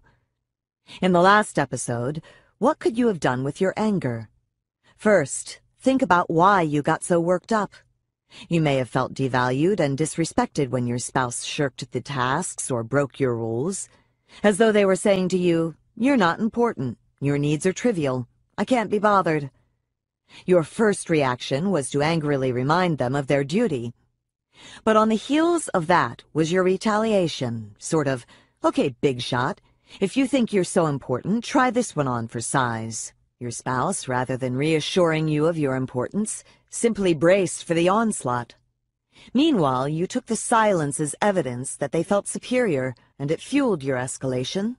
What can be done? Several things. First, spouses can't read your mind. So, when an anger-provoking situation arises, you have to matter-of-factly tell them how it makes you feel. I'm not sure why, but when you do that, it makes me feel unimportant. Like you can't be bothered to do things that mattered to me. They, in turn, can reassure you that they care about how you feel and will try to be more watchful. Are you kidding? You say, my spouse would never do that. Well, you can request it directly, as I've sometimes done. Please tell me that you care how I feel and you'll try to be more watchful. When you feel yourself losing it, you can learn to leave the room and write down your ugliest thoughts, followed by what is probably really happening. She doesn't understand this is important to me. He doesn't know what to do when I start to blow. When you feel calm enough, you can return to the situation. You can also learn to loosen up on some of your rules now that each one is not a test of your partner's respect for you. With time, you might even gain a sense of humor about them. For example, if your spouse leaves some socks in the living room or puts the wrong things in the recycling bins, you might point at the offending items and ask sternly, What is the meaning of this? You might even have a good laugh. When people drop the good, bad, strong, weak thinking that grows out of the fixed mindset, they're better able to learn useful strategies that help with self-control. Every lapse doesn't spell doom. It's like anything else in the growth mindset. It's a reminder that you're an unfinished human being and a clue to how to do it better next time. Maintaining change. Whether people change their mindset in order to further their career, heal from a loss, help their children thrive, lose weight, or control their anger, change needs to be maintained. It's amazing. Once a problem improves, people often stop doing what caused it to improve. Once you feel better, you stop taking your medicine. But change doesn't work that way. When you've lost weight, the issue doesn't go away. Or when your child starts to love learning, the problem isn't solved forever. Or when you and your partner start communicating better, that's not the end of it. These changes have to be supported or they can go away faster than they appeared. Maybe that's why Alcoholics Anonymous tells people they will always be alcoholics, so they won't become complacent and stop doing what they need to do to stay sober. It's a way of saying, you'll always be vulnerable. This is why mindset change is not about picking up a few tricks. In fact, if someone stays inside a fixed mindset and uses the growth strategies, it can backfire. Wes, a dad with a fixed mindset, was at his wit's end. He'd come home exhausted from work every evening and his son, Mickey, would refuse to cooperate. Wes wanted quiet, but Mickey was noisy. Wes would warn him, but Mickey would continue what he was doing. Wes found him stubborn, unruly, and not respectful of Wes's rights as a father. The whole scene would disintegrate into a shouting match, and Mickey would end up being punished. Finally feeling he had nothing to lose, Wes tried some of the growth-oriented strategies. He showed respect for Mickey's efforts and praised his strategies when he was emphatic or helpful. The turnaround in Mickey's behavior was dramatic. But as soon as the turnaround took place, Wes stopped using the strategies. He had what he wanted, and he expected it to just continue. When it didn't, he became even angrier and more punitive than before. Mickey had shown he could behave and now refused to. The same thing often happens with fixed-mindset couples who start communicating better. Marlene and Scott were what my husband and I call the Bickersons. All they did was bicker. Why don't you ever pick up after yourself? I might if you weren't such a nag. I wouldn't have to nag if you did what you were supposed to do. Who made you the judge of what I'm supposed to do? With counseling, Marlene and Scott stopped jumping on the negatives. More and more, they started rewarding the thoughtful things their partner did and the efforts their partner made. The love and tenderness they thought were dead returned. But once it returned, they reverted. In the fixed mindset, things shouldn't need such effort. Good people should just act good, and good relationships should just unfold in a good way. When the bickering resumed, it was fiercer than ever because it reflected all their disappointed hopes. Mindset change is not about picking up a few pointers here and there. It's about seeing things in a new way. When people, couples, coaches and athletes, managers and workers, parents and children, teachers and students, change to a growth mindset, they change from a judge and be judged framework to a learn and help learn framework. Their commitment is to growth, and growth takes plenty of time, effort, and mutual respect. Learn and help learn. Every day presents you with ways to grow and to help the people you care about grow. How can you remember to look for these chances? Each morning, as you contemplate the day in front of you, Try to ask yourself these questions. Copy them over and paste them on your mirror. What are the opportunities for learning and growth today? For myself, for the people around me. As you think of opportunities, form a plan and ask, when, where, and how will I embark on my plan? When, where, and how make the plan concrete. How asks you to think of all the ways to bring your plan to life and make it work. As you encounter the inevitable obstacles and setbacks, form a new plan and ask yourself the question again. When, where, and how will I act on my new plan? Regardless of how bad you may feel, do it. Put that on your mirror, too. And when you succeed, don't forget to ask yourself, what do I have to do to maintain and continue the growth? Remember, as Alex Rodriguez, the great baseball player, says, you either go one way or the other. You might as well be the one deciding the direction. The road ahead. Change can be tough, but I've never heard anyone say it wasn't worth it. Maybe they're just rationalizing, the way people who've gone through a painful initiation say it was worth it. But people who've changed can tell you how their lives have been enhanced. They can tell you about things they have now that they wouldn't have had, and ways they feel now that they wouldn't have felt. Did changing to a growth mindset solve all my problems? No. But I know that I have a different life because of it, a richer one, and that I'm a more alive, courageous, and open person because of it. It's time for you to decide whether change is right for you now. Maybe it is, maybe it isn't. But either way, keep the growth mindset in your thoughts. Then, when you bump up against obstacles, you can turn to it. It will always be there for you, showing you a path into the future.